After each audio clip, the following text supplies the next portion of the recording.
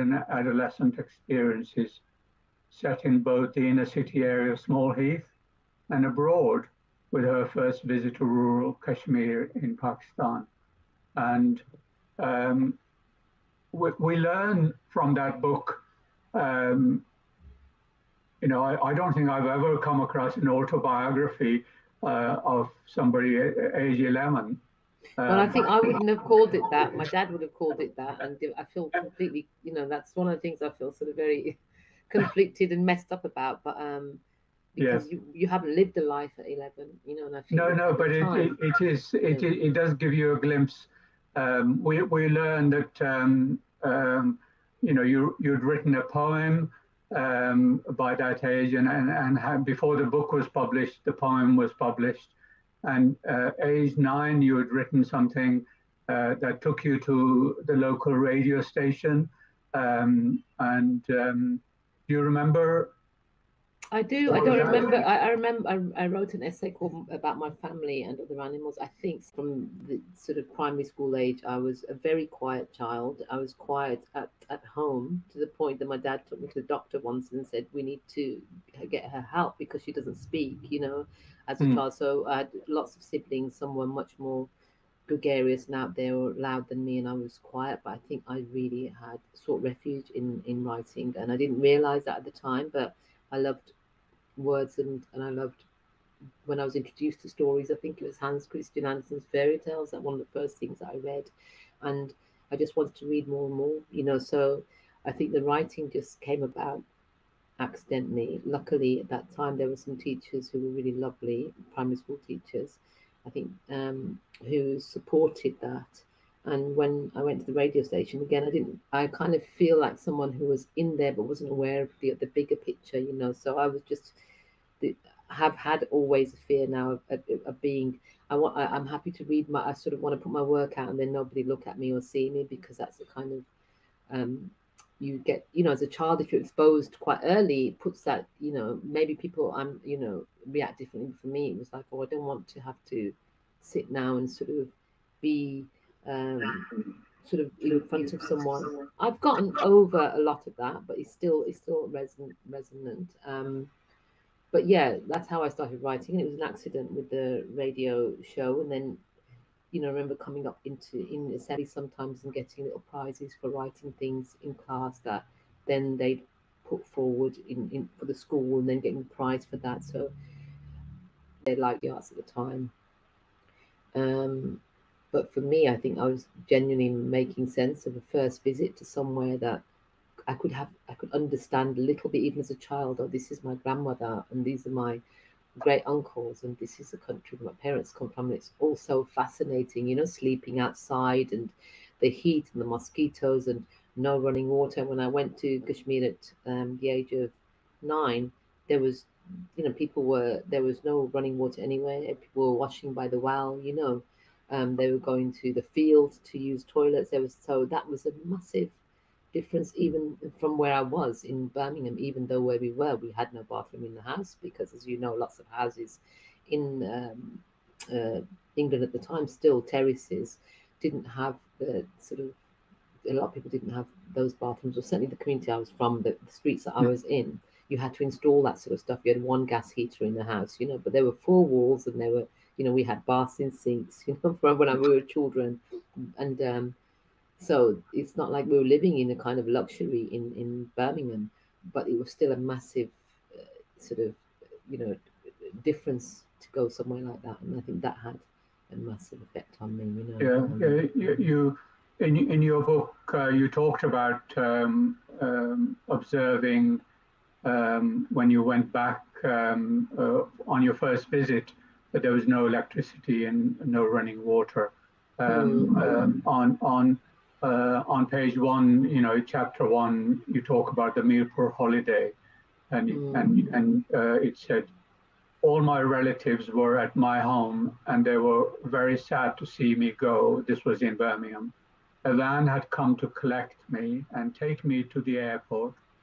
With me went my brothers and sisters and my mother.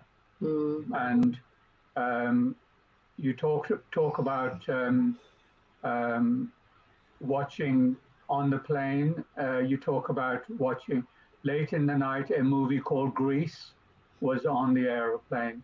I went to sleep when the movie was halfway through. Quite early in the morning, about six or seven o'clock, the plane landed and all the people walked out quietly and happily. Boy, was I looking forward to for a happy time in Pakistan. And we, we learned from that book that while you were in, um, uh, in Mirpur, uh, you met some, I don't know whether you realized at the time, uh, but you met some famous, uh, well-known uh, personalities. Uh, you met Yunus Sarakwi, um, Majid um, Malik, Malik yes, yes. Ansari, and a yeah, few others. Yeah. Um, mainly people who were lawyers. Yeah. Uh, and they later became um, big, big names. Uh, sadly, um, uh, most of them are no longer with us. Um, and um, well, that was that was yeah, that was my father. That was my.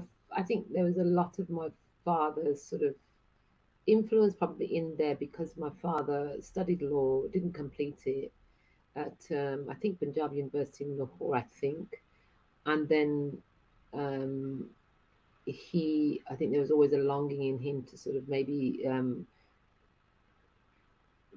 that that he that he hadn't done that and he wanted to practice law in this country, but he was always in two minds about that and hadn't gone the whole way.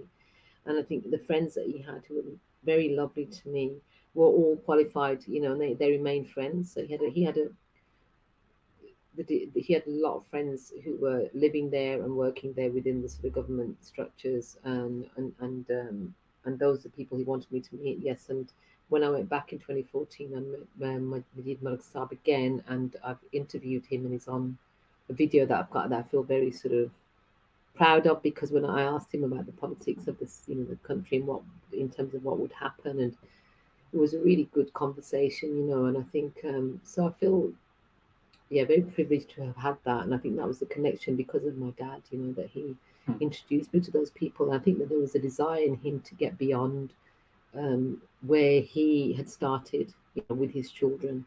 In a way, maybe he was sort of living some of that through me or vicariously, you know. And um, for me, it was just, it was overwhelming, but also really wonderful to to have that because then even as a girl, I was allowed to go to places where most girls weren't, you know, because I was accompanied by him, you know, um, or he accompanied me. So, yeah, so it's still things that I'm trying to figure out today. I've got two sisters, I've got three brothers, you know, and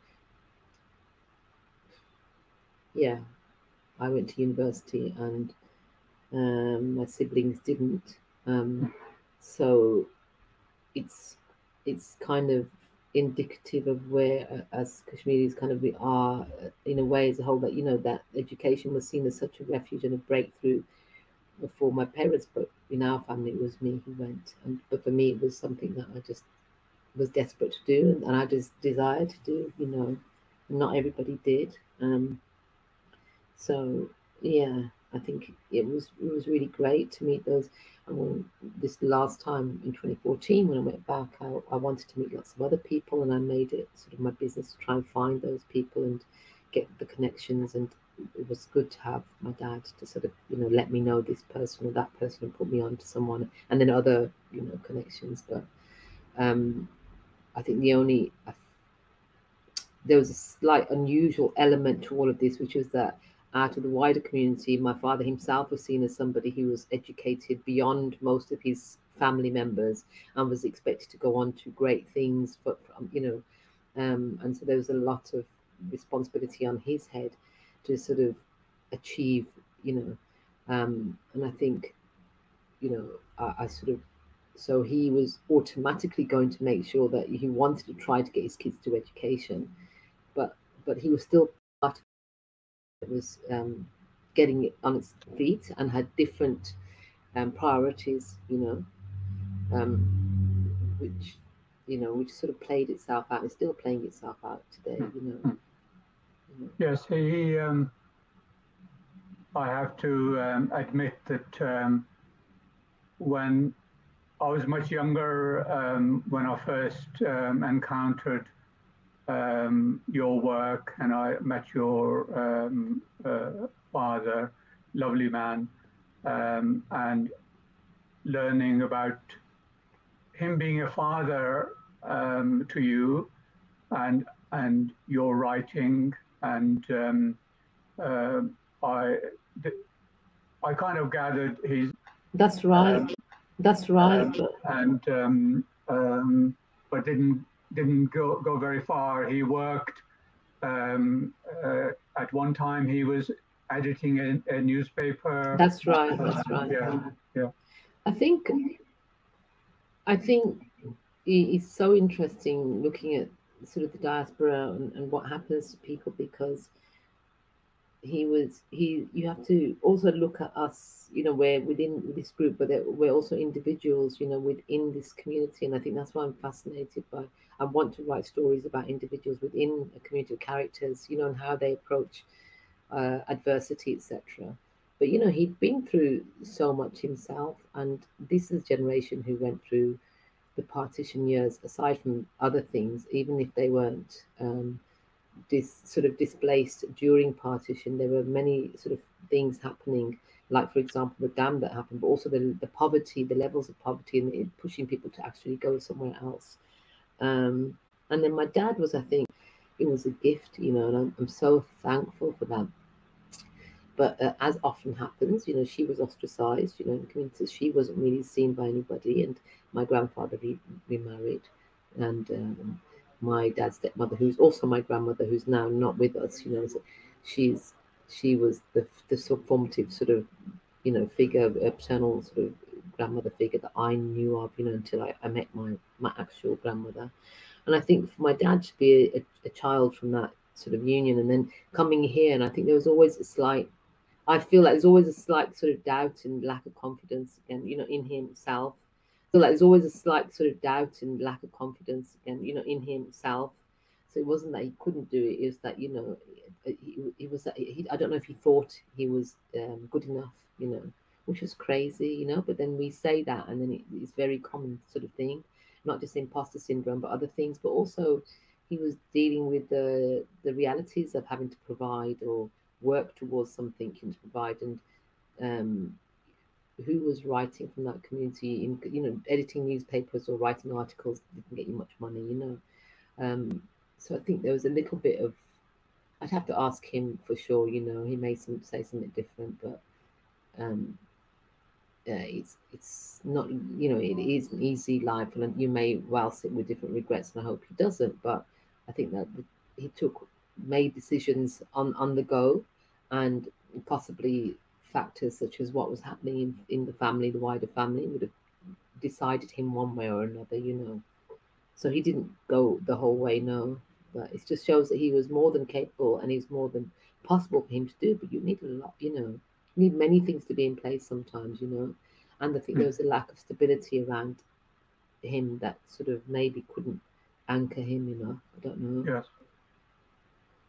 Yeah. Um, and I think you um, met um, um, Mahmoud Hashmi.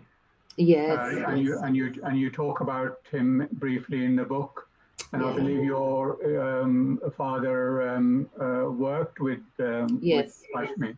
Yeah, Uncle Hashmi, and he, he, he was until he passed away. He was just a neighbor of ours, so I'd see him whenever I was in town, and and he was so lovely. And again, you don't know it's just another another uncle, you know, who I know, who would give me time to want to talk about things, and we we chat, and I'd really feel sort of happy to be around him because he was so softly spoken, and we talk about you know very, you know, but it was so I liked that company, but I didn't know the colossal figure he was, you know, until later, you know, in mm. later years, you know, you don't as a child I didn't realize, you know. Um, I had an idea, but you know, and his pipe smoking was a thing that I absolutely loved.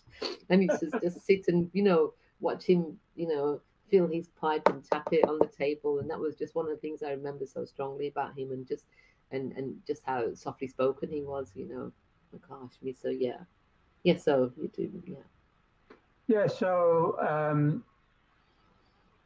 here here you are uh, having started writing at primary school and then uh, continued um, and uh, with a, father who was editing a newspaper. Um, you knew Mahmoud Hashmi. Um, uh, you'd be able to answer the question because mo- many people still um, in in uh, the wider uh, Pakistani community, but in you know especially the Kashmiri community, if if you talk about the arts or things like writing, um, they will not think that was a proper subject of study or proper area of work. Um, far better to become a doctor or an engineer, um, um and um, um, what what would you say um, to to people like that? I can yeah I, I completely um, understand why that happens. Um, in this, I think that you can't um, you you can't ignore class in all of this. Uh, you can't ignore sort of regional differences. People who who sort of maybe have grown up in cities and migrated to another city, you know, compared to sort of rural people who have come to, you know, a big city like Birmingham or London or the UK. And I think there's there's all sorts of factors. I, I get that um, because the poverty levels uh, that we were dealing with, the community was dealing with, having to confront, the immediate um, uh, need was for money to to keep for to actually keep a family alive and to send money back home to a family who needed it because people who came in the 50s 60s whatever their intentions were to return you know as we know in, in the main you know to return the, rural peoples anyway you know and um, uh, from our parts of the world. And um, so there was no room to think about oh you know stories or books or or creativity in, and in this country like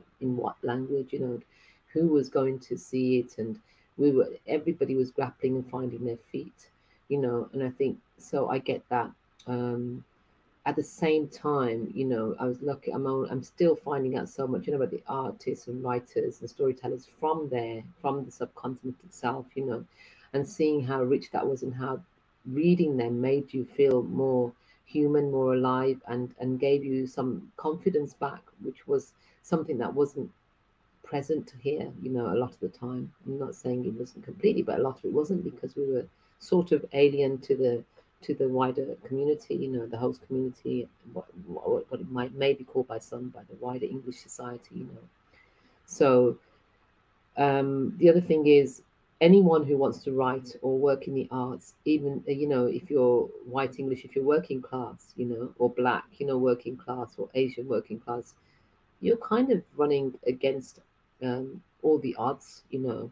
Um, we, we live in a class-ridden society in the UK, so, and recent sort of diktats by the government and other things about you know defunding arts degrees, humanities degrees, etc. That will not encourage poorer students to apply uh, to go into those fields. You know, I mean, there's an active kind of con- concentration now on on valuable degrees that earn money, um, and I think that's sad. So really sad, really dangerous you know but um i think so i get that but i get where that all comes from and i get that it's really really hard you know so i wouldn't even blame anyone say i don't want to be a writer or an actor or anything because you know it's it's difficult to succeed in this field anyway. Um but at the same time i think these barriers have to be broken down and it's really important that we do this and for me, um, you know, the whole growing up, I think the way when I had to sort of look at lots of this was when the, the Rushdie affair happened when I was quite young, and then other, you know, other, and I suddenly thought, oh, this is somebody who was fated by the community, and now suddenly he isn't. What is this about? You know, so I think I want, I would advocate for art all the way against a conservatism which is creeping everywhere in the world, you know. Um, and I think sometimes when communities are in retreat or trying to protect themselves, they can reach for that conservatism um, as a sort of place of safety, and it's really not, you know. And um, so I think it's very liberating, and I think it's really essential. And for me, I'm so thankful that I can um, write and create, and I'm just wary and sort of you know of, of what the future could be in terms of uh, stifling the voices of, of artists you know and I think you know that that's a real danger you know? regardless in, in sort of a smaller community or a lot wider society so I would say and I'd also say that now you know in, this, in the uh, things are changing. However, it, however it may seem that it's quite difficult, they're changing. There are lots of people out there, even some from our community, you know, who are who are out there doing the arts. You know, um, Ayub Khandin is one of the sort of you know well-known ones, um, who's half Kashmiri. Um, but there's others, you know, I've got a cousin who designs clothes, and she's, you know, her clothes are going around the world, and you know, she's she's a brilliant designer. It's very, you know, and um, there's um, I, am trying to think off the top of my head. There's a poet that I'm going to sort of hopefully read from in a little while. I want to read him last, you know, but he's um, part Kashmiri and um, he's out there doing his work and he's been, you know, sort of acclaimed for it, you know, rightfully so. Um, and I think there's there's a lot of change happening there and some recognition that there's it is a pathway, you know, and you can do this and you can um, and the reason I think story, this is essential, stories are essential, is a way of reclaiming who you are, and it's a way of having conversations with the rest of the world, and having an exchange, you know, with other others. That's really important, you know. Um, there's a fear sometimes that oh, if we tell these stories, you know, we've got to, or if we if we express ourselves artistically, it's not necessarily it's not good for women to be up on stage, for example, or in theatre. But who says this? You know, it's just I just think these barriers have to be broken down, and they are being, you know, um, there are they are being, and it's important they are. It's important. It's seen as an avenue that people can go down. You know, um, Riz Ahmed is Pakistani, but you know he's he's done you know a great deal for sort of um, promoting that cause, and I think if you you have to follow the path that is yours. If you want to be a doctor or a lawyer and accountant, brilliant, you know. I'm sure, you know, as a, as a person, it's like, oh wow, I can at least have money coming in every every month, you know. Whereas uh, if you, you want to freelance as an artist, yes, it's difficult. But I think it's even the more reason why working class writers, writers from the minority uh, uh, communities, the marginalized, should be out there, you know, doing that work. They should be given the opportunity. They should be developed, you know. Mm. Often they can see things in wider society or that the host community can't necessarily see because your things are happening to you. You know, you can you're looking at things as an outsider. You know, in mm. a way. Mm. mm. Yeah, I mean, I think there's becoming an artist and then actually doing the job. Um, when when you look at the community, for example, family, um, you can look at it as a supportive, you know, people who don't have family and, and extended family particularly, um, you know, there is the supportive element of, of, of that. Um, and there's always um, a close line between supportive and oppressive, especially for women. Um, and, and um, also uh, when when the community is existing in a in a hostile world, um, there's always the pressure, isn't there, uh, on artists, uh, writers, whether you present a positive image or present a true image. Um, and the true image brings warts and all. Um, um, do you find that sometimes? Um, it's hundred. Yes, yes, yes. You have to. I think. Uh, I think it's James Baldwin who said you can't you can't solve the problems of the world. You just have to put them out there. Writer's job is to is just to show them, you know. And I think that whatever that truth may be, you're going to have to search for. If you're trying to represent something which is a positive portrayal or some sort of balance, I don't think that I, I can't do that in the sense I can't just put a photographic representation of something. And I learned this as as I was, which and it, it's not an easy job if you're if you're from a minority. If you're hardly published, you'll be accused of sort of you know um, being down on your own, or you know, sort of, or, or the other side is, you know, if you you sort of uh, write stories, maybe look at the the problems in, in in sort of in the UK society, for example, you'd be accused of or not being grateful or whatever else it might be, you know, whatever. Look where you've gotten, you know.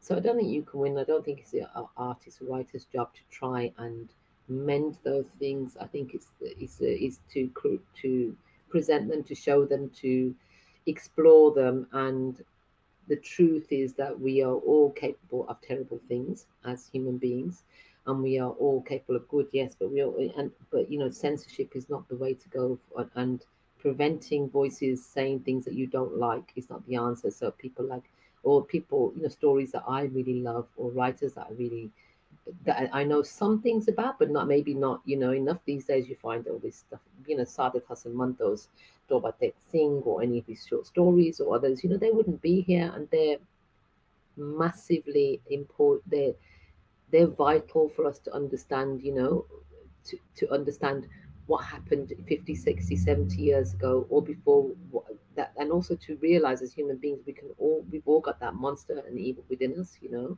we're mm. not perfect. We're not, we're not, you know, and, um, um, and, and we just have to explore it. Suppose, you know? Yes, yes. Yeah. Um, yeah, it's dangerous. It's dangerous to, to, banning books is dangerous in the US at the moment. They're banning lots of books. It's it's it's not conducive for freedom for for a sort of happy society. You know, if you want to talk about happiness and contentment, it's not conducive to that. If you're suppressing voices of dissent, you know, mm-hmm. and they you know, and but but it's a common thing, isn't it? It happens all the time. Like I've got a mug here, you know, uh, Federico Garcia Lorca's mug, and he was shot by the fascists, you know, when you're doing the uh, Spanish Civil War, and he was a freedom-loving sort of humanitarian writer who was absolutely brilliant, but you know, he, he was seen as dangerous by by the the, the, the that particular fascist sort of um, regime, and I think that this is we have to fight for those voices. You know, it's interesting that a lot of the time, you know, and, and words you know we have to fight for freedom of expression and and in or you can't have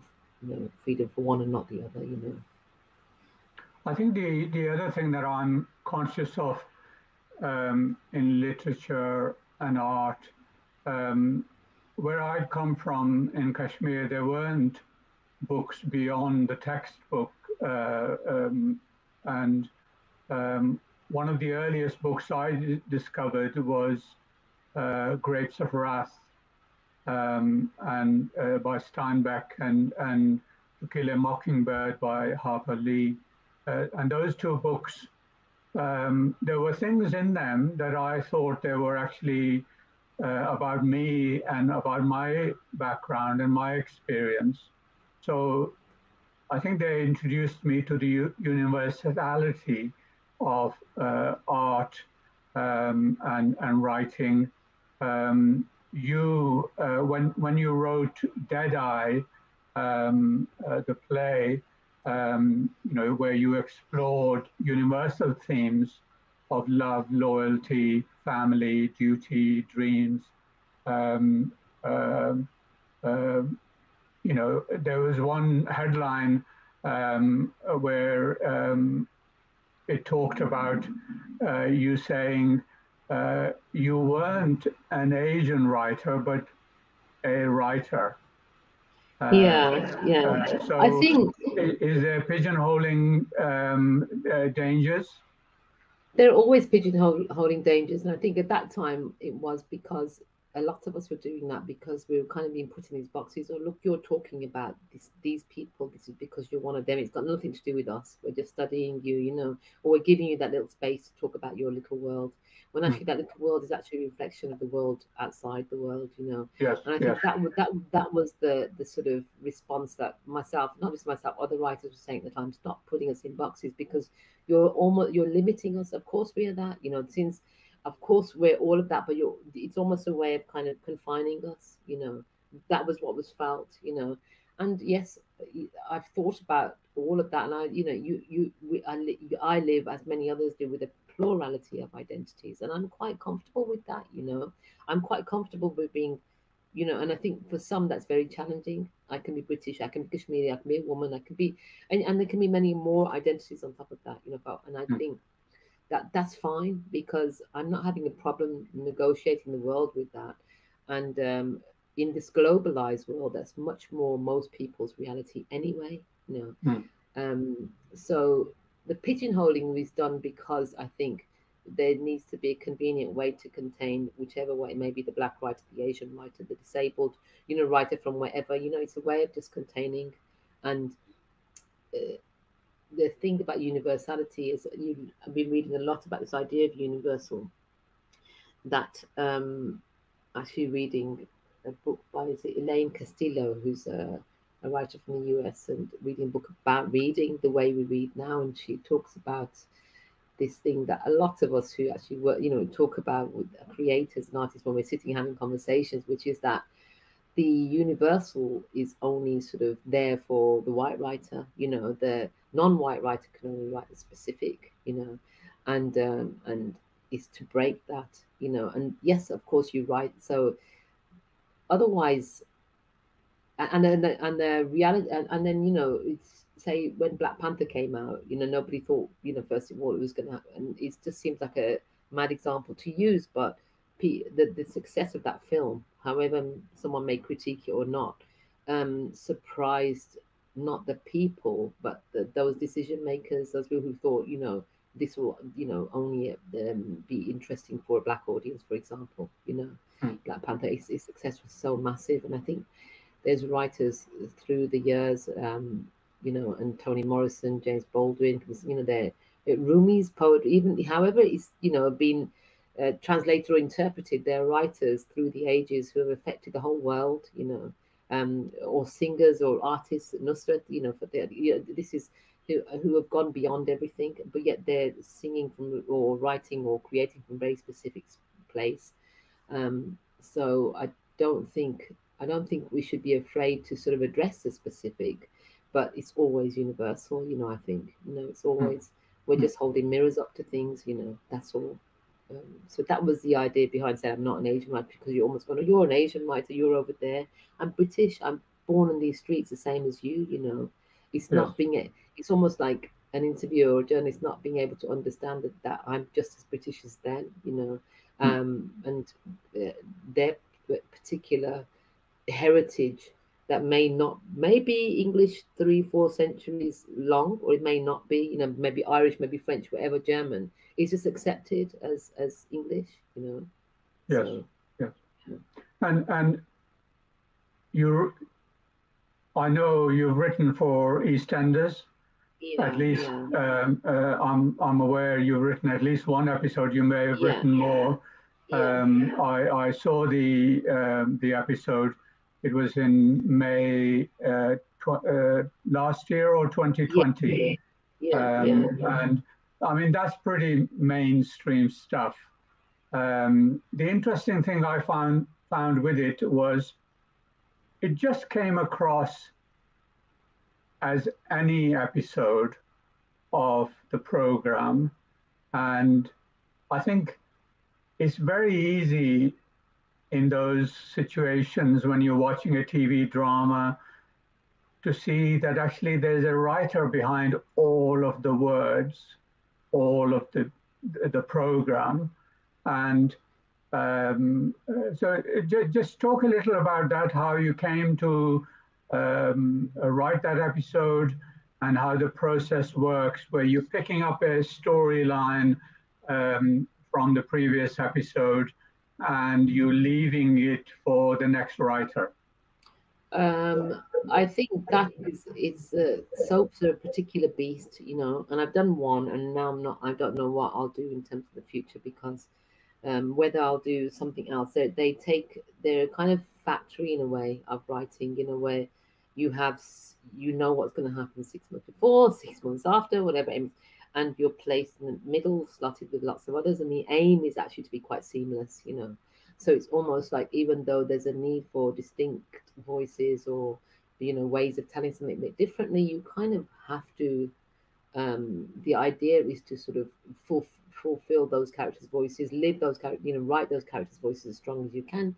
Characters that are known for 20, 25 years to a public, you know, to a viewing public, and continue that, you know. And then also with with that writing process, you have lots of meetings of uh, production assistants or editors, etc., in rooms where they keep reviewing you know, and sometimes decisions can be made where, oh, that actor's not available, or this actor's not or ill, or we're changing the storyline.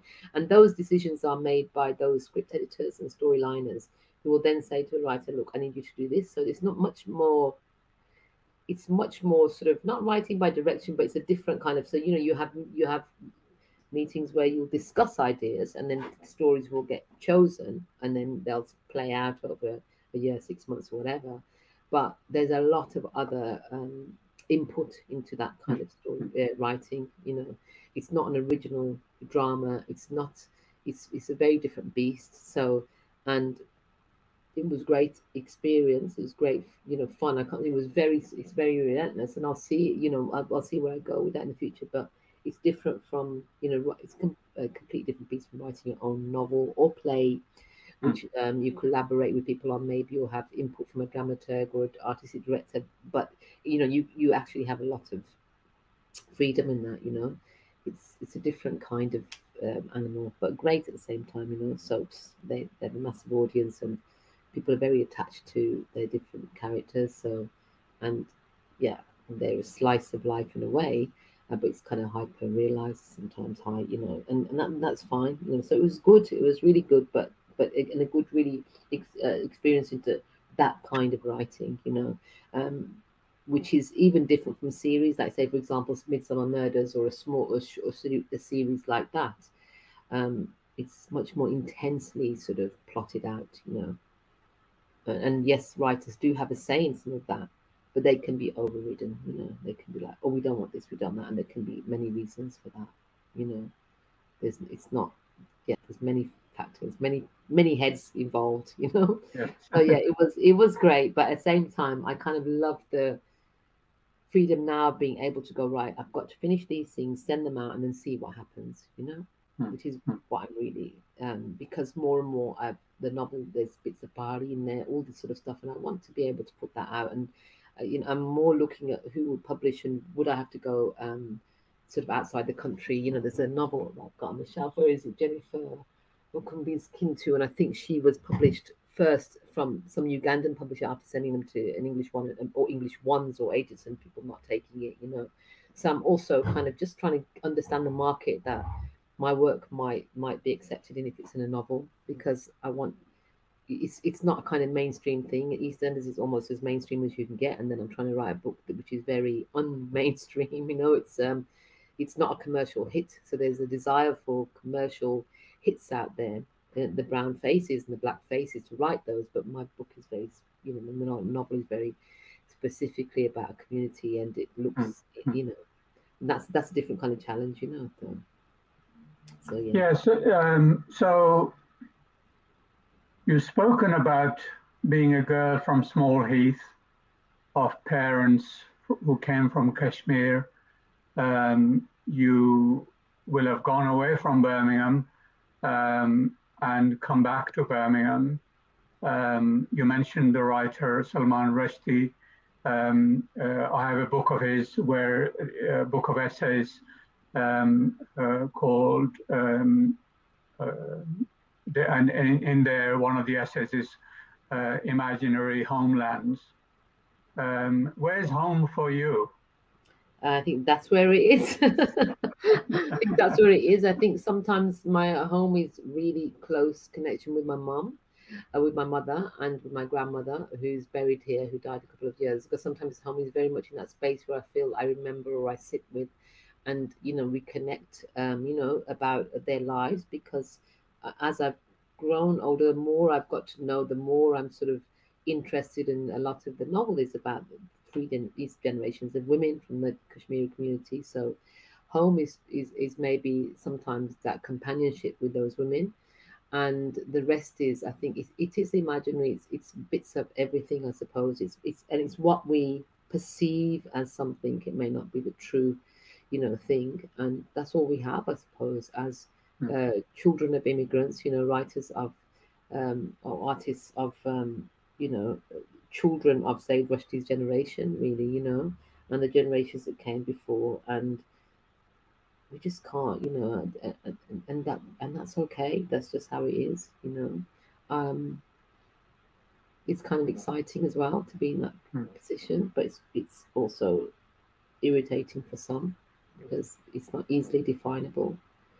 Um, but yeah, I don't know if that answers what you're saying. Yeah, yes, yes. Um, I think it's a, it, it- you could talk about some of these things forever. Yes. Um, um, yeah, moving on. Um, uh, I've got to think about bilingualism, multilingualism, Mm. um, and um, it makes me sad sometimes. Can, can you just move to, to your side? You, um, I'm so sorry. yeah, that's it. Um, you, um, I'm conscious of how monolingual the British education system is and society, and not just monolingual, but actually monolingualizing. Um, I, I come across many young people who lose their mother tongue.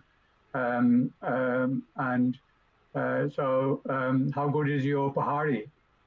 My is fine, but my children's bar is a different matter. My partner, my husband, is not um, Kashmiri, No. so it's not been straightforward to to have speak that language. I tried that, and I wasn't as you know disciplined enough as some of my friends who tell me of stories of you know partners uh, uh, reached you know being from different places, and then one partner speaking one speaking one language and the other speaking the other. But with us, um, I've tried so my kids understand bits of Midbury, bits of Bali, but not um, not loads. So I've, I've for years I've said to my mum, please speak, you know, in in Midbury to them or in Bali to them. And see, I'm just using both because I'm still in that habit. And uh, she has, but my dad, uh, I've got older nephews and nieces who've already imbibed everything that is English, so they take their bits of words. So yeah, it makes me worry, you know, and makes me worry about the future and makes me look at my own shortcomings. But then again, um, that's kind of I'm hoping that even little bits, if we can keep um, it within even storytelling or conversation, so going over and, and being in those rooms where everybody's speaking Bali and the English speaker has to sort of just tune in, you know, the English speaking children, and that still happens with with my family, so that's helpful, but it's not enough, you know. Uh, mine is fine, but I'm practicing it less and less. You know, I'm re- I'm saying it less and less, as you can, Yes. because the where I'm going and what I'm doing my time, often I can't, I don't have an opportunity to speak it. So it's with family members that I speak it, you know, and wider family Yeah. members. I think that's that that that's um, always kind of related how how to keep a minority language Mm, um, uh, alive uh, and functioning, uh, especially uh, where much of your communication happens to be in English. Um, uh, I uh, remember the advice I was given when I first came to England by somebody who said, if you want to learn and improve a language, you have to read a lot. And um, uh, so uh, I, I tend to read Urdu because that gives me the vocabulary uh, for Pahari and um, either speak Pahari or certainly listen to Pahari. I think mhm. we're now fortunate to have um, YouTube and, and t- you know internet Yes. um, um, uh, to to do it systematically. Yeah. Um, and um, uh, it- Definitely. yeah.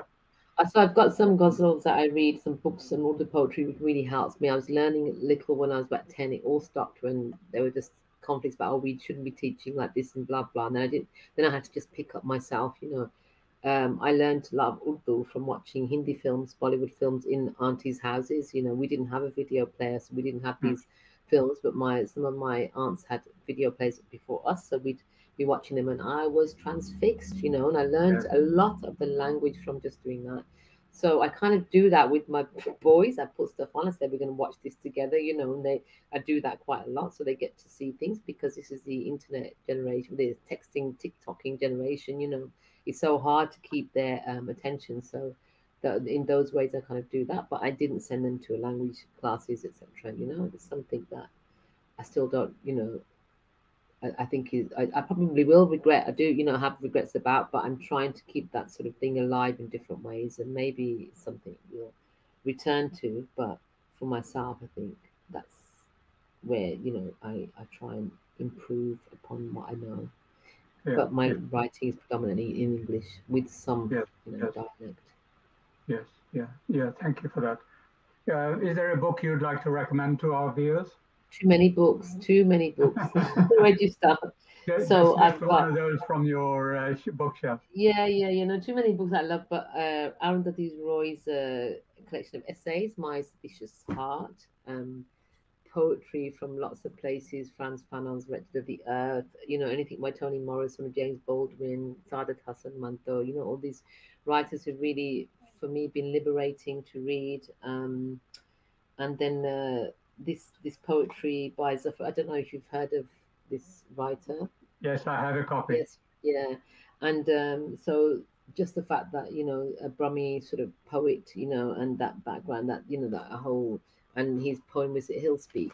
Yeah, he'll yes, speak. Yes, it yes. speaks a lot about what we sort of talk about, but yeah, anything by Zafar. Would you like to read it? Um, I'll read it. I haven't practiced it though. No, no, that's fine. Um, it's a nice way no, to end our con- yeah, conversation. Yeah. Yeah. There is no dictionary for my father's language. His dialect, for a start, is difficult to name. Even this taxi driver who talks it lacks the knowledge. Some say it's Pahari, he'll speak. Others, Patwari, or Pahari Patwari, too earthy and scriptless to find a home in books. This mountain language is a low language. Ours, no good. You should learn speak Urdu. I'm getting the runaround. Whatever it is, this talk, going back, did once have a script. Landa, in the reign of the Buddhists. So was that speech some kind of Dogri? Is it Kashmiri, Milpuri? The differences are lost on me. I'm told it's part way towards Punjabi, but what that tongue would call Dwada Dad would agree was Tusanda, yours. Truly, though there are many dictionaries for the tongue I speak, it's the close by things I'm lost to say. Things as pulsed and present as the back of this hand. Never mind stumbling towards some higher plane. And either way, even at the rare moment I get towards, or thank God, even getting to, my point, I can't put into words where I've arrived. Thank you for that. You're welcome. I think po- poetry is always um, meant to be read out loud. I think. Yeah. Yes, I think, and I think practicing is good. But I just think that some of the conversations you're having about Harley and, and everything, I think it's really, um, you know, it's, it, the poem speaks to that, and and just to that pr- having that pride, you know, in in in in what what in the language and in expressing ourselves in it as well, you know. Yeah. Yes. So thank you, Amber, for uh, giving us your time. Thank um, you. We, we need to conclude um, and um, uh, we will stay connected with you and um, I'm sure uh, we will have you back um, for a follow-up conversation uh, at some point in the future. It's but great, now, great conversation. Yeah. Thank you Take care. Bye-bye. Bye-bye. وادی نیلم کے علاقے جاگرا road پر traffic حادثے میں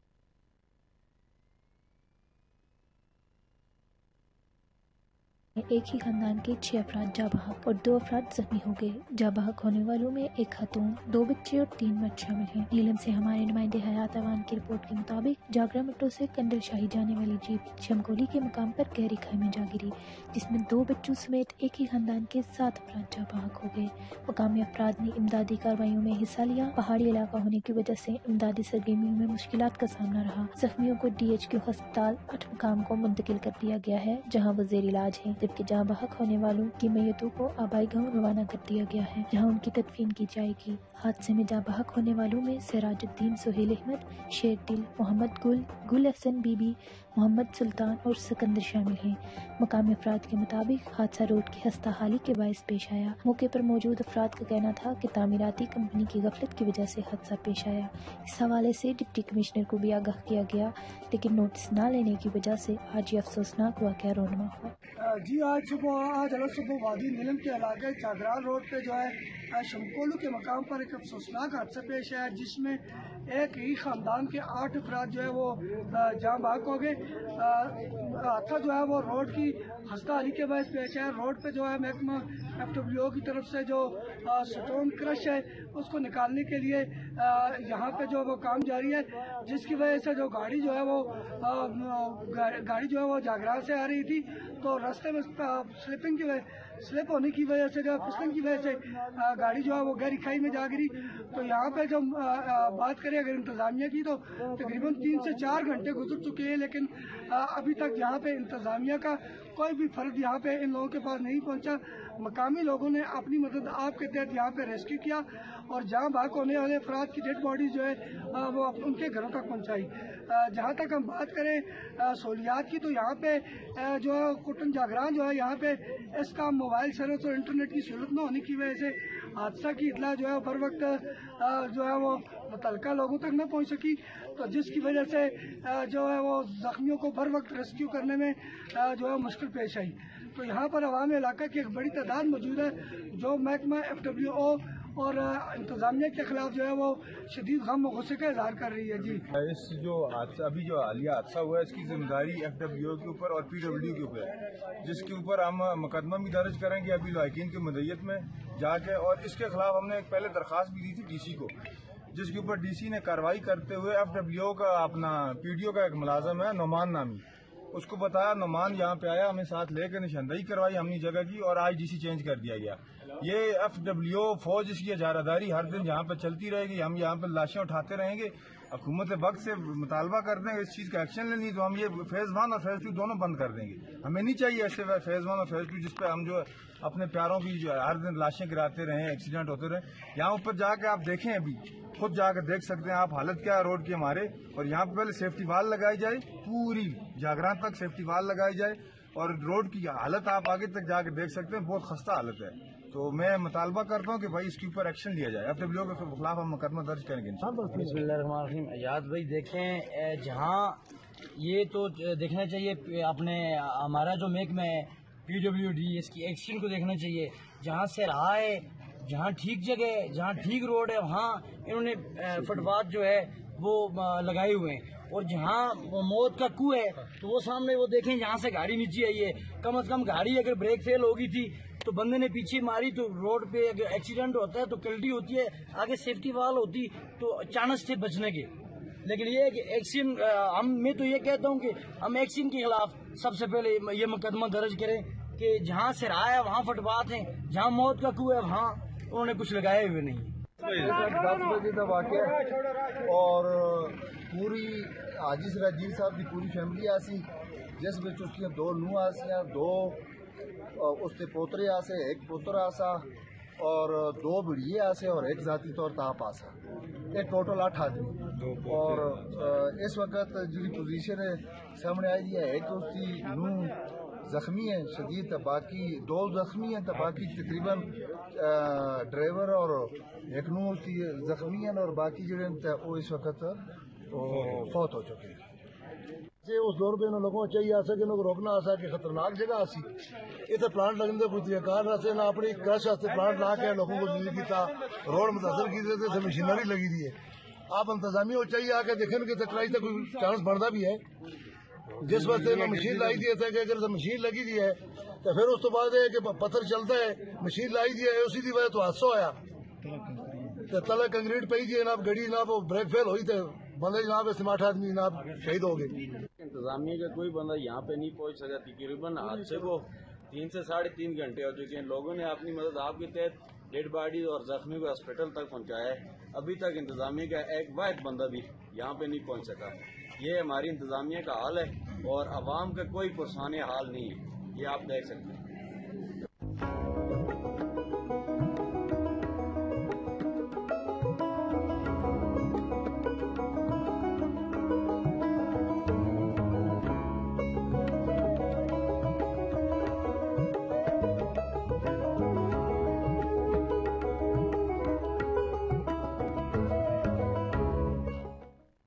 پاکستان کے دارالحکومت اسلام آباد سے تین سالہ معصوم کشمیری بچہ ارسلان اسد والد سردار اسد آف بنگوئی راولا کوٹ ضلع پنچ آزاد کشمیر تقریباً پونے چار ماہ سے لاپتہ ہے۔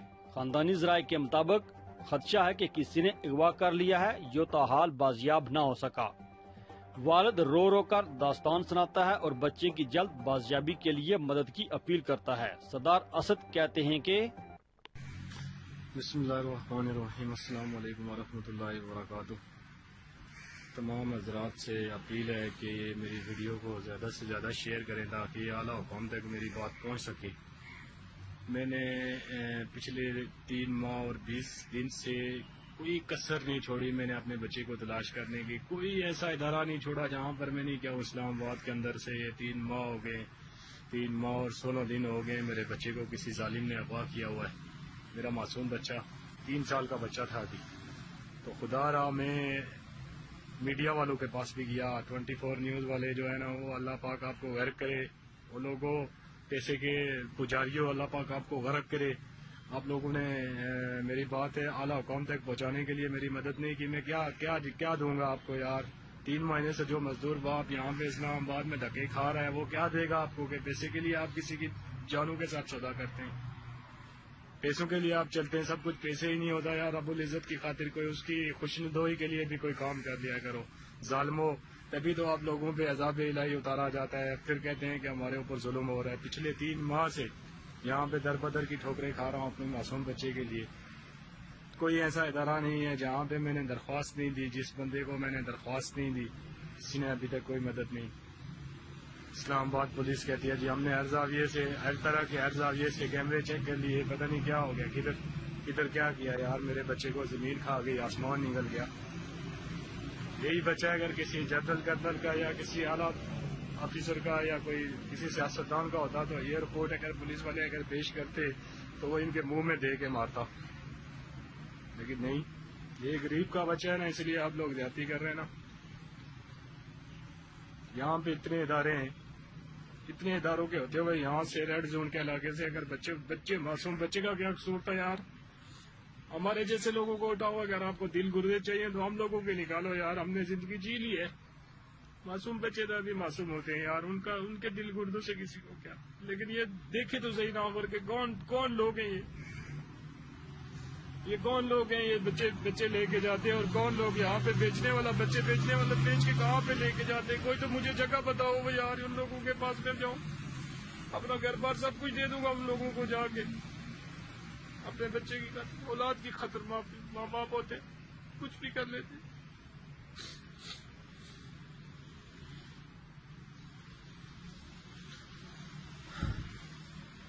اور میں بہت پریشانی میں مبتلا ہوں۔ ایسی تکلیف ہے کہ مجھ سے برداشت نہیں ہو رہی ہے۔ پچھلے تین مہینوں سے میں اس تکلیف میں مبتلا ہوں، کوئی میری مدد نہیں کر رہا۔ اس رب کو بھی تو آگے منہ دکھانا آپ لوگوں نے یار۔ کوئی تو ایسا ہوگا، پاکستان میں اتنے ادارے ہیں، یار میری مدد کریں، یار میرے بچے کو یہاں سے بس یاد کروا کے دے، چھوٹا بچہ ہے، میرا معصوم بچے اب خود سے اندازہ لگا رہے کہ اولاد کو اگر کوکیل بھی چپ جائے تو ماں باپ کو کتنی تکلیف ہوتی ہے؟ یہ میرا بچہ ہے، تین مہینے سے تین مہینے بیس دن سے لاپتہ ہے۔ میں تک گیا ہوں یہاں ہر کسی کے پاس جا جا کے۔ میڈیا والوں نے میری بات نہیں سنی ہے، آ کے میرا انٹرویو بھی لے کے چلے گئے، لیکن دکھا نہیں رہے۔ کوئی تو اگر اس پاکستان میں ادارے میری مدد کرے یار۔ مجھے اس تکلیف سے نکالے یار۔ خدا یار، میری مدد کرے، میں بہت تکلیف میں ہوں، میری اولاد کا مسئلہ ہے یار، اولاد کا دکھ بہت گہرا ہوتا ہے یار، اس کی اس میں سے بر نہیں ہوتا روز مرتا ہوں میں، روز اس تکلیف سے جوجھ رہا ہوں یار۔ کوئی تو ہوگا انسان یہاں پہ پورے ملک میں کوئی بھی انسان باقی نہیں بچا ہوا ہے یار۔ وزیر اعظم تک کو میں نے بدریا درخواست دیے لکھ کے بھیجا یار، کہ میری مدد کرے یار۔ یار، یہ اولاد کی تکلیف ہے، یہ نہیں برداشت ہوتی ہے۔ اگر اولاد، اگر اللہ پاک لے جائے تو پھر بھی آدمی کو صبر آ جاتا ہے۔ یہ اولاد اولاد کا یہ کون لے کے گیا؟ میرے بچے کو اگر کوئی تو اٹھا کے لے کے گیا نا، آپ اندازہ لگا لے خود کے ساتھ۔ اگر بچہ پانچ منٹ کے لیے آنکھوں سے اوجل ہو جائے تو ماں باپ کی کیا حالت ہو جاتی ہے؟ میں آج تین مہینے بیس دن سے یہاں پہ تکلیف میں مبتلا گھوم رہا ہوں، پاگلوں کی طرح۔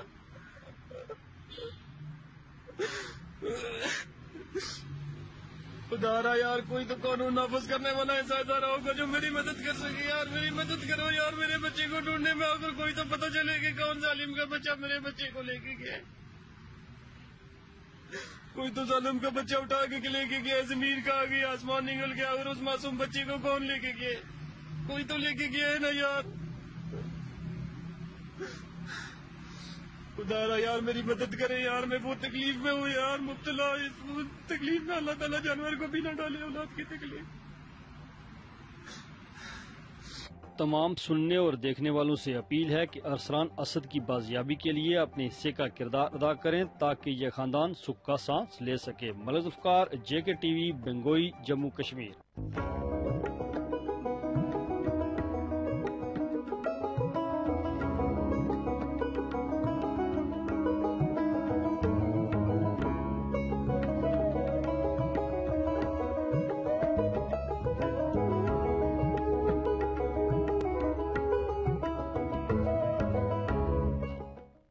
Chief talent hunt کے عنوان سے پاچیوٹ کے گاؤں شوکتا آباد کے ادارہ Shine Ideal Public School and College میں ایک رنگا رنگ تقریب کا انعقاد کیا گیا، جس میں آرٹ، سائنس اور ثقافتی شو کے ذریعہ طلباء طالبات کی جہاں چھپی ہوئی صلاحیتوں کو اجاگر کرنے کی کوشش کی گئی۔ وہیں یہ سرگرمیاں علم و آگے ہی اور تفریح مہیا کرنے کا موجب بھی رہیں۔ پہلے دن مختلف سٹالز لگائے گئے، جن میں science exhibition, art exhibition, food street Kashmiri ثقافت اور مینا بازار شامل رہے۔ جبکہ دوسرے دن سالانہ نصابی غیر نصابی سرگرمیوں پر مشتمل پروگرام پیش کیے گئے تقریب میں بچوں کے والدین، عوام علاقہ کی کثیر تعداد نے شرکت کی۔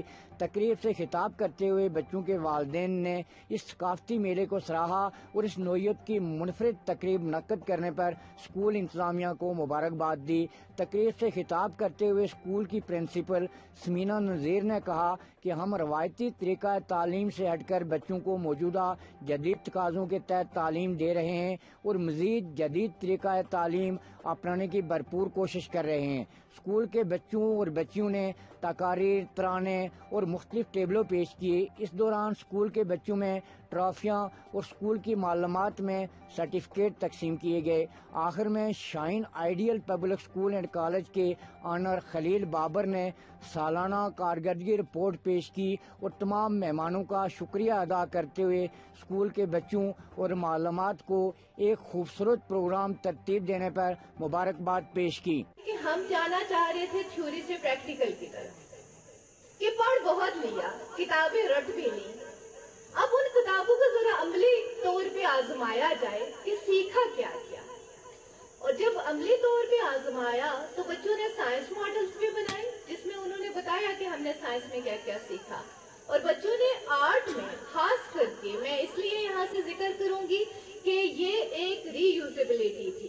بیسٹ آؤٹ آف ویسٹ شکریہ بھی ادا کرتے ہیں کہ آپ نے آپ کا آنا، آپ کا بیٹھنا، آپ کا ہمیں سننا، ہمارے بچوں کو سننا، یقینی طور پہ ہمارے لیے سمجھتا ہوں کہ حوصلہ افزائی کا باعث بنے گا۔ میں زیادہ بالکل تفصیل میں نہیں جانا چاہوں گا۔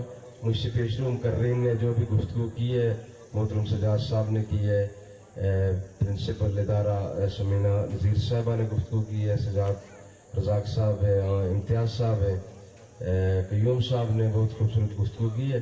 میں ان ساری باتوں سے مکمل طور پہ اتفاق کرتے ہوئے آگے بڑھوں گا۔ لیکن ایک شکوہ میں کروں گا۔ خاص طور پہ جو ہماری خواتین یہاں پہ تشریف فرمایا ان سے، کہ ہر پروگرام میں سب سے زیادہ وہ ان کی ان کی بھی پارٹیسپیشن آتی ہے۔ بہت زیادہ دیر تک وہی بیٹھی رہتی ہیں۔ لیکن اسٹیج سے ہو کے بہت کم ان کی طرف سے جو خیالات کا اظہار ہے وہ سننے کو ملتا ہے۔ اس لیے میں سمجھتا ہوں کہ آپ سارے لوگوں کو ہمت کر کے، کوئی اتنا بڑا مسئلہ نہیں ہے۔ ہم سارے لوگ ایک ہی گاؤں سے تعلق رکھنے والے ہیں، ایک ہی گھر کے لوگ ہیں۔ تو یہاں آپ آئیں، آپ میں سمجھتا ہوں کہ آپ کے اندر صلاحیتیں ہیں، آپ انگلش میں گفتگو کر سکتے ہیں، آپ اردو میں کر سکتے ہیں، آپ پہاڑی میں جہاں پہ گفتگو کی جا سکتی ہے۔ میں معذرت چاہتا ہوں، میں پرسنلی فیل کر رہا ہوں کہ شاید میرے اندر وہ گٹس نہیں ہے۔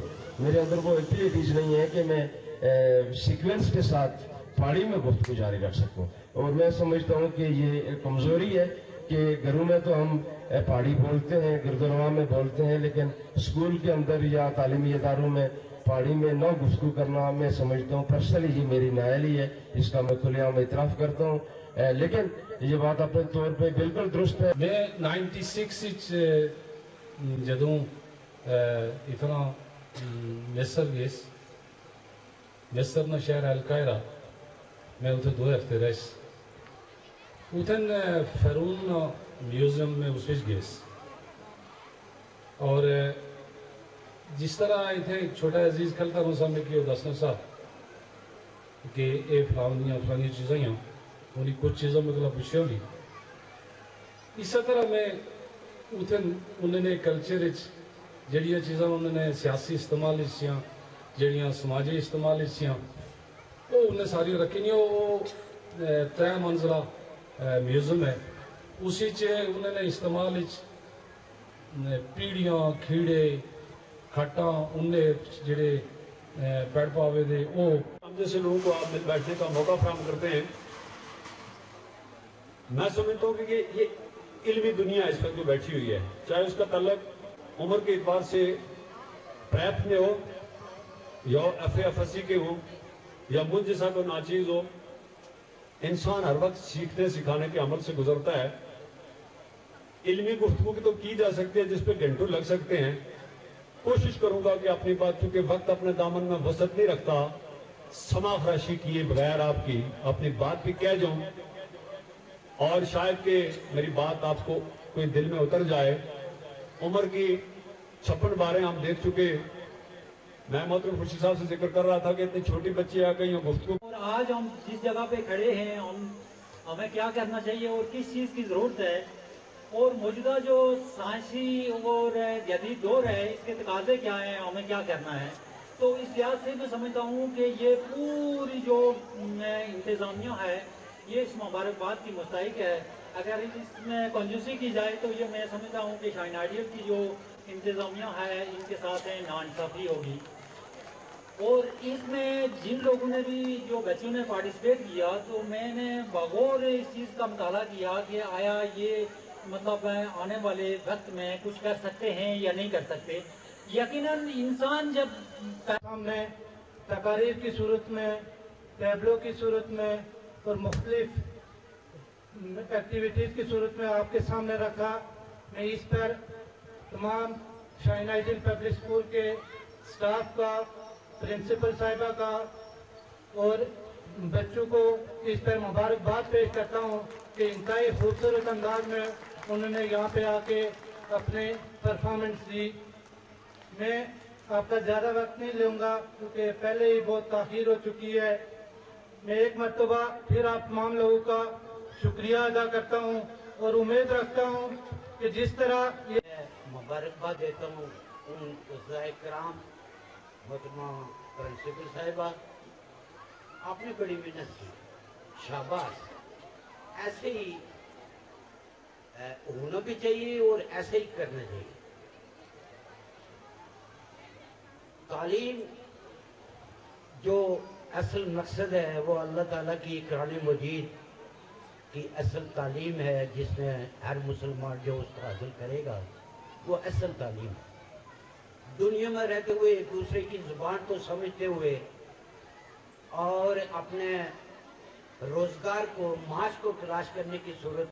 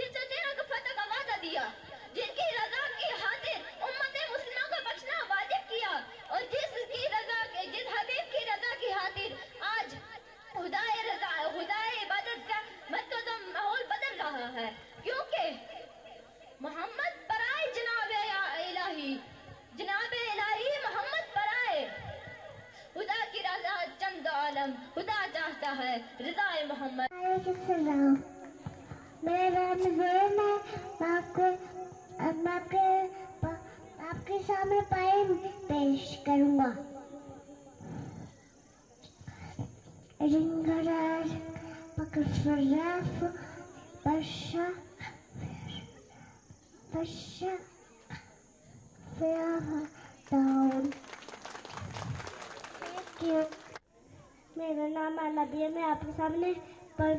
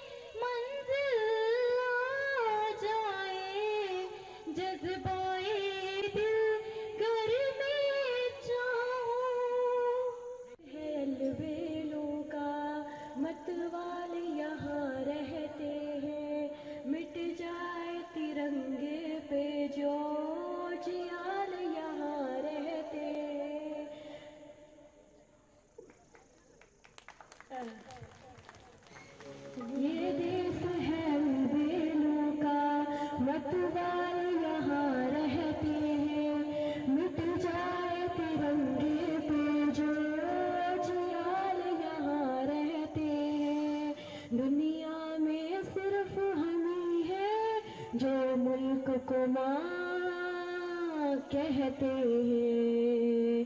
دنیا میں صرف ہمیں ہے جو ملک کو ماں کہتے ہیں۔ تیری ماں کی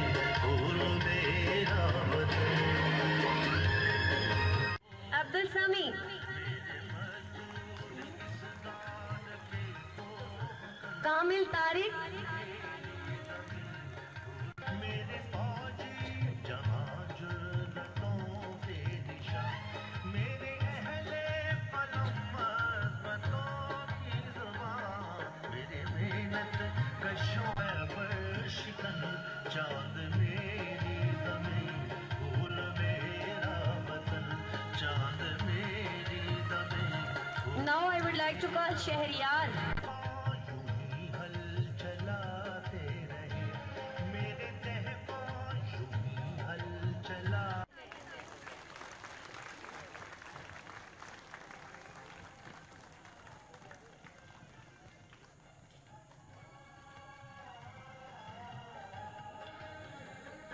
Most hard working student of Shaheen education system Fiza ذہین please come on the stage فضا ذہین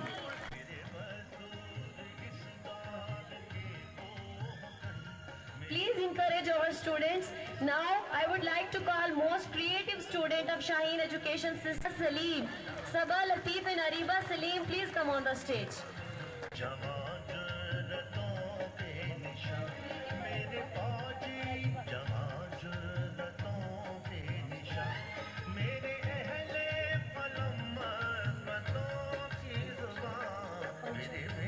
would like to call the most brilliant student of Shaheen Ideal Public School.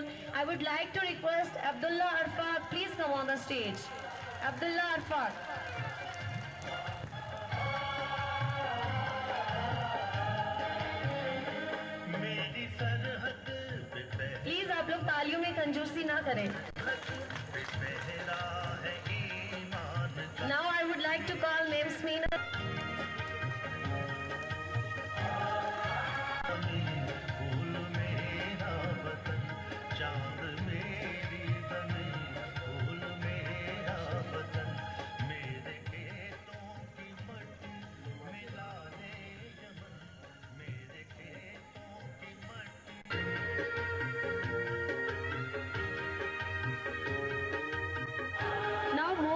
confident student of Shaheen education system, Daim Ali, I would like to request you...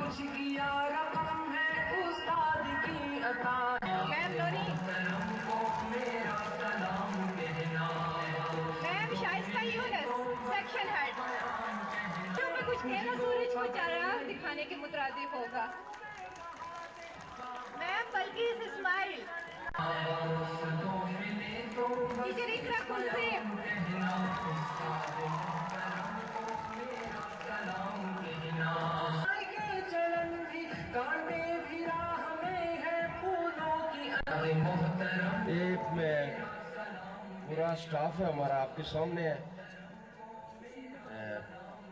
انتہائی qualified staff ہے experience staff ہے. نہ صرف یہ کہ ان کو یہ certificates دینے تھے، بلکہ جتنے بھی والدین یہاں پہ تشریف لال نہیں ہیں. ہمارے ثقافت کو کچلا گیا مسلا گیا، اسے برباد کیا گیا، اس تفصیل میں جو جاؤں گا بہت زیادہ وقت دی جائے گا. اور اس ثقافت میں ہمارے زبان پہ بہت سنگین اٹیکس ہوئے. ماضی کی لمبی تاریخ ہے، وہ سنگین اٹیکس ہوئے اس زبان پہ اور اس کو تاراج کرنے کی کوشش کی گئی۔ لیکن میں سمجھتا ہوں کہ آج اس خطے کے اندر وہ لوگ خواتین کی صورت میں، مردوں کی صورت میں، نوجوانوں کی صورت میں، طالب علموں کی صورت میں موجود ہے کہ اس ثقافت کو جس کو کچل دیا گیا تھا، اس زبان کو جس کو جسے قتل کر دیا گیا تھا، اسے دوبارہ زندہ کرنے میں مختلف جو اسٹالز ہیں جس میں آرٹ ایگزیبیشن ہے سائنس ایگزیبیشن کشمیری ثقافت کو شو کرنے کی کوشش کی گئی۔ جو لوگ ان اسٹارس کا وزٹ نہیں کر سکے، میں لازمی طور پہ انہیں کہوں گا کہ وہ ان کا وزٹ کرتے ہوئے یہاں سے جائیں۔ ہم شکریہ ادا کرتے ہیں۔ آپ کی معاونت سے، آپ کی کنٹریبیوشن سے، آپ کے اس خلوص سے ہم آئندہ بھی اس طرح کی سرگرمیوں کا انعقاد کرتے رہیں گے۔ تعلیمی سرگرمیوں کے ساتھ ساتھ دیگر ادبی اور دیگر سرگرمیوں گرمیوں کے ساتھ ہم کوشش کریں گے کہ ہمارے کمپیوٹر لیب کے لیے جو ان کی مسز کی طرف سے ہمارے لیے آئے تھے اور میں اس کے لیے ان کی بہت تھینک فل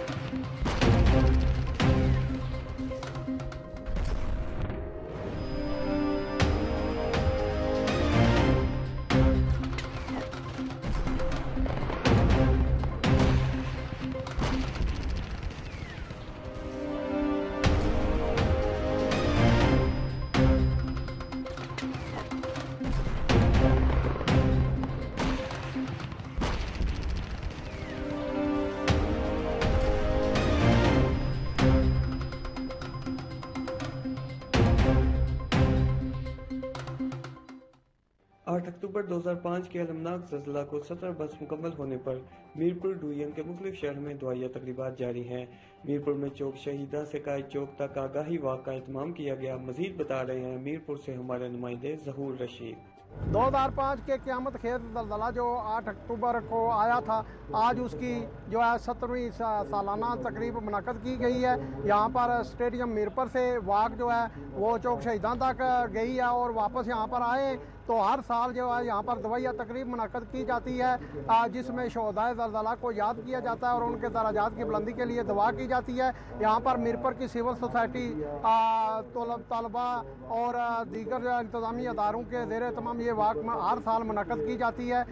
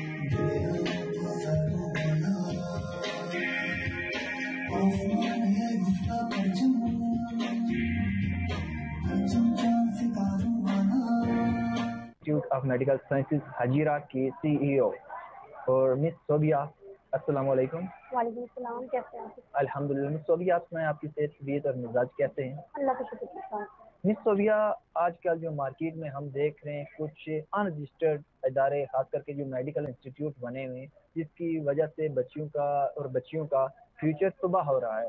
آپ کیا آپ کا جو جو ادارہ ہے ریگل انسٹیٹیوٹ یہ قانونی طور پر رجسٹر شدہ ادارہ ہے؟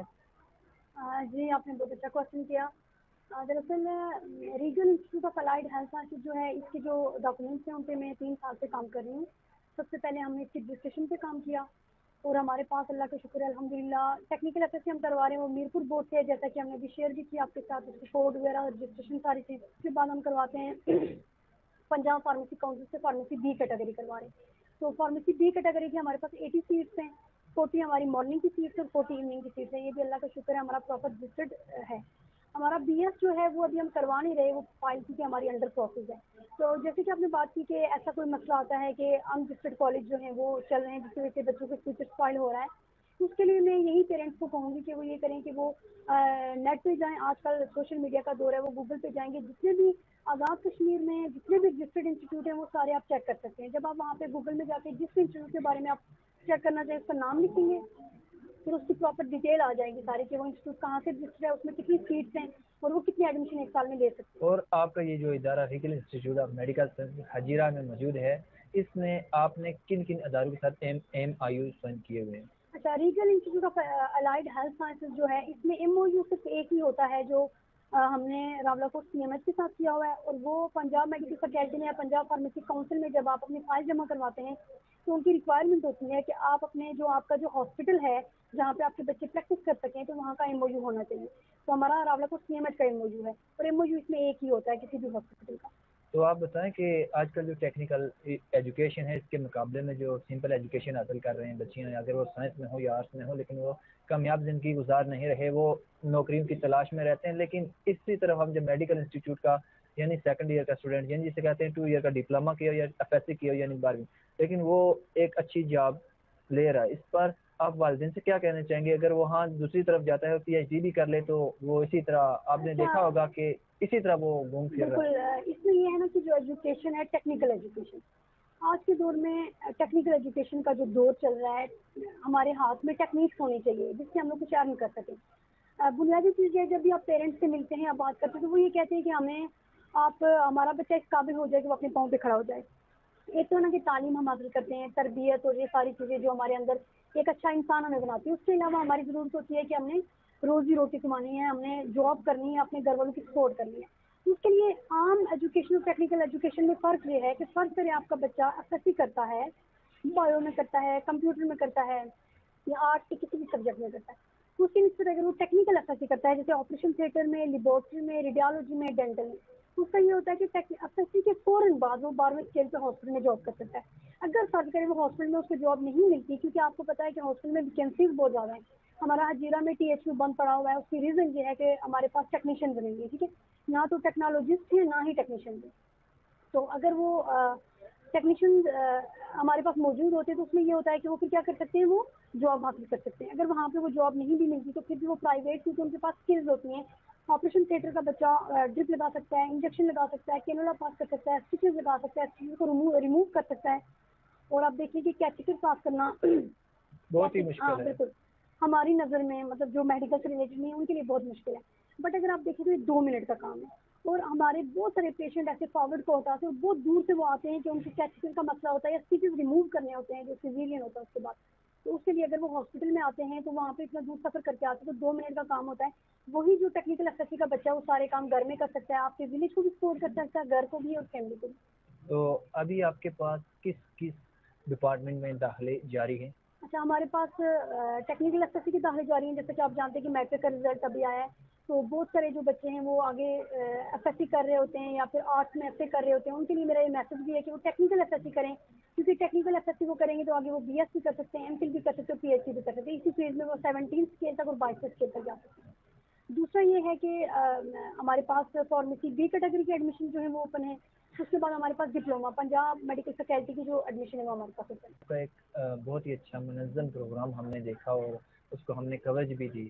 اور کیا آپ کا یہ اینول پروگرام تھا یا صرف اویئرنیس کے حوالے سے آپ نے اچھا، ہمارا یہ جو پروگرام تھا، اس کی مین ریزن یہ تھی کہ ہمارے پاس بہت سارے ایسے لوگ آتے ہیں، وہ کہتے ہیں کہ ہم نے ایڈمیشن تو کروانا ہے، لیکن باہر سے گزر رہے تھے تو لوگوں نے کہا کہ یہ جو ڈپلوما ہے آپ کو ملے گا ہی ایف ایس سی کی جو سرٹیفکیٹ ہے، وہ آپ کو ملے گا ہی تو یہ اویئرنیس سیشن تھا۔ اویئرنیس سیشن میں ہم نے ساری چیزیں شیئر کی ہیں لوگوں کے ساتھ پیرنٹس کے ساتھ، جو بچوں کے پیرنٹس ہیں، ان کے ساتھ کہ ہماری جتنی بھی افیلیشن ہے وہ آپ نیٹ پر بھی چیک کر سکتے ہیں بٹ ہمارے پاس جو موجود تھی، وہ بھی ہم نے ان کے ساتھ شیئر کی۔ تو آپ دیکھ سکتے ہیں ناظرین ہمارے ساتھ ریگل انسٹیٹیوٹ کی سی ای او موجود تھے اور جن کا کہنا تھا ان کے پاس لیگل تمام ڈاکومنٹس موجود ہیں اور اپنے بچوں کو ٹیکنیکل ایجوکیشن کی طرف ضرور مائل کریں اور ٹیکنیکل ایجوکیشن دلوائیں۔ اگر وہ ایف ایس سی کر کے ہم سمپل سی یا بی ایس کر کے وہ گھر پہ بیٹھیں گے، اگر وہ ٹیکنیکل ایجوکیشن کا صرف وہ بی ایس یا ڈپلوما بھی کر لیں تو وہ ایک اچھا روزگار لے سکیں گے۔ اور ابھی ہم نے ان کے لیگل ڈاکومنٹس بھی دیکھے اور ہم بھی چاہتے ہیں کہ جو بچے اسی طرح بے روزگار گھوم رہے ہیں آئیں ریگل انسٹیٹیوٹ حجیرہ یا جتنے بھی میڈیکل انسٹیٹیوٹ رجسٹر ہیں، اپنا ایڈمیشن کروائیں اس وقت اگر آپ دیکھیں، ہمارے تینوں جو میڈیکل کالج ہیں اینول بیسس پہ اگر آپ دیکھیں ون ایٹی بچہ ہمارا فری ہو رہا ہے، جو ایم بی بی ایس کر کے۔ تو کیا اس کی کہیں کھپت ہے؟ کیا اس کے لیے کوئی روزگار کے مواقع ہیں؟ اگر نہیں ہیں، تو ہمیں اس کی الٹرنیٹ سوچنا پڑے گا۔ تو اس کی سوچیں اگر ہم دائیں بائیں دیکھیں، اور اگر ملکوں کو دیکھیں تو اور ملکوں کی جہاں پہ جب ہم نظر جاتی ہے تو وہ ہاں، ہر طرف ایک ہی چیز نظر آئے گی اور وہ ہے ٹیکنیکل ایجوکیشن ضرورت صبر کی ہے کہ ہمیں آج سے جاگنا ہوگا پیرنٹس کو سوچنا ہوگا کہ اپنے بچوں کو، ان کو ٹیکنیکل ایجوکیشن دلوانی ہوگی۔ جہاں تک آپ نے بات کی ریگل انسٹیٹیوٹ کی، آج میں نے یہاں پہ وزٹ کیا، مجھے بہت دل خوش ہوا۔ آزاد کشمیر کا بڑا منفرد ادارہ ہے اور اپنی نوعیت کا بہت کم عرصے میں اتنی اچھی پہچان بنائی اس ادارے نے۔ میں ادارے کی انتظامیہ کو بہت مبارکباد دیتا ہوں اور ان تمام لوگوں کو کہ جن کی کاوش سے آج یہ اتنا بڑا تناور درخت بنا۔ اس کو دیکھنے کے بعد میں چاہوں گا کہ جتنے والدین ہیں جو مجھے سن رہے ہیں، وہ اپنے بچوں کو ٹیکنیکل ایجوکیشن کی طرف لائیں۔ اس لیے لائیں کہ یہاں پہ بچہ اگر دو سال کا ڈپلوما کرتا ہے ڈپلوما کرنے کے بعد وہ بغیر بیٹھنے کے، بغیر جاب کے انتظار میں وہ ڈائریکٹ اپنی جاب کی طرف چلا جائے گا۔ اس کو اسکوپ ملے گا۔ معاشرے میں اتنے اسکوپ ہیں جو کہ آسانی سے بچے کو مل سکتے ہیں۔ تو آج آپ نے جو وزٹ کیا کیا جو ریگل انسٹیٹیوٹ کی انتظامیہ ہے اور ٹیچر اسٹاف آپ نے دیکھا اور جو ان کی جتنا بھی آپ نے چیزیں آج دیکھی، کیا آپ اس سے خود بھی مطمئن ہیں اور جو والدین ہیں ان سے آپ بھی یہی کہیں گے کہ وہ بھی مطمئن ہو جائیں؟ آپ نے بہت اچھی بات کی کہ کوئی بھی ادارہ ہوتا ہے تو اس کی فیکلٹی بڑا اثر انداز ہوتی ہے کہ کیا آیا وہ وہاں پہ پڑھانے والے جو ٹیچر ہیں وہ کس طرح کے ہیں؟ تو الحمدللہ یہاں پہ کوالیفائڈ ٹیچر موجود ہیں اور بہت اچھے ٹیچر موجود ہیں۔ تو میں تو یہ سمجھتا ہوں کہ یہاں پہ جو بچے آج جیسے پچھلے تین، چار سالوں سے یہ چل رہا ہے، جن بچوں کو ابھی آپ دیکھا ہے تو وہ، اور اگر آپ دیکھیں بہت ساری ہاسپٹلس میں جائیں بچوں کو، بڑا عرصہ لگ جاتا ہے، بڑا عرصہ لگ جاتا ہے، وہ چھوٹی بیسک چیزوں کو نہیں سیکھ سکتے بی پی صحیح طریقے سے نہیں چیک کر سکتے کنولا پرے جو ہے وہ نہیں پاس کر سکتے۔ تو اس میں میں یہ سمجھتا ہوں کہ ان بچوں کو جہاں تک میں نے دیکھا ہے، یہ بہت ایکسٹرا آرڈنری اسکل ان میں ہے تو یہ اس کا تمام ترسیرا ریگل انسٹیٹیوٹ کو جاتا ہے۔ تو جہاں تک والدین کی بات ہے تو میں یہ انکریج کروں گا کہ یہ ایک بہترین ادارہ ہے، اس میں لوگ اپنے بچوں کو بھیجیں اور جب وہ اپنے بچوں کو بھیجیں گے تو انشاءاللہ بہت کم ٹائم میں ان کا بچہ بہت اچھا ایکسپیرینس گین کر کے یہاں سے نکلے گا۔ اور بڑی خوبی کی بات یہ ہے کہ ہمیں یہ بات اگر سمجھ آ جائے کہ دیکھیں میڈیکل کی سیٹ میں ایم بی بی ایس کی اگر ایک سیٹ آتی ہے تو اس کے مد مقابل میں ٹیکنیشین جو ٹیکنیکل اسٹاف ہے، اس کی پانچ، چھ، آٹھ، دس آتی ہیں۔ تو اب اگر دیکھیں تو اس اس طرف اگر ہماری نظر جائے تو میں یہ سمجھتا ہوں کہ ایک بہت بڑا خلا بھی فیل ہو سکتا ہے اور ہماری بہت ساری مین پاور جو ہے وہ اس سائڈ پہ جاپی بھی حاصل کر سکتی ہے اور ہماری بے روزگاری کا بھی خاتمہ ہو سکتا ہے۔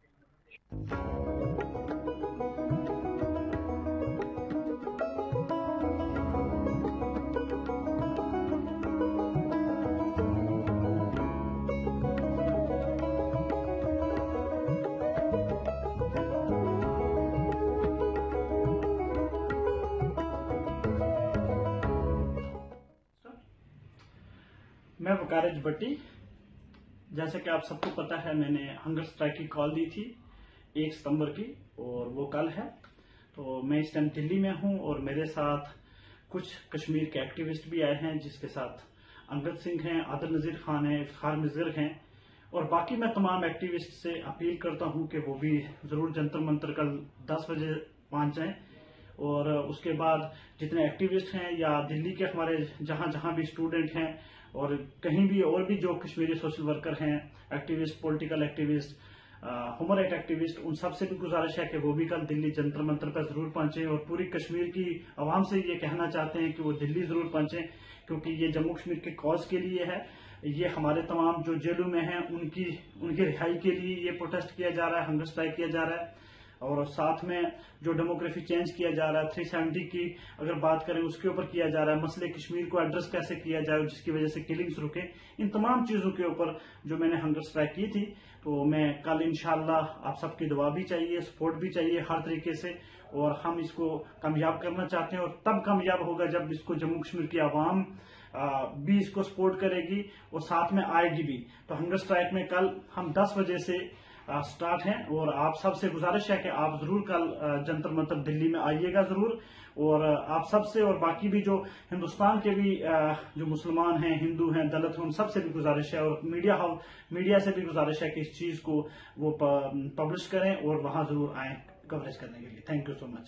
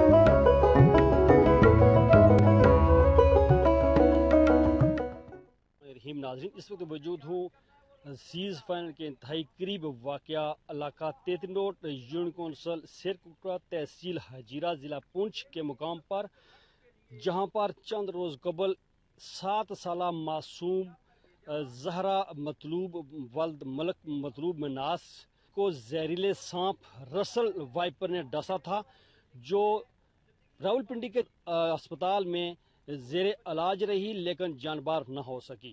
اس وقت اس کی نماز جنازہ کے فرائض سر انجام دیے جا رہے ہیں اور بڑی تعداد میں اس نماز جنازے میں یہاں پر لوگ موجود ہیں۔ میرے پاس اس وقت کچھ احباب موجود ہیں، ان سے جانتے ہیں کہ یہ جو گزشتہ ایک ہفتے کے دوران اس یون کونسل میں زہریلے سانپ کے ڈسنے سے دو اموات واقع ہو چکی ہیں اور بڑے پیمانے پر یہاں کے نوجوانوں نے تحصیل ہجیرہ کی گرد و نوا کے علاقوں میں زہریل سانپ کو مارا ہے اور خدشہ ہے کہ بڑی تعداد میں اس علاقے میں یہ سانپ پایا جاتا ہے۔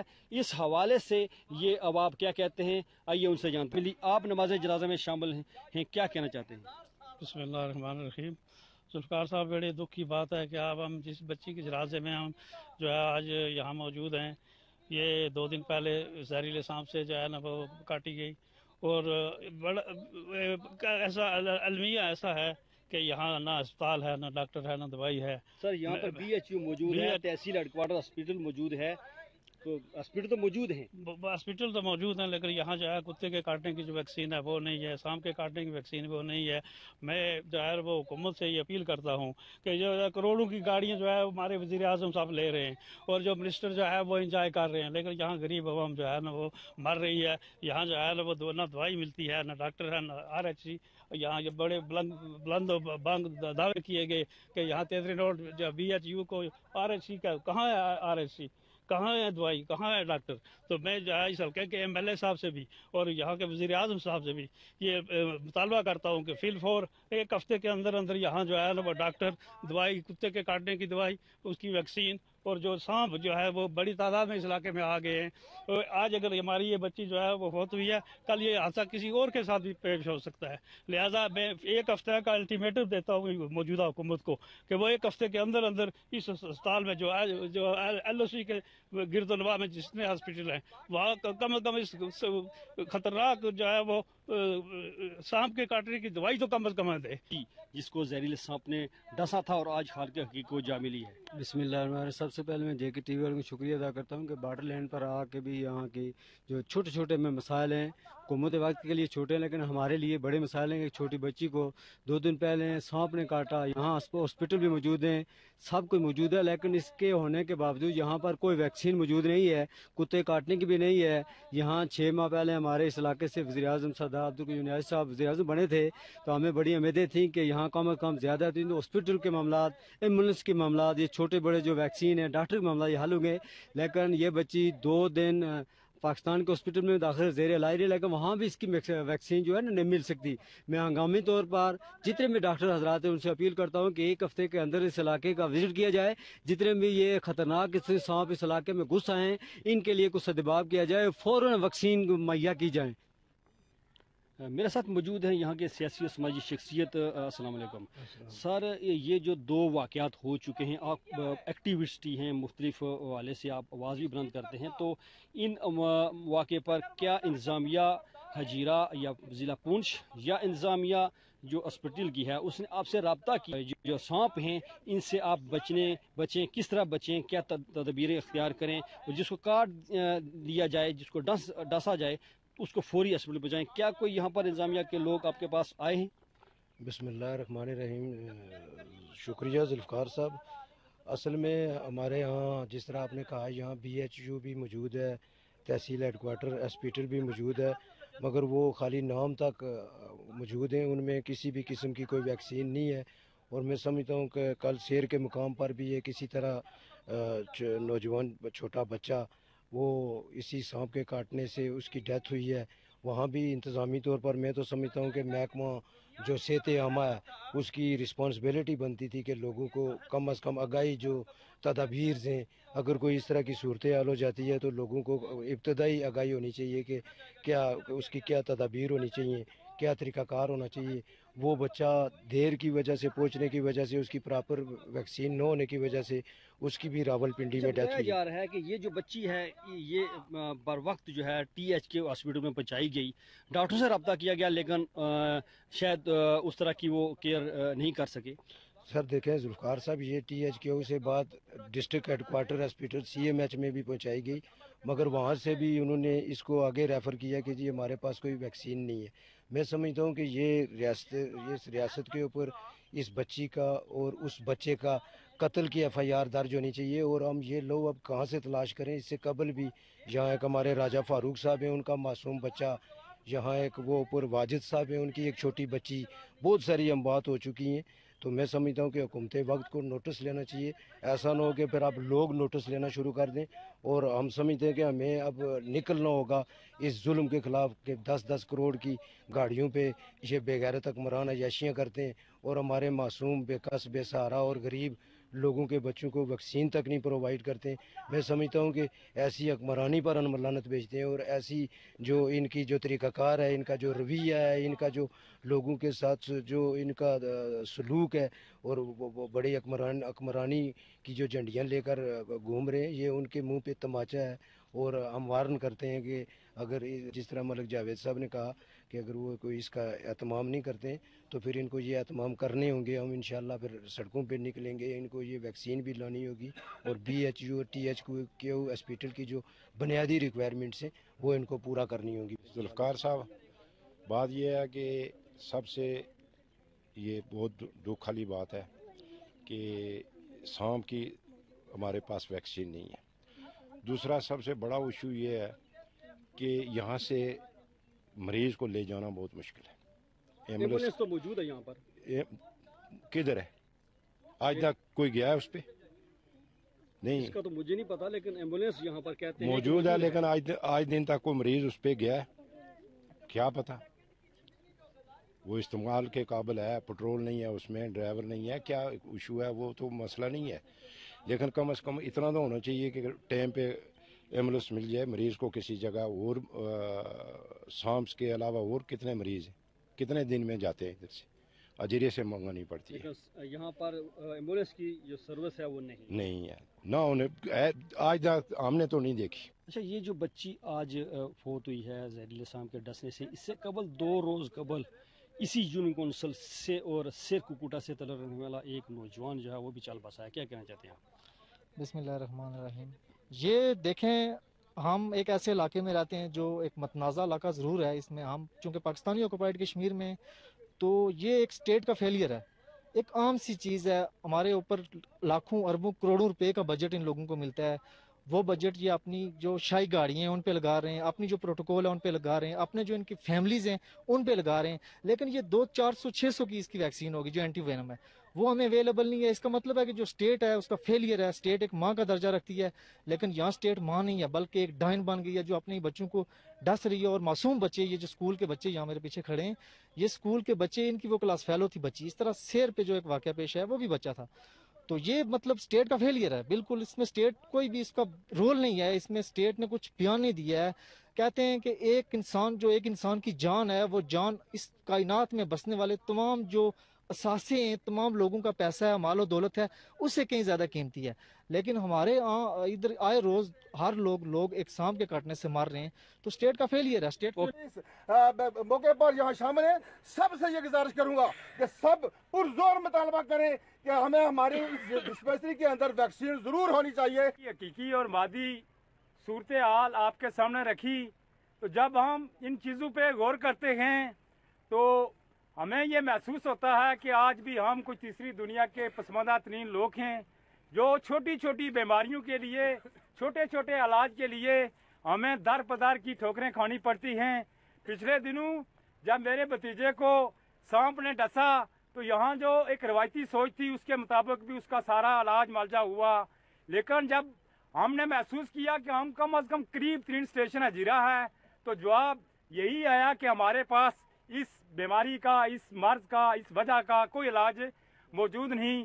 تو ہم اس کو راولا کوٹ لے گئے، لیکن انہوں نے بھی پہلے سے ہی ایک ریفر فارم بنا رکھا تھا اور انہوں نے ہمیں پیمز کے اندر جو ہے نا وہ شفٹ کر دیا۔ اور جب وہاں پہنچے تو ان کا جواب یہ تھا کہ آپ کو تقریباً بیس سے بائیس گھنٹے جو راولا کوٹ والوں نے یا آپ کے اس ٹونا ٹنچر منتر نے ضائع کر دیے ہیں۔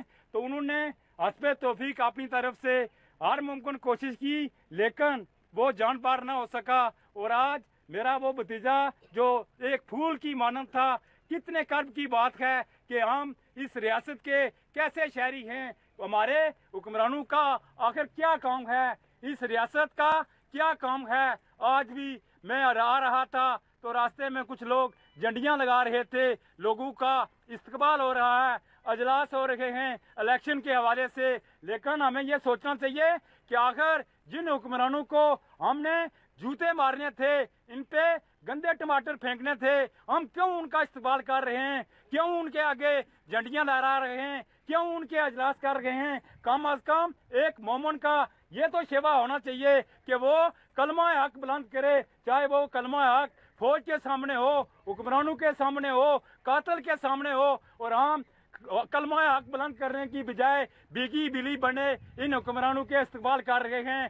دیکھو، آپ کو اس پچہتر سالوں کے اندر، آپ کے اس پورے آزاد کشمیر کے اندر ایک بڑا اسپتال بھی نہیں بنا سکے۔ اور آج ہمیں ذلیل و رسوا کر رہے ہیں۔ ہمیں چھوٹے چھوٹے آپریشن کے لیے ہمیں پنڈی جانا پڑتا ہے۔ کم از کم آپ کا اس علاقے میں اگر یہ اس طرح کے جو بنیادی یونٹس ہیں، ان کے اندر پراپر میڈیسن ہو، علاج معالجہ ہو، تو ہمیں بہت ساری زندگیاں بچائی جا سکتی ہیں۔ لیکن ہمارے تصورات، ہمارے خیالات اپنی جگہ پہ کہ اس کے حصے میں اللہ پاک نے اتنی زندگی رکھی ہوئی ہے۔ لیکن بات یہ ہے کہ علاج معالجہ بھی تو سنتے نبی ہے۔ آپ اس سنت کا کیا کریں گے؟ کہاں چھوڑیں گے؟ آپ ان تصورات کو لے کر، اور ہمارا مطالبہ ہے کہ جو تحصیل ہیڈ کوارٹر اسپتال ان کو اتنی لمبی اماؤنٹ کے ذریعے بیرون دنیا نے بنایا ہے، لیکن آج اس کے اندر نہ تو اس طرح کی ویکسین ہے، نہ کوئی چھوٹے موٹے آپریشن ہو رہے ہیں۔ ایک ڈلیوری کے کیس کے لیے بھی ہمیں راولا کوٹ اور کوڈلی جانا پڑتا ہے۔ ہم اس اس عمل کی، حکمرانوں کی، اس بے حسی اور لوٹ کسوٹ اقربا پروری اقربا پروری سے میری مراد یہ ہے کہ جب الیکشن ہوتے تھے تو وہ کیا رہے تھے کہ ہمارا حکمران ٹوٹی نلکے کی سیاست نہیں کرے گا، میگا پروجیکٹ اناؤنس کرے گا اور عمل کے اندر پتا چلا کہ وہ میگا پروجیکٹ کی روح کیا تھی، وہ کیا تھا۔ آج آپ سب لوگوں کو یہ بات سمجھ آ چکی ہے۔ ہم بڑے بڑے عدو پہ بھی جا کر اپنے علاقے کے لیے، اپنی عوام کے لیے اگر کچھ نہیں کر پائے تو ہم نے آج کے بعد کون سی توپیں چلانی ہیں؟ تو شاید وقت کی قلت ہے، تو میں آپ لوگوں سے اپیل کروں گا کہ اپنے بنیادی رائٹ کے لیے اپنے نبیوں، ولیوں اور انقلابیوں کا راستہ اپناتے ہوئے بنیادی حقوق کے لیے اپنی جدوجہد کو تیز کریں۔ وہ وقت دور نہیں کہ یہ حکمران آپ کی دہلیز کے اوپر آ کر آپ کے مسائل حل کریں گے۔ شرط یہ ہے کہ آپ کو کلمہ حق بلند کرنا پڑے گا۔ اور اس کی اس کی ذمہ دار ریاست ہے۔ اور اس کے اصل ذمہ دار ہمارے حلقے کے وہ ذمہ داران ہیں، ہمارے وہ سیاستدان ہیں جو کہ ہر پانچ سال کے بعد، اور ابھی ایک موسم چل رہا ہے الیکشن کا، بلدیاتی الیکشن کا، کہ جس میں آپ کو جگہ جگہ پر امیدواران نظر آتے ہیں، برادریوں کے نام پر، قبیلوں کے نام پر، علاقوں کے نام پر، مختلف تعصبات ابار کر لوگوں کو، لوگوں کے جو جذبات ہیں انہیں ایکسپلائٹ کیا جا رہا ہے۔ اور اپنے جو مضموم مقاصد حاصل کرنے کی کوشش کی جا رہی ہے۔ لیکن کہیں کوئی مطالبہ ہمیں جو گراس روٹ لیول ہے، جو بنیادی سطح ہے وہاں سے لے کر ہمارے اسمبلی جو مظفر آباد کے اندر بیٹھے ہوئے جو وزراء ہیں اور وزراء اعظم کی سطح کے لوگ ہیں، کسی نے عوام کے لیے، آپ کے لیے، ہمارے لیے، ہمارے بچوں کے لیے کبھی کوئی ایسا مطالبہ نہیں کیا کہ ہم یہ کہیں کہ یہ ہمارے ہمدرد ہیں جنہیں ہم ہر پانچ سال کے بعد منتخب کر کے ایوانوں میں بیچتے ہیں۔ زہرہ مطلوب کے لیے یہاں سب حاضر ہوئے ہیں۔ میں higher secondary school Tetri Note کے پرنسپل سردار محمد الطاف صاحب، معزز اساتذہ اکرام اور تمام طلباء کی طرف سے اظہار تعزیت کرتے ہیں اور اللہ کی بارگاہ میں دعا کرتے ہیں کہ اللہ کریم اس معصوم کلی کو جنت فردوس میں اعلیٰ مقام عطا فرمائے اور اس معصوم کلی کے والدین کو اللہ صبر عطا فرمائے۔ یہ تھے اس نماز جنازے میں موجود اشخاص جو اپنے خیالات کا اظہار کر رہے تھے۔ ان کا یہ کہنا ہے کہ یہ جو زہریلا سانپ ہے، رسل وائپر، یہ بڑی تعداد میں اس علاقے میں پایا جاتا ہے۔ چونکہ گزشتہ یہ جو ایام ہیں، یہ ہفتہ ہے، اس میں اس یون کونسل کے دو معصوم بچے اس سانپ کے ڈسے سے زندگی کی بازی ہار چکے ہیں۔ اور ان کا یہ کہنا ہے کہ حکومت وقت محکمہ صحت کو فوری طور پر اس علاقے میں آ کر کیمپ لگا کر لوگوں کو اس زہریلے سام کے سے بچنے کے لیے حفاظتی تدابیر بتانی چاہیے اور ساتھ ہی یہاں پر جو بی ایچ یو ہے، تحصیل ہیڈ کوارٹر اسپتال حجیرہ ہے اور ڈسٹرکٹ ہاسپیٹل یا سی ایم ایچ راولہ کوٹ ہے، اس میں فوری طور پر ویکسین اور اس کا جو ٹیسٹ ہے، جو کٹس ہیں، جو عملہ ہے، وہاں پر وہ موجود ہونا چاہیے اور ساتھ ہی ان کا یہ بھی کہنا ہے کہ بی ایچ یو یہ جو تیتری روڈ ہے، اس میں جو ایمبولینس ہے، اس کو فال کیا جائے، اس اس کے اس کے جو عملہ ہے، اس کو بھی فال کیا جائے تاکہ کوئی اگر ایسا عادثہ ہو جائے تو فوری طور پر یہاں پر طبی امداد دی جائے۔ ناظرین، مجھے آپ کے فیڈ بیک کا انتظار رہے گا۔ ملزفکار J K T V Tetri road Jammu Kashmir.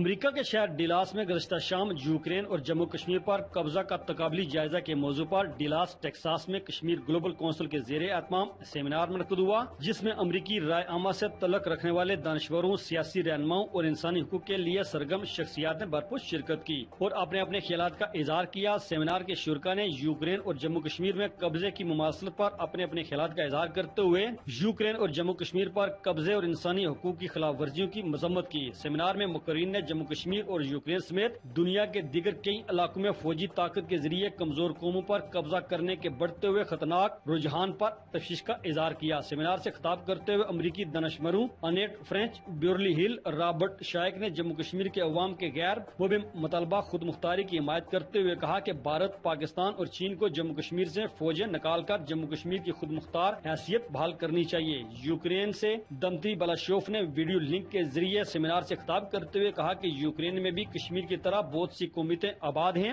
مگر یوکرینی عوام ان مفروضوں کی بنیاد پر اپنے ملک کی تقسیم کے خلاف ہیں۔ انہوں نے کشمیری عوام سے کہا کہ وہ بھی یوکرینی عوام کی طرح اپنے ملک کی تقسیم کے خلاف اٹھ کھڑے ہوں اور اپنی آزادی پر کوئی سمجھوتا نہ کریں۔ سیمینار سے خطاب کرتے ہوئے کشمیر گلوبل کونسل کے صدر فاروق صدیقی نے کہا کہ مغربی ممالک یوکرین اور جموں کشمیر پر قبضہ کرنے والوں کو یکساں نظر سے دیکھیں۔ سیمینار سے خطاب کرتے ہوئے الطاف قادری نے کہا کہ بین الاقوامی برادری کو یہ سمجھنے کی ضرورت ہے کہ انہیں تنازعات کو منصفانہ بنیادوں پر حل کرنے کے لیے قابض ملکوں کے بجائے براہ راست عوام جو قبضے کی وجہ سے مسائل کا شکار ہیں، ان سے ڈائلیکٹ کرنے کا میکانزم بحال کرنا چاہیے۔ کانفرنس کے میزبان راجہ مظفر نے شروع سیمینار کا شکریہ ادا کرتے ہوئے کہا کہ یوکرین کے عوام کو آج جس صورتحال کا سامنا ہے، اس سے جموں کشمیر کے عوام، انڈیا، پاکستان اور چین اور بھارت کے درمیان ہوئی جنگوں اور مسلسل فوجی تناؤ کی صورت میں سامنا کر چکے ہیں۔ جموں کشمیر میں ہزاروں لوگ مارے گئے اور ہزاروں کو ترک سنت پر مجبور کرنا پڑا۔ سیمینار سے خطاب کرتے ہوئے ڈیموکریٹک پارٹی کے سینئر رہنما اور مسلم ڈیموکریٹک کاسٹ کے پاکستانی امریکی صدر سید فیاض حسن نے کہا کہ انڈیا اور پاکستان نے اپنے رویوں سے زیر کیا ہے کہ وہ کشمیری عوام کی آزادی کے آپشن کے خلاف یکساں سوچ رکھتے ہیں۔ انہوں نے کہا کہ میں ایک پاکستانی نجات امریکی ہونے کے ناطے دونوں ممالک سے مطالبہ کرتا ہوں کہ وہ جموں کشمیر سے اپنی فوج نکال کر کشمیری عوام کو اپنی ریاست کا نظام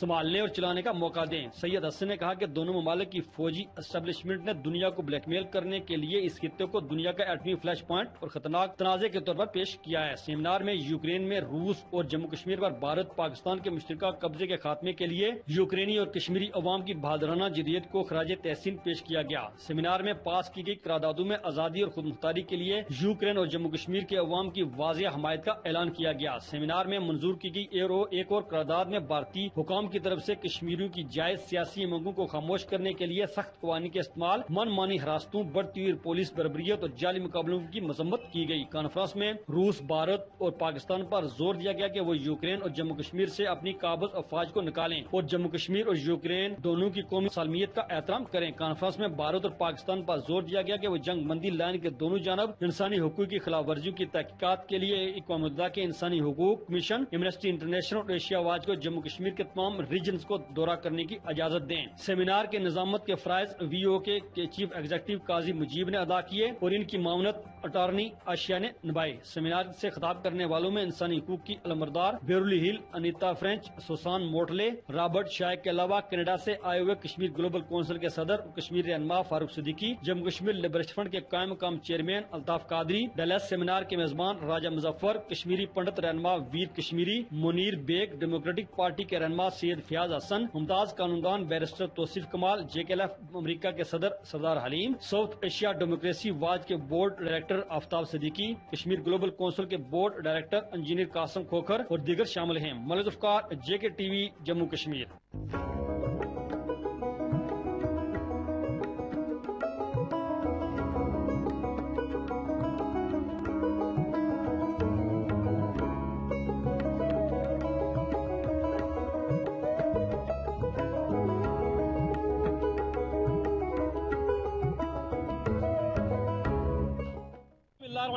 ناظرین اس وقت موجود ہوں تحصیل حجیرہ کے کالج چوک میں، جہاں پر کرش ایسوسیشن کے زیر اہتمام زبردست احتجاجی مظاہرہ کیا گیا۔ اس دوران یہ جو جتنی ٹریفک تھی، وہ بند تھی۔ اور بڑی تعداد میں یہاں پر ٹریکٹر ٹرالی کے حضرات ممائع اپنی گاڑیاں یہاں پر موجود تھے۔ اس وقت میرے ساتھ موجود ہیں کرش ایسوسیشن کے صدر سردار الطاف صاحب۔ سردار الطاف صاحب، آج جو آپ نے اجزاء کیا ہے، یہ اصل وجہ ہے کیا؟ اصل وجہ یہ ہے کہ ہمارا جو مزدور ہے وہ بے بس ہو چکا ہے۔ تمام مزدوروں کے بچے سکول چھوڑ چکے ہیں وہ گھروں میں بیٹھے ہوئے ہیں۔ کھانے کے لیے روٹی نہیں ہے۔ ایک مزدور میں نے لطیف صاحب، عوان صاحب کو ابھی ملایا ہے۔ جس کے گلے میں سراخیں بازو ٹوٹے ہوئے ہیں۔ دو ماہ سے وہ رو رہا ہے۔ کریش مشین مارکان جہاں بھی کوئی بے روزگار بندہ ہوتا ہے ہماری مسجدیں بنتی ہیں یا سرکاری ادارے بنتے ہیں۔ کل بھی راولہ کوٹ میں سرکاری ادارہ بن رہا تھا۔ ہمیں فون کر رہے تھے جی یعنی کریش مشین, کی بندش کی وجہ سے آپ نے آج جو کریش ایسوسیشن ہے اور ساتھ جو ٹرالی ٹریکٹر جو آزاد ہیں ان کو ساتھ رکھ کر آپ نے احتجاج کیا بالکل یہی وجہ ہے۔ کریش مشین کی بندش کی وجہ سے مزدور بے بس ہو گیا ہے جس کی وجہ سے ہم نے آج یہ احتجاج کیا ہے۔ آپ کا حکومت سے کیا مطالبہ ہے؟ ہمارا حکومت سے مطالبہ ہے کہ فل فور اجازت دی جائے کہ کرش مشین چلے۔ اگر یہ اجازت نہ دی گئی تو ہم تیرہ کے بعد خود چلائیں گے اور روڈوں پہ نکلیں گے اپنی جانوں کا نظرانہ دیں گے لیکن پیچھے نہیں ہٹیں گے۔ ناظرین یہ تھے کرس ایسوسیشن کے صدر صدا الطاف صاحب جو اپنے خیالات کا اظہار کر رہے تھے۔ اس مجمع میں دیگر جو مقررین ہیں وہ کیا فرماتے ہیں؟ آئیے ان کی زبانی جانتے ہیں۔ اس کے بعد پھر انہوں نے اس کو ماحولیاتی عالم کی قرار دے کر کشم شروع کے عمر پر پابندی لگائی ہے۔ لیکن میں پوچھتا ہوں کہ کیا آپ کو روز و سرکیر نالے کے اندر اس شہر کے جب دیگر بھی جو اپنے بھی شہر ہیں، ان کے چکے چکرے وہ بائیو پانی کے اندر جاتے ہیں۔ آپ کو وہ مالیاتی عالم کی نظر نہیں آ رہی۔ یہ جو اپنا نیچے جو اپنا آرمی کے جو اپنے گھوڑے ہیں، ان کی تمام چراہوں پر وہ اس نالے کے اندر جا رہی ہے۔ وہاں آپ کو مالیاتی عدوتی نہیں نظر آ رہی اور یہ کرش مشین کی آپ کو مالیاتی عدوتی نظر آ رہی ہے۔ ہم آج بھی یہ کہتے ہیں اس طرح سے کہ ٹھیک ہے، آپ اگر سپریم کورٹ نے اس کے اوپر پابندی لگائی تھی محکمہ ماحولیات اگر سنجیدہ ہوتا، تو وہ کرس مشین مارکان سے پیٹھ کرے سو پیس دے کرتا۔ اگر کرس کرش مارکان اس سب پیس کی خلاف مرضی کر دے تو پھر آج ہم یہاں چوک کے اوپر نہیں ہوتے لیکن ہم یہ کہتے ہیں کہ حکومت وقت سے کہ جلد از جلد جو ہے اس مسئلے کا حل نکالا جائے۔ ورنہ پھر اس کے بعد جو کال ہوگی، وہ صرف فضلیہ کی حد تک نہیں ہوگی، بلکہ پورے آزاد کشمیر کا جو قریب مزدور خوشی سے کوئی شخص کبھی نہ روڈ پر نکلتا ہے اور نہ ہی وہ اپنا ٹائم دیتا ہے۔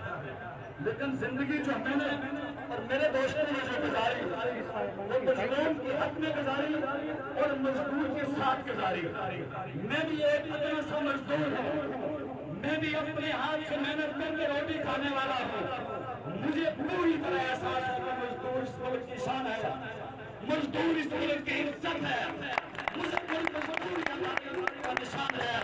اور مزدور ہی سب کچھ ہمارا سرمایہ ہے۔ مضمون مضمون ریاست کا مستقول ہے کہ جس کے بغیر ریاست کی چل رہی میرے دوستوں آج نہ جانے کیا وجہ ہے اس مزدور کا نوالا اس کے ہاتھ سے چھینا گیا ہے۔ گورنمنٹ پیدا ہوا کرتی ہے، جو مزدور کی روٹی روزی کا بندوبست کرتی ہے۔ غیرت کراتا ہوں نصیب گورنمنٹ کو، شرم کراتا ہوں نصیب گورنمنٹ کو۔ دور اس کی روحی چھین کر، یہ کہے، میں مریوں میں بیٹھ کر کسی کے کمرے میں بیٹھ کر، میں وہاں بیٹھ کر سکون لے سکوں؟ لا الہ الا اللہ محمد رسول اللہ۔ نہیں بیٹھ سکتے اے ظالموں تمہاری پیٹ ہوگی اور مزدور کا کنڈا ہوگا۔ تمہاری اسکول اور سے نہیں جا سکو گے تو بے روزگارداروں جن موضیات ایران میں حسن مدنیات بے روزگار چائر قسم کے ادارے جن کی کوئی نسل ہی نہیں ہے یہ پیر مانگنے والے پیر مانگنے والے ادارے انوائرمنٹ نے کیا کیا ہے یہ بے روزگار یہ بھیک مانگتے ہیں پتہ مانگتے ہیں، کرش مشینوں والوں سے پتہ مانگتے ہیں۔ ادھر کے باقر شاہ صاحب سے چار لاکھ روپے لے کر ظالموں کو این او سی جاری کر دی گئی ہے۔ اور پھر اس کو منسوخ کرا دیا گیا ہے۔ یہ ظلم نہیں تو کیا ہے؟ میرے دوستوں اس تک یہ ظلم گے۔ میں نے بارہا دفعہ ان بیٹھوں کے دروازوں تک ضرور گیا ہوں۔ میرے ساتھی سارے سمیت سارے کے، ہم سب لوگ گئے اگر کوئی ضرورت ہے، اگر کوئی بات ہے کہ ہماری کچھ کا سوچنا نکل نہیں ان کو کوئی دارہ یونیورسٹی دینا چاہتا ہے۔ ہم کوئی ریاست کی بھائی نہیں ہے۔ ہماری انسان کا یاد سنتی ہے۔ ایجنسی والے حضرات سنتے ہیں، دائمی نویش سنتے ہیں۔ ہم ریاست کے بھائی نہیں ہیں۔ ہم نے ریاست کا احترام کیا۔ ہمیں باغی کی دعوت دی جا رہی ہے۔ تو پھر سب سے پہلے، سب سے بڑا باغی نے۔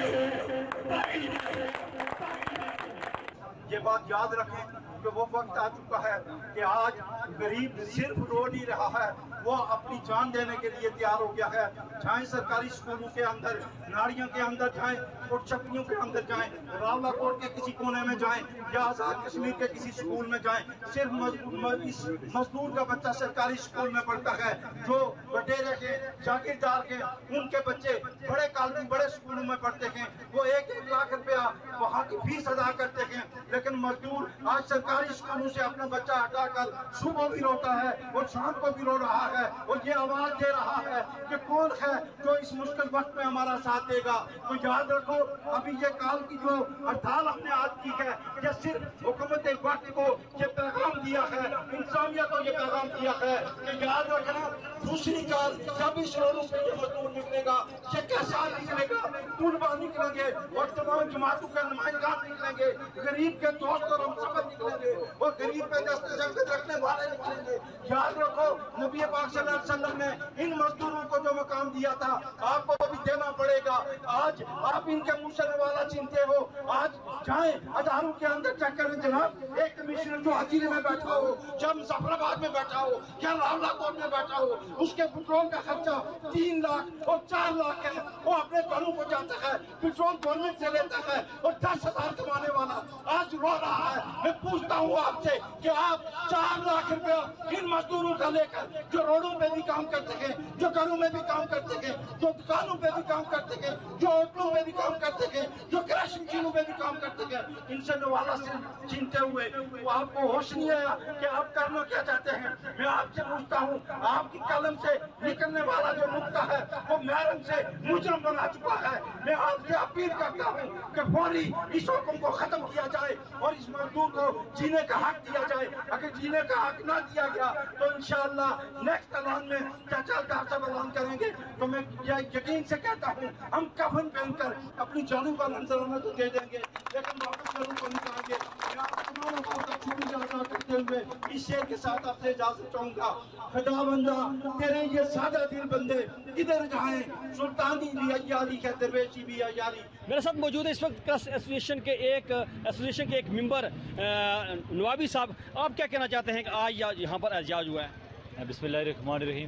ایکچولی مسئلہ یہ ہے کہ جو حکومت نے جو بندش کی ہے ایک آلودگی ہوتی ہے علاقے کے اندر میں آپ کو یہ بتاتا چلوں کہ یہ جو مشینیں جہاں پر بنی ہوئی ہیں انیس سو ساٹھ سے بنی ہوئی ہیں ٹھیک ہے؟ اور یہ جو گھر بنے یہ رنگن ناڑے کے اندر ان کو بنے ہوئے آج سے دو تین چار سال ہوئے ٹھیک ہے؟ کوئی بھی گھر جو ہوتا ہے وہ رنگن نالے کے اندر نہیں بنتا ہے۔ یہ آبادی جو بنی ہے یہ ان مشینوں کے بعد میں بنی ہے۔ ساٹھ میں یہ مشینیں بنی ہیں اور آپ جا کے اور اس اسی مشین کے اندر لوگ غریب کا چولہا اسی مشین کے ذریعے جل رہا ہے اسی مشین کے ذریعے ہزاروں کی تعداد میں مزدور یہاں پر مزدوری کر رہے ہیں اور اپنے بچوں کو پڑھا رہے ہیں۔ اور وقت کے حکومت نے جو اس ٹائم پہ جو یہ بوجھ مزدوروں کے لیے کرا دیا کہ آج ڈیڑھ ماہ ہو چکا ہے کہ مزدور کی روٹی بند ہے وہ تنخواہیں نہیں لے سکتے وہ کام نہیں کر سکتے۔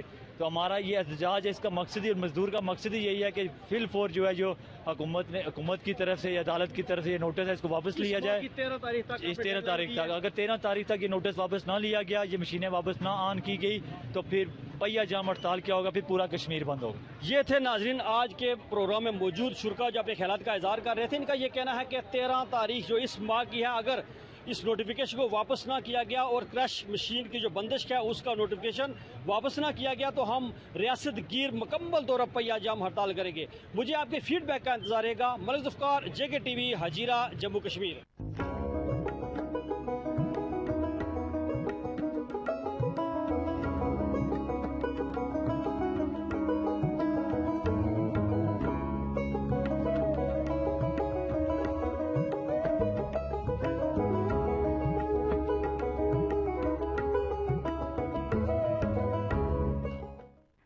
disclaimer Jammu Kashmir TV is a voice of voiceless, believing in complete freedom of expression, however, making it clear that Asmi Institute are not responsible for conversation or words used in any of the shows.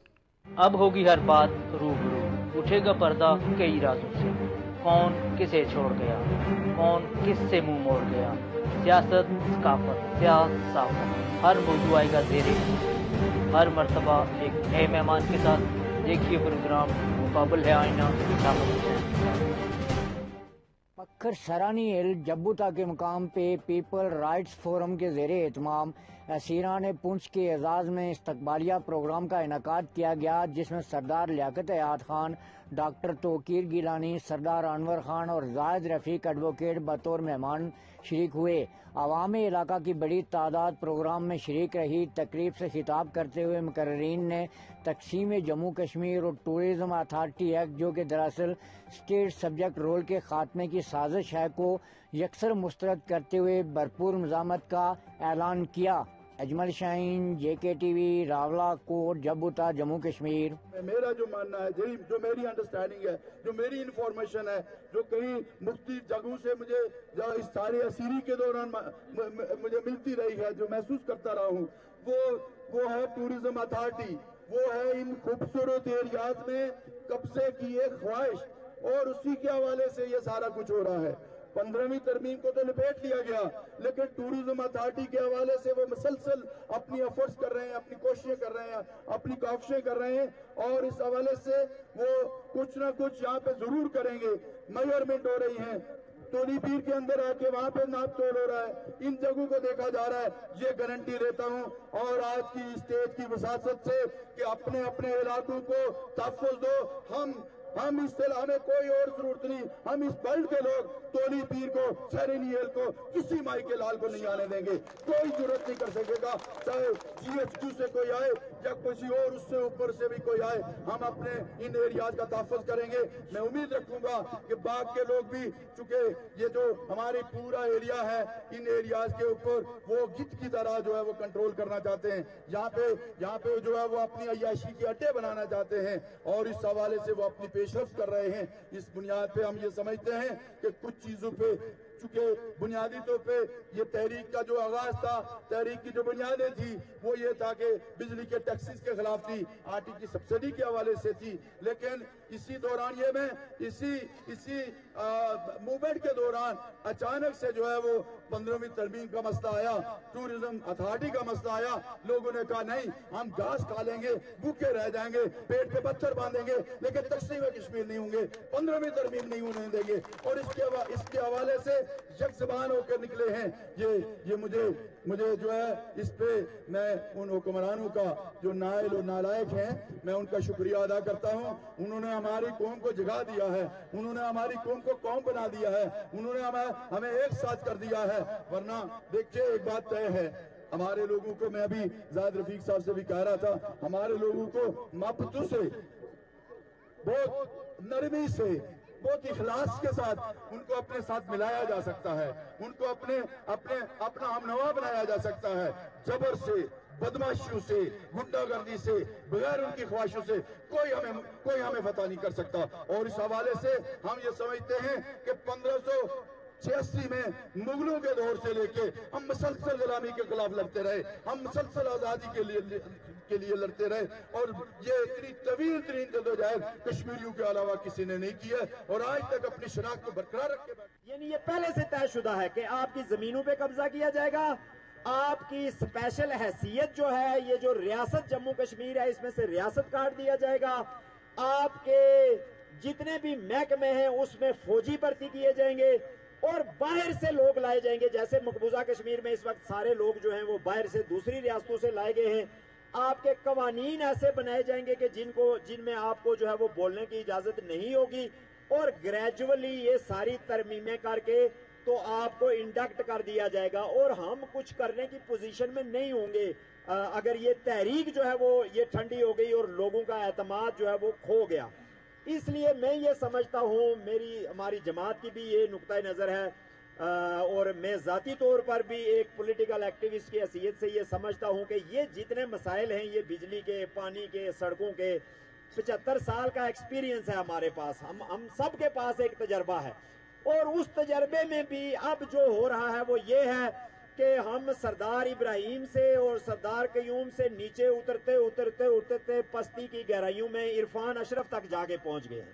یعنی اب یہ ہماری position آ گئی ہے۔ کہ ایک direct بولا چالا مطلب جو آئی ایس آئی کا دلال ہے، وہ اس وقت پرائم منسٹر ہاؤس کا ترجمان ہے اور تنویر الیاس جو ہے وہ اس کے کہنے پہ چلتا ہے اور اس کے باقی ارد گرد بھی جو ٹیم ہے وہ اسی طرح کی ہے۔ یہ پوری ایک ایک کنبا ہے۔ یعنی پچہتر سال میں ہم نے یہ سیکھا ہے کہ جو سفر جو ہے وہ ہم نے سردار قیوم اور سردار ابراہیم سے شروع کیا تھا، وہ یہاں پہ آ گیا ہے۔ یعنی اسی طرح سے یہ ریاست بھی ڈی گریڈ ہوگی۔ مقبوضہ کشمیر میں پہلے انہوں نے صدر دیا اور وزیر اعظم دیا۔ پھر انہوں نے اس کو ختم کیا اور وزیر اعلیٰ بنایا۔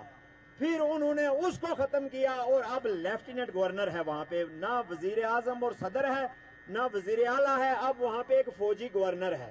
یعنی آپ نے یونیورسٹی سے شروع کیا اور پرائمری اسکول پہ لا کے اس کو کھڑا کر دیا۔ یہی کام اب یہاں پہ ہی ہوگا۔ یہ جو ہمیں کہتے تھے نا، ہم نے اس کا تشخص بچا کے رکھا ہوا ہے اور یہ کیا ہوا ہے، وہ کیا ہوا ہے، وہ تو چلے گئے ہیں، وہ فارغ ہو گئے ہیں۔ اب جو آئے ہوئے ہیں، یہ ان کا پرابلم ہی نہیں ہے۔ نہ کوئی تشخص پرابلم ہے، نہ کوئی مسئلہ پرابلم ہے۔ آج صبح بھی ایک ہمارے سابق پرائم منسٹر کے شاید بھائی ہیں یا کیا ہیں، وہ کرنل ریٹائرڈ ہیں، ابھی جو پیچھے پرائم منسٹر تھے۔ وہ صبح باشن دے رہے تھے۔ آج صبح میں نے ان کی ویڈیو دیکھی، آج ہی انہوں نے اپلوڈ کی تھی۔ کہ یہ پاکستان کے خلاف پروپیگنڈا ہو رہا ہے آزاد کشمیر میں اور یہ دشمن قوتیں کر رہی ہیں، پاکستان ہمارا کچھ بھی لوٹ کے نہیں لے کے جا رہا ہے، ہمارے پاس کچھ ہوتا ہی نہیں ہے۔ وہ یہ فرما رہے تھے کہ تیاد صاحب کا نظریہ کیا ہے؟ اس بات کو چھوڑیے کہ ڈاکٹر توقیر گیلانی صاحب کس سلوگن کے ساتھ آپ کے درمیان موجود ہے اس بات کو چھوڑیے کہ زائد رفیق کیا کہتے ہیں؟ اس بات کو چھوڑیے کہ جموں کشمیر پیپلز پارٹی کا اس حوالے سے کیا نظریہ ہے؟ پاکستان پیپلز پارٹی کیا کہتی ہے؟ مسلم لیگ نون کیا کہتی ہے؟ مسلم کانفرنس کیا کہتی ہے؟ کوئی علاقے پاکستان کی بات کرتا ہے، کوئی علاقے خود کوئی خود مختار کشمیر کی بات کرتا ہے، یا کوئی علاقے ہندوستان کی بات کرتا ہے، وہ سیکنڈری چیز ہے، وہ دوسرے مرحلے کی بات ہے۔ پہلے مرحلے کے اوپر ریاست کی حوالے سے بات ہے۔ اس ریاست کے میں ہمیشہ یہ بات کہتا ہوں کہ ریاست کے حوالے سے لوگوں، رب کعبہ کی قسم، جب تک اس جان کے اندر جان ہے، جب تک اس جسم کے اندر روح موجود ہے، جب تک ہم سیاسی کارکنان اس زمین کے اوپر موجود ہیں، ہمارا اس بات کے اوپر ایمان ہے کہ ریاست کی تقسیم کے حوالے سے جو بھی بات کرے گا، جس جس ٹوپی کے ساتھ بات کرے گا، جس ڈنڈے کے ساتھ بات کرے گا، وہ ہماری جوتے کی نوک پہ ہو۔ ریاست کی وحدت کے اوپر کوئی کمپرومائز نہ ماضی کے اندر تھا، نہ آج۔ ہمیشہ ایک بات کہتے ہیں۔ آپ کو یاد ہے کہ اس ملک کے اندر ہمیشہ جب بھی کوئی نیا پپٹ آتا ہے، یہاں پہ اس کو لایا جاتا ہے۔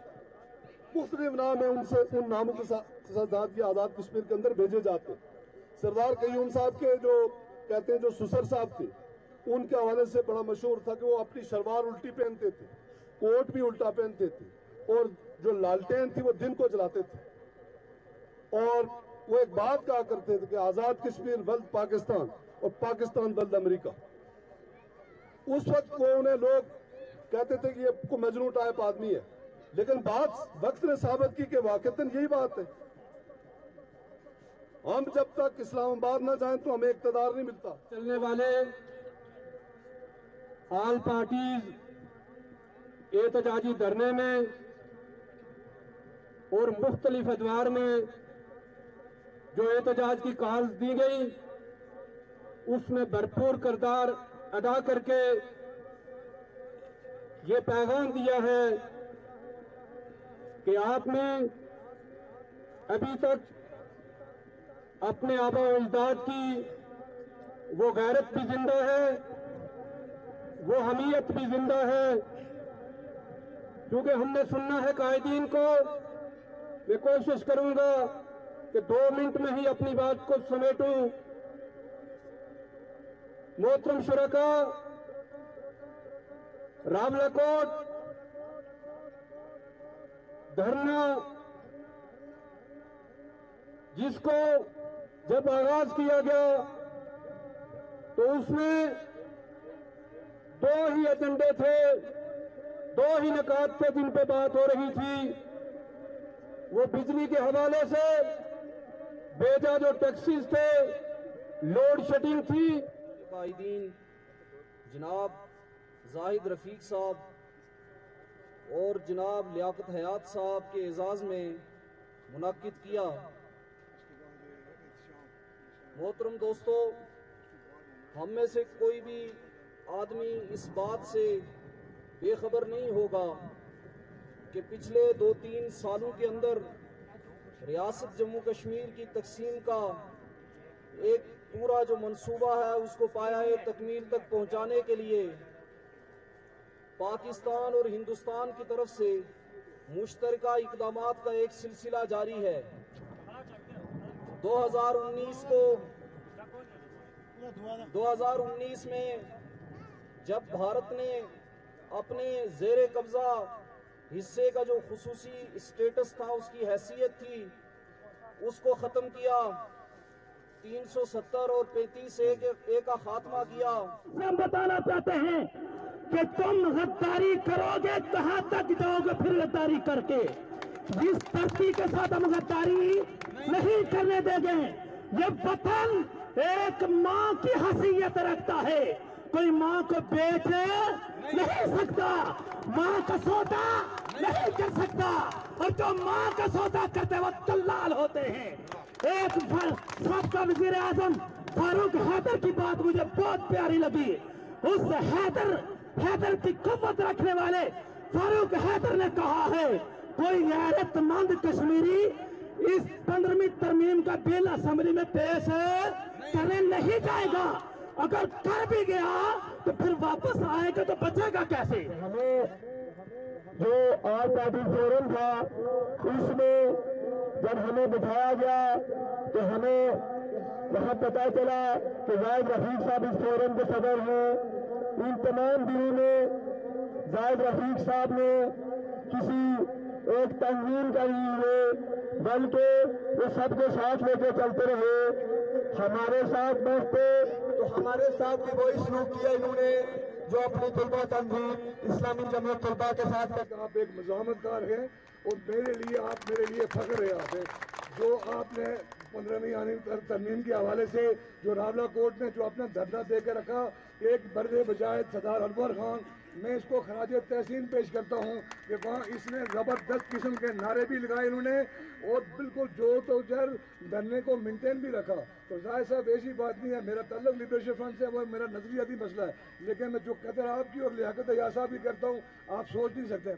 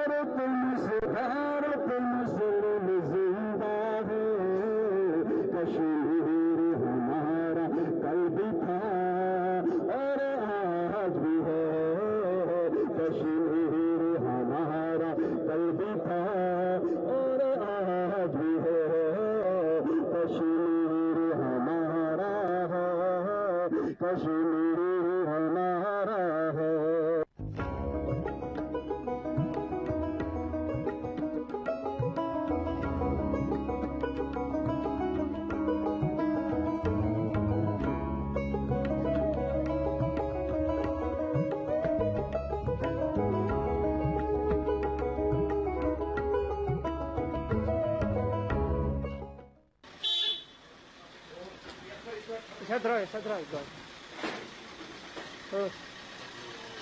ادھر ادھر سڑک پہ اندر گیٹ نہیں گیٹ گیٹ سے باہر آنے دیجیے گیٹ آنے دیجیے باہر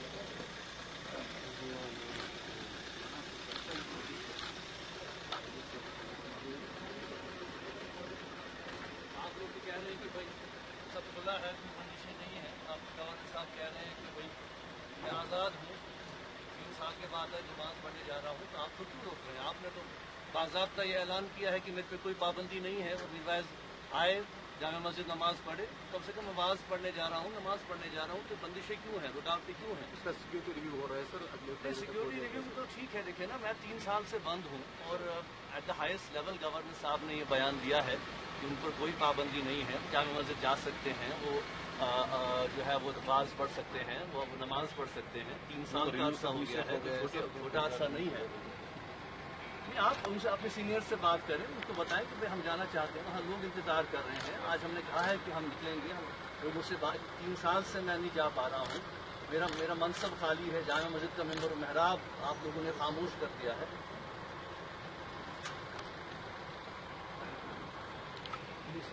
نہیں ہم تو جانا چاہتے ہیں یہ تو غلط بات ہے آپ کی تو آپ ہمیں کیوں روک سکتے ہیں؟ آپ آپ لوگوں کا تو بیان آیا ہے۔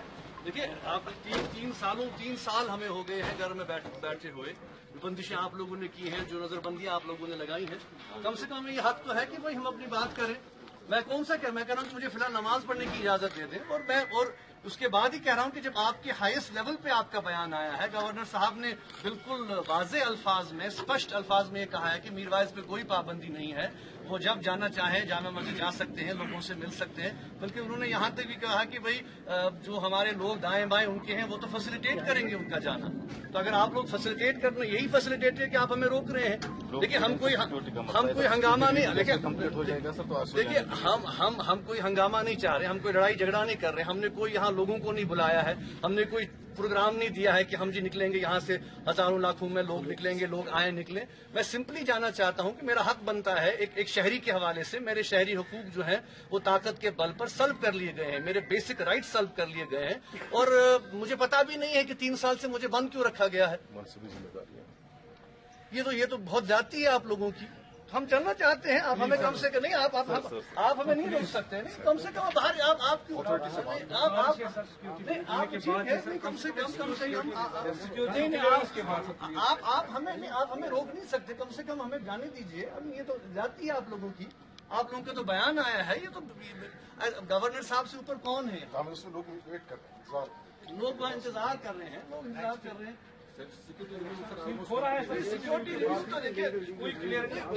دیکھیے نا ہم ہم ہم جو ہے ہم ہم ہم ہم جو ہے اس بیان کے تناظر میں جو بیان ہائیسٹ لیول آیا ہے یہ کسی پولیس کا بیان نہیں ہے یہ کسی جو ہے وہ بیوروکریٹ کا بیان نہیں ہے گورنر صاحب نے بہت ذمہ داری سے یہ بات کہی ہے۔ بیان میں دیکھیے میں لیکن لیکن میں میں میں آپ لوگوں سے یہ بات کرنا چاہتا ہوں کہ عوام وہاں پہ انتظار کر رہے ہیں۔ آج ہم نے پروگرام دیا ہے کہ آج میر بھائی صاحب جائیں گے، وہاں نماز پڑھیں گے اور ہم دعا کریں گے۔ قال اللہ قال رسول اللہ وسلم، میرا منصب ہے۔ کم سے کم اس سے تو نہیں روکی آپ لوگ۔ آپ کیوں ہمیں روک رہے ہیں؟ اور آپ تو بیان دے دیکھیں، ایٹ دا ہائیسٹ لیول آپ لوگوں کا بیان آیا ہے۔ کم سے کم یہ تو بہت زیادتی ہے۔ ہم تو یہ تو ہمارے شہر یہ تو بالکل ہم ہمارا بنیادی حقوق ہے۔ ایک تو ہمارے ہیومن رائٹس کو آپ وائلیٹ کر رہے ہیں۔ اور میرے مذہبی رائٹس کو بھی وائلیٹ کر رہے ہیں۔ تین سال سے میں اپنے گھر میں نظر بند ہوں محدود کر دیا گیا ہوں۔ کسی سے بات کرنے کی اجازت نہیں ہے، لوگوں سے نہیں مل پاتا ہوں، کوئی مجھ سے نہیں مل پاتا ہے۔ میرے جو جو میرے قریب لوگ ہیں، جو ہمارے جو جو ان تک نہیں پہنچ رہا ہوں، پچھلی بار بھی آپ نے دیکھا میری نانی کا انتقال ہو گیا، اس وقت بھی آپ نے مجھے مزار نہیں جانے دیا۔ میرے چاچا گزر گئے، اس وقت بھی جو ہے میں آدھے گھنٹے کے لیے آپ نے مجھے صرف وہاں سے آنے دیا اور پھر سے بند کر دیا۔ میں اس مزار پہ نہیں جا پایا ہوں۔ فاتحہ نہیں پڑھی پہ میں نے بزرگ، اتنے سارے ساتھی ہمارے گزر گئے ان تین سالوں میں۔ تو اگر اگر میں آزاد شہری ہوں تو مجھ پر یہ بندشیں کیوں لائی جاتی ہیں؟ اس لیے میں آپ سے گزارش کرتا ہوں کہ ہمیں جانے دیں۔ آپ آپ آپ ہمیں کم سے کم نہیں روکیں۔ دیکھیں، میں کوئی، دیکھیں، ہم کوئی ہنگامہ نہیں چاہتے، ہم کوئی لڑائی جھگڑا نہیں چاہتے، ہم کوئی دکم دکا نہیں چاہتے، لیکن ایک ایک ذمہ دار شہری کی حیثیت سے میں اس لیے کہہ رہا ہوں کہ میرے میرے انسانی حقوق کیوں سلب کیے جا رہے ہیں؟ آپ کائنڈلی اپنے اپنے سینئر سے بات کیجیے، ان کو کہیے کہ میں یہاں پہ انتظار کر رہا ہوں اور مجھے جانے دیں، کیونکہ آج ہم نے کہا ہے کہ لوگ، آپ لوگ لوگ انتظار کر رہے ہیں، تو مجھے کم سے کم جانے دیں۔ آپ تو کہتے ہیں کہ بھائی سب خوش ہیں یہاں پہ، حالات بڑے بہتر ہیں لوگ بڑے خوش ہیں، تو لوگ خوش ہیں تو ہمیں بھی جانے دیجیے ہم بھی لوگوں کی خوشی میں شامل ہو جائیں گے۔ ہم ہم پہ بندشیں کیوں ہیں؟ ہم پہ یہ جو ہے، یہ قدریں کیوں ہیں؟ اس لیے میں گزارش کرتا ہوں کہ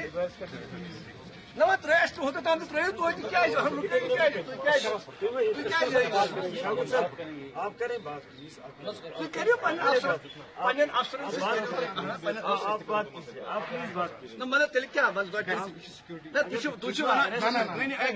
مجھے مجھے جواب دیجیے مجھے جواب دیجیے مجھے جواب دیجیے میں آزاد شہری نہیں ہوں ہاں سر مجھے اجازت نہیں ہے باہر جانے کی ہے کہ نہیں ہے بس ایشو ہے تو نہیں آپ اگر ہے تو مجھے لکھ کے دیجیے آپ لکھ کے دے دیں مجھے کہ نہیں جی آپ کو اجازت نہیں ہے۔ ہم آپ کو یہاں باہر نہیں دیو لکھت۔ میں بھی میں بھی کوئی ڈاکیومنٹ لے کے جاؤں گا عدالت میں جاؤں گا لوگوں کے پاس جاؤں گا کہ آپ کیونکہ دیکھیں نا یہ تو آپ یہ دو یہ آپ دو باتیں کہہ رہے ہیں۔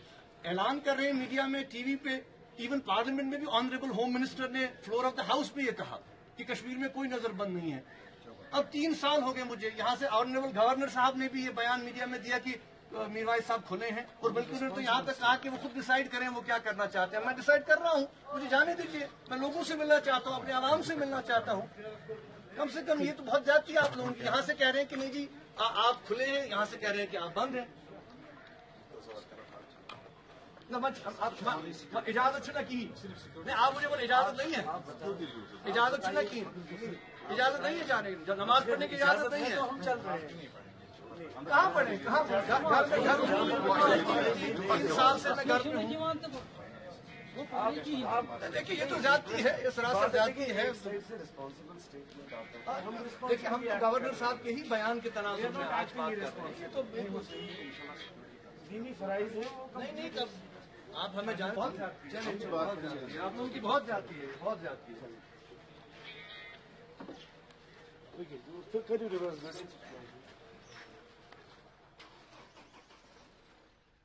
اس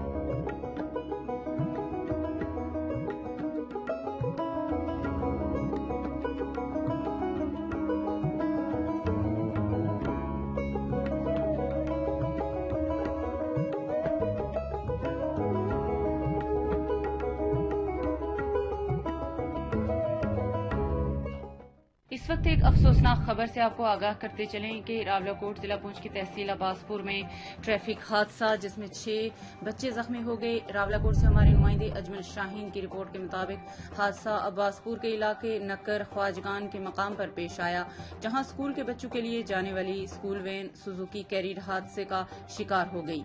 حادثے میں چھ بچے، جن میں حیدر شاہد، شاویز، لائبہ نسیم، حماز ہورلین سدیس، نوید شامل ہیں، زخمی ہو گئے۔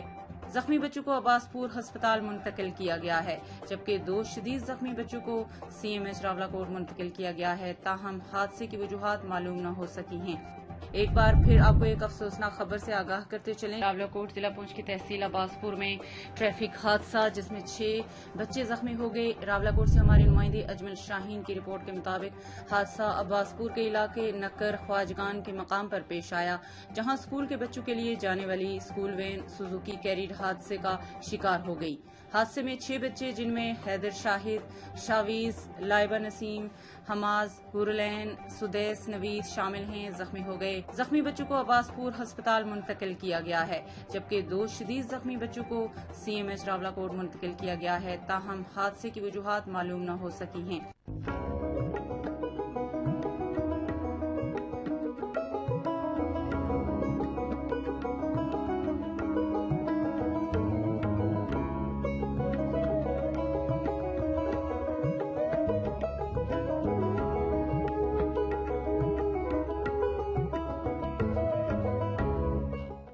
ضلع پونچھ کی تحصیل ہجیرا کے ایک مقامی حال میں محفل سما کا انعقاد کیا گیا۔ محفل سما کا انعقاد و اہتمام ہجیرا کی معروف کاریگر شخصیت سائیں اخلاق نے کروایا۔ محفل سما میں قوالی پیش کی گئی۔ پاکستان زیر انتظام کشمیر اور پاکستان کی جانی پہچانی آواز، دربار عالیہ دوان شریف کے درباری قوال، خرم برادران پنجتن قوال پارٹی نے محفل سما میں اپنی آواز کا جادو جگایا۔ خرم برادران نے بچپن میں چھ سال کی عمر سے اس فیلڈ کا آغاز کیا اور دن بہ دن مقام ملتا گیا۔ خرم برادران بہت سے قومی ایوارڈ بھی لے چکے ہیں۔ محفل سما کے اختتام پر راولا کوٹ سے تعلق رکھنے والے مشہور و معروف گلوکار محمد یونس نے کشمیری ترانہ پیش کیا۔ Ajmal Shaheen, J K T V Hajira Jammu Kashmir.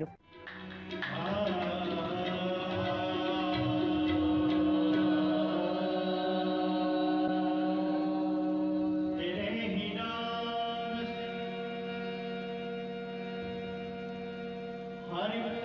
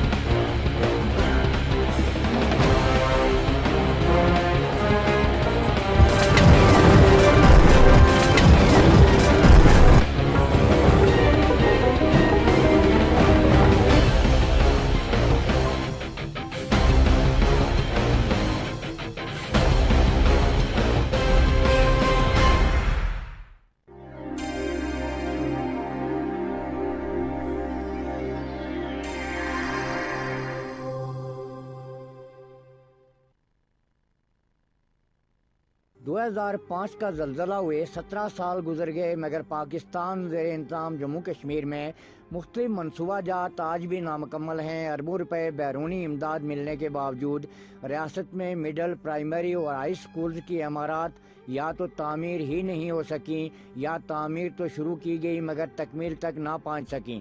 اور مختلف سکولوں کے بچے آج بھی کھلے آسمان تلے تعلیم حاصل کرنے پر مجبور ہیں۔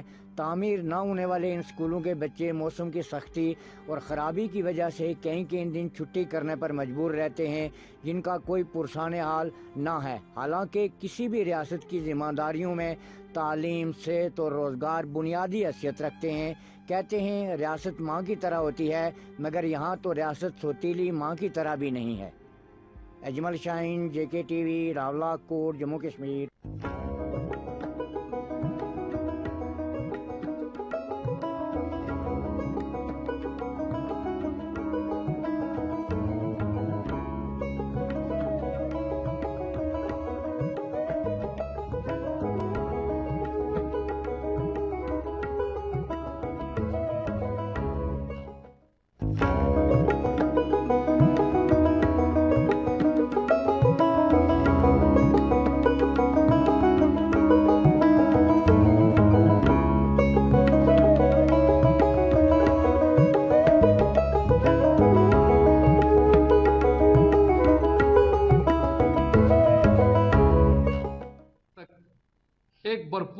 سیاست کی ہے۔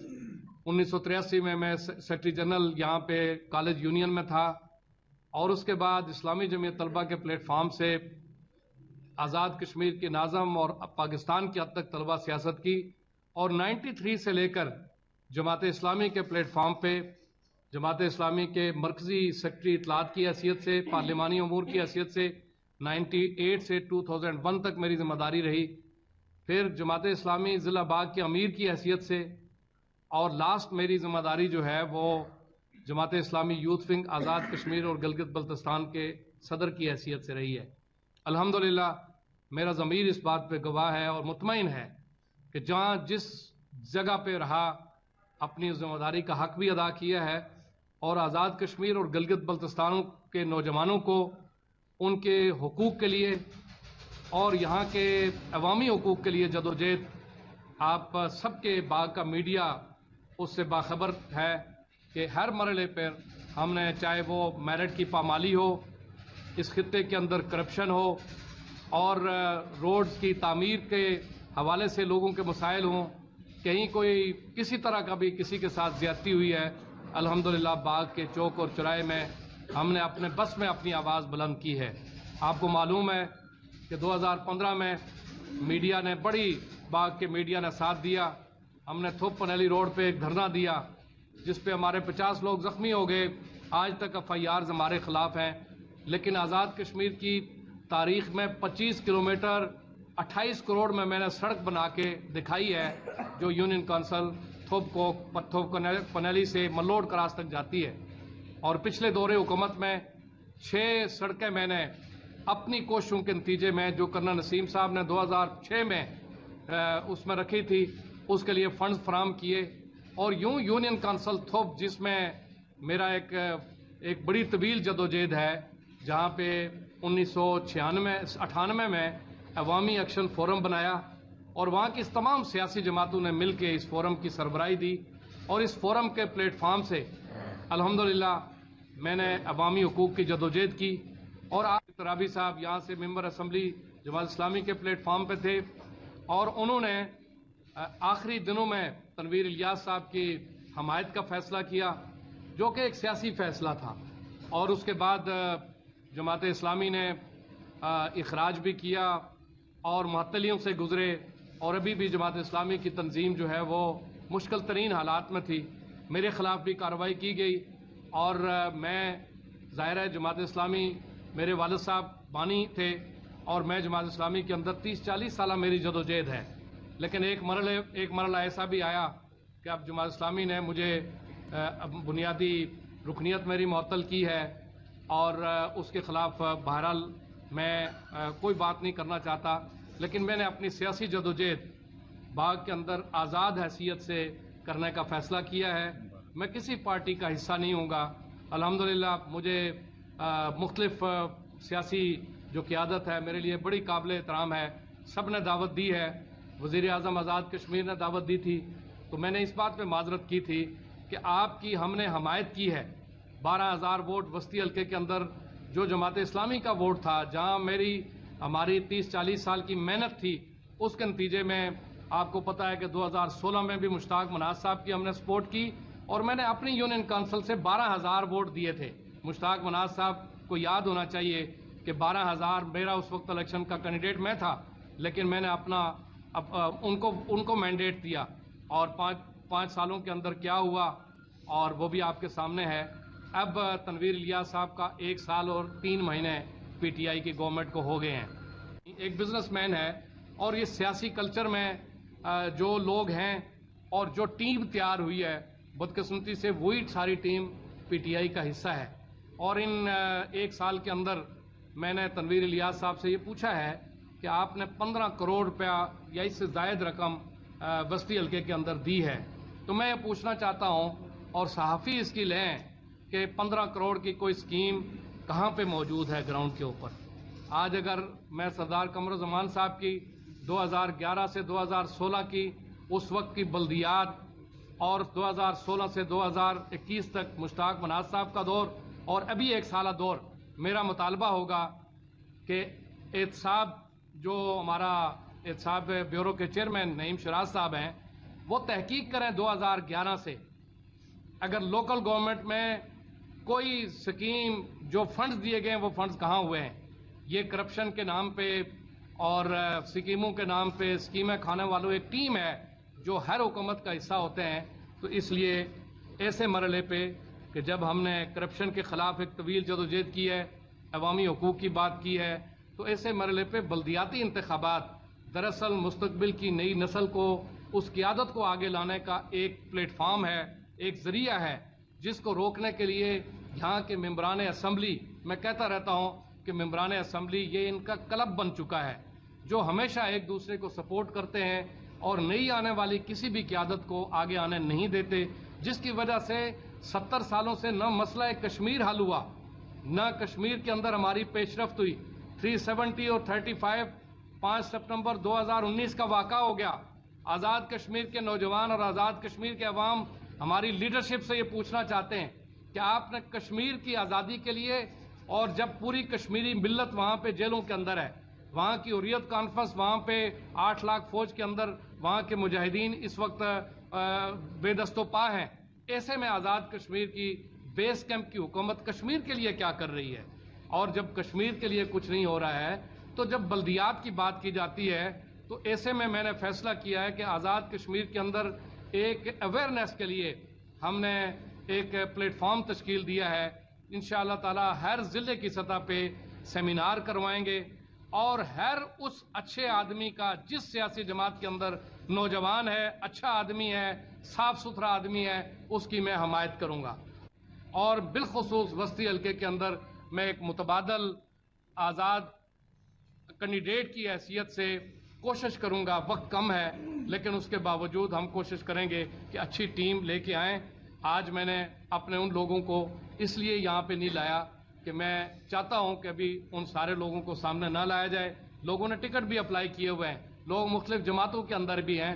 لیکن میں نے پہلے جو بات کی تھی کہ میں ایک ایسا ورکرز فرنٹ بنانے جا رہا ہوں کہ جس کے اندر ساری جماعتوں کے اچھے لوگ جن کا راستہ ان کی عادتوں نے روکا ہے، وہ آئیں اور اس پلیٹ فارم سے کٹھے ہو کر کشمیر کی آزادی کے لیے بھی۔ اور یہ تو تین ضلعوں والا جو ہمارا کشمیر تھا، جس کو دس ضلعے بنا دیے گئے ہیں۔ اس کے اندر جو لوٹ مار کرپشن مافیا جنگل مافیا ہے لینڈ مافیا ہے، اور یہاں پہ قبضہ گروپ ہے، زمینوں کے ڈرگ مافیا ہے، یہ سارے مافیاز کے خلاف آج کی نوجوان نسل کو اٹھنا ہوگا۔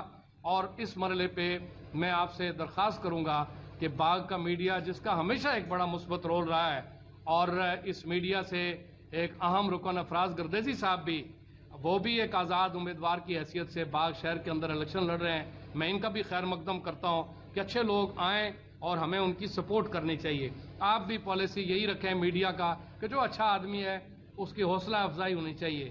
دولت کی بنیاد پہ، پیسے کی بنیاد پہ، برادری کی بنیاد پہ اور قبیلے کی بنیاد پہ یرغمال بنا کر یہاں کی نوجوان نسل کا راستہ روکنا، یہ کسی طور پہ بھی درست نہیں ہے۔ اس حوالے سے جو اچھے اقدامات ہوں گے، حکومت کے تنویر لیا صاحب کا میں نے پہلے بھی ساتھ دیا ہے۔ پانچ سپٹمبر کو میں نے اعلان کیا تھا دو اقدامات کا۔ تیئیس تاریخ سے ستائیس تک ننگا پیر ٹوریزم فیسٹیول کرواؤں گا۔ الحمدللہ، آپ میڈیا نے بہت تعاون کیا۔ آزاد کشمیر کی ہسٹری میں مارگا ناگا پیر ایک تاریخی حیثیت رکھتا ہے، جس میں اٹھارہ ہزار لوگ اس میں شریک تھے، دس ہزار لوگ جو ہے نا مارے گئے۔ اور اس مارکے کے نتیجے میں ہمیں ضلع باغ آزاد کرنے میں یہاں پہ ہمیں آزادی کا وہ سانس لیا۔ اور اس کے بعد جو ہے وہ ہم نے ایکو ٹورزم کی بات کی ہے۔ کہ ہم لوگوں کی انکم جنریٹ کرنا چاہتے ہیں۔ ٹوریزم کے نام پہ کوئی سرمایہ دار، کوئی بڑی کمپنی آ کر یہاں کی لوٹ مار نہیں کر سکتی ہے اور یہ ایسا نہیں ہونا دیں گے۔ ہم یہ کہتے ہیں کہ یہاں کا جو کمزور طبقہ ہے، اس کو اس کو اوپر اٹھائیں اور اس کو اپلفٹ کریں۔ اس کے لیے ہم نے ایکو ٹوریزم کا کیا ہے اور اسی کے ساتھ ایگری ٹوریزم کی بات کی ہے کہ میں نے اپنی یونین کانسل کے اندر بھی اور ماڈل ہم پیش کرنا چاہتے ہیں کہ ایک سال کے اندر جو غذائی قلت ہے یہاں کے لوگ خود پیدا کریں تاکہ ہماری غذائی جو قلت ہے اس کو بھی پورا کر سکیں۔ اور تیسرا جو ہم نے ٹوریزم، سپورٹس ٹوریزم کی بات کی ہے ان شاء اللہ تعالیٰ اس ٹورزم کے بعد میں نے مختلف ایونٹس کروائے ہیں۔ آزاد کشمیر کی انٹر اسکول ایونٹ رنگلا میں ہوا ہے۔ انٹر کالجیٹ پینتالیس ٹیموں نے ملوٹ میں جو بورڈز نے کروائی، اس میں میں شرکت کی۔ اور میں شکر گزار ہوں کہ حکومت نے ایک ایم او یو سائن کیا میرے ساتھ۔ اور ان شاء اللہ تعالیٰ اس سطح پہ میں پہلے کرکٹ کے پلیٹ فارم سے کرتا تھا، اب فٹ بال کی، والی بال کی، ہاکی کی، ہر طرح کی سپورٹس سکینگ کی سپورٹس کو، جو ونٹر سپورٹس کو، اس کو پروموٹ کرنے میں میں اپنا کردار ادا کروں گا۔ ان شاء اللہ تعالیٰ میں سوشل سطح پہ، نوجوانوں کے لیے جو سپورٹس کی ایکٹیویٹیز اور یہاں کے لوگوں کو روزگار کی فراہمی کے لیے ٹوریزم کی ایکٹیویٹیز، ابھی ہم فیسٹیول کروانا چاہ رہے ہیں لسٹانہ پہ۔ ونٹر فیسٹیول انشاءاللہ آپ کو سکینگ کا، آپ کو بہت خوبصورت ہم سری کے مقام پہ جو ہمیں نانگا پیر کی بیک پہ ہے، یہاں پہ انشاءاللہ تعالی اللہ ونٹر فیسٹیول بھی ہوگا۔ میں یہ ساری گزارشات آپ سے اس لیے کرنا چاہتا ہوں کہ اس بلدیاتی انتخابات میں ابھی تین دن ایکسٹینشن ہو گئی ہے۔ انشاءاللہ تعالی اللہ ٹائم طے کرنے کے بعد ہم میں خود بھی کاغذات جمع کروا رہا ہوں، لیکن میں نے اپنی یونین کونسل میں اوپن آفر دی ہے کہ ایک ماڈل بنائیں۔ آئی، آئیے ہم بیٹھیں اور جو اچھے لوگ ہیں ہم مل بیٹھ کے فیصلہ کریں۔ کہ یہ اس وارڈ کے اندر اس کی پوزیشن ہے تو اس کو منتخب کر لیں۔ مل جل کے برادریوں اور قبیلوں کے اوپر آپ یہاں پہ سیاستدانوں کے موقع کہنے پہ لڑیں نہ، بلکہ اتحاد اور اتفاق سے اس ایونٹ کو اتنا اتنا اچھا بنا دیں تاکہ بلدیاتی انتخابات کسی کے روکنے کا کوئی ذریعہ نہ بن سکے۔ اس موقع پہ میں راجہ شفقت صاحب کا، جو پی ٹی آئی کے بنیادی ارکان میں سے تھے، راجہ وقاص نسیم صاحب کی ٹیم کا حصہ رہے۔ یونین کونسل تھوپ سے تعلق رکھتے ہیں۔ یہ میں نے یونین کونسل تھوپ سے، چونکہ عوام کا ایک پریشر ہے کہ آپ خود لڑیں اور الیکشن لڑیں، تو میں نے ان کی سربراہی میں ایک کمیٹی بنائی ہے اور اس میں ہمارے دو بزرگ اور شامل ہیں جو ان کی سربراہی میں ایک جرگہ بنایا ہے کہ یونین کونسل میں تمام الیکشن لڑنے والے جو ضلع کونسل کے لوگ ہیں، ان سے بھی رابطہ کیا جائے تاکہ ہم ہم انشاءاللہ یونین کونسل تھپ میں جو ماڈل سیٹ کریں گے وہ آزاد کشمیر کے تمام بلدیاتی انتخابات کے لیے ایک ماڈل ہوگا۔ میں آپ سب کا شکریہ بھی ادا کرتا ہوں۔ اور اس حوالے سے کوئی اگر آپ کا سوال ہے تو میں آپ کا سوال دینے کا کلیئر کر لیں۔ آپ نے یہ کہا تھی کہ میں آزاد میں نے بڑی کلیئر بات کی ہے کہ جماعت اسلامی میں نے چھوڑی نہیں ہے۔ جماعت اسلامی سے مجھے نکالا گیا ہے۔ چھڑایا گیا ہے۔ میری رکنیت معطل کی گئی ہے۔ اور بغیر کسی وجہ کے۔ دیکھیں میں یہ کہہ رہا ہوں کہ میں کسی سیاسی پارٹی کا ابھی نہ شامل ہو میں آزاد حیثیت سے بڑی کلیئر بات ہے آزاد حیثیت سے اپنی سیاسی جد و جہد کا آغاز کر رہا ہوں۔ نہیں میں صرف بلدیاتی انتخابات کے اندر ہماری خواہش ہوگی کہ جو آزاد ہماری ٹیم ہے وہ ایک نشان کے تحت آئے۔ اور ہم اس نشان کے تحت اچھے لوگوں کو جمع کریں۔ اور میں یہ بالکل برملا کہتا ہوں، مجھے باغ کے لوگوں سے یہ امید ہے کہ اگلا چیئرمین اور یہاں باغ بلدیہ کے اندر بھی اس میں بھی ایک تبدیلی لائیں گے۔ بہت بڑے دعویٰ نہیں ہے۔ ظاہر ہے سیاسی سسٹم موجود ہے، سیاسی پارٹیاں موجود ہیں، لیکن میری جدوجہد بھی ہے۔ اچھا جی نثار شاہ، کیا یہ جو سلسلہ آزاد گروپ آپ بنانا جا رہے ہیں، کیا آزاد کشمیر بھر کے اندر آپ اپنے کینڈیڈیٹ کھڑے کریں گے؟ دو۔ اور تیسری بات یہ کہ آپ نے احتساب کی بات کی تو آزاد کشمیر کے اندر ایک شفاف جانبدار قسم کا بیوروکریٹ اس کی بیک گراؤنڈ ہی جماعت اسلامی سے ہے، وہ احتساب نہیں کر سکا، مگر مچھوں کا تو آگے کون کرے گا؟ اب میں سمجھتا ہوں کہ طاہر عباس صاحب نے بڑا ہی درست اس پہ کیا ہے۔ میرے پاس کوئی وسائل نہیں ہے میرے بینک اکاؤنٹ سب کے سامنے ہیں۔ اور میں سمجھتا ہوں کہ جب اخلاص کے ساتھ آپ نکلتے ہیں تو لوگ تعاون کرتے ہیں۔ اور میں لوگوں سے گزارش کروں گا کہ جو جن کے پاس وسائل ہیں، وہ وسائل ہماری ایک کمیٹی بنا دی ہے۔ وسائل ہمیں دیں۔ اور اس وقت کی حکومت احتساب بیورو کو اختیارات دے۔ اور کم از کم اور کوئی نہیں، میں احسان خالد کیانی صاحب، سینئر بیوروکریٹ جس دن آئے، میں اسی دن وہاں ان کے پاس پہنچا اور ان کو کہا کہ ایک کمیٹی بنائے جو دو ہزار گیارہ سے لے کر ان ان سارے جو بلدیہ، جو آپ نے لوکل گورنمنٹ نے اسکیمیں دی ہیں، اس کی تحقیق کریں نا۔ قوم کے سامنے آئے، وہ لوگ تو بے نقاب ہوں کہ جنہوں نے اسکیمیں کھائی ہوئی ہیں۔ اور ایک سال تین مہینے اس پی ٹی آئی کے اس دور کے اندر بڑے بڑے نام موجود ہیں۔ زمین کے اوپر کوئی چیز نہیں ہے۔ کوئی صافیوں میں سے ایک گروپ بنا لیں، جس جو آپ پروجیکٹ لیڈر آپ اسکیمیں اٹھائیں۔ اور ایک میں سمجھتا ہوں، میں درخواست کروں گا کہ انویسٹیگیشن سیل یہاں پریس کلب کا بنایا جانا چاہیے۔ اسکیمیں لیں لوکل گورنمنٹ کے اے ڈی سے۔ اے ڈی صاحب ہمارے پیپلز پارٹی کے دور میں بھی یہی اے ڈی تھے جو بہت ہی قابل احترام ہیں۔ مسلم لیگ کے دور میں بھی یہی اے ڈی تھے اور اب بھی یہی اے ڈی ہیں۔ اور یہ ان کا ہونا چاہیے اچھے لوگ اچھے نوجوانوں کو آگے آنے کا موقع تب بھی ہوگا جب میڈیا ساتھ دے گا۔ میڈیا ہمارے ساتھ اگر کھڑا ہوگا تو میں آپ کو یقین سے کہتا ہوں کہ ہم تبدیلی لے کے آئیں گے۔ میڈیا۔ جی ابھی آپ نے بات کی کہ پرائم منسٹر کے والد صاحب نے بات کی کہ جی پرائم منسٹر صاحب جو ایک نا تجربہ کار آدمی تھے۔ سیاست میں وہ آئے اس سے پہلے وہ بزنس مین تھے آپ نے بارہ ہزار ووٹ دے کے انہیں بستی سے جتایا۔ تو آپ کو نہیں لگتا کہ آپ نے مطلب بارہ ہزار مطلب ووٹ دے کے آپ نے پانچ سال کے لیے بستی کے لوگوں کو ایک ایسے بندے کے ہاتھوں ان کی باغ دور سنبھال دے دی جو کہ نا تجربہ کار تھا؟ ابھی آپ نے بات کی۔ دیکھیں میں نے فیصلہ نہیں کیا۔ جناب عبدالرشید ترابی صاحب الیکشن وہ لڑ رہے تھے۔ انہوں نے ہی فیصلہ کیا میں نے نہیں فیصلہ کیا۔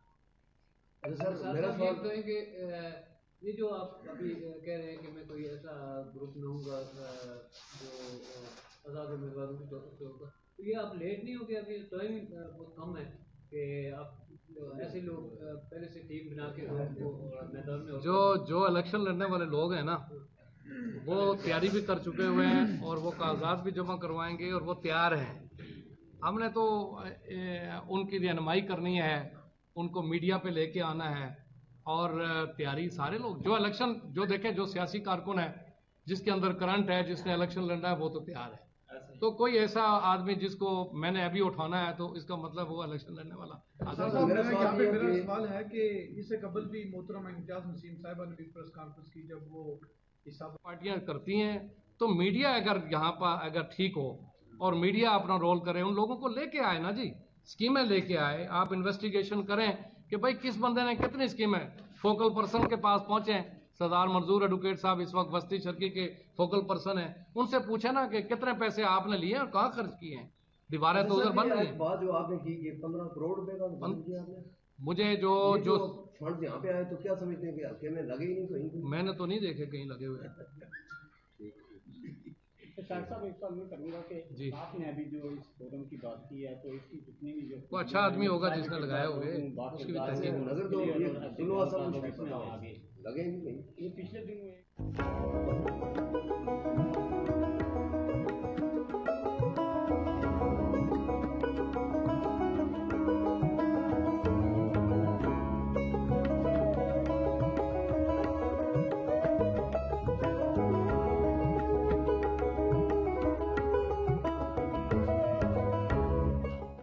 صفائی نصف ایمان ہے، صفائی کے حوالہ سے طلباء و طالبات نے واک کا انعقاد کیا۔ واک سٹی کیمپس سے شروع کی گئی، جو شہر کا چکر لگانے کے بعد رائے چوک پہنچ کر اختتام پذیر ہوئی۔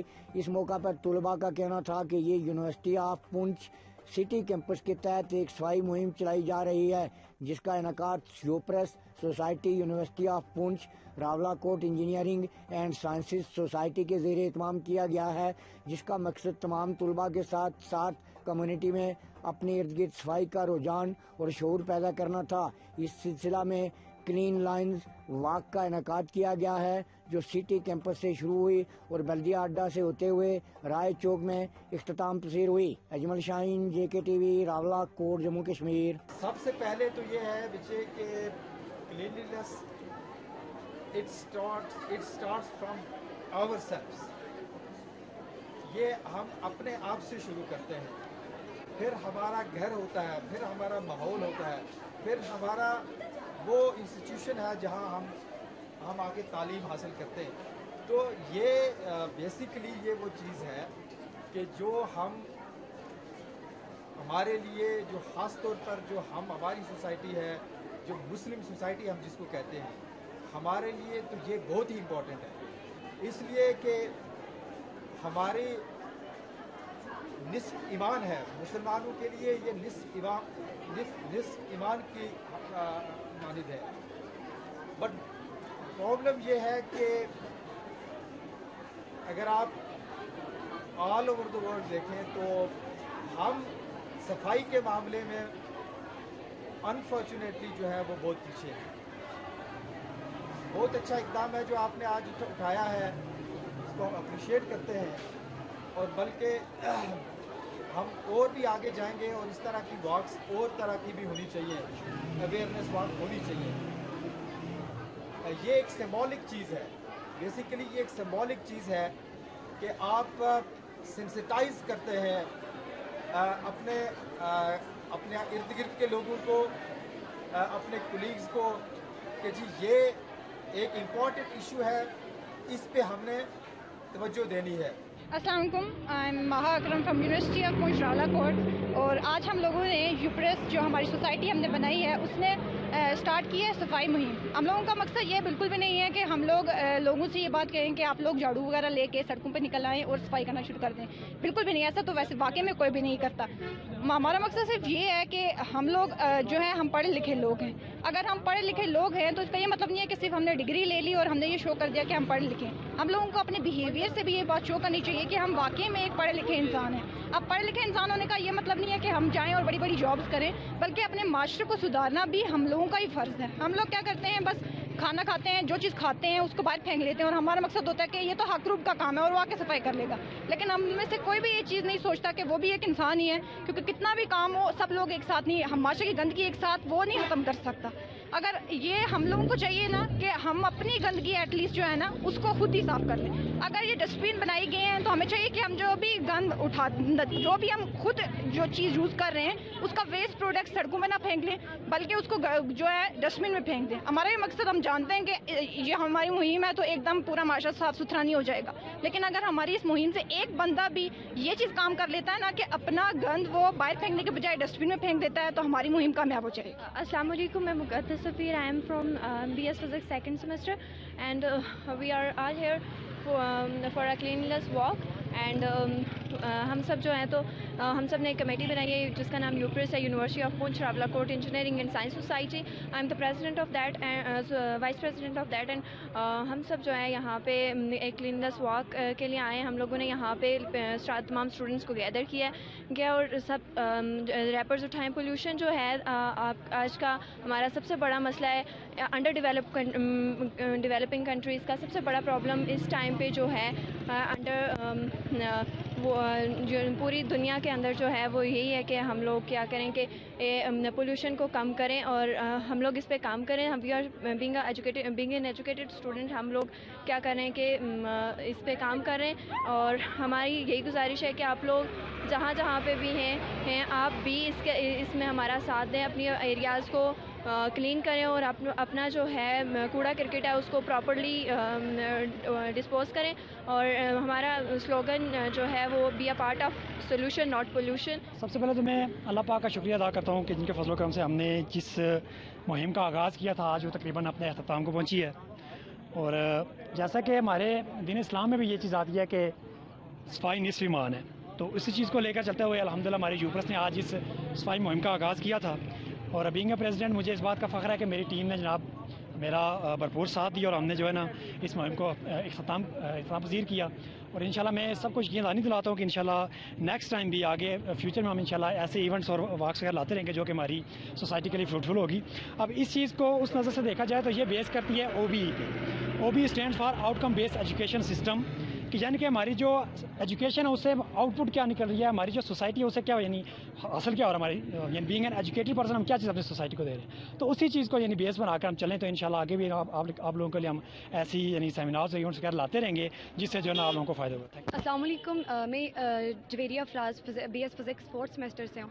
اور میں یہ یو پی ایس جو ہم لوگوں نے ایک کمیونٹی اسٹارٹ کیا، جس کا مطلب یہ ہے کہ ہم لوگ چھوٹے چھوٹے سیمینار اور چھوٹے چھوٹے ہم لوگ ایسے جو بھی مطلب ہم کوئی انیشیٹو لیں، جیسے کہ ہم لوگ کچھ معاشرے میں جس سے ہماری اویئرنیس پیدا ہو، تو ہم لوگوں نے آج یہ فرسٹ یہ ہم لوگوں نے کیا ہے کہ کلیننیس واک کہ جو آج کل پاکستان میں جو حالات ہیں اور سیلاب کا جو، کی جو سچویشن ہے، تو اس میں یہ جو نیچر میں جو بھی ہو رہا ہے یا پھر جو بھی نیچر ہم سے ریونج لے رہی ہے، وہ اسی وجہ سے ہو رہا ہے کہ جو ہم لوگ نیچر کو کیا دے رہے ہیں۔ تو ہم لوگوں نے اسی لیے یہ اسٹارٹ کیا تھا کہ ہم لوگ یہ صفائی کے حوالے سے کریں کہ تاکہ ہم لوگ یہ ریپرز اٹھائیں اور یہ وہ تاکہ لوگوں میں اویئرنیس پیدا ہو کہ وہ بھی یہ کلینلینس کے حوالے سے وہ کریں، تاکہ ہم لوگ جتنا زیادہ یہ ماحول کو صاف رکھیں گے اور درخت لگائیں گے اور اس طرح کی چیزیں کریں گے، تو وہ ماحول جب ہمارا صاف رہے گا تو اس طرح کے پرابلمز نہیں ہوں گے۔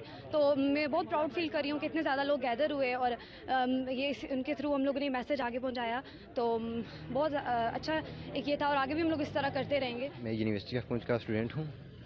اور اس کے ساتھ ساتھ ہم نے جو سوسائٹی بنائی ہے یو پریس اس کا میں ایک ممبر بھی ہوں۔ بیسکلی یہ سوسائٹی بنانے کا مقصد یہی تھا کہ ہم یہاں پہ تو آتے ہیں جسٹ بکس میں اسٹرک ہو جاتے ہیں، لیکن ہم اس سوسائٹی کے ذریعے ہم نے بہت سی گرومنگ ہمیں ہوئی ہے، ٹھیک ہے۔ اس میں ہم نے بہت سارے ایونٹس ارینج کروائے اور اس میں ہم نے ایک، یہ ایک نیلس باغ ہم نے یہ ارینج کروائی ہے۔ اس کا مین مقصد یہی تھا کہ ہم لوگوں کو اویئر کریں کہ جو صفائی ہوتی ہے وہ ہماری صحت کے لیے کتنی امپارٹنٹ ہے۔ جس لائک اگر ماحول گندا ہوگا تو اس کی وجہ سے کتنی بیماریاں جنم لیتی ہیں۔ تو اس کا مین مقصد یہی تھا کہ ہم لوگوں کو اویئرنیس دیں کہ آپ اپنے ماحول کو صاف رکھیں تاکہ آپ مختلف بیماریوں سے بچے رہیں۔ السلام علیکم۔ جیسا کہ آپ سب جانتے ہیں کہ آج ہمارے ہم نے ایک صفائی مہم کا آغاز کیا ہے اور بینکنگ ایجوکیٹڈ پرسن ہمارا یہ فرض بنتا ہے کہ صرف ہم لوگ اپنی ڈگریز کے حد تک محدود نہ رہیں، بلکہ ہمارا یہ فرض بنتا ہے کہ ہم لوگ اپنے جو معاشرے میں ہر چیز اس پر نظر رکھیں۔ تو ہم نے اس لحاظ سے اپنی ایک سوسائٹی بنائی، جس کا ہم یوپریس ہے اور اس میں ہم لوگوں نے مختلف ایونٹس کروائے ہر لحاظ سے۔ تو آج ہم نے صفائی مہم کروائی ہے جس کا مقصد یہ تھا کہ ہم لوگ اپنی سوسائٹی میں، اپنے انوائرمنٹ میں اویئر کروا سکیں کہ ہم جو ہیں بینگ ان ایجوکیٹڈ پرسن ہمارا یہ فرض بنتا ہے کہ ہم لوگ معاشرے کو انوائرمنٹ کو آگاہ کروائیں کہ صفائی سب سے اہم ضروری ہے اور جیسا کہ ابھی پاک بھی چاہتا ہے کہ صفائی نصف ایمان ہے اس لحاظ سے ہم نے ایک صفائی مہم کا آغاز کیا اور اپنے اسٹوڈنٹس کو یہاں پہ گیدر کیا ہے۔ سب سے پہلے تو سب کا بہت زیادہ تھینک یو جو یہاں آئے اور مطلب سارے لوگوں کو اویئر کرایا اور اس کے بعد ایز اے اسٹوڈنٹ ہمارے یہ یہ ہمیں یہاں وہاں یہ چیزیں نہیں پھیلانی چاہیے، اس کے بعد ہمیں کلیننس کا بہت زیادہ خیال رکھنا چاہیے تاکہ ہمارا ماحول صاف رہے۔ جتنا زیادہ ہمارا ماحول صاف رہے گا، اتنا زیادہ ہم لوگ بیماریوں سے بچیں گے۔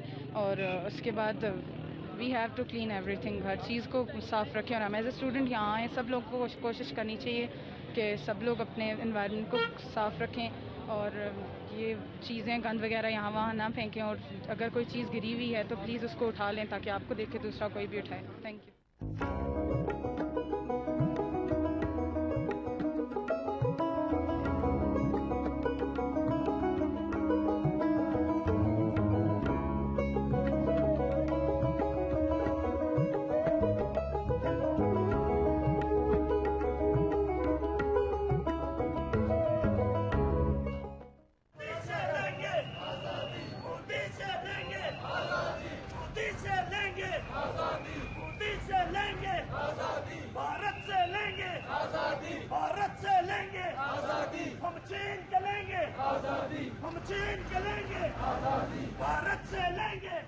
بھارتی زیر داخلہ کی مقبوضہ کشمیر آمد اور امریکی سفیر کے دورہ پاکستانی زیر انتظام کشمیر کے خلاف سابق چیئرمین پی ڈی اے سردار ارشد خان نیازی ساتھیوں سمیت سڑکوں پر نکل آئے۔ احتجاجی ریلی نکالی گئی جو شہر کے مختلف شہرات کا چکر لگانے کے بعد مقبول بٹ چوک میں اختتام پذیر ہوئی۔ ریلی میں سول سوسائٹی کے علاوہ ٹرانسپورٹرز کی بڑی تعداد نے شرکت کی۔ شرکا نے بینر اور جھنڈے اٹھا رکھے تھے اور نعرہ بازی کر رہے تھے۔ امریکہ کا جو یار ہے، غدار ہے۔ بھارت کا جو یار ہے، غدار ہے۔ یاسین ملک کو رہا کرو۔ اس موقع پر سردار ارشد نیازی نے کہا کہ امریکہ اور بھارت کا گٹھ جوڑ جو پاکستان کی حقیقی آزادی کو سلب کرنے کی سازش ہے، امریکہ کی ایما پر بھارت نے مقبوضہ کشمیر میں ظلم و بربریت شروع کر رکھی ہے۔ ہم امید شاہ کا مقبوضہ کشمیر اور امریکی سفیر کا پاکستانی زیر انتظام کشمیر کا دورہ پاکستان کی سالمیت کے لیے خطرہ سمجھتے ہیں۔ کشمیری عوام استقام پاکستان کی جنگ لڑ رہے ہیں اور تقسیم کشمیر کی کسی بھی سازش کو کامیاب نہیں ہونے دیں گے۔ Ajmal Shaheen J K T V Rawalakot Jammu Kashmir.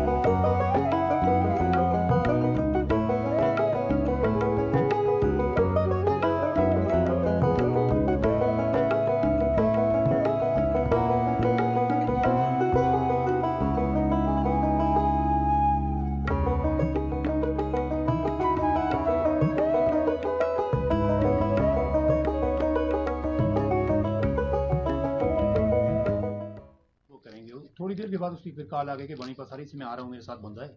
میں نے گاڑی گاڑی چیک کروانی ہے اس کو تقریباً آدھے گھنٹے تک میرے گھر پہنچ گئی ہے۔ ایک آدمی تھا، اس وقت اس سے میں نہیں جانتا تھا۔ گاڑی اس موٹر سائیکل پہ بیٹھے ہوئے ہیں دونوں میرے گھر پہنچے، بلکہ روڈ تک میں ان کے پاس آیا کہ گھر لے چلو۔ گھر لے کے گیا، وہاں انہوں نے گاڑی چیک کی، سارا میری ان سے گپ شپ ہوئی۔ اس نے اس نے اس وقت مجھے یہ بولا کہ یہ میرا رشتہ دار ہے۔ بہت میں نے کوشش کی، میں نے چائے کے لیے گھر گھر نہیں گئے، باہر بیٹھے ہوئے تھے، باہر ہی پارکنگ میں وہاں ہی ہمارا سودا ہوا، انہوں نے مجھے پیمنٹ کی، گاڑی لے کے وہ آ گئے۔ گاڑی لے کے آئے، انہوں نے واپسی واپسی پہ بلکہ نامپرا سے وہ گزر رہے تھے۔ میرے پاس اس وقت بھی یعنی لوگ موجود تھے، جس نے ایک ٹیکسی والا تھا، جس نے ساتھ ہو کے گاڑی سٹارٹ کروائی، اس نے گاڑی چیک کی وہاں سے، لے کے نکل گئے۔ تقریباً آدھے گھنٹے بعد مجھے کال آئی، نامپرا میں میرا ایک کزن تھا حاجی شریف بیکری، کہ یہ مفتی آپ کی گاڑی لے کے یہاں سے گزر گیا، اس سے آپ کا گیا میں نے کہا، میں نے بھیج دی ہے۔ گاڑی لے کے وہ آ گئے وہاں سے۔ دوسرے دن پھر مجھے آصف نے کال کی کہ پیپر بھی دے رہے ہیں میں واردات نہیں تھی گاڑی نان کسٹم گاڑی تھی میں نے۔ ان کو پیپر بھی دوسرے دن اس کو بھیج دیے کہ پھر یہ کہنے لگے اسٹام کریں گے، لین دین، چوری، لین دین۔ تو میں کہا ٹھیک ہے میں لیں۔ جب میں آیا اسٹام کے لیے، میں باغ آیا، اس کو کال کی تو اس نے یہ بولا کہ مفتی صاحب راولہ کوٹ میں کسی کانفرنس میں گئے ہوئے تو نہیں ہوگی۔ اس کے بعد پھر میرا گوشت کا کام تھا، عید آئی تھی، میں نے سیزن لگانا تھا، میں یہاں سے وہی پیسے لیے، میں میں نکل گیا، میں پیٹی چلا گیا۔ پیٹی سے لے جب میں مال لے کے یہاں پہنچا، تیسرے دن مجھے وہاں سے کال آئی۔ ایک آدمی کی جس آدمی کے سورسز سے میں وہاں جاتا تھا، میرا اپنا رشتہ دار تھا ایک۔ تو وہاں سے کال آئی کہ ایک جگہ پہ ایک آدمی کو ایک لاکھ ستر ہزار روپیہ جالی نکل گیا اور یہاں مسئلہ ہے، ظاہر ہے بارڈر ایریا تھا ایجنسیاں ہیں، تو یہ ہے کہ اس کو پہ میں نے کہا آپ جا کے پہلے پیسے چیک کریں۔ اس نے جا کے جب پیسے چیک کیے، تو کہنے لگے کہ وہی پیسے ہیں جس پہ بینک کی مور لگی ہوئی ہے، یہ میرے پاس فوٹو بھی ہیں۔ اسی تصویر میں نے بنائی ہوئی ہے، وہی ہیں، وہ نئے نوٹ تھے۔ ایک ایک لاکھ کی اس نے وہ گڈی تھی، اس نے میں وہ کہنے لگے ان کو پیمنٹ کرنی پڑے گی۔ دوسرے دن اسی آدمی کو میں نے بولا، وہ موٹر سائیکل لے کے یہاں آیا، یہاں سے تو میں نے پیمنٹ کی، وہ لے کے چلا گیا۔ پھر میں نے ان لوگوں سے رابطہ کیا کہ بھائی بات یہ ہے کہ میرے جو آپ نے پیمنٹ کی تھی، مجھے وہ تو جالی نکل گئی ہے۔ اور میں پولیس کے پاس جا رہا ہوں۔ جب میں نے انہیں یہ بولا تو یہ پھر میرے پاس وائس میسج موجود ہے ان کے۔ انہوں نے مجھے یہ کہا کہ آپ ہمارا نام نہ لیں۔ آپ یہ کریں کہ کسی ابت آباد کو، کسی کپٹان کو دے دی، فلانے کو دے دی، آپ جا کے وہاں وہ پیسے کلیکٹ کریں ایسا کریں، وہ کریں۔ تو ہم آپ کو یہ پیمنٹ بھی کریں گے، آپ کو گاڑی بھی واپس دے دیں گے۔ تو خدا کے لیے نہیں، وہ یہ ہے، کہتا اللہ شاہ صاحب بڑے آدمی ہیں، فلانا ہے۔ آصف نے مجھے یہ بولا کہ وہ یہ ہے، تو ان کے لڑکے، اس کو بھی کسی نے دے دیا آگے۔ وہ آپ کو ڈائریکٹ کیا نام ہے، اس کو بھی کسی نے دیے دیا۔ اس لیے یہ ہے کہ یہ ختم کر دیتے ہیں۔ ہم گاڑی بھی دے دیں گے، پیسے بھی آپ کو واپس کر دیں گے۔ تو میں نے ان کو یہ بولا کہ میں عطا اللہ شاہ صاحب بڑے آدمی ہیں۔ اگر انہوں نے لڑکے نے مجھے پیمنٹ کی ہے تو وہ مجھے دے رہے ہیں، تو مجھے نہیں ہے، میرے خیال میں اچھا نہیں لگتا کہ میں ان کی عزت اچھالوں۔ انہوں نے بھی چپ ہو گئے، بس ٹھیک ہے۔ بھائی، انہوں نے گاڑی مجھے یہاں نیندرا نیندرا میں ایک لڑکے کے آج مجھے رات کو دو بجے انہوں نے گاڑی مجھے بولا کہ جس کے ساتھ، جس آدمی کے ساتھ میں آیا وہ گاڑی ڈبے والا تھا، میرے گاؤں کا ہے۔ اس کے ساتھ میں آیا، وہ آ کے کہاں سے گاڑی لے کے میں واپس چلا گیا۔ انہوں نے یہ کیا کہ میرا وہاں سیزن چل رہا تھا، عید کے دن تھے، تو آپ یہ ایک لاکھ سترہ ہزار روپیہ آپ کو پیمنٹ کر دیں گے چلتے چلتے ایسا ہوا کہ تقریباً یہ جس وقت میری گرفتاری ہوئی، بارہ ستمبر تھا۔ بارہ ستمبر کو میری گرفتاری ہوئی، اس سے تقریباً پندرہ دن پہلے انہوں نے مجھے بلایا۔ کہ آپ آئیں۔ میں نے نہیں دے رہے تھے پیسے۔ یہ روز آج کل آج کل میں نے کہا کہ میں پھر پولیس کے پاس جا رہا ہوں۔ انہوں نے بولا کہ بونی پساری پمپ کے مجھے۔ ایک آدمی کے تھرو انہوں نے مجھے پیسے بھیجے۔ پیسے لے کے میں چلا گیا۔ میں نوپرا میں جا گیا تو وہاں حاجی اکبر ایک ماندار ہے۔ اس کو میں نے کہا کہ یہ یہ پیسے چیک کر لیں۔ کیونکہ آج کل فراڈ چل رہا ہے۔ مجھے پہلے سے پتا تھا کہ انہوں نے پیمنٹ کی ہوئی میں پہ تھوڑا مشکوک تھا۔ میں نے چیک کرا۔ اس نے سات نوٹ لیے۔ سات نوٹ لے کے اس نے چیک کیے۔ تو باقی کہنے لگا کہ یہ تو ٹھیک ہے۔ تو باقی اتنا ٹائم نہیں ہے میرے پاس بھی، تو یہ چیک کروا چیک کرنے کے لیے میں بھی لے کے چلا گیا، تین ہزار روپیہ میں نے اسی سے اس کو پیمنٹ کی فیڈ لی، میں گھر چلا گیا۔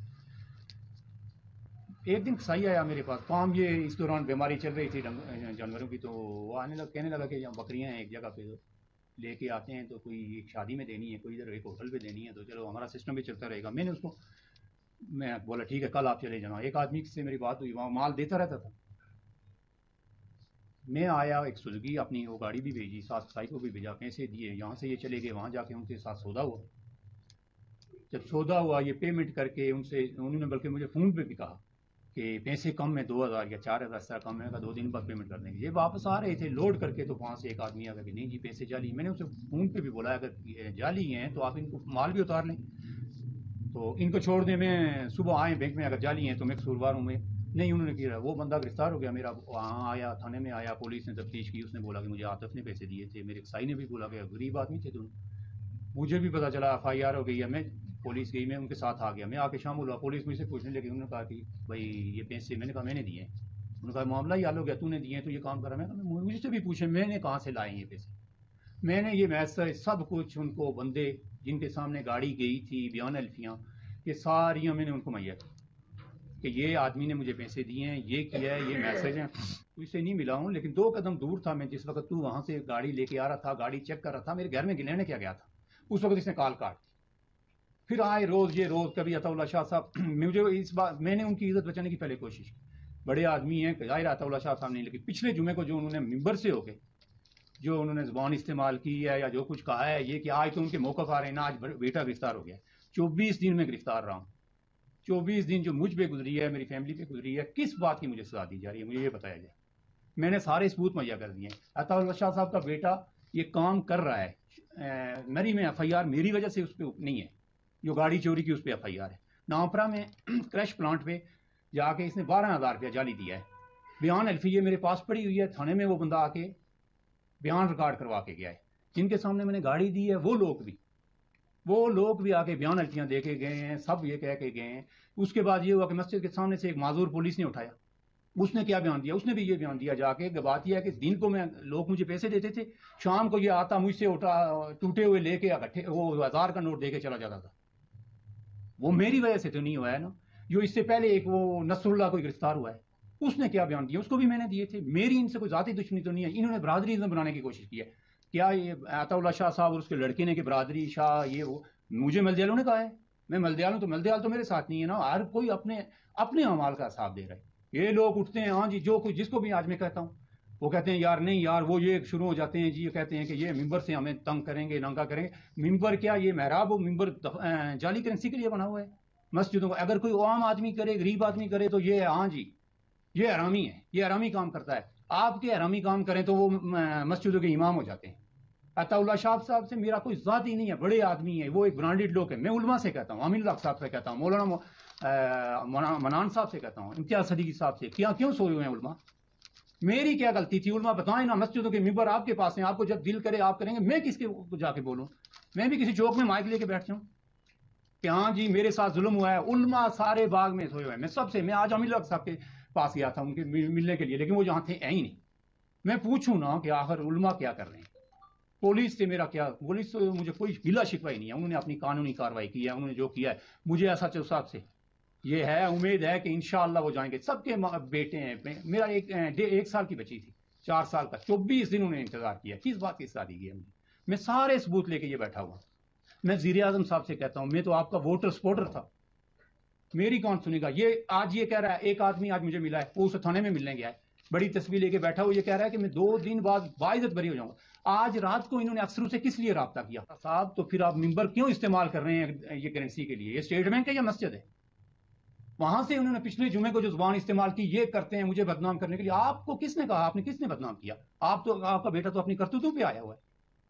میں نے کسی کو بدنام کیا؟ یہ ایف آئی آر جو ہے میری میں ایف آئی آر میں نے کٹوائی ہوئی ہے۔ اسلحے کا کام آپ کا کرتا ہے، بینکوں کے معاملہ انہوں نے ملوث کیا ہوا۔ یہ میرے پاس تصویریں بینکوں کی موریں لگی ہوئی ہیں پیسوں پہ۔ میرے پاس کون سا آلہ ہے؟ میں عام لوگ غریب لوگ ہیں، بینکوں کے پاس جائیں گے، پیسے لے کے وہ وہاں بیٹھا دیں گے۔ ہاں جی یہ جالی نکل کے اس کو اندر کرو۔ موریں بینک لگا کے دیتے ہیں، عملہ اندر سے۔ میرے پاس ایک آدمی بھی ہے، وہ آپ کو یہاں بھی گواہی دینے کے لیے تیار ہے۔ آج سے تقریباً میری گرفتاری کے دوران وہ بینک میں گیا۔ بینک میں سے جا کے اس نے پیمنٹ لیا، آ کے کسی دکاندار کو دی، اس کے پاس مشین لگی ہوئی تھی۔ تین ہزار روپیہ نکل آیا۔ یا پھر کوئی پوائنٹ بنایا آپ۔ یہاں جا کے غریب آدمی یہ چیک کروائے کہ یہ میرے پیسے ہیں۔ مجھے انہوں نے پیمنٹ کر دی، میں نے بیڈی میں جا کے کسی کو دے دیے میں اپنا کام کاروبار کر رہا ہوں۔ اگر مجھے پتا ہوتا، اگر میں یہ کام کرتا ہوتا تو آ کے میں یہ کہتا کہ نہ میں سائی کو جانتا ہوں، نہ میں ڈرائیور کو جانتا ہوں۔ میں نے آ کے سب سے پہلے پولیس کو کہا، میں جج کے سامنے بیان دیے کہ میں ان لوگوں کو جانتا ہوں۔ میں نے پیسے دیے۔ جج صاحب نے کہا کہ کیوں آپ یہ کہہ رہے ہیں؟ میں نے کہا، مجھ سے بھی پوچھے میں نے کہاں سے لائے میں نے اگر دو نمبر کام کرنے ہیں، یہی کرنسی کا کرنا ہے۔ تو پھر میں انکار کر دیتا نا، جیسے آج مفتی انکار ہے، جانتا ہی نہیں ہوں۔ نکالیں ریکارڈ آج، اس کا اور وہ آصف جس نے میرا سودا کروایا ان کی ریکارڈنگ سنیں۔ کیوں نہیں پولیس وہ نکالے نا ریکارڈ اس کا کس کے ساتھ؟ کیوں رابطہ ہے اس کے ساتھ؟ کیوں کر رہا ہے اس کے ساتھ رابطہ؟ مفتی اپنی کرتوتوں کی وجہ سے پھنسا ہوا۔ اور یہ کہہ رہا، آج بھی وہاں تھانے سے ہو کہ اس نے کہا ہے کہ میں بری ہو جاؤں گا، ایک سو انہتر میں فارغ ہو جاؤں گا۔ جی میں نے کیا ہی کچھ نہیں ہے۔ ضمانت سے پہلے یہاں میں بیٹھا ہوا تھا، ایک آدمی نے اس کو فون کیا، اس نے ابھی اس کی منسوخ نہیں ہوئی تھی۔ اس نے کہا کہ ہاں جی میری ضمانت تو ہو جائے گی۔ میں تو بری ہو جاؤں گا تو باعزت بری ہو رہا ہوں۔ ان کے سورسز یہ اوپر سے ہو کے دباؤ ڈلوا رہے ہیں۔ خدا کی قسم کر کے کہتا ہوں، اگر اس کو ایسی کوئی حرکت کی، میں یہ آئی ڈی کارڈ جا کے وزیر اعظم کو واپس کروں گا۔ مجھے ریاست کا آئی ڈی کارڈ بھی نہیں چاہیے اور میں کسی چوک میں لڑ جاؤں۔ اس سے بہتر ہے وہ۔ اگر اتنی بڑی بگڑتی اتنی بڑی اس کی انسلٹ ہوتی ہے کسی انسان کی جو کیا ہی نہیں ہے۔ میرے خلاف جا کے تھانے میں چیک کرے آج تک اگر کوئی میرے خلاف ایک ذرا بھی کوئی ایف آئی آر کوئی کرمنل کوئی ریکارڈ ہو، سب لوگ آپ مجھے جانتے ہیں۔ جانتے ہیں زائد بھائی۔ چھوٹے بھائی ہیں، میرے سامنے اس آدمی آ کے اخباریں شروع کی تھی یہ تو بچہ تھا اس وقت۔ کوئی کرمنل ریکارڈ پولیس سے پوچھنے، کسی سے یہاں لوگ بیٹھے ہوئے کہ میں نے کوئی ایسی کرتوت کی ہے کرے کچھ کوئی ایسا لیکن یہ میں کہتا ہوں بریگیڈ کمانڈر باغ سے، وزیر اعظم سے، جس کا میں ووٹر سپورٹر کہ یہ میری صدر سے۔ ان لوگوں کو، ان لوگ مجھے یہ نہیں کہ یہ پھنس جائے میں یہ کہتا ہوں کہ آپ چین تک جائیں۔ کہاں سے شروع ہوا ہے؟ باغ کے تاجر ہیں، ایک ہزار روپیہ لے کے کوئی آتا ہے، یہاں زلیل ہوتا ہے، پولیس پکڑ کے لے گئی ہے۔ اس سے پہلے تین چار ایف آئی آر لوگ ضمانتیں کرواتے ہیں، کہتے ہیں، وہ خدا کے لیے، میں تو یہاں تک آ گیا۔ یار، کوئی تو یہاں آ کے نہیں بیٹھ سکتا، یا آپ تو کہہ سکتا نا۔ یہ میری آواز آپ اوپر تک پہنچائیں۔ میں آخری بار یہ کہہ رہا ہوں، خدا کی قسم، اگر کسی چوک میں میں الٹا لٹک جاؤں، اگر میرے خلاف انہوں نے کچھ اس طرح کی باتیں کی۔ میں ایس ایچ او صاحب سے، میں بالکل کہتا ہوں، بڑا تہذیب والا، بڑے مذہب آدمی مارر بہت تہذیب والے لوگ ہیں یہ۔ مارر وسیم، یہ قیدی آس گئے بیٹھے ہوتے ہیں، وہ آئے تو میں اس وسیم کو کچھ کہوں، کیونکہ بد زبانی نہیں کرتا کسی کے ساتھ، بڑی تہذیب کے ساتھ۔ تفتیش اپنی جگہ ہے، میں یہ کہوں کہ آج پولیس مجھے پکڑ کے لے آئی، بالکل نہیں کہوں گا، کیونکہ پولیس نے بھی کلیئر ہونا تھا کہ ہاں جی پولیس نے مجھے پکڑا تو دو بیگنا بچے۔ تو میں آج کہتا ہوں کہ ہاں جی میں بیگنا ہوں، اس کو پکڑا ہوا ہے، کیوں اس کو؟ کل ایسا نہ ہو کہ یہ کیس میرے خلاف آ جائے۔ یہ الٹا کر دیں کہ یہ ہو جائے کہ یہ دباؤ، یہ جو مفتی کہہ رہے ہیں نا کہ ہمارے افسر ہیں اوپر سے دباؤ ڈالیں گے، ایسا کرائیں گے، یہ کرائیں گے کریں گے۔ رات کو بھی افسروں سے یہ رابطے میں تھے۔ تو میں آپ سے آخر میں یہی بس یہ کہتا ہوں، میرے پاس جو ثبوت ہیں، بیان ہیں، یہ ساری یہ ہیں میسج ہیں، سب کچھ میرے پاس کارڈ موجود ہے۔ جو لوگ تھانے میں بیان دے کے آئے ہیں، انہی کے خلاف دے کے آئے نا۔ میرے خلاف اگر کوئی جاتا ہے، چوبیس دن میں پولیس نے میرے سے کیا نکالا ہے؟ چوبیس دن میں نے نکالے میں نے ایک چیلا کاٹا ہوا ہے۔ تو میں وہاں بیٹھے یہی رب سے دعا کر رہا تھا کہ اللہ کرے کہ کل کوئی اور غریب نہ پھنس جائے یہاں۔ جعلی کرنسی اگر دی ہے تو آپ نے دیا عطا اللہ شاہ صاحب مجھے یہ بتائیں، پچیس لاکھ روپے ان کے بیٹے نے ایک آدمی کو دیا۔ جعلی کرنسی کا دیا عطا اللہ شاہ صاحب نے اس کو جب چوتھے دن جا کے وہ ان کو پتہ چلا کہ جعلی کرنسی ہے۔ عطا اللہ شاہ صاحب نے اس کو پاس بٹھا دیا پکڑ کے۔ کرنسی لی، ان کو ارینج کر کے دیا پچیس لاکھ روپیہ۔ وہ میری وجہ سے ہوا ہے۔ میں تو یہاں سے ہی، میں بچہ آیا تھا اس وقت، جب یہاں تھے میں نے کاروبار شروع کیا تھا۔ اس کے بعد میں باہر چلا گیا۔ میں نے یہی کرنے ہوتے تو میرے خلاف بہت سارے ثبوت ہوتے۔ پولیس بھی کہتی کہ ہاں تو عادی تھا تو نے یہ کیا وہ کیا۔ میرا قصور مجھے بتایا جائے آپ صافی سب سے زیادہ مجھے جانتے ہیں۔ ممبر کو ذات کے لیے استعمال نہیں کرنا چاہیے۔ میں کہاں جا کے میں کس کو کہوں؟ میں واپس آؤں گا آپ کے پاس ہی آؤں گا۔ میں آپ کو ہی کہوں گا کہ خدا کے لیے بھیگنا ہو میرے ساتھ انصاف کریں آپ لوگ۔ آپ بتائیں لکھیں اداروں کے لیے لکھیں۔ میرا کوئی دشمنی نہیں ہے نہ یہ ساداتوں کا شاہوں کا مسئلہ ہے نہ یہ ملدیانوں کا مسئلہ ہے۔ یہ ہم دونوں کا مسئلہ تھا۔ عطا اللہ شاہ صاحب مجھے بلاتے، بلا کے کہتے، بیٹھو ادھر دونوں۔ میرا بھی کان پکڑتے، اس کا بھی پکڑتے۔ ہاں جی سچ نکالو۔ لیکن عطا اللہ شاہ صاحب نے ممبر سے ہو کے کہا، مجھے یہ ہو گیا، وہ ہو گیا صافیوں کو دھمکیاں۔ یہ ایسے لوگ ہیں۔ عطا اللہ شاہ صاحب، آپ کو کہنے سے پہلے سوچنا چاہیے تھا بیٹی آپ کے بھی اولادیں سب کی ہوتی ہیں۔ میرے بچے روئے نا۔ آج آپ کا دل کیا کہہ رہا ہوتا، آپ کا مفتی اندر ہے۔ میرے بھی والدین تھے، میرے بھی ماں باپ ہیں۔ میرے بھی بچے تھے۔ چوبیس دن بعد میں گیا ہوں۔ میں نے اپنے اوپر حرام کیا ہوا تھا سارا، کچھ کیا کہ میں نے نہ گوشت کھانا، نہ کچھ اس طرح، زندہ رہنے کے لیے تھوڑا بہت میں نے رکھا ہوا تھا۔ ساری پولیس مجھ سے، مجھے کہتی، سارا، میں نے ان سے جب کلیئر ہو گیا، پہلے پولیس نہیں ہے مول کا، جب کلیئر ہو گیا سارا کچھ، اس کے بعد ان کو بھی احساس تو ہو ہی جاتا ہے۔ باہر ہے وہ بھی بچوں والے ہیں۔ تو میں یہی اپیل کروں گا، میں خاص کر کے وزیر اعظم صاحب سے مجھے ہو سکے، میں میں یہ نہیں کہتا میں کیسے ان سے ملنا؟ میں یہ کہتا ہوں کہ وزیر اعظم صاحب، میں آپ سے اپیل کرتا ہوں کہ خدا رہا مجھے بلائیں، میرا سچ سنیں اور یہ بولیں آپ کے اداروں کو کہ میرے ساتھ انصاف کیا جائے۔ مجھے عطا اللہ صاحب صاحب سے کوئی دشمنی نہیں ہے، بڑے آدمی ہیں۔ ان کے بیٹے نے کیا ہے؟ یہ چین تک جائیں۔ اس نے گھر میں اگر لگائی ہے یا کسی سے لیے اس کو بتانا چاہیے کہ میں نے یہ میرے پاس بھی غلطی سے آ گئے میری کوئی ذاتی دشمنی تو ہے نہیں کہ اس کو پھانسی دو یا فلانا دو۔ میں یہ کہتا ہوں کہ میں نے یہ کام نہیں کیا ہے۔ میں ابھی آپ کے ساتھ چلتا ہوں، مسجد میں انہی کے پاس بیٹھتا ہوں۔ میں ادھر جا کے قرآن پہ ہیلپ کر کے کہتا ہوں، انہی کے ممبر پہ جا کے میں ہیلپ کر کے کہتا ہوں کہ مجھے ایک آنا اگر اللہ مجھے اپنی جوانی سے معذور کر دے، اگر میں نے یہ پیسے گاڑی کے نہیں لیے ہیں اس کے علاوہ اگر میرے پاس کچھ ہے تو بس، اور میرے پاس کوئی لفظ نہیں ہے، میں قرآن پہ کہنے کے لیے تیار میں نے پولیس کو بھی کہا، یہاں فیصلہ کریں۔ لیکن پولیس کا ظاہر اپنا ایک طریقہ کار ہوتا ہے، انہوں نے قرآن کی بات نہیں سنی، ان کا تفتیش کا اپنا طریقہ کار ہے، ان پہ، اس سے، ان سے میرا کوئی گلا شکا نہیں لیکن یہ کہتا ہوں، آخری ٹائم بھی میں کہتا ہوں کہ عطا اللہ شاہ صاحب کے پاس ابھی چلتا ہوں۔ میں جا کے ان کو کہوں گا کہ قرآن لے آئے، میں باوضو بیٹھا ہوں، ابھی جمعہ پڑھ کے آیا ہوں کہ آپ کا بیٹا خریدے۔ پیسے آصف دے۔ میں یہ نہیں کہتا ہوں، دونوں نے مجھے دیے۔ یہ اکٹھے بیٹھے ہوئے تھے پیمنٹ لے کے گئے ہیں، مجھے پیمنٹ کی واپس آ گئے۔ باغ ہے، کوئی میں نے گاڑی جیب میں ڈالنے کی چیز نہیں، جہاں سے گزرے ہیں، باغ کے اندر لوگ میرے پاس موجود ہیں، جو ورک میں گاڑی کا کام کیا ہے، وہ ہیں۔ پورے باغ میں گھومتا رہا، باغ میں لوگوں نے نہیں دیکھا کیا؟ یہ ہے کہ سٹام سٹام میرے پاس نہیں ہے نان کسٹم گاڑی تھی ٹھیک ہے کہتے رہے بعد میں ان کو کیا سوچا؟ نہیں کیا انہوں نے چوری لین دین کا واردار تھی میرے پاس پولیس رپورٹ تھی عدالت تھی میں نے واردار کی وہ پیپر میں نے ان کو دے دیے۔ نہیں ہے۔ بینک کی کہہ رہے ہیں اسٹیٹ بینک نے اس کو کیا ہے نا۔ بینک کی جو مور لگی ہوئی ہے نا وہ اس کے اوپر جو چندی لگتی ہے وہ بتا رہے ہیں میرے خیال یہ دیکھیں نا میں آپ کو ثبوت دے رہا ہوں کہ دیکھیں بینک کی مور لگی ہے۔ میں آپ کو دے رہا ہوں یہ دیکھیں نا۔ دیکھیں نا میں ٹھیک ہے سر۔ میں نے قسم سے یہ بات کی۔ اس عطا اللہ شاہ صاحب کے لیے میں نے قسم سے یہ بات نہیں ہے۔ آپ نے دفاع کرنا ہے تو مجھے بلائیں۔ مسجد کو لے کے کیوں بیٹھے ہوئے ہیں آپ؟ میں کون سے چوک میں جا کے کھڑا ہو جاؤں؟ میں بھی مائک لگا لوں؟ کوئی دنیا کی چیز نہیں لکھی ہوئی ہے اس پہ۔ یہ مورے لگی ہوئی ہیں کوئی کینسل نہیں ہے۔ بینک کا عملہ اس میں ملوث ہے؟ میں یہی کہتا ہوں یہ چین پکڑے میں تھانے میں تھا۔ میں بندہ میرا رشتہ دار ہے۔ تھانے میں تھا ایک بندہ وہاں گیا اس نے جا کے یہ بولا ہے کہ میں نے پرسوں ایک آدمی کی پیمنٹ کرنی تھی۔ یہ دکاندار ہے ادھر بازار میں ہے۔ تو چھیاسٹھ ہزار۔ تو میں لے کے اس کے پاس پہنچا ہوں۔ انہوں نے پیسے مشین میں چیک کیے ہیں یہ بازار میں ہے۔ بڑا مرکزی آدمی ہے یہاں کا تاجر ہے بڑا آدمی ہے۔ تو تین ہزار روپیہ نکل آیا۔ میں لے کے بینک میں گیا۔ تو یار یہ میرے پاس ہے۔ تو بینک والے کہتے ہیں وہ لے کے گئے ہو ابھی کیا ہے؟ ایک پولیس والا میں صلاحوں کے پیچھے تھا۔ اس نے مجھے جا کے یہ بولا کہ میں درکوٹ کا ہوں۔ کل میں نے اے ٹی ایم سے پیسے نکالے۔ اور قدرت یہ ہے کہ میرے پاس سیٹ تھی، میں لے کے دکاندار کے پاس گیا، اس نے کہا یہ جالی ہے۔ میں نے کہا، میں نے ابھی نکالا ہے۔ یہ پیسے، یہ ٹائم دیکھ، پانچ منٹ ہوئے وہ لے کے میں بینک میں گیا پولیس والا۔ بینک میں گیا تو انہوں نے چینج کر کے دے دیے کہ یہ پولیس والا ہے۔ مجھے یہ بتایا جائے، یا کوئی یہ کوئی سینٹر بناؤ، یا کوئی جگہ بنی ہو، تو میں قصوروار ہوں کہ ہاں جی اس نے چیک نہیں کروایا اسی طرح نکل گیا۔ میں بینک میں جاتا اتنے پیسے لے کے، اس سے پہلے ہوا نہیں تھا میرے ساتھ۔ میں لے کے جاتا بینک مجھے وہاں اسی وقت بٹھا دیتا۔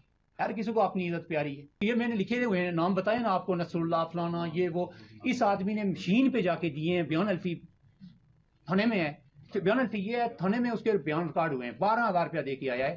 اس اور لوگوں نے بھی کیے کیوں نہیں ہوئے؟ مجھے کیا پتا کیوں نہیں ہوئے؟ میں تو، مجھے تو انہوں نے کر دیا، میں نے میرا جب ان کے پاس آیا، مجھے تو کر دیا انہوں نے۔ یہ تو ان سے پوچھیں کہ کیوں نہیں ہوا ہے؟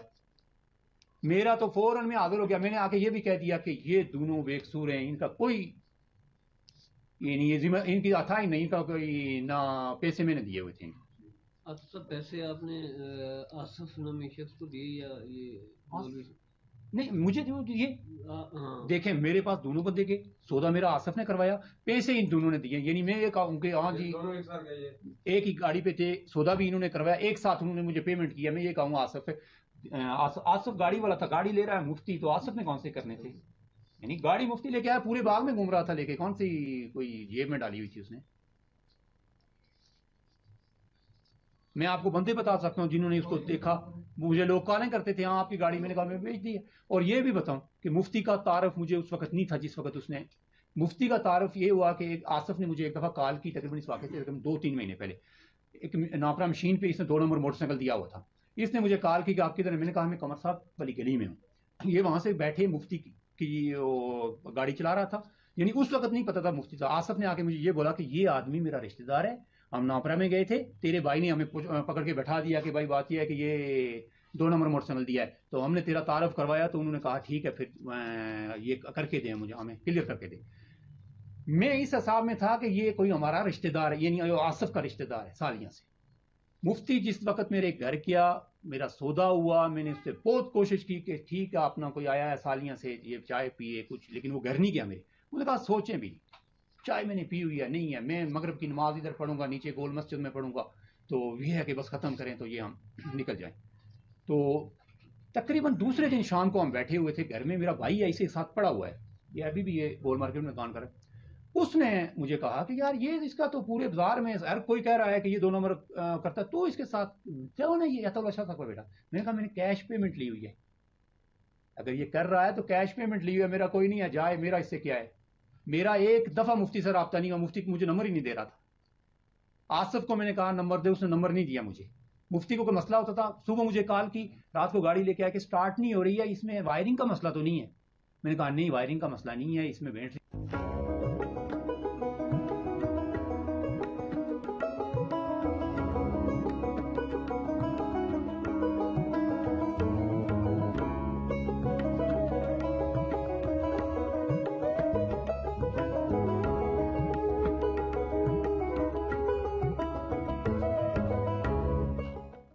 بجلی بلات پر ناجائز ٹیکسیز اور آٹا سبسڈی کے حوالہ سے عوامی حقوق تحریک کے زیر اہتمام راولہ کوٹ میں ایک احتجاجی ریلی نکالی گئی۔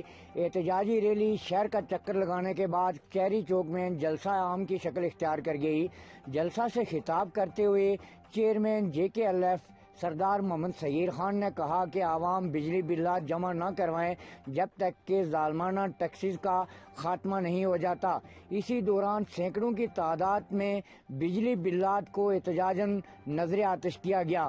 انہوں نے کہا کہ حکومتی ایوانوں میں موجود لوگوں سے مرات واپس لی جائیں، گریڈ سترہ سے اوپر تنخواہ پر کٹ لگایا جائے اور جج صاحبان کی جو خلاف آئین مرات ہیں، انہیں بھی واپس لیا جائے۔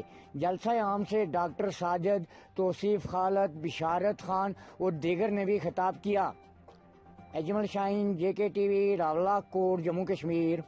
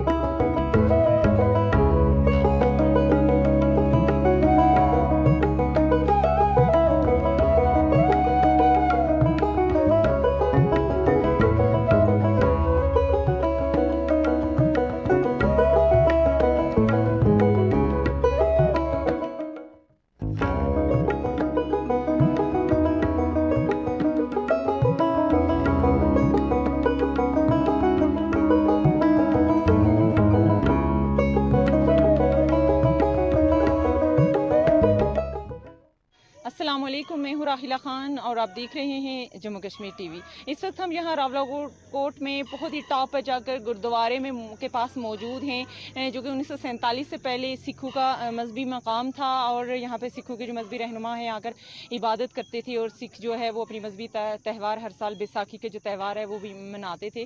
لیکن اب چونکہ یہ انیس سو سینتالیس سے پہلے کی بات ہے اور اس گردوارے کو وزٹ کرنے کے لیے مختلف سیاح یہاں پر آتے ہیں، ہم نے یہاں پہ دیکھا ہے کہ سیاح کی، سیاحوں کی کافی تعداد موجود ہے کیونکہ یہ ایسا، ایسی جگہ ہے ٹاپ پر جا کر یہاں پہ بہت ہی اس کی جو آب و ہوا ہے وہ بہت ہی خوشگوار ہے اور صاف ستھرا ماحول ہے۔ لیکن ہم نے یہ دیکھا کہ یہ جو چھوٹا سا ٹورسٹ پوائنٹ بنا لیا گیا ہے، لیکن اس میں کچھ سیٹنگ ارینجمنٹ ٹورسٹ کے لیے ہے، لیکن گھاس بہت زیادہ اگا ہوا، بڑا بڑھ چکا ہے اور گندگی کے انتہائی ڈیر ہیں۔ یہاں پہ ہم ہم جو زائرین ہیں، ان سے سیاح ہیں، ان سے ہم جاننے کی کوشش کرتے ہیں کہ یہ جو گندگی ہے، اس کا ذمہ دار کون ہے۔ اس وقت ہمارے ساتھ موجود ہیں خالد محمود راولاکوٹ شہر سے ان کا تعلق ہے۔ یہاں پہ گردوارے میں جہاں ٹاپ پہ جا کر راولاکوٹ میں ایک چھوٹا سا پکنک پوائنٹ بھی بنایا گیا ہے ٹورسٹ کے لیے۔ یہاں پہ ہم نے دیکھا کہ انتہائی زیادہ کچرا ہے، گھاس بہت زیادہ بڑا ہوا ہے، اس کو کاٹا نہیں گیا ہے۔ یہاں پہ کچھ بیٹھنے کے لیے جگہیں بنائی گئی ہیں۔ سٹنگ ارینجمنٹ ہے لوگوں کے لیے کچھ تھوڑا بہت۔ یہاں پہ لوگ بڑے شوق سے آتے ہیں، لیکن یہ انتہائی جو گندگی ہے، ان سے ہم جانتے ہیں کہ کون ذمہ دار ہے اس کا۔ اور یہ یہ جو گردوارے کا یہ جو پوائنٹ ہے، یہ کون سی ڈپارٹمنٹ کے انڈر ہے؟ یہ جو ہے نا پی ڈی اے کے انڈر ہے۔ اور پی ڈی اے کا بدقسمتی یہ ہے کہ پی ڈی اے کا جو چیئرمین ہوتا ہے، وہ جو بھی گورنمنٹ آتی ہے، اس کا نالائق ترین آدمی اس کو لگا لیتے ہیں پی ڈی اے کا چیئرمین وہ اس علاقے کی ڈیولپمنٹ کرنے کے بجائے وہ اپنی پراپرٹی بناتے ہیں کرپشن کرتے ہیں۔ اب آپ دیکھیں کہ کتنی خوبصورت جگہ سے ہے، یہاں سے وہ کھڑک سے لے کے کراٹ بریک یہ دمنی سب علاقہ نظر آتا ہے۔ اور یہ خاص کر یہ کتنی خوبصورت جگہ ہے۔ لیکن گندگی کے ڈھیر ہیں گھاس ہے، یہ جگہ ہموار نہیں ہے۔ تو اس کا میں سمجھتا ہوں کہ اس کی، اس کے ذمہ دار صرف اور صرف جو ہے نا وہ پی ڈی اے ہے۔ چونکہ یہ پی ڈی اے کے اس کو گلشن شودا کہتے ہیں، یہ نیچے جو اسکیم ہے، یہ بھی پی ڈی اے کے انڈر ہے۔ اور اس کی ذمہ دار پی ڈی اے ہے۔ پھر گورنمنٹ ہے جو جو بھی گورنمنٹ آتی ہے، وہ ایک سیاسی آدمی کو لگا لیتی ہے۔ تو ہمارا موقف ہم نے کئی دفعہ کمشنر صاحب سے ملاقات کی۔ ڈی سی صاحب سے ملے، آئی جی ڈی آئی جی صاحب سے ملے کہ اس کا چیئرمین جو ہے وہ ایک انجینئر ٹائپ کا ہونا چاہیے انجینئر ہونا چاہیے اور سرکاری ملازم ہونا چاہیے تاکہ وہ اس کو دل جمی سے اس میں اس میں محنت کرے، اس کو بنائے۔ جو سیاسی لوگ ہیں، ان کو پانچ سال پورا کرنے ہوتے تو وہ آتے ہیں کرپشن کر کے وہ چلے جاتے ہیں اور یہ اس علاقے کی پھر یہ حالت ہوتی ہے۔ تو یہ دیکھیں کتنا خوبصورت علاقہ ہے۔ لیکن دیکھیں کتنی گندگی بڑی اور ٹورسٹ سے بھی میری، مجھے شکوہ یہ ہے کہ جو یہاں آتے ہیں، یہ گند تو انہوں نے پھیلایا ہوا ہے۔ تو کم از کم یہ کریں کہ جو ٹورسٹ یہاں آتے ہیں، وہ بھی اگر اپنی ذمہ داری محسوس کر کے اس گند کو یہاں نہ پھینکیں، کوئی شاپ پر رکھ لیں، اس میں ڈال دیں، کہیں دور جگہ پھینک دیں، تو یہ میرا خیال ہے کہ گورنمنٹ ہے پی ڈی اے ہے اور ٹورسٹ بھی اس کی، اس گندگی کے ذمہ دار ہے یہاں پہ جو فکسڈ ڈسٹ بن وغیرہ ہوتے ہیں بڑے سائز کے وہ بھی نہیں لگے ہوئے ظاہری بات ہے کہ اگر وہ ہوں تو دیکھے لگے وہ لگے ہوئے وہ الٹا کیا ہوا انہوں نے وہ لگے وہ بھی وہ میرا خیال ہے بھرا ہوا ہے کوئی صاف نہیں نہ کرتا خالی نہیں کرتا۔ جب اس میں یہ گرا ہوا ہے یہ دیکھیں سب گرے ہوئے۔ ڈسٹ بن بھی ہمارے میں سچی بات ہوں ہمارے لوگوں کو ابھی تک پتہ ہی نہیں ہے ڈسٹ بن کیا ہے یہ فٹ پاتھ کیا ہے یہ کچرا کدھر پھینکنا ہے کدھر نہیں پھینکنا ہے۔ ابھی ہم بہت پیچھے ہیں۔ سچی بات ہے، اب جس کو عقل ہے، دماغ ہے، وہ دیکھتا ہے کہ اللہ پاک نے کتنی خوبصورت جگہ ہمارے نصیب میں لکھی ہے اور ہم جان بوجھ کر اس کو خراب کر رہے ہیں۔ جو گندگی کی گندگی ادھر پھیلا رہے ہیں، یہ کسی شاپر میں ڈالیں کہ دوسری جگہ پہ، مناسب جگہ پر پھینک دیں۔ لیکن ہمیں جہاں آتا ہے، سگریٹ ہے کھاتے پیتے ہیں، جو کچھ فروٹ ہے، وہ ایسے ہی پھینک دیتے ہیں۔ تو یہ ہماری ذمہ داری بھی ہے۔ کہ ہمیں چاہیے کہ ہم ان علاقوں کو خود صاف ستھرا رکھیں۔ یورپ میں دیکھیں آپ صاف ستھرا ہے وہاں کوئی سگریٹ نیچے نہیں پھینکتا۔ اسی طرح ہمارا ایران ہے ایران کا شہر جو اسفان ہے وہ دنیا کا خوبصورت ترین شہر ہے وہاں گندگی نہیں ہے۔ جاپان میں بحثیت قوم ہمیں تربیت کی ضرورت ہے۔ تربیت کی ضرورت ہے۔ ہمیں دیکھیں نا کہ جو کچھ ہم فروٹ کھا رہے ہیں وہ اگر شاپر میں ڈال دیں کہیں مناسب جگہ ہے اس میں پھینک دیں راستے میں نہ پھینکیں پارکوں میں نہ پھینکیں۔ لیکن وہ اس سے ہمیں ابھی بہت پیچھے ہیں۔ جی۔ جی۔ جی بہت شکریہ۔ السلام علیکم۔ یہاں جو ہے ہم یونیورسٹی آف پونچھ رولا کوٹ کے اسٹوڈنٹ ہیں اور مختلف جگہوں پر وزٹ کے لیے آتے ہیں۔ اس رولا کوٹ میں بنجوسا اور اس کے بعد یہ گرودوارہ بہت خوبصورت جگہ ہے۔ آزاد کشمیر میں جتنی جگہ بھی ہیں یہ خوبصورتی کے لحاظ سے بہت اپنی مثال آپ ہیں۔ لیکن ان میں سب سے بڑی کمی یہ جو ہے کہ اویئرنیس کی ہے۔ ہماری یہ جگہیں اگر صاف ہوں تو ان میں بہتر طریقے سے خوبصورتی کو اور بڑھایا جا سکتا ہے اور لوگوں کے ساتھ تعاون کیا جا سکتا ہے۔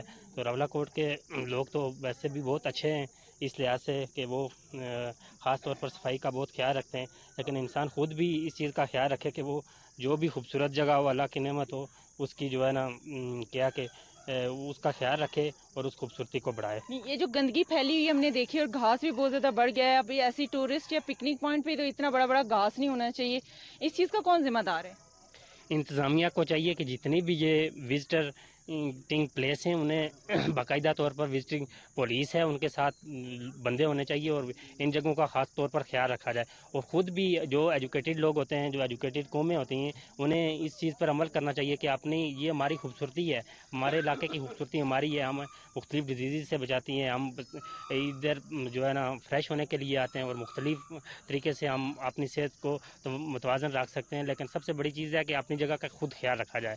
جتنی اویئرنیس پیدا ہوگی بندہ خود ٹھیک ہوگا، اسی طرح جو ہے نا آہستہ آہستہ ماحول بہتر ہوتا جائے گا اور انتظامیہ کو بھی چاہیے کہ اس لحاظ سے اویئرنیس پیدا کرے لوگوں میں کہ اپنی جو قدرتی خوبصورتی ہے، اسے خراب نہ کیا جائے اور کیا ہے کہ اس کو بہتر طریقے سے آپ وزٹنگ پلیس پہ جائیں، وہاں ٹریش کہنا ہے اور کوڑا کرکٹ پھیلائیں نا اور انہیں خاص طریقے سے جو جگہ ہے، مرتب کرنے کے لیے انہیں ادھر ڈالا جائے۔ جی ہم اس وقت ہمارے ساتھ ایک اور سیاح موجود ہیں۔ ان سے ہم جانتے ہیں کہ یہ جو گردوارہ پوائنٹ ہے، یہاں پہ انتہائی گند ہے، کچرا ہے، گھاس بھی بہت بڑا ہوا ہے۔ سمپل از دیٹ کہ بہت ہی خستہ علی کا شکار ہے روڈ بھی بہت ہی بری کنڈیشن میں ہے۔ ان سے ہم جانتے ہیں کہ کون اس چیز کا ذمہ دار ہے۔ انتظامیہ اور حکومت اس چیز کی ذمہ دار ہے۔ ان کو چاہیے کہ یہاں پہ دور دور دراز سے سیاح آتے ہیں۔ تو ان کو چاہیے کہ صفائی کا خیال رکھیں۔ خاص اور روڈوں کا بھی کوئی حال نہیں ہے خراب ہیں روڈیں انسامیہ کو اور حکومت کو چاہیے کہ اس پہ کام کیا جائے۔ جی جیسے کہ آپ کو ہم نے راولا کوٹ گردوارے کا وزٹ کروایا جو کہ بہت ہی ٹاپ پر موجود ہے۔ یہاں پر سیاح کافی تعداد میں موجود تھے۔ ان سے ہم نے جانے کی کوشش کی۔ یہاں پہ جو سڑکوں کا بھی انفراسٹرکچر کافی خراب ہے۔ گردوارے کی طرف جو روڈ لیڈ کر رہی ہے وہ بھی بہت ہی بری کنڈیشن میں ہے۔ اور یہاں پہ جو یہ پکنک پوائنٹ بنایا ہے، اس پہ بھی بہت زیادہ کچرا اور گند پھیلا ہوا ہے۔ زائرین سیاحوں سے ہم نے جاننے کی کوشش کی۔ ان کا یہی کہنا ہے کہ اس چیز کی ذمہ دار انتظامیہ ہے اور چیک اینڈ بیلنس اگر یہاں پہ انتظامیہ کی طرف سے ہو اور جو سیاح آتے ہیں ان میں بھی شعور کی کمی ہے کہ کچرا وغیرہ یوں اسی طرح سے پھینک دیتے ہیں۔ ان میں شعور ہونا چاہیے کہ کچرے کو کم از کم سمیٹ کے رکھیں اور جو ڈسٹ بن ہیں ان میں ڈال دیں۔ اور اس طرح سے دونوں طرف سے جو ہے وہ کوتاہی ہے، سیاحوں کی طرف سے اور انتظامیہ کی طرف سے بھی چیک اینڈ بیلنس نہیں ہے اور انتظامیہ کو چاہیے کہ یہ اس طرح کی جو خوبصورت جگہ ہیں، ان پر توجہ دیں اور سیاحوں کے لیے اس چیز کو مزید پرکشش بنائیں۔ اسی کے ساتھ ہی راہیلہ خان کو دیجیے اجازت، اللہ نگبان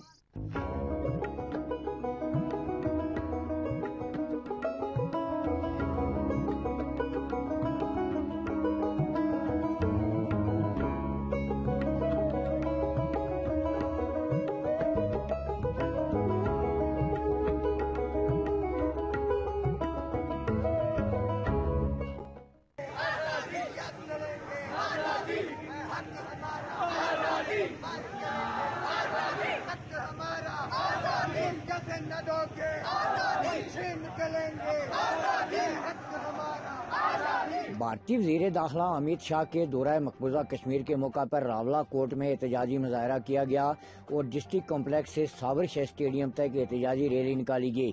ریلی میں سول سوسائٹی، طلباء و طالبات، صحافیوں اور ضلعی انتظامیہ نے شرکت کی۔ احتجاجی مظاہرین نے کتبے اور بینرز اٹھا رکھے تھے اور بھارت کے خلاف شدید نعرہ بازی کر رہے تھے۔ مظاہرین نے مودی اور امت شاہ کا پتلا نظر آتش کیا۔ اس موقع پر مقررین نے اقوام متحدہ سے مطالبہ کیا کہ اقوام متحدہ مقبوضہ کشمیر میں بھارتی مظالم بند کروائے اور کشمیریوں کو حق خود ارادیت دلانے میں کردار ادا کرے۔ بھارتی سرماؤں کی ناپاک قدم دھرتی کشمیر پر عوام کسی صورت قبول نہیں کریں گے۔ ان کا کہنا تھا کہ بھارت نے مقبوضہ کشمیر کو جیل میں تبدیل کر رکھا ہے۔ ریاست کی ڈیموگرافی تبدیل کی جا رہی ہے۔ ہم سرزمین کشمیر پر بھارتی غاسپوں کے ناپاک قدم ڈالنے کی شدید مذمت کرتے ہیں۔ آخر میں مقبوضہ کشمیر کی آزادی کے لیے دعا کی گئی۔ Ajmal Shaheen, J K T V Rawalakot Jammu Kashmir. جو اجتماع اس اقدام کی مذمت کرتا ہے اور بھرپور مطالبہ کرتا ہے کہ اقوام عالم اقوام عالم اور خصوصاً اقوام متحدہ اس میں اپنا کردار ادا کریں اور مقبوضہ کشمیر کی خصوصی حیثیت کو بحال کیا جائے۔ آج کا یہ اجتماع یاسین ملک صاحب کی گرفتاری، ان کے خلاف ہونے والے ٹرائل اور دی جانے والی سزا کی مذمت کرتا ہے۔ ان کی اور دیگر حریت رہنماؤں اور سیاسی اسیران کی رہائی کا مطالبہ کرتا ہے۔ یہ اجتماع اس چیز کا مطالبہ کرتا ہے کہ مقبوضہ کشمیر کے اندر جو اسے سب جیل میں تبدیل کرنے کی جو کاروائیاں کی گئی ہیں، جو میڈیا بلیک آؤٹ ہے، اسے ختم کیا جائے۔ بین الاقوامی مبصرین کو وہاں تک رسائی دی جائے۔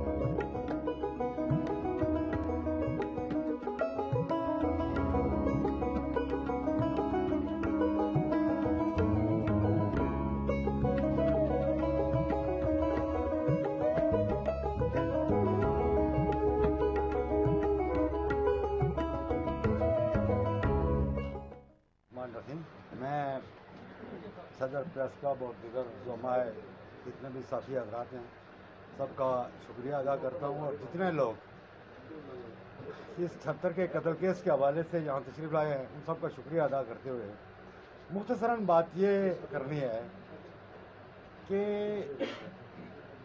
اس قتل کو ہوئے ایک ماہ ہونے والا ہے۔ ایک ماہ ہو چکا ہے۔ قتل ہونے کے تیسرے دن جو ہے نا، میری خود پولیس سے بات ہوئی تھی، تو انہوں نے کہا جی کہ ہم نوے پرسینٹ اس کیس کے تمام شواہد ہم نے کلیکٹ کر لیے ہیں اور ہم کسی نتیجے پہ پہنچ چکے ہیں۔ اور اس سلسلے میں انہوں نے مختلف لوگوں کی گرفتاریاں بھی کی، پھر مختلف طرح کی گرفتاریاں عمل میں آتی رہی، تفتیش بھی ہوتی رہی، تشدد بھی ہوتا رہا، ساری چیزیں ہو کر پھر کچھ لوگوں کو کوئی وجہ بتائے بغیر یا کوئی ایسی چیز بتائے بغیر ان کو چھوڑ بھی دیا جاتا رہا۔ پہلے یہ کہتے کہ ہم اٹھا پولیس یہ کہتی کہ ہم ان کو اس لیے اٹھا رہے ہیں کہ ہمیں ان کے بارے میں شواہد مل چکے ہیں۔ اس لیے ہم نے ان کو گرفتار کر لیا ہے۔ اب یہ کوئی بات سمجھ میں نہیں آتی ہے کہ وجہ بتائے بغیر ہی ان کو چھوڑ دیا جاتا ہے اور پھر یہ کہتے ہیں جی کہ ان سے کوئی ہمیں تفتیش مطلوب نہیں ہے۔ تو یہ کرتے کرتے ایک ماہ ہو گیا ہے۔ ہم نے ہمارے جو چھتر کے لوگ ہیں، یہ تین مرتبہ، چار مرتبہ تقریباً پولیس سے آ کر جو ہے نا مسلسل مل چکے ہیں۔ ملنے کے بعد انہوں نے یہی کہا کہ ہمیں ایک ہفتے کا ٹائم دے دیں، پانچ دن کا ٹائم دے دیں، دس دن کا ٹائم دے دیں، تو ہم جو ہے اس معاملے کو جو ہے نا یکسو کر لیں گے۔ لیکن اب ایک ماہ ہو چکا ہے، نہ تو ورثا میں سے کسی کو کوئی بات بتائی جاتی ہے، نہ گاؤں کے کسی سمجھدار آدمی کو، یا کوئی ایسی بات بتائیں کہ بھائی ہمیں اس کیس کی سمجھ ہی نہیں آ رہی ہے۔ تو ہم چلو اس پہ کہیں کہ ہم چلو کوئی مزید کو چارہ جائی کریں۔ پولیس سے جب ملتے ہیں تو وہ کہتے ہیں جی کہ ہم جو ہے نا اس کے نتیجے پہ پہنچ چکے ہیں۔ اور جب ان کے نتائج کی طرف دیکھتے ہیں تو ہاں، وہ جن لوگوں کو، جن لوگوں پر شبہ ہوتا ہے، ان کے بھروسہ میں سے، وہ دیکھتے ہیں کہ وہ چھوٹ چکے ہوتے ہیں۔ اس طریقے سے جو ہے، وہ کیس کی ہمیں کسی بات کی سمجھ نہیں آ رہی ہے۔ ہمارا جو مطالبہ یہ ہے کہ پولیس جو ہے، وہ ورثا کے ساتھ ملے اور جو گاؤں کی کمیٹی ہے، اس کے ساتھ اگر پولیس ملتی ہے، ہمیں واضح ڈیڈ لائن ٹائم دے دے۔ نہیں تو ہمیں اندھیرے میں مت رکھیں۔ ہمارا جو اس وقت پریس کانفرنس کرنے کا بنیادی مقصد ہے کہ ہمیں اندھیرے میں رکھا جا رہا ہے۔ بھائی آپ جو ہے نا، ایک سال کے بعد آپ کہہ دیں گے جی کہ ہمیں نتائج، کوئی شواہد ہی نہیں ملے ہیں۔ دو ماہ کے بعد اگر آپ کی جو اس وقت انویسٹیگیشن ٹیم ہے، وہ اگر یہ سمجھتی ہے کہ وہ اس کیس کیس کو ٹریس نہیں کر سکتی ہے، تو وہ دستبردار ہو جائے۔ تاکہ بھروسہ کوئی مزید کسی جگہ پہ ہم چلو آئی جی کے پاس جائیں، ڈی آئی جی کے پاس جائیں، کسی جگہ پہ جا کر چارہ جوئی کریں۔ لیکن جب آپ کے نتائج ہیں تو پھر کسی نہ کسی کم از کم باقی تو نہیں ہے۔ بھائی ایک آدمی ہے، اس کا ایک ہی بیٹا ہے، آپ اس کو کسی طرح سے سیٹسفائڈ بھی کریں۔ پہلے یہ کہنے لگے جی کہ یہ جو ہے مطلب ہے پستول جو ہے، فلاں آدمی نے دیا تو آپ ایسا نہ تو ایسا کہیں۔ بھائی، یہ کیا بات ہے یار؟ جس آدمی نے پستول دیا ہے، اسی کی جو ہے نا آپ ریکوری لکھیں۔ جو اس طرح سے بہت ساری چیزیں جو ہے نا ڈاؤٹ فل کر رہی ہے پولیس اور کچھ اس طرح کے شواہد مل رہے ہیں کہ پولیس جو ہے نا، اس کے اندر جو ہے وہ سنجیدہ رویہ اپنا نہیں رہی ہے۔ اس لیے ہمارا موقف یہ ہے کہ پولیس اگر کسی نتیجے پہ پہنچ ہوئی ہے تو اس کے لڑکے کے والد کو جو ہے وہ اطمینان دلائے۔ اگر وہ نہیں پہنچتی ہے یا پولیس کے بس میں نہیں ہے کہ وہ اس قتل کو ٹریس اگر نہیں کر سکتی ہے تو وہ دس بردار ہو جائے تاکہ لوگ جو ہے نا بھروسہ یا گاؤں کے لوگ مزید کسی جگہ پہ پراپر جا کر پراپر کسی فورم پہ جا کر انویسٹیگیشن کر رہے بسم اللہ الرحمن الرحیم۔ حفیظ صاحب نے میرا خیال ہے بات تو پوری کر لی ہے، کوئی بات اس میں باقی نہیں ہے۔ تو میں اتنی بات کہنا چاہوں گا کہ ہم جو ہے وہ حق اور انصاف کے تقاضے پورے کرتے ہوئے اس کیس کو پایا تکمیل تک پہنچتے ہوئے دیکھنا چاہتے ہیں۔ اس سلسلے میں جو ہے وہ ہمارے بھائی کو ابھی تک جو ہے، یوسف صاحب کو ابھی تک اس کیس کی پیش رفت پر کوئی اعتماد نہیں ہے، جس طرح کہ انہوں نے پہلے بھی جو ہے اس کا اظہار کیا۔ تو ہم یہ کہتے ہیں کہ پولیس جو ہے وہ وہ خود بتائے، لوگوں کو پوچھے بغیر۔ وہ کہتے ہیں، آپ کلو بتائیں۔ رات کو اگر ایک واقعہ ہوا اور پھر آج کا دور جو یہ میڈیا کا اتنا ایسا دور کہ جس میں کوئی چیز چھپتی ہے ہی نہیں۔ تو یہ پولیس کی ذمہ داری بنتی ہے کہ وہ اس قتل کو ٹریس کرے، وہ حقائق کو سامنے لائے، کون لوگ ہیں، وہ کتنے لوگ ہیں کن لوگوں نے یہ کام کیا ہے، وہ اس کو سامنے لائے۔ تو ہم جو ہے وہ اس آواز کو بلند کریں گے۔ ہماری آواز جو ہے وہ کمزور ہے، طاقتور ہے، یہ ہم نہیں جانتے، لیکن ہم اس آواز کو اٹھائیں گے۔ اور اگر آپ ہماری آواز یہاں کمزور رہی، تو ہم اس کو مضبوط کرنے کے لیے ہم اس کو ہائر فورم تک بھی جو پہنچائیں گے۔ ہم ظفر آباد جا کر بھی جو بیٹھ سکتے ہیں۔ تو ہم جو ہے وہ اس، اپنے بھائی کے ساتھ اس میں انصاف کے تقاضے پورے کروانے کے لیے ہم ان کے ساتھ کھڑے ہیں، مکمل طور پر ساتھ کھڑے ہیں۔ جو جو ہمیں یہ کہیں گے، ہم ان کا ساتھ دیں گے، بھرپور دیں گے۔ اور یہ نہیں ہوگا کہ یہ پولیس کے پاس جائے گا۔ پولیس کے پاس جو ہے یوسف خان نہیں جائے گا، بلکہ پولیس جو ہے وہ آ کر ان کو بتائے گی کہ ہم کس کس نتیجے پر پہنچ چکے ہیں تاکہ جو اس آدمی کو تشفی ہو سکے۔ ہماری آواز جو ہے وہ کمزور ہے، طاقتور ہے، یہ ہم نہیں جانتے، لیکن ہم اس آواز کو اٹھائیں گے۔ اور اگر آپ ہماری آواز یہاں کمزور رہی، تو ہم اس کو مضبوط کرنے کے لیے ہم اس کو ہائر فورم تک بھی جو پہنچائیں گے۔ ہم ظفر آباد جا کر بھی جو بیٹھ سکتے ہیں۔ تو ہم جو ہے وہ اس اپنے بھائی کے ساتھ اس میں انصاف کے تقاضے پورے کروانے کے لیے ہم ان کے ساتھ کھڑے ہیں۔ مکمل طور پر ساتھ کھڑے ہیں۔ جو جو ہمیں یہ کہیں گے، ہم ان کا ساتھ دیں گے، بھرپور دیں گے۔ اور یہ نہیں ہوگا کہ یہ پولیس کے پاس جائے گا۔ پولیس کے پاس جو ہے یوسف خان نہیں جائے گا، بلکہ پولیس جو ہے وہ آ کر ان کو بتائے گی۔ کہ ہم کس کس نتیجے پر پہنچ چکے ہیں تاکہ جو اس آدمی کو تشفی ہو سکے۔ جی یوسف صاحب آپ کیا کہیں گے رسول الکریم۔ اما بعد فناؤز باللہ من الشیطان الرجیم بسم اللہ الرحمن الرحیم۔ مدر سامین السلام علیکم۔ جیسا کہ آپ سب کو معلوم ہے کہ میرا بیٹا تیئیس ستمبر رات کو فائر کر کے قتل کر دیا گیا۔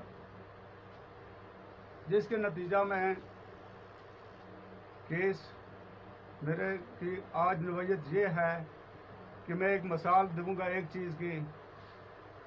چار پیک انہوں نے بنائے، چار پیک۔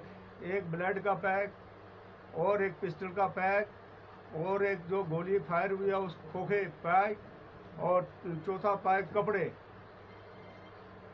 تیئیس تاریخ رات کو یہ واقعہ ہوا اور تیرہ تاریخ کو آج دسویں مہینے کی اکتوبر اکتوبر تیرہ تاریخ کو وہ لاہور روانہ کیا گیا۔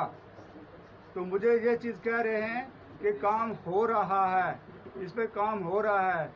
تیئیس ستمبر رات کو یہ واقعہ ہوا اور آج یعنی کہ یہ تیرہ تاریخ جو گزری ہے، اس تیرہ تاریخ کو وہ پیک لاہور بھیجے گئے ہیں لیبارٹری میں۔ باقی ان کے پاس پوسٹ مارٹم کی رپورٹیں موجود ہیں۔ سی ڈی آر ان کے پاس موجود ہے اور جیو فینسی ان کے پاس رپورٹ وہ بھی آ چکی ہوئی ہے۔ وہ سب موجود ہونے کے باوجود بھی مجھے اس وقت تک کوئی یقین نہیں ہے کہ میرے سامنے کوئی ایسے حقائق آئے ہوں کہ جو ہے نا وہ میں جس پہ یقین کروں کہ میرا کیس ٹریس ہو رہا ہے۔ میری طرف سے میرا کیس بالکل زیرو ہے۔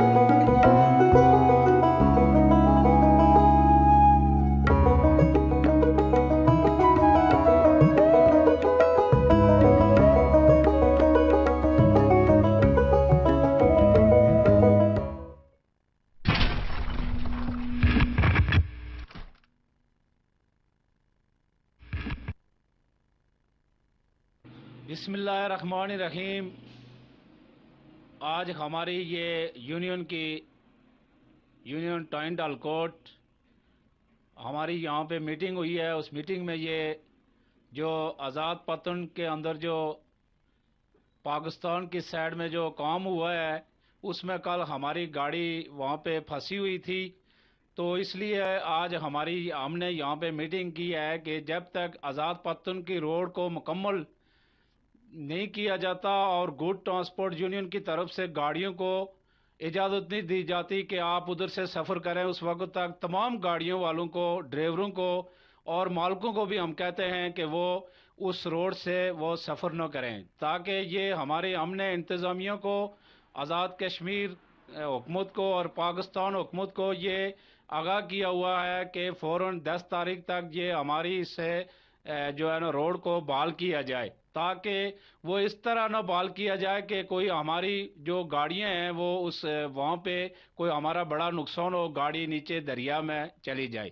اس لیے میں بار بار یہ تمام ہمارے جو گاڑیاں جو ڈرائیور حضرات ہیں اور جو ہمارے مالکان ہیں، ہم ان کو یہ یونین کی طرف سے آزاد جو ہے نا راولا کوٹ یونین اور ٹوئنٹ کوٹ کی یونین، ہم ان کو یہ آگاہ کر رہے ہیں کہ وہ آزاد پتن کے اوپر جو ہے نا سفر نہ کریں یہاں جو ہے نا وہ جب تک وہاں پہ کام نہیں شروع ہوتا، کوئی ہمارے ان کے ساتھ معاملات طے نہیں ہوتے، اس وقت تک اگر وہ چھوٹیاں گاڑیاں بھی گزارتے ہیں، تو ہماری جو بڑی بڑیاں جو، بڑی جو گاڑیاں ہیں، وہ وہاں پہ سفر نہ کریں۔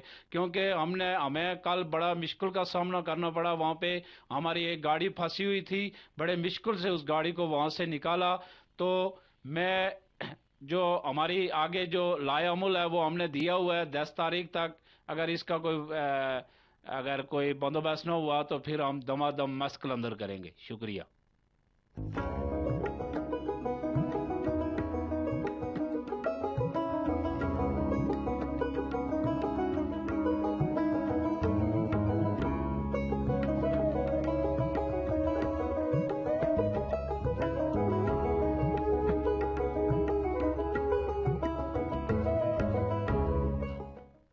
منشا آباد میں سابق اسپیکر اسمبلی انیس سو پینسٹھ کی جنگ کے ہیرو کرنل محمد منشا خان کی برسی انتہائی عقیدت و احترام سے منائی گئی۔ سائیں عبد الکریم کے زیر نگرانی برسی کی تقریب سے خطاب کرتے ہوئے رہنما جموں کشمیر پیپلز پارٹی سردار فاروق ارشد، سردار عبد القیوم مدنی، ارشاد شاہ، سردار خالد اکبر نے کہا کہ قومی ہیروز کو خراج تحسین پیش کرتے ہیں کہ کرنل محمد منشا خان اس دھرتی کے عظیم سپوت جنہوں نے اپنے کردار، گفتار و مجاہدانہ رول ہمارے لیے رول ماڈل ہونا چاہیے۔ ایسے لوگ صدیوں بعد پیدا ہوتے ہیں، جو قومیں اپنے اسلاف کو بھول جاتی ہیں، وہ تاریخ میں گمنام ہو جاتی ہیں۔ آج ہم نے اپنے ہیروز کے کارناموں کو فراموش کر دیا۔ اسی لیے مجاہد پیدا ہونے کے بجائے یہاں بزدلی نے ڈیرے ڈال دیے اور نوجوان نسل بیرا روی کا شکار نظر آتی ہے۔ آپ نے فوجی اور سیاسی دونوں معاذوں پر بے پناہ قربانیاں دی۔ ضرورت بہادری، دیانتداری، اصول پسندی کی وہ مثالیں قائم کی جن کو کبھی فراموش نہیں کیا جا سکتا۔ انیس سو پینسٹھ کی جنگ کے ہیرو اور تحریک آزادی کے عظیم مجاہد کو یرکان کے حملے میں جانبر نہ ہو سکے اور سترہ اکتوبر انیس سو نوے کو اپنے مالک کے حقیقی سے جا ملے۔ ان کی آخری آرام گاہ قلعہ کو انہی کی وجہ سے قلعہ منشاباد کے نام سے جانا جاتا ہے۔ امجد فاروق، جے کے ٹی وی تراڑ کھل جموں کشمیر۔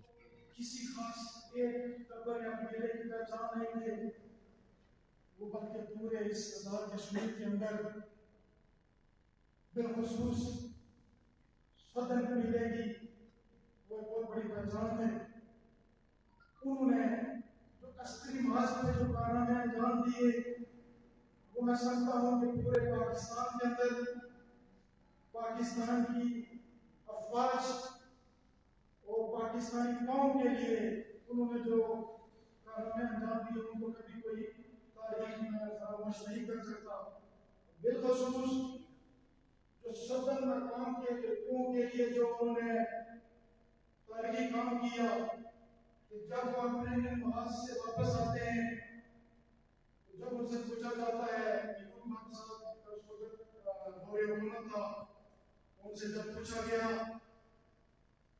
کہ منشا خان آپ کو کیا چاہیے، چونکہ اس وقت سوزوں پہ بہن لگا ہوا تھا کہ یہ مشن آفیسر میجر سے اوپر میجر سے اوپر نہیں جا سکتے سب سے پہلے ہم نے اپنی قوم کی بات کی میں یہ کرنٹ کی ہوئی آپ نے اس کو نہ کرو وہ سو وقت ختم کر دی آج جتنے بھی ہمارے اس ضلع کے فورس ٹائم انڈر بیٹھے ہوئے ہیں میں سمجھتا ہوں لوگوں نے یہ مرحوم اور ان کی نظر ایک شعر کروں گا کہ اپنے لیے سبھی چیزیں اس جہاں میں ایسے دلی کا منصب اور کے کام آنا، وہ ایسی شخصیات تھی وہ ایسے لوگ تھے ہمارے جو بڑے اس خطے کے نام پر لوگ کہ ان کی مثال آج ہمارے سامنے کہیں بھی موجود نہیں ہے۔ تو میں اس کے بعد دعوت دوں گا۔ شاہ صاحب چونکہ اس محفل کی صدارت بھی کرتے ہیں غالباً انہیں مجبوری ہے، واپس پراٹھا بھی جانا ہے۔ تو ان سے گزارش کروں گا، محترم شاہ صاحب شاہ صاحب تشریف لائیں اور اپنے خیالات شفتين اللهم لك تصل الصدق على النبي الذين آمنوا صلوا عليه وسلموا تسليما اللهم صل على سيدنا مولانا محمد وعلى آله سلام عليك يا آپ کی محبت ہے جس حاضر سمجھا ہے میں آپ کی شکر گزار ہوں اسٹیج پر بیٹھے ہوئے جو ہمارے گرام ابھی میشروں مقررین نے بات کی ہے خصوصاً عبدالقیوم صاحب جو نبی میں واقع آج زندگی بات کرنا بھی تو آپ نہیں کروں گا لیکن بالکل بولنے کا پروگرام ہے کہ میری صحت خراب تھی لیکن جب مجھے آ کے یہاں پتہ چلا کہ اس آزاد کشمیر قوم کے ہیرو کے نام پر یہ محفل منعقد کی گئی ہے سردار منشا خان تو میرا جی بھول گیا میرا دل بھول گیا اور میں خوش اتنا خوش ہوا کہ الحمدللہ کہ آج ہم نے اس ہیرو کے نام پر یہ محفل رکھی ہے کہ جس کا اس پورے آزاد کشمیر پر بہت بڑا اثر کسی ایک بچے نہیں، کسی ایک خاندان، کسی ایک مکتب فکر پر احسان نہیں ہے، بلکہ پورے اس آزاد کشمیر پر ان کا احسان ہے محسن ہے بہت میں سوچ رہا تھا تاریخ کے حوالے سے میری بات پر وجہ سسٹم میں پھر ٹیچر اور بات کو دہرانے کا آتی دو چار باتیں میری اسی طرح سے سن لینا کسی کی اگر وہ گزار کوئی باتیں کر رہا ہوں اگر اس کو اچھی نہ لگے تو معاف کر دینا ہر دور میں اللہ تعالیٰ نے حضور صلی اللہ علیہ کائنات کی امت کے اندر جن میں مشکل کے وقت پریشانی کے وقت انقلاب کے وقت قوم کی اور اسلام کی بات کو سنا ہر مسجد ہر مطلب ہر مسجد میں لوگ پیدا ہوتے ہیں یہی کہتا ہے اسلام کی بات پے کا سر ان کے سر پر انعام رکھا گیا وہاں پر۔ اور آج جو آپ نے یہ انیشیٹو لیا بہت عرصے کے بعد۔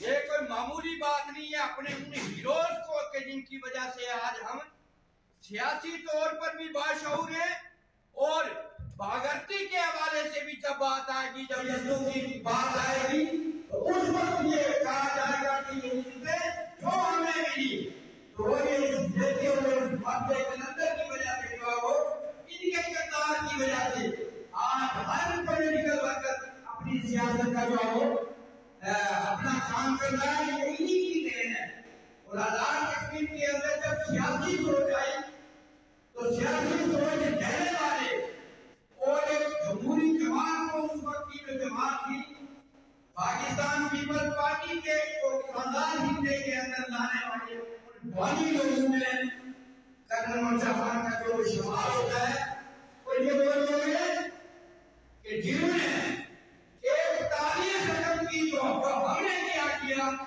گوانی ہم نے جو اسرائیل سے میراث پائی تھی سرائیہ سے زمین پر آسمان نے ہم کو دے مارا آج آزاد ہندے کے اندر ان ہیروز کو، ان کو کتابوں سے نکال دیا گیا۔ ان کی ہسٹری کو مٹا دیا گیا۔ سید خادم حسین شاہ جو سینتالیس کے لیے ہوتے، وہ لوگ کنر خان عمر خان، فتح محمد قریشی، اب ان کو کوئی نہیں جانتا تعلیم میں، اس لیے کہ وہ سلیبس پڑھایا ہی نہیں گیا۔ اگر وہ پڑھایا جاتا، تو آج کون بائیزت میں ہوتی پاک ایسے تو اگر ان کی تعلیم بتائی جاتی۔ کہ کیسے یہ ہو جائے؟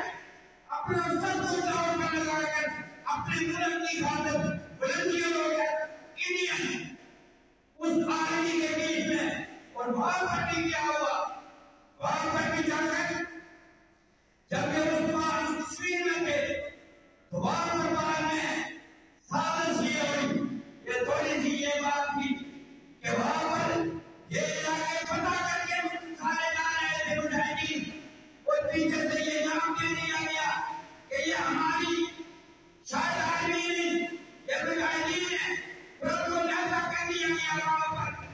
اور وہاں پر قدم بچہ ہاتھ کے ساتھ پادے سے پیدل اگر تو کھانے بنانے صفائی مقبول ہوتے ہیں، یہ لوگ وہاں پر اپنی مددگار کے تحت اور زندگیوں کے تحریک کو جو ہمارا بھی بڑا کہ جو تحریک، جو سن تحریک میں ہمارے بزرگوں نے جب تحریک کو اسلام سے جو واپس ایمان کیا جا رہا تھا کہ ہمیں وہ اسلام واپس دو جب آپ کے بزرگوں نے وہ اسلام آباد دینے سے انکار کیا تھا وہ خود خریدا گیا تھا تو پھر ایک جنگ مسلط ہوئی ایک پی سی اس کو لایا گیا ہے اور کام بلا کر مارچ کا شروع کر دیے گئے پانچ ہزار سے زائد لوگ نے جنگ شہادت نوش کیا اور وہاں پر سردار شیر کے خان بھارت والے انہوں نے ان کے ساتھ سارے لوگوں نے ان سازشوں کے کا ڈٹ کر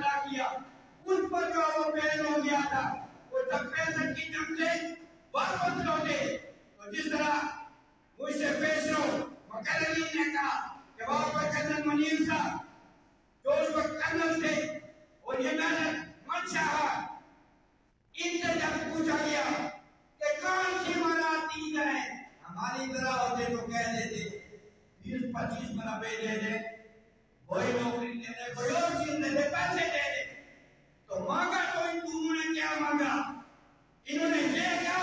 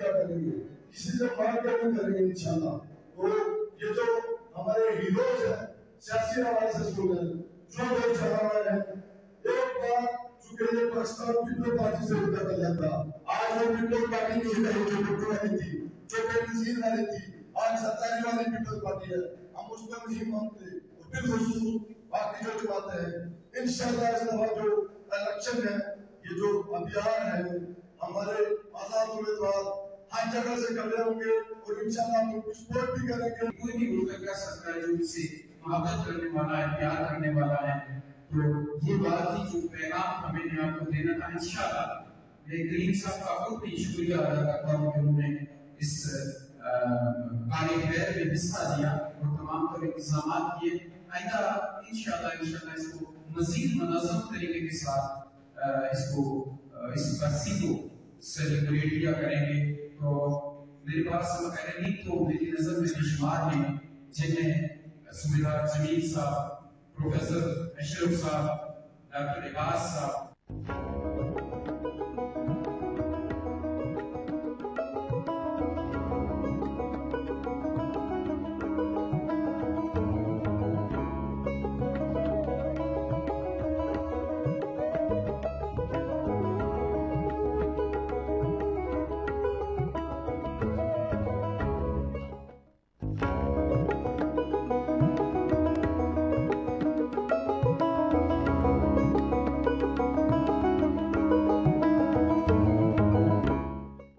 بسڑی عید میلاد النبی صلی اللہ علیہ وآلہ وسلم انتہائی جوش و جذبے سے منائی گئی۔ لبیک لبیک یا رسول اللہ کے نعروں سے بسڑی کے دور و دیوار گونج اٹھے۔ رات کو بسڑی شہر کی مسجد میں چراغاں کیا گیا۔ چراغاں بھی ایک خوبصورت منظر پیش کر رہا تھا۔ مرکزی مسجد عثمانیہ بسڑی سے صبح ایک بڑا جلوس نکلا، جو جامع مسجد چار بیار پہنچا۔ یہاں پر ہمارے ساتھ منتظمین میں سے حافظ ظہیر صاحب موجود ہیں، ان سے بات کرتے ہیں آج کے دن کی مناسبت سے وہ ہمارے ساتھ کیا شیئر کرنا چاہتے ہیں۔ اور جب لحد کے اندر اتارا گیا، جب ظاہری دنیا سے پردہ فرمایا میرے نبی نے لحد میں اتارا گیا، تو میرے نبی اپنے نبو کو حرکت دے رہے ہیں۔ جب سنا گیا تو یہی صدائیں آ رہی تھی اللہ ہمارا بھی حبل امتی۔ تو اعتراض کرنے والے اعتراض کرتے رہتے ہیں، اور کچھ بھی حدیث کے اندر دیکھا جائے تو سینکڑوں حدیث میلاد کے حوالے سے آپ کو ملیں گی۔ ایک حدیث کا مفہوم مختصر وقت میں میں آپ کے سامنے رکھنا چاہوں گا۔ مسلم میں بھی یہ روایت موجود ہے، نسائی میں بھی موجود ہے، اور سارے صحابہ بیٹھے ہوئے ہیں۔ جی، کسی عنوان کی بات چل رہی ہے۔ میرے حضور نے فرمایا کہ صحابہ کیا کر رہے ہو؟ عرض کی، یا رسول اللہ، کہ آپ کی صورت میں رب نے ہمارے اوپر جو کرم کیا ہے، ہم اس کا شکر ادا کرنے کے لیے بیٹھے ہوئے ہیں۔ اب یہی تو میلاد ہے۔ تو ہم، میں اپنی گفتگو کا اختتام اس شعر کے ساتھ کرنا چاہوں گا کہ نثار تیری چہل پہل بے ہزاروں عید ربیع الاول سوائی بلیس کے جہاں میں سبھی کا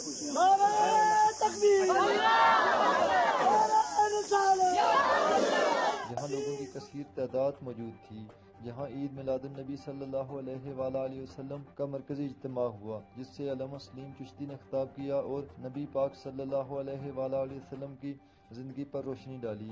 حافظ محمد ظہیر نے خوبصورت انداز میں نبی پاک صلی اللہ علیہ وآلہ وسلم پر عقیدت کے پھول نچھاور کیے۔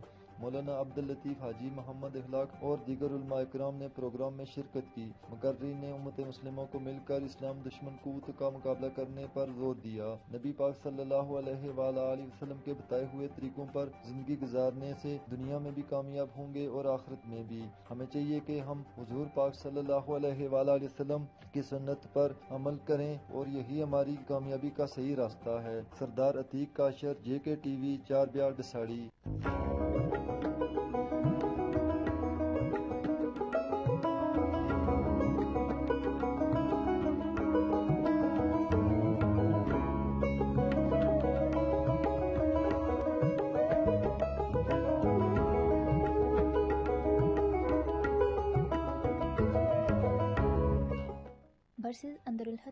الاقوامی شعبہ تعلیمات عامہ کے زیر اہتمام تین روزہ بین الاقوامی یکجہتی کے عنوان سے ایک تقریب کا انعقاد کیا گیا۔ پروگرام کی افتتاحیہ تقریب کے آخر میں جموں و Kashmir liberation front Europe zone کے جنرل سیکرٹری ظہیر ظاہر نے باحثیت مہمان ریاست جموں و کشمیر کی جغرافیائی جبری تقسیم، قبضے، تاریخ، ثقافت اور کشمیریوں کی خواہشات کے مطابق ممکنہ حل موجودہ مزاحمتی تحریک اور مزاحمتی کرداروں پر تفصیلی روشنی ڈالی۔ جموں و کشمیر کے طویل عرصے سے زیر التوا مسئلہ ہندوستان اور پاکستان کے درمیان کوئی علاقائی تنازع نہیں، بلکہ یہ آزادی اور خود مختاری کی ایک طویل اور بھرپور تاریخ رکھنے والی قوم کے حق کے خود ارادیت آزادی مستقبل کا سوال ہے۔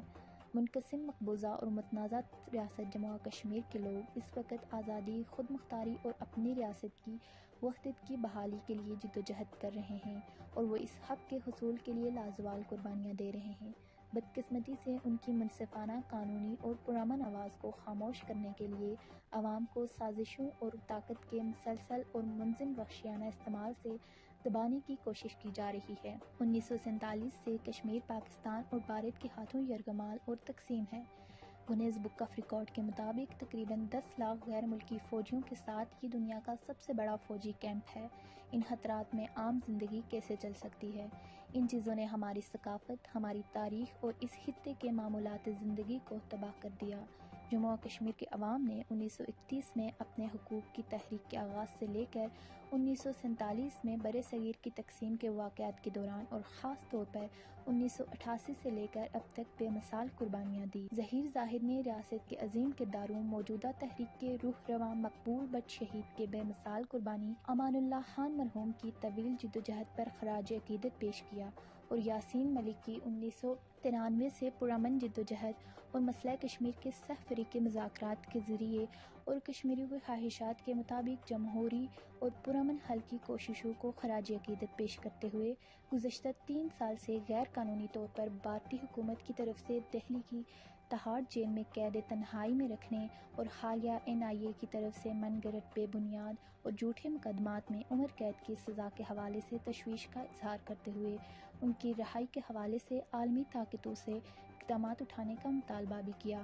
قابض افواج کے ہاتھوں انسانی حقوق کی سنگین خلاف ورزیوں کی رپورٹیں عالمی سطح پر انسانی حقوق کی معروف تنظیمیں، جن میں دو ہزار سترہ سے اٹھارہ میں جنیوا میں اقوام متحدہ کی ہائی کمشنر برائے انسانی حقوق کا دفتر بھی شامل ہے۔ مہذب دنیا کی آنکھیں کھولنے کے لیے کافی ہیں۔ ماورائے عدالت قط پرامن مظاہرین پر اندھادھن فائرنگ اجتماعی قبریں لاپتہ افراد، بڑے پیمانے پر گرفتاریاں، تشدد، عصمت دری بلا جواز گھراؤ اور تلاشی کی کاروائیاں، تزلیل، عدالتی دہشت گردی کرفیو پابندیاں، اظہار رائے کی آزادی کا فقدان، جمع ہونے کی آزادی کا فقدان، میڈیا اور سوشل میڈیا پر پابندی وغیرہ، جموں و کشمیر کی قوم انسانی حقوق کی خلاف ورزیوں کی ایک طویل تاریخ رکھتی ہے۔ جموں و کشمیر کی قوم طاقت کے ذریعے منقسم اور محکوم ہے، اپنی قوم آزادی کے مقصد کے لیے دنیا کی توجہ اور حمایت کی اپیل اور منتظر ہے تقریب میں میکسیکو اور بلجیم کے نمائندوں نے بھی میکسیکو کی ثقافت اور بلجیم میں زبان کی موضوعات پر بات کی۔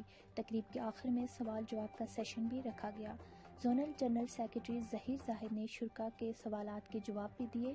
شرکا اور منتظمین کی طرف سے مسئلہ کشمیر میں بھرپور دلچسپی لی گئی۔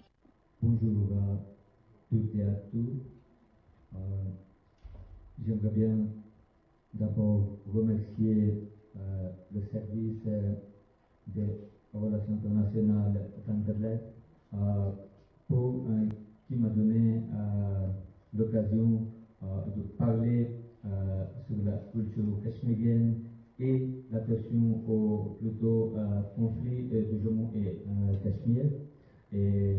Pour ne pas perdre de temps, je viendrai directement à l'introduction, puis la culture et puis euh, les cultures euh, culturelles. Euh, le Cachemire euh, est un État contesté euh, situé en Asie du Sud. C'est un État qui a une histoire de 6000 ans avec les plus hautes montagnes comme Kadou, la deuxième grande mon- montagne mondiale, et Nanga Parbat, le la quatrième, et des collines, des vallées vertes, euh, des plus grandes forêts et de nombreuses rivières couvrant une superficie totale de 84 471 000 carrés dans cinq euh, régions principales, avec une population de plus de 20 millions de personnes. Le Cachemire est toujours comme euh, le paradis sur terre et appelé la Suisse de l'Asie euh, pour sa beauté. Et ici, on montre euh, la, carte du, du Cachemire. Euh, Cachemire a des euh, frontières communes avec euh, la Chine, le Pakistan, l'Inde et euh, l'Afghanistan. Et euh, vous pouvez voir sur la carte aussi clairement. Et euh, quand on regarde l'histoire euh, de ce- cet État, c'est très surprenant.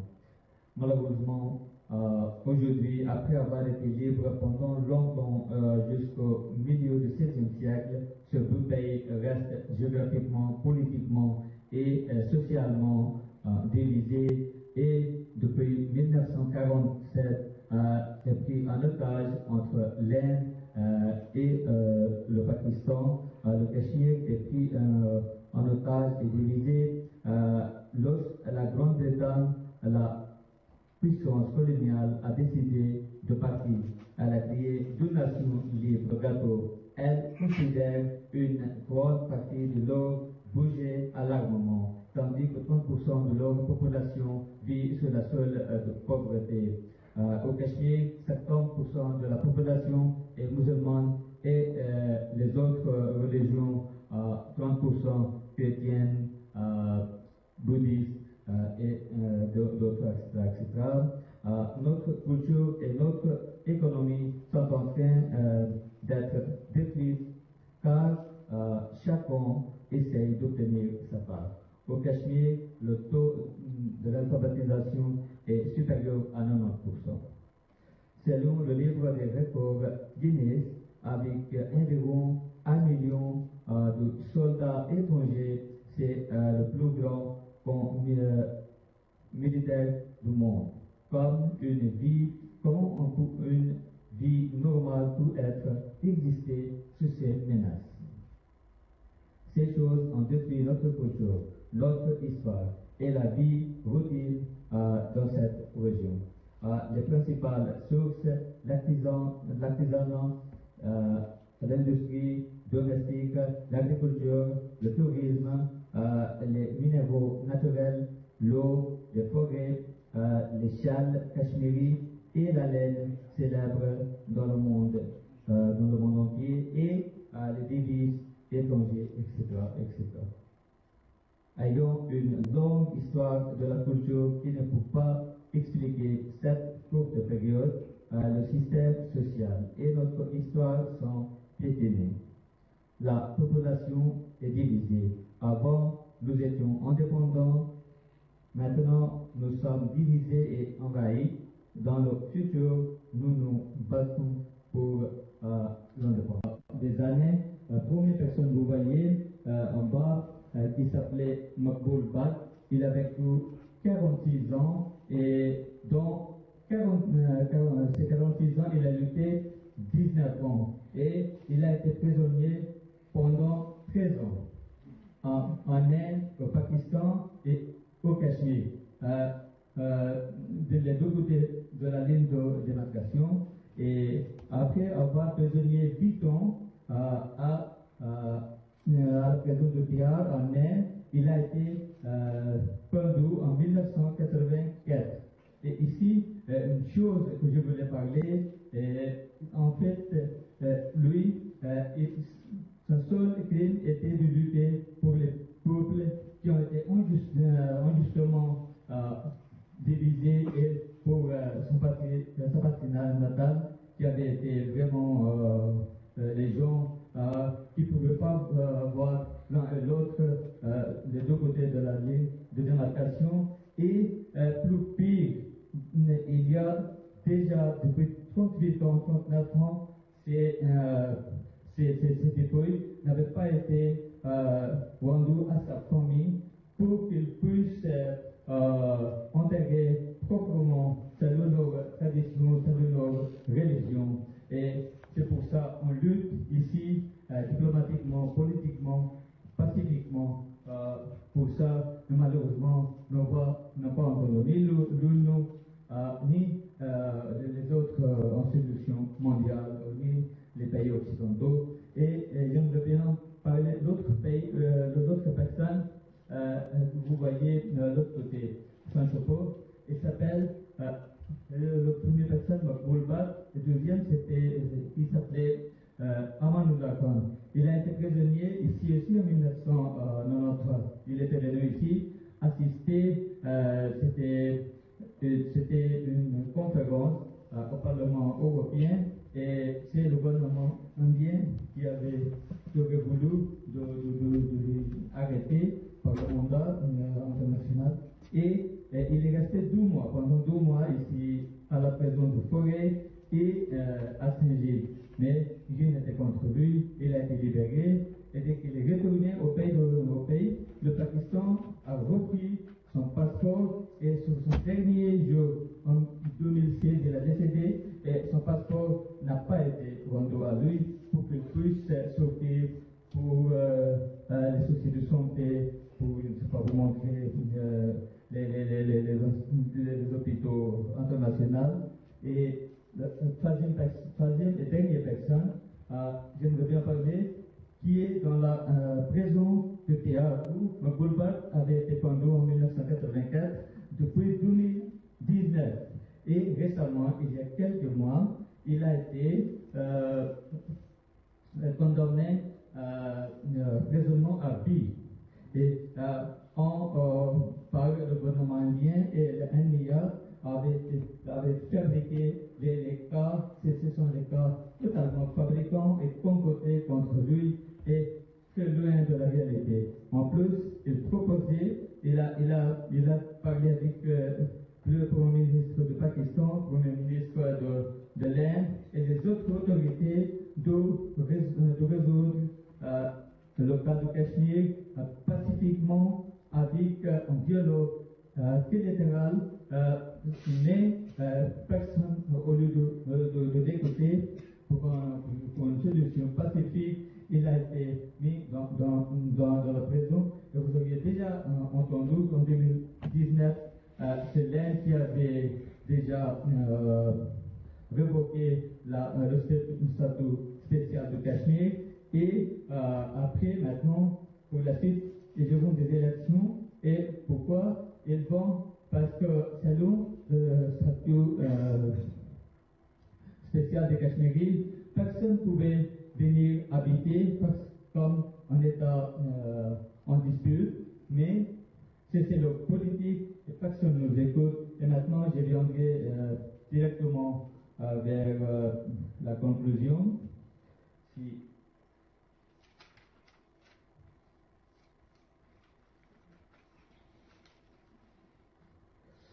Voilà. Euh, cette question en suspens depuis longtemps du Jammu Cachemire n'est pas un différent territorial entre l'Inde et le Pakistan.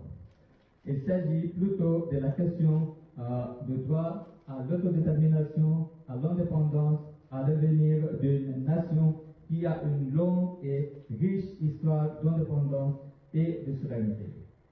Euh, les habitants de l'État contestés du Jammu Cachemire luttent actuellement pour la liberté, euh, la souveraineté et la vérification de leur terre natale. Ils font donc des sacrifices pour obtenir ce juste droit.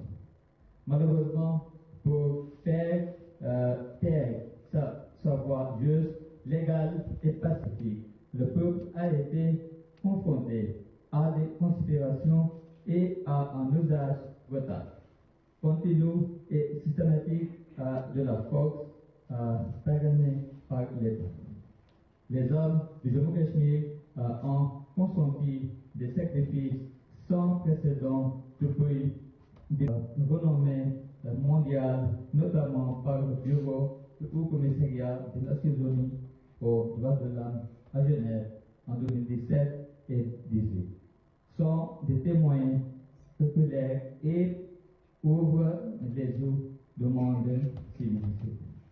Et euh, pour terminer, notre extrajudiciaire tire et vole sur les manifestants pacifiques, fausses communes, personnes disparues, arrestations à grande échelle, torture, viol en temps d'armes de guerre, problème, problème de déniveau, molestation, opération de bouclage et de feuilles injustifiées, humiliation, terrorisme, judiciaire, résist- euh, restriction, absence de, la- euh, de liberté d'expression, absence de liberté de parole, absence de liberté de réunion, bâillement des médias, bâillement des médias sociaux et etc., etc., sont des violences euh, courantes à des droits de l'homme euh, signalées par les groupes de défense des droits de l'homme. Et je termine, la nation de Jammu Cachemire, divisée et soumise par la force, fait appel et attend l'attention et le soutien du monde pour sa cause, libération nationale. Vive la Belgique, vive le Cachemire, je vous remercie.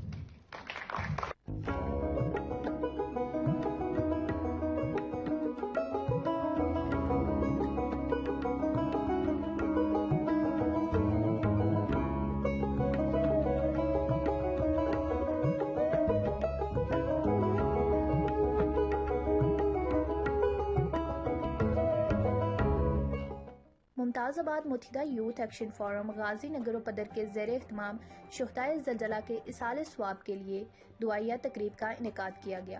Haveli forward کوہٹا سے ہمارے نمائندے جمیل صدیقی کی report کے مطابق تقریب کی صدارت چودھری مکھن دین بٹی نے کی اور چیف گسٹ قاسم خان راٹھور نے خصوصی خطاب کیا۔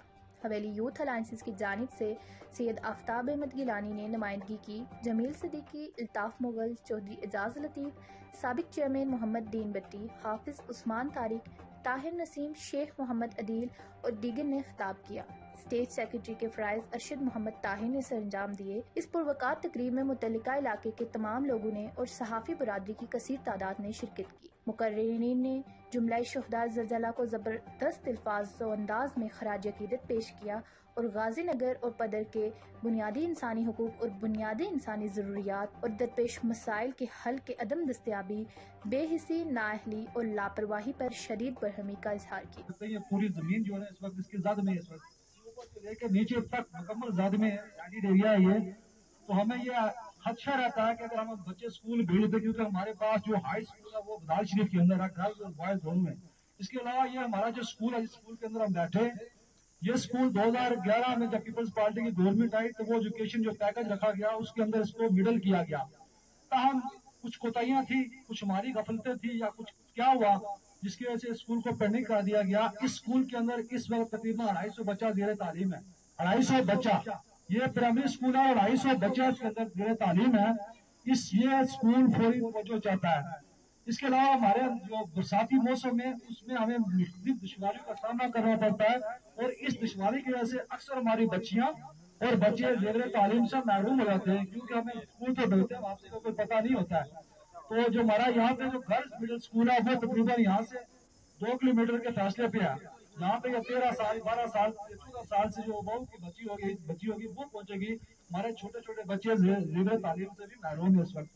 پھر یہ جو ہمارا جو بھائیوں نے جو اٹھایا ہے، نقطہ، ہمارا یہاں پہ جو ہمیں جو پل دیا گیا، یہ پل کا نظام رکھا گیا، تقریباً دو سال ہو گئے، تین سال ہو گئے اسے۔ اور اس وقت تک اس کی اپروول نہیں ہو رہی۔ ہم اقام بالا سے یہ اس اسٹیج کی مساجد سے گزارش کریں گے ملتمیز سے ان سے مدمانہ گزارش ہے کہ وہ جلد از جلد اس کو پروسیس کریں اور اس پل کا بھی کام شروع کیا جائے تاکہ ہماری مصیبتیں دور ہو جائیں۔ ہمارے پاس بیسک ہیلتھ پوائنٹ یہاں پہ موجود نہیں ہے۔ روڈ کی سستا یقیناً آپ دیکھ کے آئے ہوں گے۔ یہ روڈ کسی حکومت نے ہمیں نہیں دیا یہ عوام نے اپنی مدد آپ کے تحت کئی بار چندہ کر کے یا ڈوزر منگوائے گئے، اپنے ہاتھوں سے یہ روڈیں لگائے گئے۔ تو یہ ہمارا پیغام مقام بالا اور ضلع انتظامیہ تک پہنچنا چاہیے کہ یہاں پہ وہ توجہ کرے۔ یہاں سے حویلی شروع ہوتی ہے۔ جہاں پہ کہ کوئی بھی بنیادی انسانی ضروریات نہیں ہے۔ جس کے لیے ہم نے یہ لوگ اکٹھے کیے ہیں اور سبھی کا یہی مطالبہ ہے، حکومت پاکستان، حکومت آزاد کشمیر سے کہ خدا را ہمارے ان بچوں پہ رحم و کرم کیا جائے۔ یہ تپتی دھوپ میں یہاں پہ باہر بیٹھتے ہیں۔ بارش، گرمی، سردی، سب کا مقابلہ کرتے ہیں۔ خدا را حکومت پاکستان سے بھی میں مطالبہ کرتا ہوں کہ ان پہ غور کیا جائے، ہمارے حقوق ہمیں دیے جائیں۔ اور اس کے علاوہ ہماری سڑک کا حال ہے، یہاں کوئی بیمار ہو جاتا ہے، نہ اسے ہم اسپتال لے کے پہنچ ہی نہیں سکتے۔ یہاں سے بہتر کو گھبدار کے مقام کو پہنچنے تک ہمیں کم از کم ایک گھنٹہ لگ جاتا ہے۔ جب تک مریض دم توڑ جاتا ہے، اس کے لیے بھی غور و فکر کیا جائے۔ میں اس کے علاوہ ہمارا برساتی نالے پہ یہ پل ہے۔ ہمارے بچے یہاں پہ اس گاؤں میں صرف ایک یہ پرائمری اسکول ہے۔ کوئی ہائی اسکول نہیں ہے۔ بدال جانا پڑتا ہے اور ہمارے بچے اس نالا سے گزر کے جاتے ہیں۔ کتنی جانوں کا ضیاع ہوتا ہے یہاں پہ۔ خدا رہا اس پہ بھی غور و فکر کی ضرورت ہے کہ ہمیں یہاں پہ برساتی نالا پہ پل دیا جائے۔ اس کے علاوہ یہاں پہ کوئی ڈسپینسری نہیں۔ جہاں کوئی بیمار ہے جسے فرسٹ ایڈ دی جائے۔ اس کے لیے بھی حکومت پاکستان سے میں ہاتھ جوڑ کے یہ گزارش کرتا ہوں کہ ہمارے بنیادی حقوق ہمیں دیے جائیں۔ آزاد کشمیر کے دس ڈسٹرکٹ میں ہے اس وقت سب سے پسماندہ ترین ڈسٹرکٹ جو حویلی ہے۔ لیکن حویلی میں سے سب سے پسماندہ ترین علاقہ اگر دیکھا جائے تو وہ پدر اور غازی نگر ہے۔ یہاں کے سکولوں کی کیفیت میں مجھ سے پہلے جن ساتھیوں نے بات کی بالکل سامنے آیا کر دی، لیکن ہمیں یہ کسی پہ دوش دینے کی ضرورت نہیں ہے کہ فلاں منسٹر صاحب نے فلاں جماعت نے فلاں ہستی نے ہماری اس پسماندگی کا ذریعہ وہ بنے ہیں۔ نہیں ہرگز نہیں ہے۔ اس پسماندگی کا ذریعہ ہم خود ہیں۔ ہم اس نیند سوئے ہوئے ہیں۔ نہ جانے کون سی نشاوت کی پی کے ہم بالکل غفلت کی نیند سوئے ہوئے ہیں۔ ہمیں اپنے اولادوں کی فکر تک نہیں ہے۔ ہمیں اپنی ذات کی فکر تک نہیں ہے۔ ہمیں ایک فکر ہے، نوالا ملے اور ہم وہ نوچیں جو بھی مدد کرنا چاہے، اس پلیٹ فارم پہ ہم آ چکے ہیں کہ ہمیں بنیادی حق جو ہے ہمارا، وہ ہمیں دیا جائے، کسی صورت میں بھی ہمیں دیا جائے۔ مین چیز ہے، سب سے پہلا ہمارا ایجوکیشن سسٹم کوئی بھی منزل حاصل کرنی ہو تو اس کو اسٹیپ وائز چلایا جاتا ہے۔ ہمارا جو بیسک سب سے مین پوائنٹ ہے، ایک مطلب اگر مکان تیار کیا جاتا ہے تو اس کی سب سے پہلے بیسمنٹ کی جاتی ہے۔ ہماری بیسمنٹ جو ہے وہ بھی خراب ہو تو آگے ہم کہاں نکلے کہاں جائیں؟ سب سے پہلی بیسمنٹ جو ہمارا پرائمری اسکول ہے، یہاں پہ ہمارے سب سے پہلی تعلیم ہم یہاں سے حاصل کرتے ہیں۔ ہماری تعلیم اور میرٹ کا جو نظام ہے، سب لوگوں کو پتا ہے کہ میرٹ سسٹم ہے۔ ہم میرٹ کا مقابلہ کریں تو کیسے کریں؟ ایک طرف اگر دوسرے اسکول کا بچہ آٹھ بجے آتا ہے، دو بجے تک وہ اسکول میں رہتا ہے، اس کو وائٹ بورڈ بھی ملتا ہے، اس کو ہر فیسلٹی ملتی ہے۔ تعلیم کے لحاظ سے وہ ہم بچوں جو ادھر کے لوگ کے بچے ہیں، ان سے وہ تو آگے ہوگا۔ ہم کہاں میرٹ تک پہنچ سکیں گے پھر؟ میرٹ کا نظام تو اس طرح ہوتا ہے کہ ہر بچے کو ہر فیسلٹی دی جائے۔ میں حکومت سے یہ پوچھنا چاہتا ہوں، کیا ہم یہاں حویلی کے باشندہ نہیں ہیں؟ اگر حویلی کے باشندہ ہیں تو ہمیں ہمارا حق کیوں چھین لیا انہوں نے؟ ہمیں ان کو سڑکوں پہ مجبور کیوں کر رہے ہیں؟ Haveli United Youth Action Forum جو بنا ہے، اس میں ہر گھر، ہر محلے، ہر فیملی کا بندہ اس میں موجود ہے۔ ادھر غازی نگر، تین چار سکول ایسے ہیں جن کی حالت دیکھنا بالکل ہی ناقدید ہے۔ ان سکولوں کو آج سے دس سالہ، بارہ سالہ پرانی سڑک اس وقت خرجات کا منظر پیش کر رہی ہے۔ ہم سڑک یہ جو ڈرائیور حضرات ہیں، میں ان سے یہ اتنا پریشان ہوتا ہوں کہ جو تو کلمہ پڑھ کے اس سڑک پہ ڈرائیو کرتے ہیں۔ ان کی بمشکل ہمت ہے کہ جو اتنی خراب سڑک پہ بھی اپنی جان کی بازی لگا کے محلے کے گاؤں کے لوگوں کی فیسلٹی کو پورا کر رہے ہیں۔ تو اس کے بعد ٹائم بہت کم ہے۔ جس طرح ارشد مغل صاحب نے فرمایا کہ دو تین منٹ بعد میں اپنی بات سمیٹ لوں گا۔ تو دوسرے نمبر پہ جو بھی جتنے بھی مہمان آئے ہیں جو بھی لوگ ہیں ان کا شکریہ ادا کر رہا ہوں۔ تو بالخصوص میں اس الطاف مغل صاحب کو یہ خراج عقیدت پیش کرتا ہوں کہ وہ بندہ کہ جس نے اس وقت آدھے جسم کا مالک تو اس نے کمپین میں اتنا بڑھ چڑھ کر حصہ لیا کہ وہ ایک گاؤں کے کونے سے لے کر آخری کونے تک گیا ہے۔ اس نے ہر گھر میں پیغام دیا، ہمارا پروگرام ہے، آپ آئیں، شمولیت کریں۔ لیکن وہ ایک آدھے جسم کا مالک، اس کی ہمت کو سلام تو اس کی بے میں آپ سے اجازت چاہتا ہوں۔ Thank you.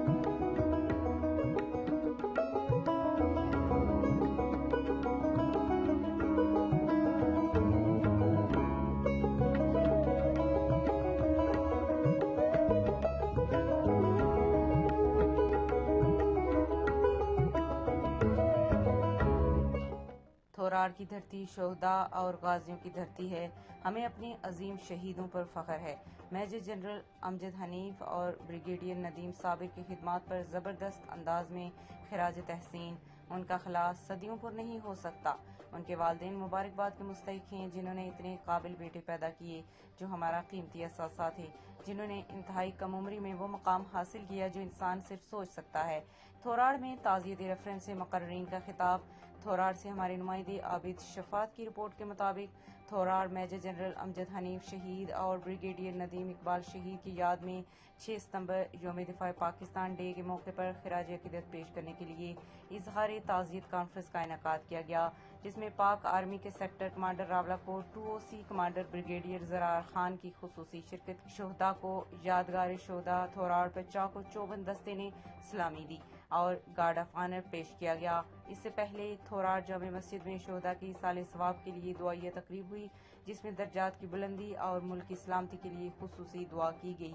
تعزیتی ریفرنس میں سابق صدر و وزیر اعظم سردار حاجی یعقوب خان، سابق وزیر خزانہ سردار نجیب نقی، امیر جماعت اسلامی ڈاکٹر خالد محمود، سابق وزیر حکومت Abid Hussain Abid, additional deputy commissioner Nasir Rafiq, سابق ڈسٹرکٹ کونسلر سردار الطاف حسین نمبردار اسلم خان، سابق ممبر کشمیر کونسل سردار عبدالخالق وسیع، مولانا عبدالرزاق، پروفیسر انور، بیرسٹر دانش ریاض شازیب شبیر، ریاض روشن، والد brigadier Nadeem Sabir Niaz, Sardar Karim, Sardar Arif advocate, Peoples democratic party کی chairperson Nabila advocate, colonel Muzaffar, Sardar Mahmood, professor Shoaib, professor Shabbir cadet college Palandri, سابق P D A chairman Arshad Niazi, صدر انجمن تاجران تھوڑا ساجد اعظم senior صحافی سردار عبدالرزاق، ساجد حسین، مولانا عبدالودود، مولانا عمران، معاویہ اور دیگر نے خطاب کرتے ہوئے کہا کہ میجر جنرل امجد حنیف اور بریگیڈیئر ندیم شہید ہمارا قیمتی اثاثہ تھے، جن کی شہادت سے نہ صرف تھوڑا پونچھ کا بلکہ پورے پاکستان کا نقصان ہے۔ دونوں فوج کے اندر انتہائی قابل آفیسر تھے، جن کا خلاص صدیوں پورا نہیں ہو سکتا۔ تمام مقررین نے شہداء کو زبردست انداز میں خراج عقیدت پیش کیا۔ اس موقع پر مہمان خصوصی brigadier Zarrar sector commander Rawalakot نے کہا کہ آپ لوگوں کی حوصلہ افزائی سے ہمیں مزید طاقت ملتی ہے کہ ہم اپنے ملک کے لیے اپنی جانوں کا نذرانہ پیش کر سکیں۔ ہم اپنے ملک کی سالمیت پر آنچ نہیں آنے دیں گے۔ میجر جنرل ندیم اور بریگیڈیئر ندیم میرے ساتھ ٹریننگ میں شامل رہے۔ انتہائی قابل اور ہونہار آفیسر تھے جنہوں نے بہت جلد وہ مقام حاصل کیا جو کسی کا خواب ہوتا ہے۔ مگر بدقسمتی سے حادثے کا شکار ہو گئے۔ جو قومی نقصان ہے، جن کی خدمات کو جتنا بھی خراج تحسین پیش کیا جائے، کم ہے۔ ان کی قربانیاں رائے گا نہیں جانے دیں گے۔ انہوں نے کہا کہ کشمیر میں یہاں بارڈر ایریا میں لوگ مسائل کا شکار ہیں۔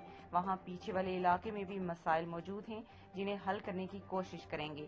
پتن روڈ کے حوالے سے انہوں نے کہا کہ اس کا میکنزم بنا لیا گیا ہے۔ جس پر بہت جلد عمل درامد شروع ہو جائے گا اور ہمیشہ کے لیے حل تلاش کر کے اسے ریوزٹ کیا جائے گا۔ اس موقع پر سردار الطاف نے تمام مہمانوں کا شکریہ ادا کیا، جبکہ بریگیڈیئر ندیم صابر کے والد گرامی صابر نیاز اور میجر جنرل امجد حنیف کے چچا نے شہدا کو خراج قدرت پیش کرنے اور ان کا غم بانٹنے پر شکریہ ادا کیا۔ بیٹھے ہوئے سارے صاحب نے تھی نام لو تو وقت ہوگا، سب کا بہت شکریہ۔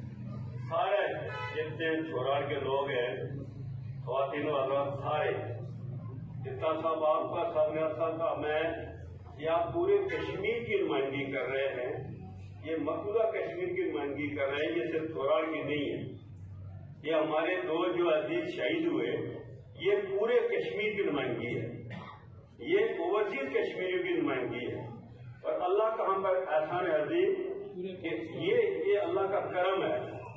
کہ یہ بات آپ کو میرے نصیب میں ہوئی ہے کہ آپ کے ہمارے آباد نے جو قربانیاں دی تھی، یہ ان کے صدقے سے ایک سو پانچ سال کا بابا محمد اسلم خان یہاں موجود ہے۔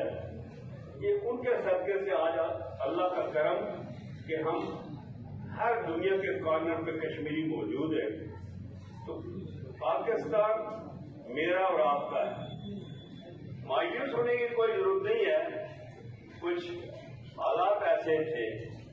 تو میں اور ڈاکٹر صاحب یا ڈاکٹر نجیب صاحب جو ذمہ دار عادل صاحب سوچ رہے تھے کہ دیکھنے والے کتنے پانی تھے کیونکہ یہ دیکھیں کہ کتنے پانی میں ہیں۔ تو یہ ٹھیک ہے، کوئی پابندی نہیں ہوئی۔ لوگ کہتے رہتے ہیں۔ مگر ایک بات اعتماد اور یقین ہے، انشاءاللہ۔ میرا ایمان ہے، کیونکہ میں یو این میں بھی گیا، او آئی سی میں بھی گیا، اور مجھے میں نے جناب باجوہ صاحب کو ابھی ریسنٹلی ایک مبارکباد دی کشمیری کی طرف سے، کہ پورے پاکستان کی تاریخ میں ہے کہ سعودیہ نے بھی میڈل دیا اور یو این نے اور خاص کر کے گریٹ برطانیہ نے۔ تو یہ سعادت حاصل ہوئی پاکستان کو اور مسلم اما کو۔ یہ بہت بڑے اعزاز کی بات ہے، اگر اس کو سمجھا جائے۔ سوچا جائے۔ مقبوضہ کشمیر، وہ ہماری مائیں، بہنیں، بیٹیاں، دیکھ رہی ہیں ہم سب کی طرف۔ اور انشاءاللہ یہ شودا کی دھرتی ہے، یہ غازیوں کی دھرتی ہے۔ یہ کبھی تصور بھی کوئی نہ کرے کہ یہاں کوئی انڈیا کا ایجنٹ ہو۔ یہ تصور ہماری نوجوان ہے ہمارے جو بچے ہیں، جو بھی بات کرتے ہیں، وہ اپنی جگہ بات کرتے ہوں گے مگر وہ انڈیا کے ایجنٹ کبھی نہیں ہو سکتے۔ اور یہ جو کہتا ہے وہ دنیا کا آخری بے وقوف ہے۔ اس لیے کہ ہمارے افواہ نے قربانی دی تھی کھالیں کھنچوائی تھی۔ ہم اللہ کے کرم سے پاکستان سے بڑے پاکستانی ہیں۔ اور کشمیر آزاد کشمیر اور جی بی وہ واحد علاقے ہیں جو جہاد کے ذریعے آزاد ہوئے باقی سارا پاکستان سیاسی جدوجہد کے نتیجے میں آزاد ہوا۔ اور اہل کشمیر نے انیس جولائی سن سینتالیس کو سنگینوں کے زیر سایہ بیرسٹر سردار محمد ابراہیم خان صاحب کے گھر میں پاکستان کو اپنی منزل قرار دیا تھا۔ وہ پاکستان جو اقبال کا خواب اور قائد اعظم کے منزل تھا، وہ ابھی تک تشنا تکمیل ہے کہ پاکستان کا مطلب کیا؟ لا الہ الا اللہ محمد رسول اللہ۔ اس خطے میں پاکستان سے محبت اور پھر اہل کشمیر جنرل امجد کو ہم سارے خراج تحسین، جنرل سرفراز کو، برگیڈ ندیم صاحب کو۔ برگیڈ ندیم بھی جنرل بنتے اور شاید یہ آگے بڑھتے اور کار آئے نمایاں سر انجام دیتے، لیکن اللہ کے فیصلے پہ راضی ہیں، اس لیے کہ انہا للہ و انہا الہ راجعون۔ لیکن اس موقع پر وہ جو مقبوضہ کشمیر میں شہدہ کا قافلہ ہے، اور سچی بات یہ ہے کہ آج اہل کشمیر، اہل مقبوضہ کشمیر سینتالیس کے میرے آبا کی تاریخ کو دہرا رہے ہیں، اور میں باقیوں کا نہیں کہہ سکتا لیکن میں شرمندہ اہل بیس کیمپ اور اہل اسلام آباد جو رول مطلوب تھا وہ شاید ادا نہیں ہوا۔ میں کوئی لمبی بات نہیں کروں گا چونکہ تعزیتی ریفرنس ہے۔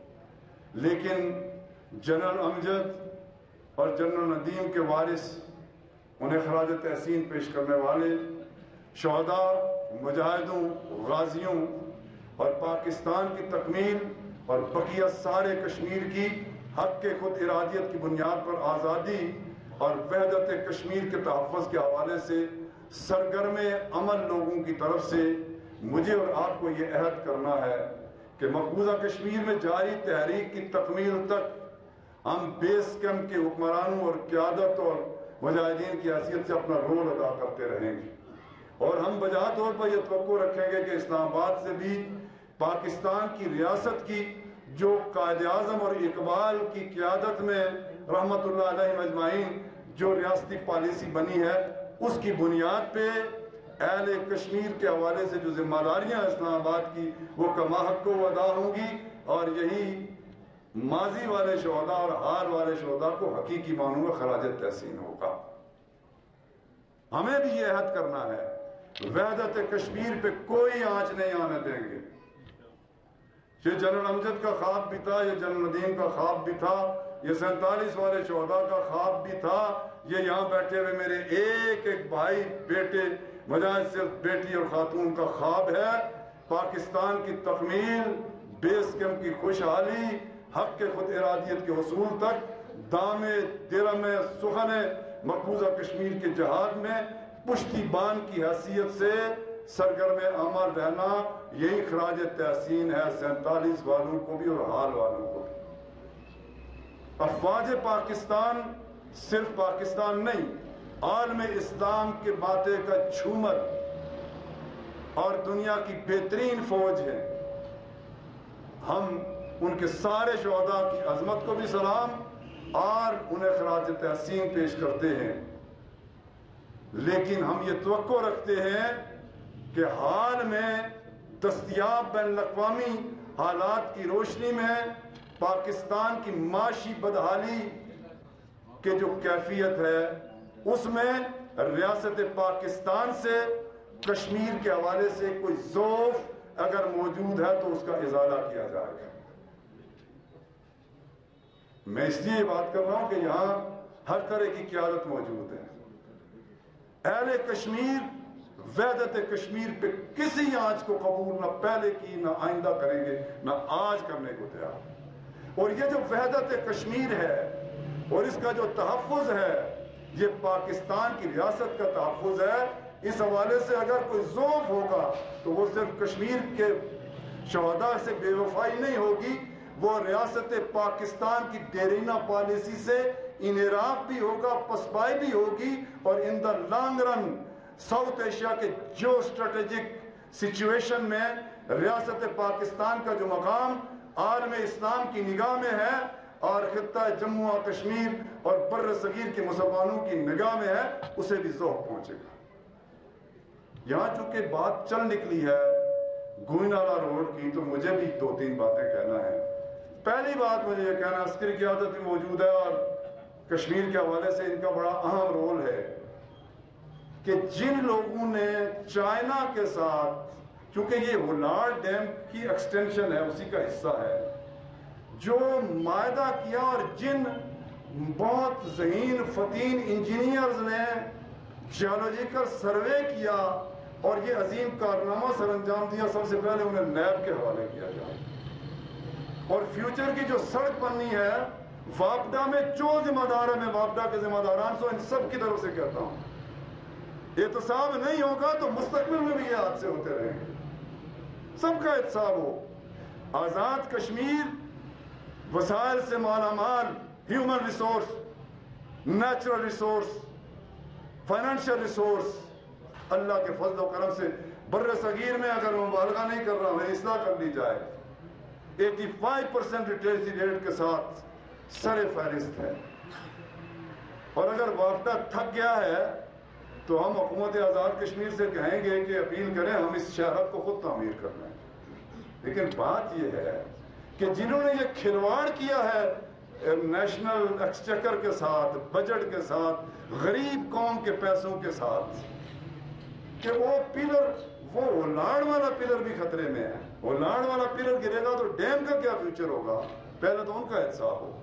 اور میں تنویر الیاس صاحب سے یہ کہتا ہوں کہ وہ جو پرویز الہی ہیں ان سے بات کرے اور نیا سروے ہو اور آزاد کشمیر کے انجینئرز بھی اس میں شامل ہوں پی ڈبلیو ڈی بھی شامل ہو واپڈا والے بھی ہوں۔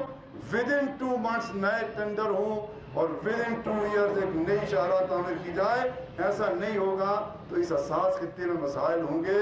اس لیے کہ ٹوریزم کے حوالے سے، روزگار کے حوالے سے دفاع کے حوالے سے یہ شاہرک ہے۔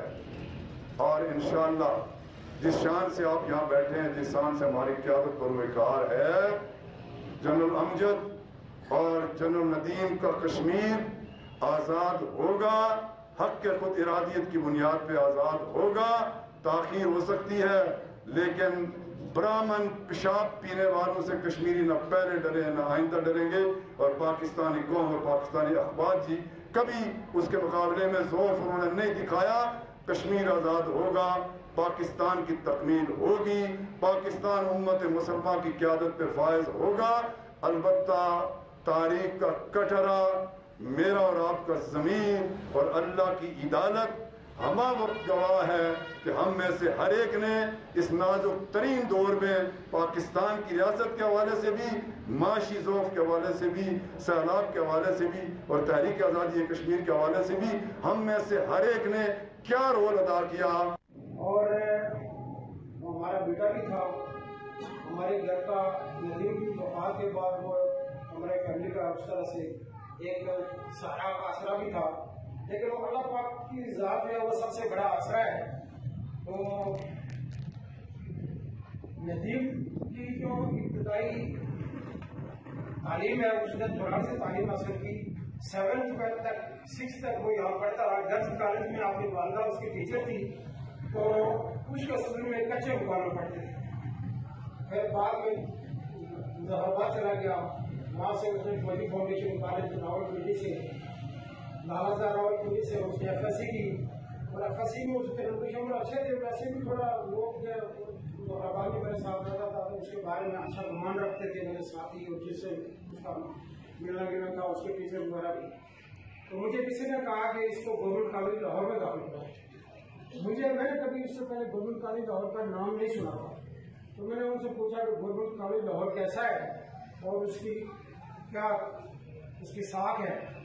تو بتایا گیا کہ وہ بہت اچھا ایک پرانی پرانا تعلیمی ادارہ ہے بہت ماہر قسم کا ہے۔ میں نے کسی سے پراسپیکٹس منگوایا وہاں جا کر جمع کروایا۔ جب وہ داخل ہوا تو مجھ سے تو نہیں اس نے ذکر کیا، لیکن اپنی والدہ کو اس نے یہ کہا کہ میں تو فوج میں جانا چاہتا ہوں، یہ آپ کو کیا کرتے ہیں؟ میرا وہ داخل ہو چکا تھا، تو میں نے اس کو براہ راست نہیں کہا، میں اسی کی امی کو کہا، میں نے کہا گورنمنٹ کالج سے بھی وہ فوج میں اگر جانا چاہتا تو جا سکتا ہے۔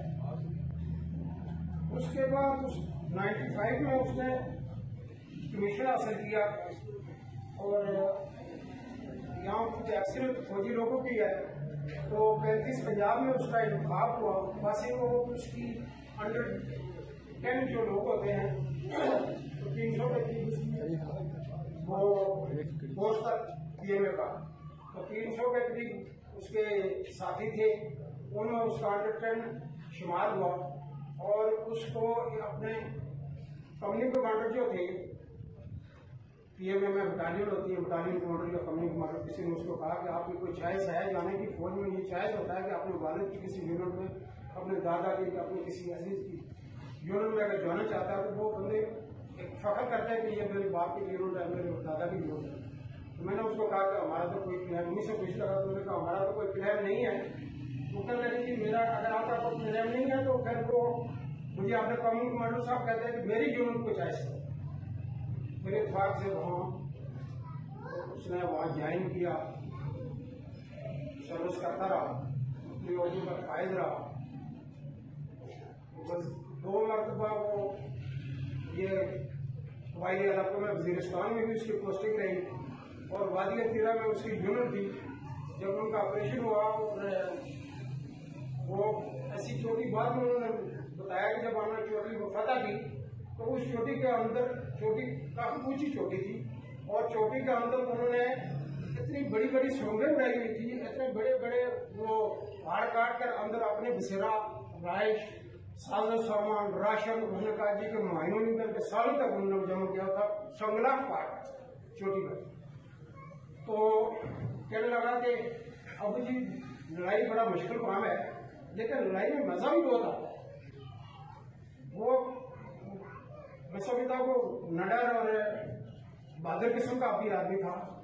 ابھی جو شہداء اس علاقے کے ہیں، جو Jammu and Kashmir as a whole جو شہداء ہیں، اللہ تعالیٰ ان کی شہادتیں بھی قبول فرمائے اور ان کی شہادتوں کے صدقے جو آج مقبوضہ کشمیر بھی آج مشکل میں گزر رہا ہے، جس کا ٹائم مشکل ہے، انشاءاللہ جلد اس کو بھی آزادی نصیب ہو۔ آمین۔ پاک فوج کے بارے میں میں آپ کو تھوڑا سا بتاتا چلوں۔ شروع میں جب میں آیا تو صبح سلامی کے بعد معززین کے ساتھ کچھ دیر کی بیٹھک ہوئی ہماری دفتر کے اندر۔ کچھ انہوں نے پوائنٹس ہائی لائٹ کیے جس میں یہ سڑک کا مسئلہ سب سے بڑا ایک پرابلم تھا۔ اس کے سلسلے میں میں تھوڑا سا آپ کو ہائی لائٹ کرتا چلوں کہ ہماری اپنی جب یہ چار ضلع جو ہیں، ان کی تو یہ لائف لائن ہے ادھر۔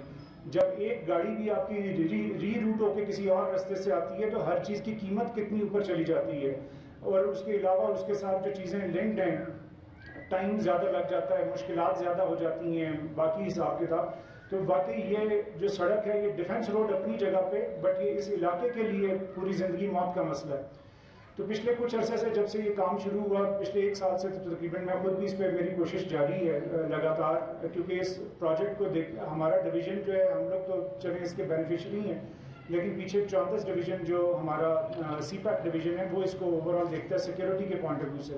تو ان کے ساتھ بھی ہمارا بڑا قریب قریبی حساب کتاب چل رہا ہوتا ہے، لیکن ابھی جو اس کا جو تیسرا سیکشن ہے ایس تھری جس کو کہتے ہیں، وہ تیسری دفعہ پانی میں ڈوبا ہے۔ اور اس ایک سیکشن کی وجہ سے جتنی مشکلات میں اضافہ ہوا، وہ جتنا آپ لوگوں کو پریشانی ہے، اتنی پریشانی ہمیں بھی ہے۔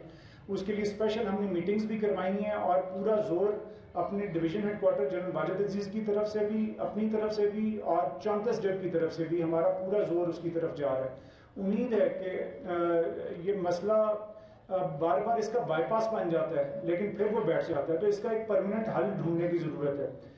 جو اس کی پلاننگ میں مسائل ہوئے، جو چیزیں ہوئیں، ابھی پرانی چیز کے اوپر جانے کی بجائے اگلا سولوشن اس کا ایسا ہونا چاہیے کہ ایک دفعہ جب یہ سڑک بنے تو ایسی بنے کہ رتی نسلوں تک یہ فائدہ دے اس علاقے کو۔ تو کوشش اسی زمرے میں چل رہی ہے کہ اس کی بہتری کے لیے ہم جائیں اور ڈی سی سرنوتی جو ہیں، وہ ہماری سائڈ سے لیڈ پہ ہیں۔ وہاں سے ڈی سی پنڈی بھی ہیں اور جو ہائی وے ڈپارٹمنٹ ہے وہ بھی اس کے اوپر لگا ہوا ہے۔ تو انشاءاللہ کوشش پوری ہے کہ جلد از جلد اس کو کھلوایا جائے اور ایسا کھلوایا جائے جو پرماننٹ اوپننگ ہو۔ ابھی جب آخری دفعہ بند ہوئی ہے تو آپ نے نوٹ کیا ہوگا کہ اسے ایک دن پہلے، دو دن پہلے ہم لوگوں نے اوپر والا برج بھی کھلوا دیا تھا تاکہ آسانی ہو لوگوں کی، کیونکہ نیچے والا جو پرانا برج تھا، اس کے بالکل ساتھ سڑک اتنی کٹ گئی تھی، کسی وقت بھی کوئی گاڑی، خدا نہ اس کو کوئی حادثہ پیش آ سکتا تھا۔ تو یہ جو مشکلات ہیں، اس کے پورا تدارک ہے۔ تمام لوگوں کو درمیان میں اور کوشش پوری چل رہی ہے انشاءاللہ کہ اس کو جلد از جلد بحال ہو اور اچھے طریقے سے بحال ہو۔ دوسرا میڈیکل کا ایک مسئلہ ہائی لائٹ ہوا تھا کہ جس کے اندر فوجی فاؤنڈیشن کی ٹیمیں یہاں پہ ریگولرلی آیا کرتی تھیں۔ کچھ عرصہ پہلے سے وہ ختم ہو گئی اس میں بھی میں نے یقین دلایا کہ جو چیز تو ہمارے اپنے بس کے اندر ہے، جس میں فری میڈیکل کیمپس ہیں ویٹنری کیمپ ہے اور آئی کیمپ ہے، یہ انشاءاللہ ریگولرلی یہاں پہ لگیں گے۔ میں اپنے ڈاکٹرز کو یہاں پہ بھیجوں گا اور ساتھ ہی ساتھ ہماری کوشش چلے گی کہ ہم اور انشاءاللہ اگلے ایک سے ایک ہفتے سے دو ہفتے کے درمیان پہلا کیمپ انشاءاللہ آپ لوگوں کے پاس لگ جائے گا۔ اور ساتھ ہی الشفا آئی ٹرسٹ کے ساتھ مل کے آئی کیمپ بھی یہاں پہ لگائیں گے اور ایک ریگولر اس کو، ایک تسلسل کے ساتھ اس کو آگے چلائیں گے۔ اور ساتھ ہی ساتھ ہم حکومت آزاد جموں کشمیر سے بھی ریکویسٹ بھی کریں گے اور ان کو اپنے ریکمنڈیشن بھی دیں گے کہ اسپتال کے پوائنٹ آف ویو سے یہاں پہ جلد از جلد ہو تاکہ تعلیم اور طبی سہولیات، اگر یہ تو چیزیں کسی جگہ پہ ہوں تو باقی وہاں پہ اور تیسری سڑک یہ تین امپورٹنٹ چیزیں کہ جب یہ تین چیزیں ہوں تو ترقی ان کے ساتھ خود بخود شعور بھی آتا ہے ترقی بھی آتی ہے اور دنیا کے لیے بھی اوپن ہوتی ہیں وہ جگہ تو انشاءاللہ اس علاقے کی بہتری کے لیے یہ چیز آگے چلے گی۔ میں یہاں پہ یہ چیز بھی مانتا ہوں کہ تھوڑا جو ہے، یہ تھوڑا سا پچھلے علاقے میں شامل تھا۔ آپ لوگ دیکھ رہے ہوں گے کہ پچھلے تقریباً دو ہزار چودہ سے آنورڈ جب یہ مودی گورنمنٹ یہاں پہ آئی، تو پہلے دو ہزار تین تک کافی فائر چلتا رہا ایل او سی کے اوپر۔ اس کے بعد تین سے چودہ کے درمیان تھوڑا سکون رہا اور چودہ کے بعد پھر ہر گزرتے سال کے ساتھ وہ فائر بڑھتا رہا۔ تو جب ہم اپنے دفاعی جو ہماری خدمات ہیں یا جو ہماری رسپانسبلٹیز ہیں، اس کو ہم دیکھتے ہیں تو پچھلے سات آٹھ سال کے اندر ہمارا زیادہ focus L O C zone کے اوپر رہا۔ کیونکہ وہاں پہ فائر بہت زیادہ چل رہا تھا، لوگوں کا نقصان بھی ہو رہا تھا۔ اور ابھی جب فائر بندی ہوئی پچھلے فروری کے بعد، تو ابھی بھی فوکس یہی تھا کہ زیادہ ڈیولپمنٹ آگے کے ایریے میں ہو۔ کیونکہ جو ایل او سی زون ہے کئی لوگ آپ کے رشتہ دار وہاں پہ ہوں گے، آپ کا اپنا چکر وہاں پہ لگا ہوگا کہ اس علاقے کے لوگوں کا جو مشکلات تھیں وہ بہت زیادہ تھیں۔ جب فائر چلتا تھا، نہ وہاں پہ گورنمنٹ کے ٹھیکیدار کوئی جا سکتے تھے، کوئی ڈیولپمنٹ ورک کر سکتے تھے، نہ کوئی این جی او وہاں پہ قریب آتی تھی، تو وہ تھوڑا پیچھے رہ گئے۔ تو زیادہ فوکس یہ تھا کہ ان کی ڈیولپمنٹ اس طرح کی جائے کہ وہ پچھلے علاقوں کے برابر آ جائیں۔ تو وہ L O C package special آیا، اس پہ کام شام شروع ہوا، ساری باتیں چل رہی تھیں، تو ہماری نظر زیادہ آگے کی طرف تھی۔ لیکن آج جب میں یہاں پہ آیا ہوں پہلی دفعہ پچھلے ایک سال کے اندر، تو میں یہ ماننے میں کوئی آر محسوس نہیں کروں گا کہ میری اپنی آنکھیں بھی کھلیں کہ آگے کا ضرور دیکھنے کی ضرورت ہے، لیکن جو پیچھے ہمارے جگہ ہیں، ان کو بھی اتنی ضرورت ہے کہ جو نگلیکٹڈ رہ گئے۔ پرانے دنوں کے اندر، ان کو بھی ساتھ لے کے آگے چلنے کی ضرورت ہے۔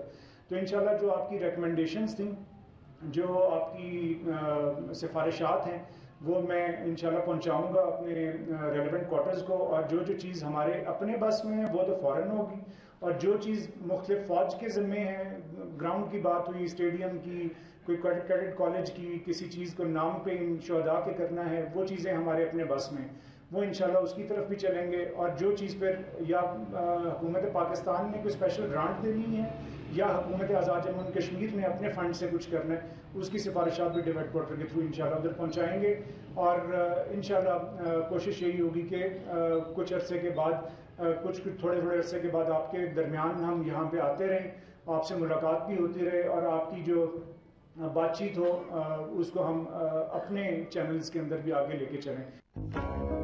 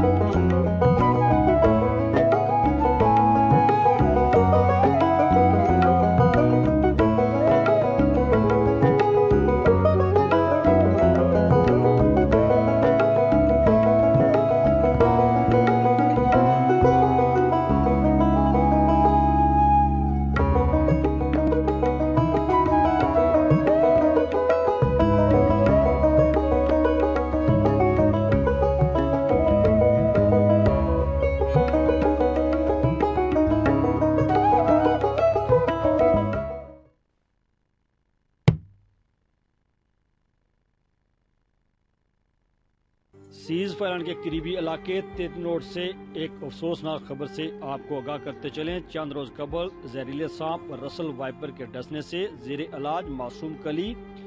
سات سالہ زہرا مطلوب ولد ملک مطلوب مناس آف تیتنوٹ تحصیل جیرا ضلع پونچھ انتقال کر گئی ہیں۔ زہرا مطلوب کو زہریلے سانپ نے ڈسا تھا۔ جو راول پنڈی کے ایک اسپتال میں زیر علاج رہی ہیں، لیکن جان بار نہ ہو سکی آج شام اپنے حوالے کے حقیقی سے جا ملی مرحومہ کی نماز جنازہ آج سترہ اکتوبر دو ہزار بائیس دن گیارہ بجے ان کے گھر کے قریب ادا کی جائے گی۔ یاد رہے، ایک روز قبل ہی جوان سالہ ملک منظور بھی زہریلے سام کے ڈسنے سے چل بسا تھا اور یونین کونسل شیر میں ایک ہفتہ کے اندر زہریلے سانپ کے ڈسنے سے یہ دوسری موت ہے۔ پر وقت، علاج اور ویکسین مہیا نہ ہونے سے دو معصوم یک بعد دیگرے اس دنیا سے چل بسے۔ طبی سہولیات کے فقدان پر عوام علاقہ سرابہ احتجاج ہیں اور مطالبہ کرتے ہیں کہ سیز فیلن کے اس پٹی اور تحصیل جیرا کے دیگر اسپتالوں میں سانپ کے ڈسنے کی ویکسین ٹیسٹ کٹس اور علاج معالجہ کی سہولیات فراہم کی جائیں۔ آج بھی اس یونین کونسلز کے چند مقامات تیتنوٹ چوناڑ ککوٹا میں نوجوانوں نے زہریلے سانپ مارے ہیں۔ قیاس کیا جاتا ہے کہ بڑی تعداد میں زہریلے سانپ اس علاقے میں پائے جاتے ہیں، جن کو اگر تلف نہ کیا گیا اور مذکورہ یونین کونسل اور دیگر میں ویکسین، ٹیسٹ کٹس اور علاج معالجہ کی سہولیات فراہم نہ کی گئی۔ تو خدشہ ہے کہ کئی قیمتی جانیں ان کے ڈسنے سے موت کے منہ میں چلی جائیں گی۔ اللہ پاک معصوم کلی زہرا مطلوب کو جنت میں بلند درجات اور والدین پسماندگان اور لواکین کو صبر جمیل عطا فرمائے۔ ملز افکار J K T V, Tetri Note, Jammu Kashmir.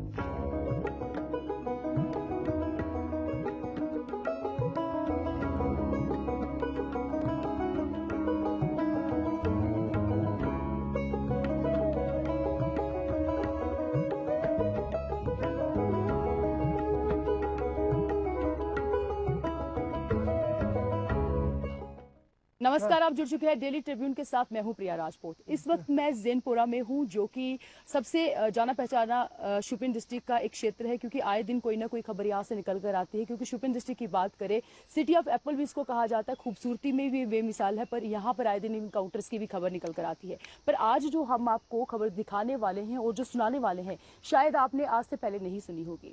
یہ جو آپ کو دونوں ہمارے ساتھ شخص دکھ رہے ہیں، بتانا چاہیں گے کہ ان کی دوستی کا جو یارانہ ہے، وہ دنیا میں فیمس ہو چکا ہے۔ بتانا چاہیں گے کہ فی الحال جس طرح سے انیس سو نبے کے بعد کشمیری پنڈت کشمیر گھاٹی سے وستھاپت ہو گئے تھے، جس کے بعد بہت سارے ایسے کشمیری پنڈت تھے جو واپس یہاں پہ مائیگریٹ نہیں ہوئے ہیں یعنی واپس کشمیر گھاٹی میں نہیں آئے۔ اور کچھ ایسے بھی تھے جو انیس سو نبے کے دوران یہاں سے نہیں گئے تھے۔ ان میں سے ہی کچھ ایسے ہی جو لوگ ہیں وہ ہمارے ساتھ ہیں۔ یہ جو شخص ہے، ان کا نام چمن لال ہے، جو کشمیری پنڈت ہے، یہ ان کے دوست ہے یہ بچپن کے دوست تھے دونوں۔ اور بتانا چاہیں گے کہ انیس سو نبے کے بعد جس طرح سے کشمیری پنڈت یہاں سے چلے گئے تھے، پر یہ وستھاپت نہیں ہوئے ہیں۔ جو چمن لال ہے، یہ دیکھ نہیں پاتے ہیں، ان کی آئی سائٹ نہیں ہے۔ پر یہ جو ان کے بچپن کے دوست تھے، ان کو روز صبح سے لے کے شام تک یہ کہیں بھی جانا چاہتے ہیں۔ ان کو اپنے ساتھ لے کے جاتے ہیں۔ ان کے کندھے پر ہاتھ رکھتے ہیں۔ جہاں پر یہ بولتے ہیں وہیں پر ان کو لے جاتے ہیں۔ تو یہ آپ کو دیکھ رہے ہیں دوستی کا یارانہ ہے۔ انہی سے جانتے ہیں کہ دوستی کب کی ہے۔ یہ بیس سال میں دوستان ہو گیا بیس سال پر ہے دوستان یہ در اچھا۔ ہاں۔ گھمانے کے لیے لے جاتے ہیں۔ ہاں۔ اچھا۔ تو آپ مجھے بتائیے گا کہ یہ آپ کو روز جو گھمانے کے لیے لے جاتے ہیں ہاں۔ اور آپ ملتے ہیں شام کو؟ کہاں پر ملتے ہیں شام کو نہیں ملتے ہیں۔ شام کو میں آپ کے گھر میں ابھی ابھی کون ہے یہاں پر؟ گھر میں چار پانچ نا چار پانچ آدمی ہیں گھر میں ہم کو۔ اچھا۔ ہاں۔ چار پانچ آدمی۔ اچھا مجھے بتائیے گا کہ جو چمن لال جو ہے اور ان کا نام تو پتا ہے آپ کا کیا نام ہے؟ میرا؟ محمد انور میر۔ اچھا۔ میں بابا پورا رہتا ہوں۔ یہاں سے کتنی دور رہتے ہیں آپ؟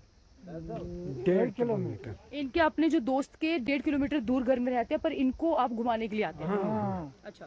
تو آپ مجھے بتائیے گا کہ یہ جو دوستی آپ کی شروع کیسے ہوئی تھی اس کے بارے میں بتائیے۔ ایسے اچانک ہو گئی۔ ہاں۔ ویسے ہی تو ان کی آئی سائٹ جو ہے آنکھ کب ان کی گئی ہے؟ اس کے بعد ہاں؟ تقریباً تیس سال۔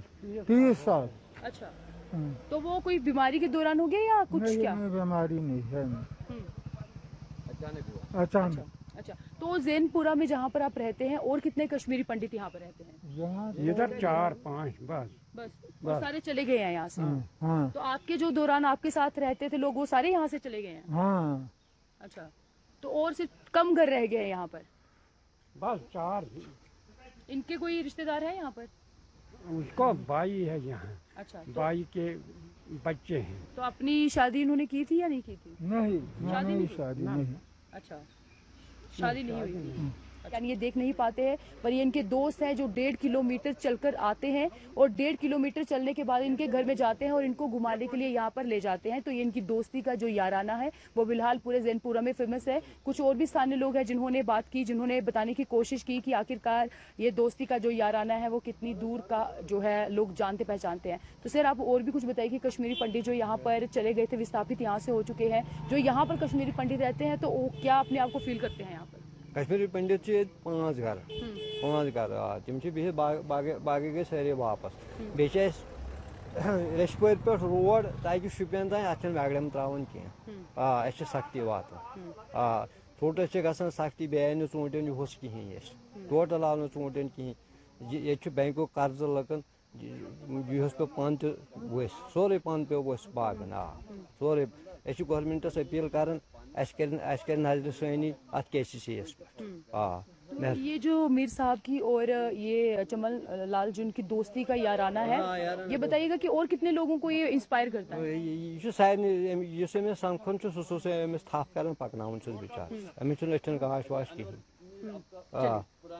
تو ہم نے آپ کو بتایا کہ کتنی پرانی ان کی دوستی ہے اور لوگوں کو بھی انسپائر کرتی ہے کہ آپ کو بھی اپنی دوستی نبھانی چاہیے۔ صرف دوست مطلب کے لیے نہیں ہونا چاہیے۔ جب آپ آسہائے ہوں، جب آپ خوبصورت نہ رہے، جب آپ کے پاس کوئی سہارا نہیں رہے، تب اگر آپ کی کوئی مدد کرتا ہے، وہی سچا دوست ہے۔ اور میر صاحب کی اور چمن لال، جو دونوں کی دوستی ہے، یہ آپ کو بھی انسپائر کرے گی ضرور کی۔ کس طرح سے آپ جو لوگوں سے ساتھ دوستی کریں، تو کتنی آپ کو بنا مطلب کی دوستی کرنا بھی آج کے زمانے میں جو ہے ضروری رہتا ہے۔ تو چمن لال کی جو کوری کہانی تھی، وہ ہم نے آپ کو بتائی کہ کس طرح سے ان کے گھر پریوار کے زیادہ لوگ نہیں ہیں یہاں پر۔ اپنے دوست جو ہے وہ میر صاحب ڈیڑھ کلومیٹر چل کر آتے ہیں تاکہ ان کا جو دوست ہے وہ بھی یہاں پر گھوم سکے، کیونکہ وہ دیکھ نہیں پاتے ہیں، تو یہی کارن ہے کہ ان کو ڈیڑھ کلومیٹر چل کر آنا پڑتا ہے تاکہ وہ بھی ان کو گھمائے، ان کو دکان پر لے کے جائیں۔ تو اس اسٹوری کے مادھیم سے آپ جان پائے ہوں گے کہ زین پورا جو شیتر ہے شوپین ڈسٹرکٹ کا، وہاں پر ایک ایسی کہانی تھی جو ہم آپ کو، آپ کے سامنے لائے۔ کیونکہ اگر ہم شوپین ڈسٹرکٹ کی بات کریں تو آئے دن یہاں پر صرف خبریں جو نکل کر آتی ہیں، وہ انکاؤنٹرس کی خبریں آتی ہیں۔ کچھ ایسی خبریں آتی ہیں جو کو آپ کو دیکھ کر لگتا ہے شاید شوپین ڈسٹرکٹ میں شانتی نہیں نہیں ہوگی۔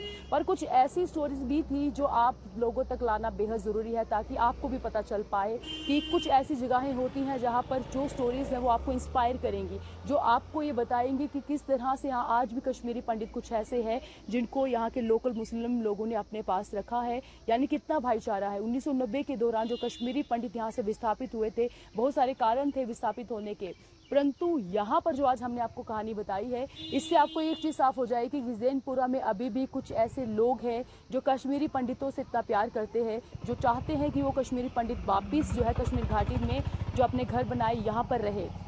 تو آپ بھی کمنٹ باکس میں اپنی رائے لکھیے گا کہ آپ کو کیا لگا کہ انیس سو نبے کے دوران جو چیزیں ہوئی تھی، اس کے بعد کشمیری پنڈتوں کو یہاں پر جو ہے گھر بنانا چاہیے، نہیں بنانا چاہیے، یہ آپ سب لوگوں کی رائے ہم جانیں گے اور یہ بھی جانے کی ہماری کوشش رہے گی کہ کتنی زیادہ یہاں پر بھائی چارہ ہے، یہاں پر لوگ جو ہے وہ کتنے پیار سے رہتے ہیں۔ کیونکہ صرف جو آپ نے نیشنل میڈیا میں باتیں سنی ہوں گی یا جہاں پر بھی آپ باتیں سنتے ہیں، وہ کشمیر گھاٹی میں صرف ایسی ہی آپ کو سٹوریز دیکھنے کو ملتی ہے، جہاں پر کشمیری پنڈت یہاں سے گئے تھے یعنی جب وہ استھاپت ہوئے تھے، پر آج تک شاید آپ کی کبھی بھی یہ چیز نہیں سنی ہوگی کہ جب کسی لوکل جو انسان ہے یعنی کو مسلم سمدھائے کے جو لوگ ہیں، وہ کشمیری پنڈت کے ساتھ کس طرح سے یہاں پر رہ رہے ہیں۔ تو یہ بھائی چارے کی نشانی تھی، یہ دوستی کی نشانی تھی، جو اپنا سمے نکال کر جو ہے اپنے دوست کو دے رہے ہیں یعنی اپنے دوست کو گھما رہے ہیں۔ کندھے پر ہاتھ رکھ رہے ہیں اور ان کو لے کے جاتے ہیں دکان پر جہاں پر وہ جانا چاہتے ہیں۔ تو آپ اس سٹوری پہ کے مادھیم سے کیا سیکھ پائے ہیں؟ اس سٹوری کے آپ کو، آپ کے وچار جو ہے وہ ہم جانا چاہیں گے۔ آپ کیا سوچتے ہیں؟ کمنٹ باکس میں اپنی رائے لکھے گا اور اسی طرح کے اپڈیٹ پانے کے لیے ہمارے ساتھ بنے رہیے۔ پھر لوٹیں گے ایک سنی خبر کے ساتھ۔ نمستے۔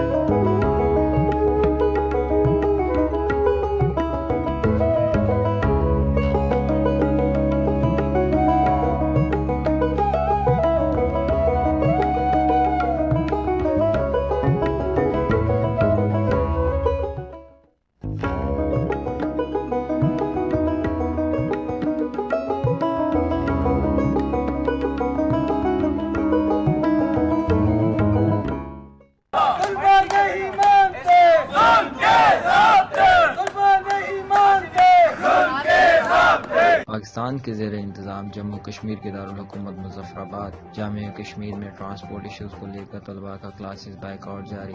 جامعہ کشمیر شعبہ جالجی کے طلباء پرامن احتجاج کا راستہ اپنائے ہوئے۔ جامعہ کی انتظامیہ کو یہ باور کرانے کی کوشش میں لگے ہوئے ہیں کہ طلباء ٹرانسپورٹ فیس دینے کے لیے تیار ہیں۔ آپ ٹرانسپورٹ کیوں نہیں دے رہے؟ وقت کا ضیاع کیے بغیر طلباء کے مسائل کو حل کیا جائے تاکہ طلباء اپنی تعلیم کو جاری رکھ سکے جے کے ٹی وی مظفر آباد جموں کشمیر۔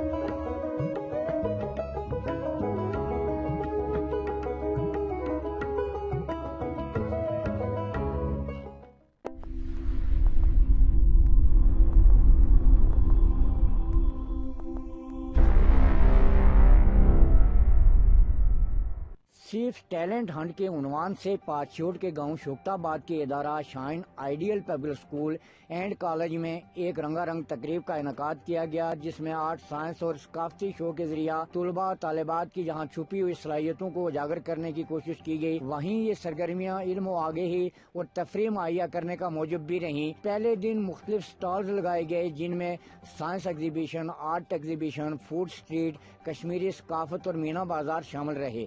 جبکہ دوسرے دن سالانہ نصابی غیر نصابی سرگرمیوں پر مشتمل پروگرام پیش کیے گئے تقریب میں بچوں کے والدین عوام علاقہ کی کثیر تعداد نے شرکت کی۔ تقریب سے خطاب کرتے ہوئے بچوں کے والدین نے اس ثقافتی میلے کو سراہا اور اس نوعیت کی منفرد تقریب منعقد کرنے پر اسکول انتظامیہ کو مبارکباد دی۔ تقریب سے خطاب کرتے ہوئے اسکول کی پرنسپل سمینہ نذیر نے کہا کہ ہم روایتی طریقہ تعلیم سے ہٹ کر بچوں کو موجودہ جدید تقاضوں کے تحت تعلیم دے رہے ہیں اور مزید جدید طریقہ تعلیم اپنانے کی بھرپور کوشش کر رہے ہیں۔ اسکول کے بچوں اور بچیوں نے تقاریر، ترانے اور مختلف ٹیبلوں پیش کیے۔ اس دوران اسکول کے بچوں میں ٹرافیاں اور اسکول کی معلومات میں سرٹیفکیٹ تقسیم کیے گئے۔ آخر میں Shine Ideal Public School and College کے آنر خلیل بابر نے سالانہ کارکردگی رپورٹ پیش کی اور تمام مہمانوں کا شکریہ ادا کرتے ہوئے اسکول کے بچوں اور معلومات کو ایک خوبصورت پروگرام ترتیب دینے پر مبارکباد پیش کی۔ کہ ہم جانا جانا چاہ رہے تھے تھیوری سے پریکٹیکل کی طرف۔ کہ پڑھ بہت لیا، کتابیں رٹ بھی لی اب ان کتابوں کو ذرا عملی طور پہ آزمایا جائے کہ سیکھا کیا کیا اور جب عملی طور پہ آزمایا تو بچوں نے سائنس ماڈلز بھی بنائے، جس میں انہوں نے بتایا کہ ہم نے سائنس میں کیا کیا سیکھا۔ اور بچوں نے آرٹ میں خاص کر کے، میں اس لیے یہاں سے ذکر کروں گی کہ یہ ایک ری یوزیبلٹی تھی۔ Best out of waste. شکریہ بھی ادا کرتے ہیں کہ آپ نے آپ کا آنا، آپ کا بیٹھنا، آپ کا ہمیں سننا، ہمارے بچوں کو سننا، یقینی طور پہ ہمارے لیے سمجھتا ہوں کہ حوصلہ افزائی کا باعث بنے گا۔ میں زیادہ بالکل تفصیل میں نہیں جانا چاہوں گا۔ مجھ سے پیش روم کر نے جو بھی گفتگو کی ہے، محترم سجاد صاحب نے کی ہے پرنسپل ادارہ سمینہ نذیر صاحبہ نے گفتگو کی ہے، سجاد رزاق صاحب ہے ہاں، امتیاز صاحب ہے۔ قیوم صاحب نے بہت خوبصورت گفتگو کی ہے۔ میں ان ساری باتوں سے مکمل طور پہ اتفاق کرتے ہوئے آگے بڑھوں گا۔ لیکن ایک شکوہ میں کروں گا۔ خاص طور پہ جو ہماری خواتین یہاں پہ تشریف فرمایا ان سے، کہ ہر پروگرام میں سب سے زیادہ وہ ان کی ان کی بھی پارٹیسپیشن آتی ہے۔ بہت زیادہ دیر تک وہی بیٹھی رہتی ہیں۔ لیکن اسٹیج سے ہو کے بہت کم ان کی طرف سے جو خیالات کا اظہار ہے، وہ سننے کو ملتا ہے۔ اس لیے میں سمجھتا ہوں کہ آپ سارے لوگوں کو ہمت کر کے، کوئی اتنا بڑا مسئلہ نہیں ہے۔ ہم سارے لوگ ایک ہی گاؤں سے تعلق رکھنے والے ہیں، ایک ہی گھر کے لوگ ہیں۔ تو یہاں آپ آئیں، آپ میں سمجھتا ہوں کہ آپ کے اندر صلاحیتیں ہیں، آپ انگلش میں گفتگو کر سکتے ہیں، آپ اردو میں کر سکتے ہیں، آپ پہاڑی میں یہاں پہ گفتگو کی جا سکتی ہے۔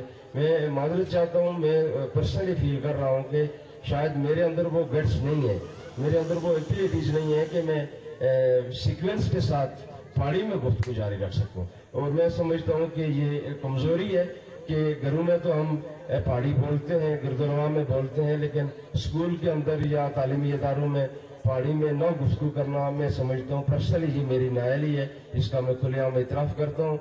لیکن یہ بات اپنے طور پہ بالکل درست ہے۔ میں نائنٹی سکس جدوں اتنا مصر گیس مصر نہ شہر القاہرہ میں اتنے دو ہفتے رہس اتن فیرون میوزیم میں اس گیس اور جس طرح اتنے چھوٹا عزیز کھلتا ہوں سامنے کی دسنا سا کہ اے فلانیاں فلانیاں چیزیں ہیں انہیں کچھ چیزوں مطلب پوچھے ہوگی اسی طرح میں اتن انہوں نے کلچر جڑیاں چیزاں انہوں نے سیاسی استعمال سیاں، جڑیاں سماجی استعمال سیاں، وہ انہیں ساری رکھی نہیں، وہ ترہ منزلہ میوزیم ہے۔ اسی چ انہوں نے استعمال پیڑیاں، کھیڑے، کھٹاں انہیں جڑے پیڑ پاوے دے، وہ۔ ہم جیسے لوگوں کو آپ بیٹھنے کا موقع فراہم کرتے ہیں، میں سمجھتا ہوں کہ یہ علمی دنیا اس وقت جو بیٹھی ہوئی ہے، چاہے اس کا تعلق عمر کے اعتبار سے پریپ میں ہو یا ایف ایف ایس سی کے ہو یا مجھ جیسا کوئی ناچیز ہو، انسان ہر وقت سیکھنے سکھانے کے عمل سے گزرتا ہے۔ علمی گفتگو کی تو کی جا سکتی ہے، جس پہ گھنٹوں لگ سکتے ہیں۔ کوشش کروں گا کہ اپنی بات، چونکہ وقت اپنے دامن میں وسط نہیں رکھتا سما فراشی کیے بغیر آپ کی اپنی بات بھی کہہ جاؤں۔ اور شاید کہ میری بات آپ کو کوئی دل میں اتر جائے۔ عمر کی چھپن بارے ہم دیکھ چکے میں محترم خوشی صاحب سے ذکر کر رہا تھا کہ اتنی چھوٹی بچی آ گئی ہوں گفتگو۔ اور آج ہم جس جگہ پہ کھڑے ہیں، ہم، ہمیں کیا کرنا چاہیے اور کس چیز کی ضرورت ہے؟ اور موجودہ جو سائنسی اور جدید دور ہے، اس کے تقاضے کیا ہیں؟ ہمیں کیا کرنا ہے؟ تو اس لحاظ سے میں سمجھتا ہوں کہ یہ پوری جو انتظامیہ ہے، یہ اس مبارکباد کی مستحق ہے۔ اگر اس میں کنجوسی کی جائے تو یہ میں سمجھتا ہوں کہ شائن آئیڈیل کی جو انتظامیہ ہے، ان کے ساتھ نانصافی ہوگی۔ اور اس میں جن لوگوں نے بھی جو بچوں نے پارٹیسپیٹ کیا، تو میں نے بغور اس چیز کا مطالعہ کیا کہ آیا یہ مطلب آنے والے وقت میں کچھ کر سکتے ہیں یا نہیں کر سکتے۔ یقیناً انسان جب سامنے تقاریر کی صورت میں، ٹیبلوں کی صورت میں اور مختلف ایکٹیویٹیز کی صورت میں آپ کے سامنے رکھا۔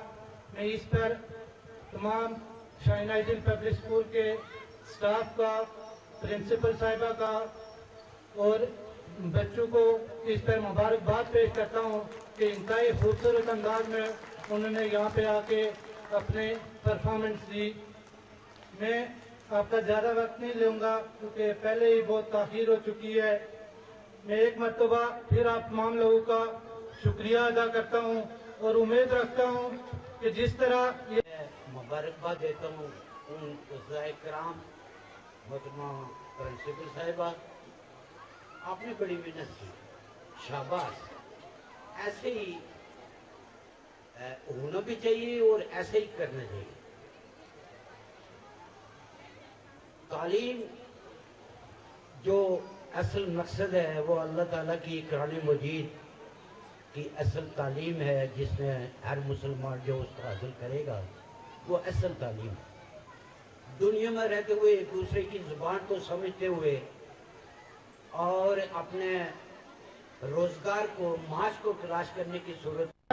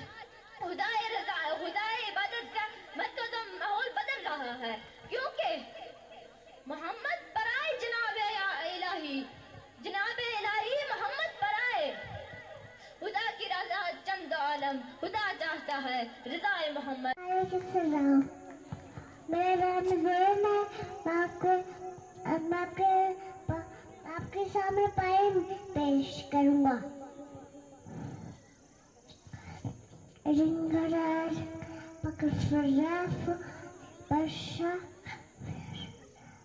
پشا ٹاؤن میرا نام البیہ میں آپ کے سامنے پر پیش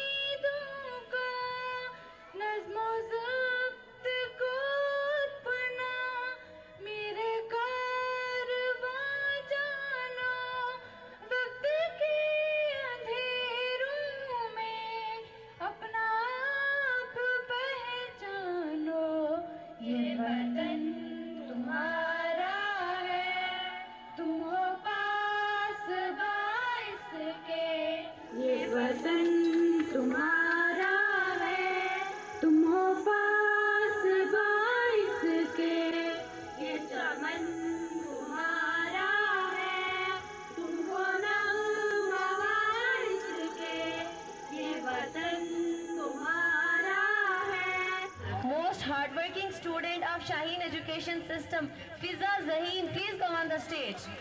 Fiza Zaheen.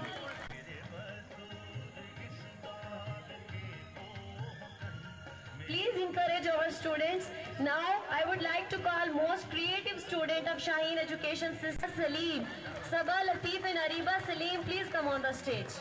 Call the most brilliant student of Shaheen Ideal Public School, I would like to request Abdullah Arfaq, please come on the stage. Abdullah Arfaq. اس ثقافت کو کچلا گیا ہنسنا گیا اسے برباد کیا گیا اس تفصیل میں جاؤں گا بہت زیادہ وقت دی جائے گا اور اس ثقافت میں ہمارے زبان پہ بہت سنگین اٹیکس ہوئے ماضی کی لمبی تاریخ ہے اور سنگین اٹیکس ہوئے اس زبان پہ اور اس کو تاراج کرنے کی کوشش کی گئی لیکن میں سمجھتا ہوں کہ آج اس خطے کے اندر وہ لوگ خواتین کی صورت میں، مردوں کی صورت میں، نوجوانوں کی صورت میں طالب علموں کی صورت میں موجود ہے کہ اس ثقافت کو جس کو کچل دیا گیا تھا، اس زبان کو جس کو جسے قتل کر دیا گیا تھا، اسے دوبارہ زندہ کرنے میں مختلف جو سٹالز ہیں، جس میں آرٹ ایگزیبیشن ہے، سائنس ایگزیبیشن، کشمیری ثقافت کو شو کرنے کی کوشش کی گئی۔ جو لوگ ان اسٹالس کا وزٹ نہیں کر سکے، میں لازمی طور پہ انہیں کہوں گا کہ وہ ان کا وزٹ کرتے ہوئے یہاں سے جائیں۔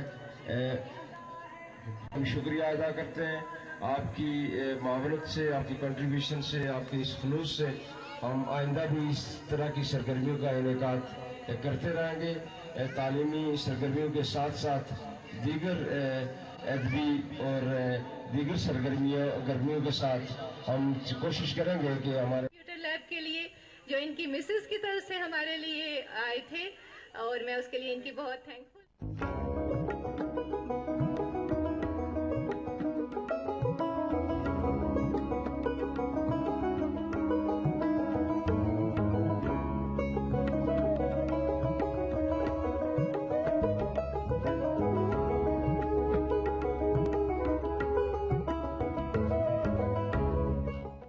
Jammu Kashmir Student Liberation Front J K S L F کا بارہواں مرکزی پیام انقلاب کنونشن پونچھ کی تحصیل ہجیرہ میں منعقد ہوا۔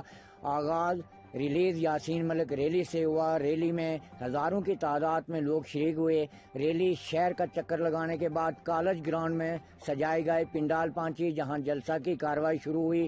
جلسہ تقریباً سات گھنٹے تک جاری رہا۔ جلسہ سے خطاب کرتے ہوئے مقررین نے تحریک آزادی کو درپیش چیلنجز کے حوالہ سے کھل کر بات کی اور ایس ایل ایف کے نوجوانوں کے تحریک آزادی میں کردار کو سراہا مقررین نے ایس ایل ایف کی سابقہ قیادت کو خراج تحسین پیش کیا اور نئی آنے والی قیادت کو مبارکباد پیش کی اور موجودہ دور کے تقاضوں کے تحت تنظیم کو منظم کرنے پر زور دیا۔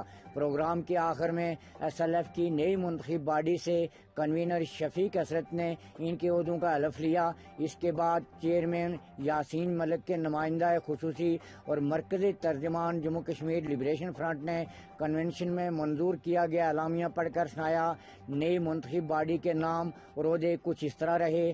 Chairman Ubaid Shabbir secretary general Imran Jahangir, chief organiser Abdul Quddus Altaf senior vice chairman Humayun Muzaffar, senior chairman Tariq Aziz, senior vice chairman Ayan Gilgiti, vice chairman Jawad Bukhari, ترجمان فہیم بھیا، incharge study circle Ghulam Awais secretary finance Abdul Wahab deputy secretary general Farooq Kesar, assistant secretary general Raja Ehsan, deputy secretary اطلاعات Noman Aslam, deputy secretary finance Mozan Haider, deputy chief organiser Imad Khalid ممبران central committee, Noman Afzal, Yasir Hafeez, Raja Usama coordinator U K Imad Malik رہے۔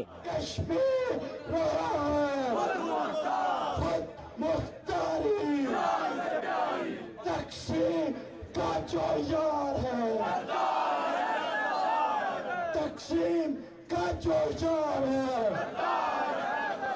جی کاشر میری جان۔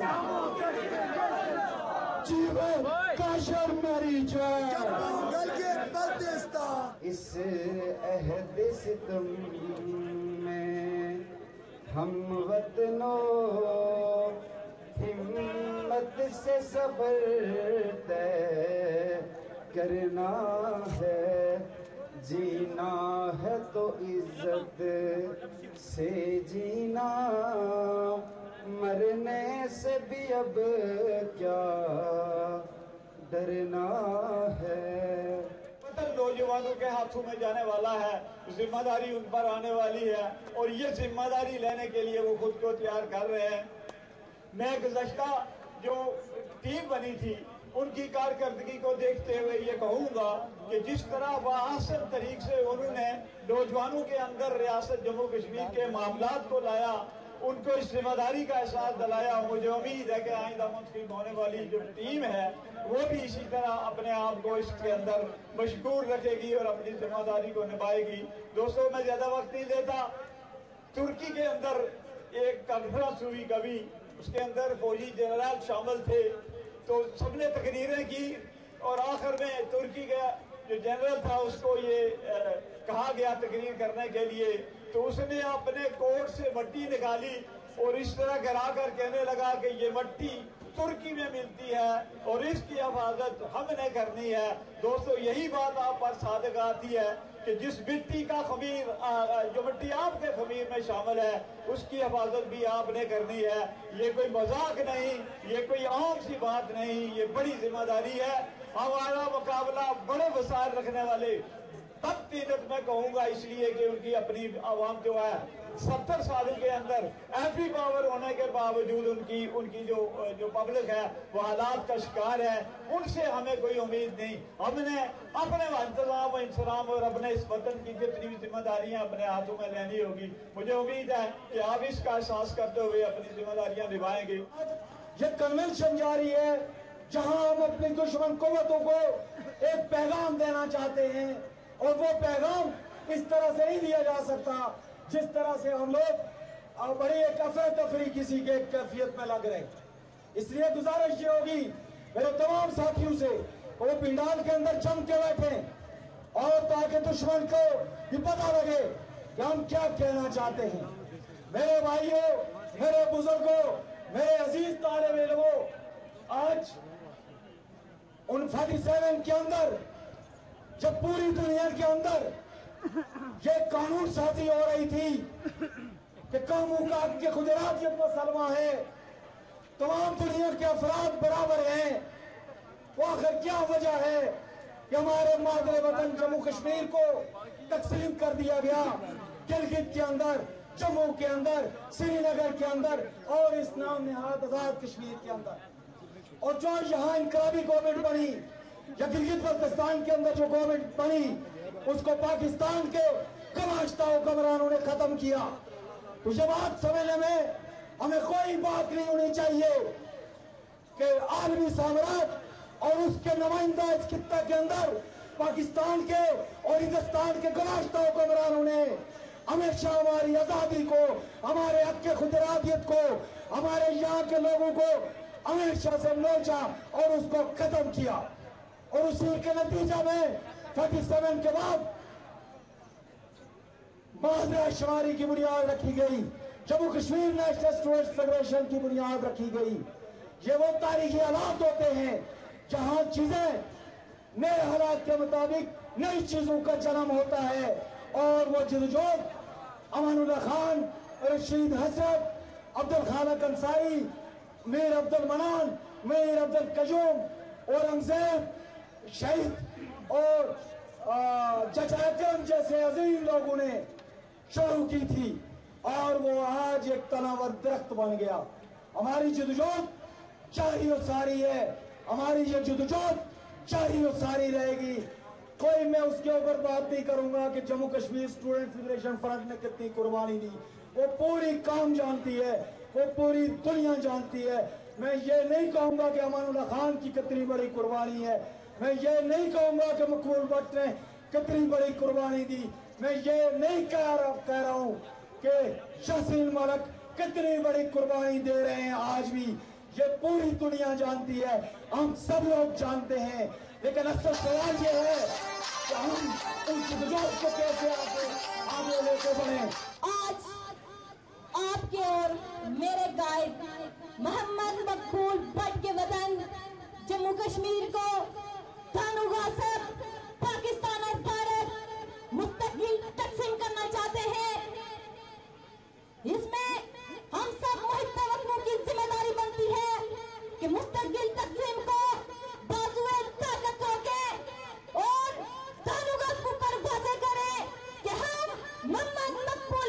پیروکار ہیں، جس نے اپنے آخری سانس تک روز کو سے سمجھوتا نہیں کیا تھا۔ اور اپنے گلے میں پھانسی کا پھندا ڈال کر ہمارے لیے یہ پیغام چھوڑ رکھا تھا کہ دردی ماں کی آزادی اور خود مختاری تک رفت سے سمجھوتا نہ کر۔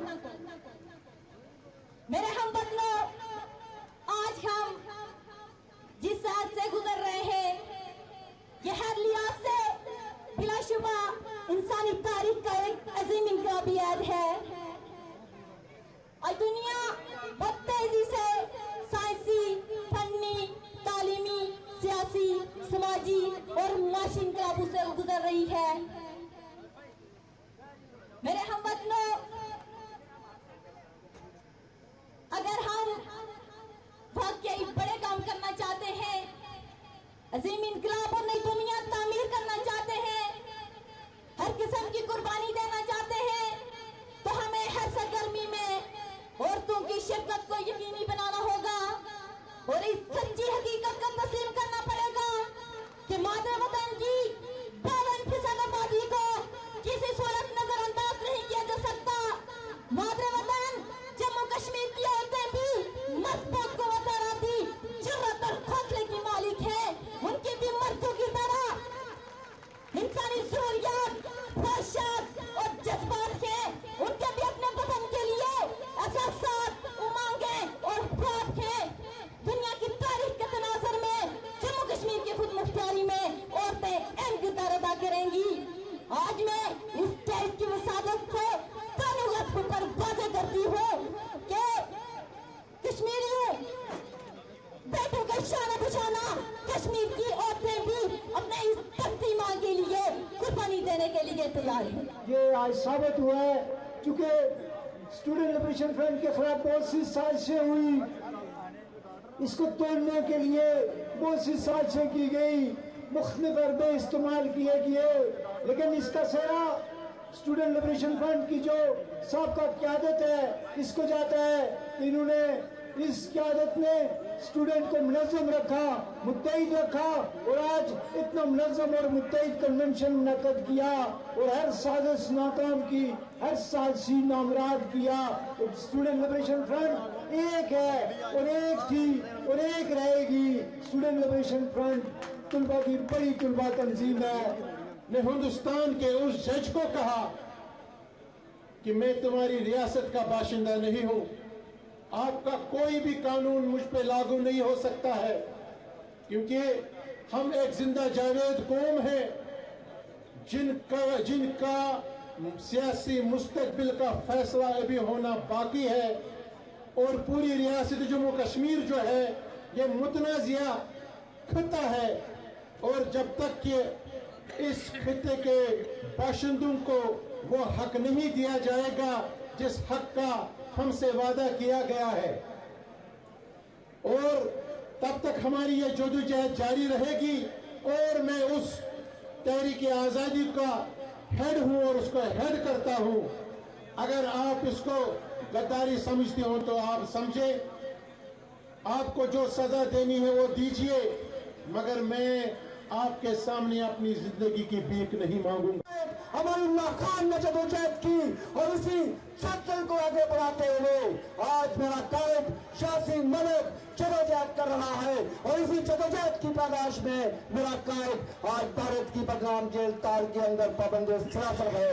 میں اس سٹیج کی مطابق سے، اس پیام انقلاب توبہ کنونشن کے سٹیج سے یاسین ملک کی جدوجہد کو سلام پیش کرتا ہوں، اس کی عدمتوں کو سلام پیش کرتا ہوں اور میں قائد تاریخ امان اللہ خان کی مقبول امن پر شہید کی روح سے یہ تجدید عید کرتا ہوں کہ جب تک ہمارے جسم میں خون کا آخری قطرہ بھی موجود ہے، ہم ریاست جموں کشمیر کی آزادی کی جدوجہد، مقبول امن پر شہید کی سوچ امان اللہ خان کی سوچ، نظریات اور افتار کی روشنی میں کرتے رہیں گے، کرتے رہیں گے۔ جیسے جموں کشمیر میں بسنے والے ہر ایک باسی اس کا یہ برف رائٹ ہے کہ اس کا حق خدوریت دیا جائے۔ ہم اس بات کو تسلیم نہیں کرتے کہ کسی ایک کا فیصلہ دوسرے کے اوپر تھوپ دیا جائے۔ ہاں یہ اچھی بات ہے کہ اگر ہم میں سے کوئی بیٹھا یہاں شخص آزادی کو اپنی ایک فلوپسی کے تحت تسلیم کرتا ہے تو اس کی بات ضرور کرے۔ لیکن اس کی اجازت کسی طور کے اوپر بطور پولیٹیکل کرم نہیں ہو سکتی کہ آپ اپنی مرضی کا فیصلہ آپ اس ریاست کے بسنے والے ہر شہری کے اوپر کو پہ کسی صورت اس بات کی اجازت نہیں دی جا سکتی۔ ہم یہ محسوس کرتے ہیں کہ Jammu Kashmir People's Front Federation کا جو مشہور مطالبہ ہے کہ ہمارا نعرہ سب پہ باری رائے شماری رائے شماری ہم اس کے اوپر مکمل یقین رکھتے ہیں۔ ہم یہ یقین رکھتے ہیں کہ ریاست کا ہر ایک باسی اس کو یہ حق حاصل ہے تو اپنی مرضی کا فیصلہ کشمیری ہونے کے ناطے وہ اپنی ریاست کا فیصلہ خود کر سکتا ہے۔ لیکن یہ نہیں ہو سکتا کہ کوئی الحاق کا حامی خود مختار والے کو گدار کہتا پھرے۔ اور یہ بھی نہیں ہو سکتا کہ خود مختار کا حامی کسی دوسرے تیسرے کو گدار کہتا پھرے۔ میں یہ محسوس کرتا ہوں Jammu Kashmir People's Front Federation کے پلیٹ فارم سے کہ جب تک ہم اس انارکی کی فضا کو ہم ختم نہیں کرتے تو جموں کشمیر کا جو فیصلہ ہے وہ کسی نیکس پہ نہیں سوچ سکتا۔ ہم یہ بھی محسوس کرتے ہیں کہ گلگت بلتستان ریاست جموں کشمیر کا حصہ ہے جیسے لداخ حصہ ہے جیسے سری نگر اور جموں حصہ ہے ریاست جموں کشمیر ایک ناقابل تقسیم قوت پورے دار کشمیر کے اندر دنیا بھر کے اندر سری نگر میں ایک تحریک نام کر دی کہ ریاست جموں کشمیر جو اسی ہزار چار سو اکتر جا سکتا ہے، اس کو کسی کو ہم تقسیم کے بن دیں گے۔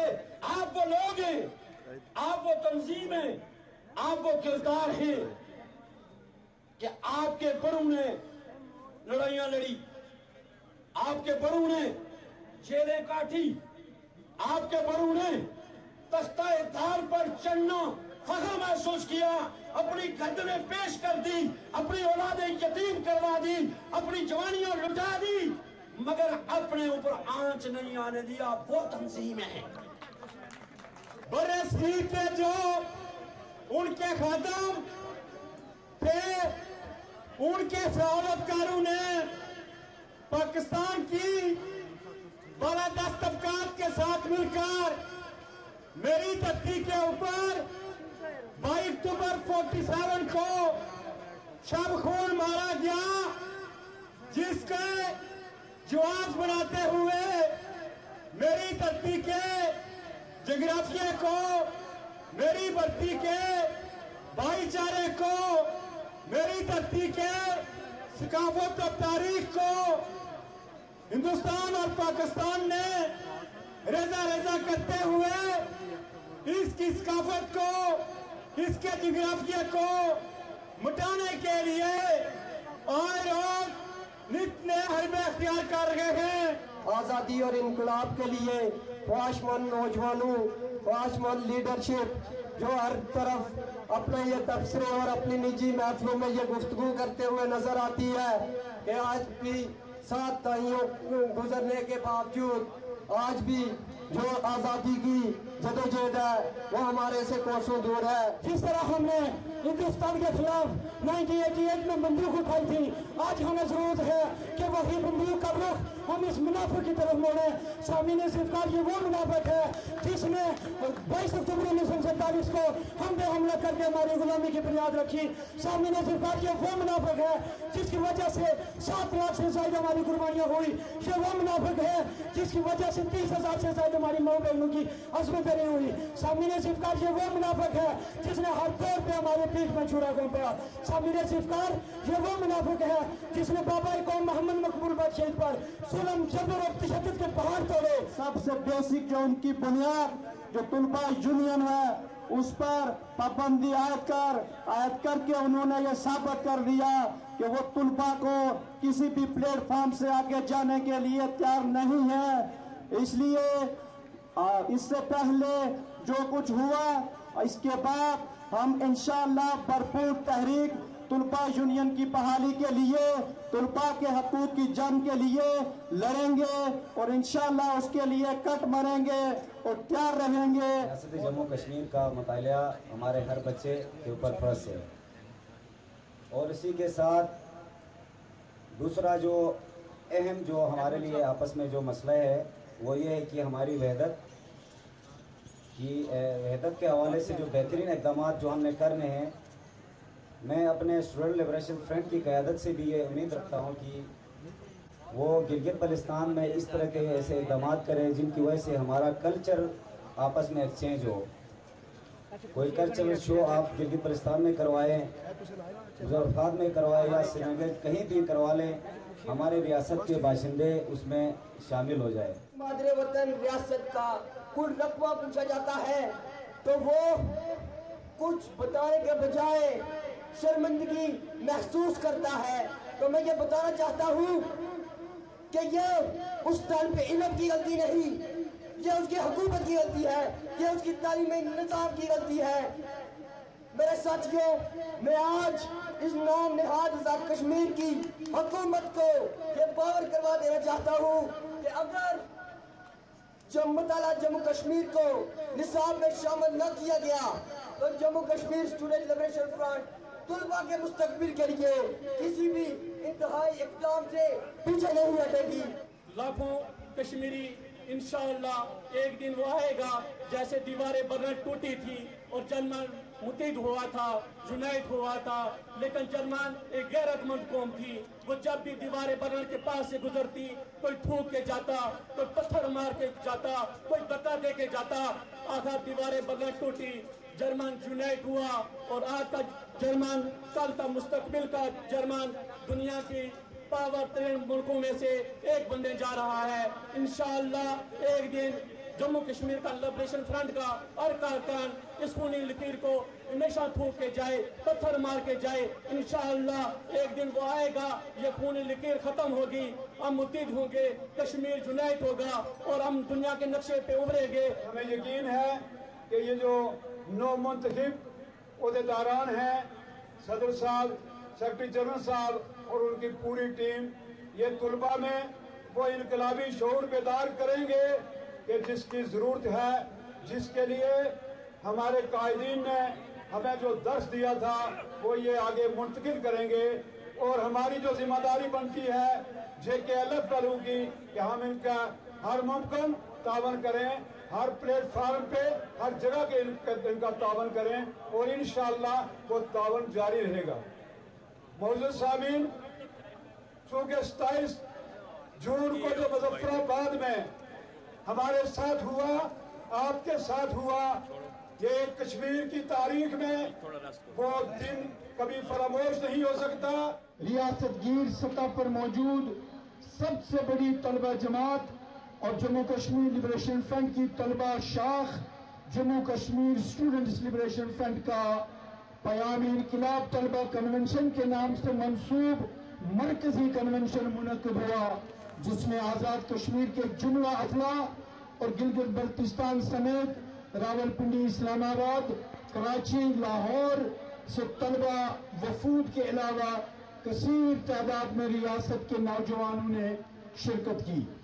کنونشن اور جلسے کے انعقاد سے قبل جموں کشمیر لبریشن فرنٹ کے مرکزی و زونل رہنماؤں کے علاوہ Jammu Kashmir Students Liberation Front کے نوجوان رہنماؤں کی قیادت میں ہزاروں کارکنان و عوام علاقہ پر مشتمل ایک فقید المثال ریلیز یاسین ملک ریلی کا انعقاد ہوا، جو ریاست کی آزادی، یاسین ملک کی رہائی اور طلبہ حقوق کی بحالی کے حق میں اور ریاست جموں کشمیر کے غیر قانونی قبضے کے خلاف فلک شگاف ناروں کے درمیان حجیرہ کے مرکزی بازار سے ہوتے ہوئے مرکزی جلسہ کالیج کالج گراؤنڈ پر اختتام ہوا۔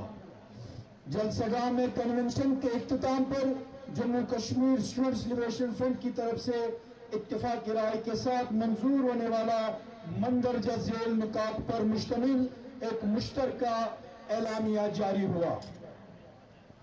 شرکائے پیغام، پیام انقلاب طلبہ کنونشن اپنے قومی موقف کا اعادہ کرتے ہوئے، اپنے قومی موقف کا اعادہ کرتے ہیں۔ کہ چوراسی ہزار چار سو اکہتر مربع میر پر محیط وطن وطن ریاست جموں کشمیر ناقابل تقسیم اور تاریخی طور پر ایک جغرافیائی اور سیاسی وحدت ہے، جس کی مکمل آزادی وہ خوشحال معاشرے کے قیام تک جدوجہد جاری رکھنے کا عہد کر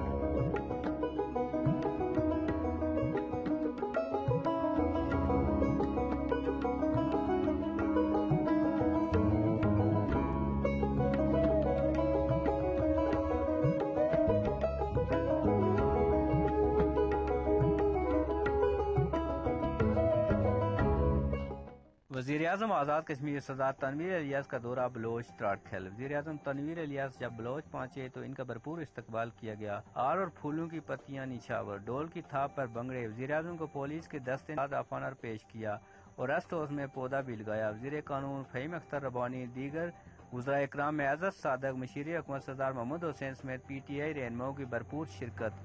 بلوچ سے سرسوا سڑک کا افتتاح کیا۔ بلوچ کے لیے بڑے ترقیتی پیکج کی منظوری دی۔ بلوچ اور تراڑکل ایڈیشنل سیشن جج عدالت کا قیام۔ بلوچ میں گرلز ڈگری کالج کو اپ گریڈ کر کے پوسٹ گریجویٹ کالجز کا درجہ۔ قلعہ ہائی اسکول کو higher secondary rural health centre Baloch کو tehsil head quarter hospital. Baloch میں پارک اور سپورٹس کمپلیکس کے لیے دس کروڑ ہلکا۔ بلوچ میں مجموعی طور پر چوبیس تعلیمی اداروں کی اپ گریڈیشن کے اعلانات۔ بی ایچ یو پچیس کلومیٹر سڑکات کی منظوری۔ بلوچ میں سمال انڈسٹری کے لیے اڑائی سو کنال اراضی مہیا کرنے کے لیے محکمہ مال کو ہدایت۔ وزیر اعظم نے رات کو تراڑکھل میں سابق امیدوار اسمبلی سردار عزت انجمن تاجان تراڑکھل کے پروگرام میں بھی شرکت کی۔ تحصیل ہیڈ کوارٹر اسمتال تراڑکھل میں ایم ایس سمیت تمام پوسٹوں پر جد تعیناتی کی یقین دہانی۔ گز کالج کو پوسٹ گریجویٹ کالج کا درجہ، ٹاؤن کمیٹی کی پوسٹیں رنگ روڈ سیشن جج عدالت کا قیام، ناظرین اب دیکھتے ہیں کہ ان اربوں کے منصوبوں کی تکمیل ہوگی یا پھر پہلے کی طرح یہ اعلانات صرف اعلان تک ہی رہتے ہیں۔ Amjad Farooq, J K T V, Tararkhal, Jammu Kashmir. طور پہ پنچ کے ہمارے کمشنر اور D I G police, Rashid Naeem صاحب اور انصر یعقوب صاحب انتہائی متعلق اور میں یہ سمجھتا ہوں کہ یہ جہاں پہ بھی پنچ کے حوالے سے کام ہو یہ دونوں معاہدے بھی ہیں۔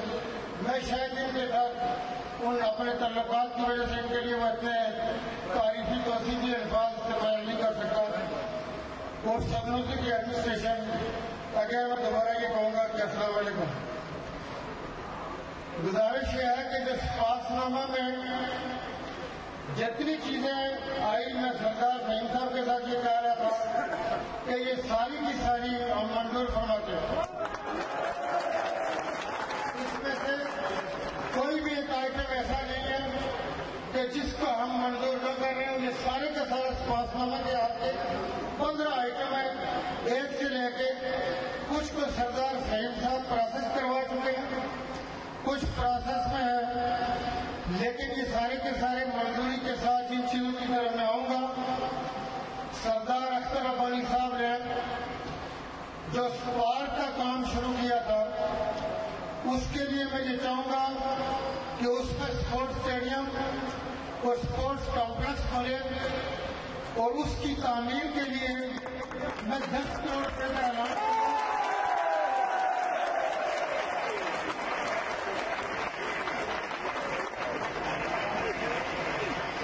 دس کروڑ روپے ہم اس کے لیے اعلان کر رہے ہیں لیکن اگر اس کی کوئی کمی کجی ہوئی اس کی بہتری اور اس کے شاعر شان بنانے میں کچھ بات باقی ہوا تو وہ بھی انشاءاللہ ہم دیں گے میں اگر تو یہ کہتے رہتا ہوں کہ پورے کا پورا کشمیر خصوصی پوائنٹ اس دھرتی پہ فخر کرتا ہے کہ یہ سردار ملی خان، سردار سد علی خان کی دھرتی ہے۔ ان کی جائے پیدائش ہے۔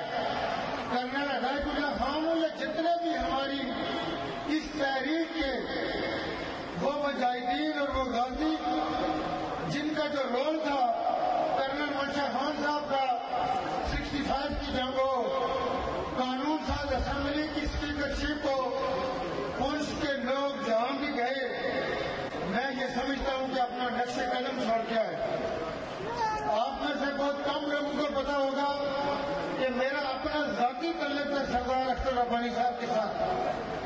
میری جب فہم صاحب کے ساتھ اتنی واقفیت نہیں تھی، لیکن میں سردار اختر ربانی صاحب کا کئی جگہوں پہ حوالہ دیا کہ جو ایک ان کی جذر مسلسل تھی، ایک اپنی کوشش سے آپ کے دلوں میں ایسا گھر کیا کہ یہ محبت ہم یقین رکھتے ہیں کہ انشاءاللہ شاء اللہ عمل کی اسی طرح یہ ان کی محبت جو ان کے لیے ہے، ان کے خاندان کے لیے آپ کی یہ اسی طرح موجود رہے گی۔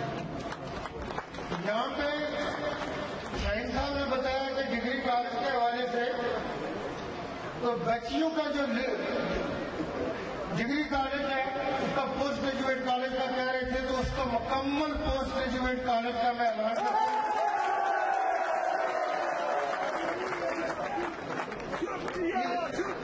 اس کے ساتھ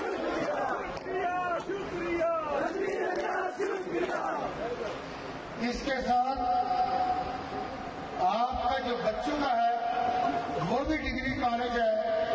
اس میں میں یہ چاہوں گا کہ ابتدائی طور پہ سردار محمد حسین صاحب بھی ایڈوائز کر سکتے ہیں، چونکہ بڑے آئین اور قانون کے حوالے سے کہ بلوچ میں آپ لوگ دیکھیں گے کہ بچوں کو کون سے ایسے سبجیکٹ ہیں جو پڑھائے جا سکتے ہیں۔ تو بچوں کے پوسٹ گریجویشن کے چار سبجیکٹ آپ ابتدا میں شروع کریں۔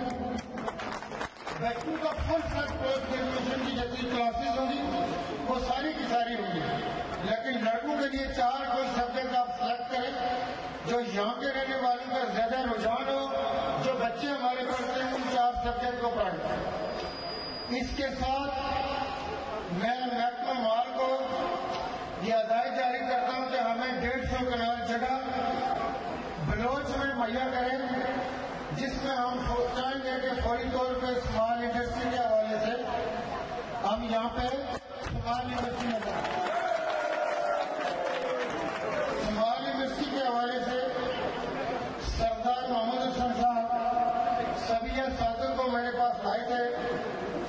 وہ پہلے وومن کمیشن میں انٹرسٹ تھی بارہ کچھ ہم نے اس دن بات کی، کچھ آج کی رستے میں ہم نے بات کی، وہ مان گئی ہے ان کو ڈسٹرکٹ سدرتی کا ہم special assistant of P M for district Sudhnoti women empowerment کے لیے اپوائنٹ کرتے ہیں۔ اگر نبیلا عشا صاحبہ آ گئی تو ان کے لیے ریاستی گنجائش ہے۔ تو سدرتی کے پاس ابھی آگے آپ کے پاس اور ہوتے ہونے والے ہیں۔ ہم ہر ڈسٹرکٹ سے ایک اسپورٹس افیئر میں اور ایک یوتھ افیئر میں ایک چیئرمین لے رہے ہیں۔ پھر اسی طرح تحصیل سے ہوگا۔ جہاں پہ بہت ساری یادیں میری بھی ہیں اور ہمارے بہت سارے ساتھیوں کی بھی بہت پرانا سکون ہے۔ جب میں ڈگری کالج کیلا دینے کے لیے گیا، تو کہنے لگے کہ بوائز ہائی اسکول اگر انٹر کالج ہو جائے تو میں نے کہا کہ ایک چیز دیکھ سکتا ہوں، یا انٹر کالج یا ڈگری کالج۔ چوائس آپ لوگوں کی ہے، بچیوں کے لیے ڈگری کالج کیا تو انہوں نے کہا کہ ٹھیک ہے، ڈگری کالج ہمیں قبول ہے۔ آج میں آرام کرتا ہوں، یونین کانسپٹ کیا کہ لوگوں نے سارے شکل مجھے ہوا آج میں اعلان کرتا ہوں کہ وہاں پہ higher secondary school, boys higher secondary school. آپ لوگوں سے گزارش کرنا چاہتا ہوں یہ بساڑی کے میرے ساتھی یہاں پہ بیٹھے ہوئے سردار اختر حسین ربانی کے ساتھی بیٹھے ہوئے وہاں پہ بھی ہائر سیکنڈری اسکول کا اعلان کیا۔ ساتھ گزارش یہ کروں گا کہ ہم نے سفر شروع کیا، صرف ایک ہائر سیکنڈری اسکول جو بیٹھے کبان آباد والا سکول ہے، صرف انہوں نے دیا تھا۔ اس کے علاوہ جو ہائر سیکنڈری اسکول اس کے بعد نظر آئے گا، وہ آپ لوگوں کی طاقت کی وجہ سے پاکستان تحریک انصاف نے وہاں پہ دیا ہوگا۔ بائیس کروڑ کی بھی ایک بڑی تعداد موجود ہے۔ میں ڈیٹیلز میں نہیں جاتا لیکن ہائر سیکنڈری اسکول کے ساتھ ساتھ ہائی اسکولوں کا بھی آپ لوگوں کے سامنے اعلان کرتا ہوں اور مڈل اسکولوں کا بھی آپ لوگوں کے سامنے اعلان کرتا ہوں۔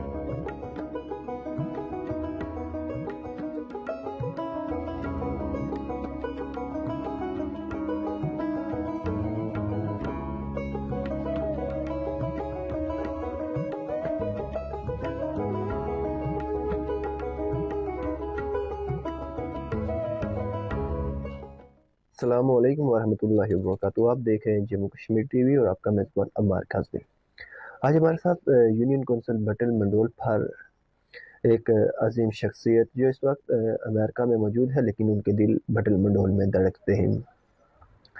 اور ان سے ہم تبصرہ لیں گے کہ بلدیاتی انتخابات پر ان کی رائے کیا ہے، یا بیرون ملک جتنے بھی مقیم کشمیری ہیں، خاص کر کے یونین کونسل بٹر مڈول کے وہ اس کے بارے میں کیا کہیں گے؟ یونین کونسل بٹر مڈول حلقہ عباس پور ون میں موجود ہے۔ میری مراد آج ہمارے ساتھ ہمارے مہمان ہوں گے سردار رشید خان صاحب۔ رشید خان صاحب، السلام علیکم ورحمت اللہ وبرکاتہ۔ رشید خان صاحب، آپ کی صحت، طبیعت اور مزاج کیسے ہیں؟ وعلیکم السلام شاہ صاحب، کیسے ہیں آپ؟ امید ہے آپ خرید سے ہی ہوں گے۔ تو مجھے سب سے پہلے تو آپ کا شکریہ ادا کرنا چاہیے۔ کیونکہ آپ نے پہلی دفعہ جو ہے نا یہ باہر ملک میں میرا یہ انٹرویو لیا ہے اور اپنی جو ہے نا دل میں یہ جگہ پیدا کی ہے کہ سردار رشید صاحب بھی اس مڈول کی دھرتی سے پیار کرنے والے ہیں اور ان کا انٹرویو بھی ضروری ہے۔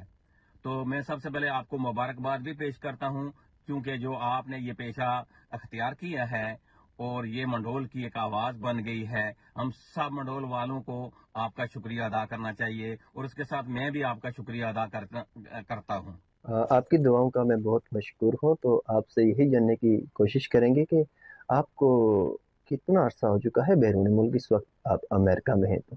سر مجھے سات سال ہو گئے ہیں ادھر تقریباً سات آٹھواں سال شروع ہے جو امریکہ میں تو اس سے پہلے تو میں تقریباً اٹھارہ انیس سال میں سعودی عرب میں بھی رہا ہوں۔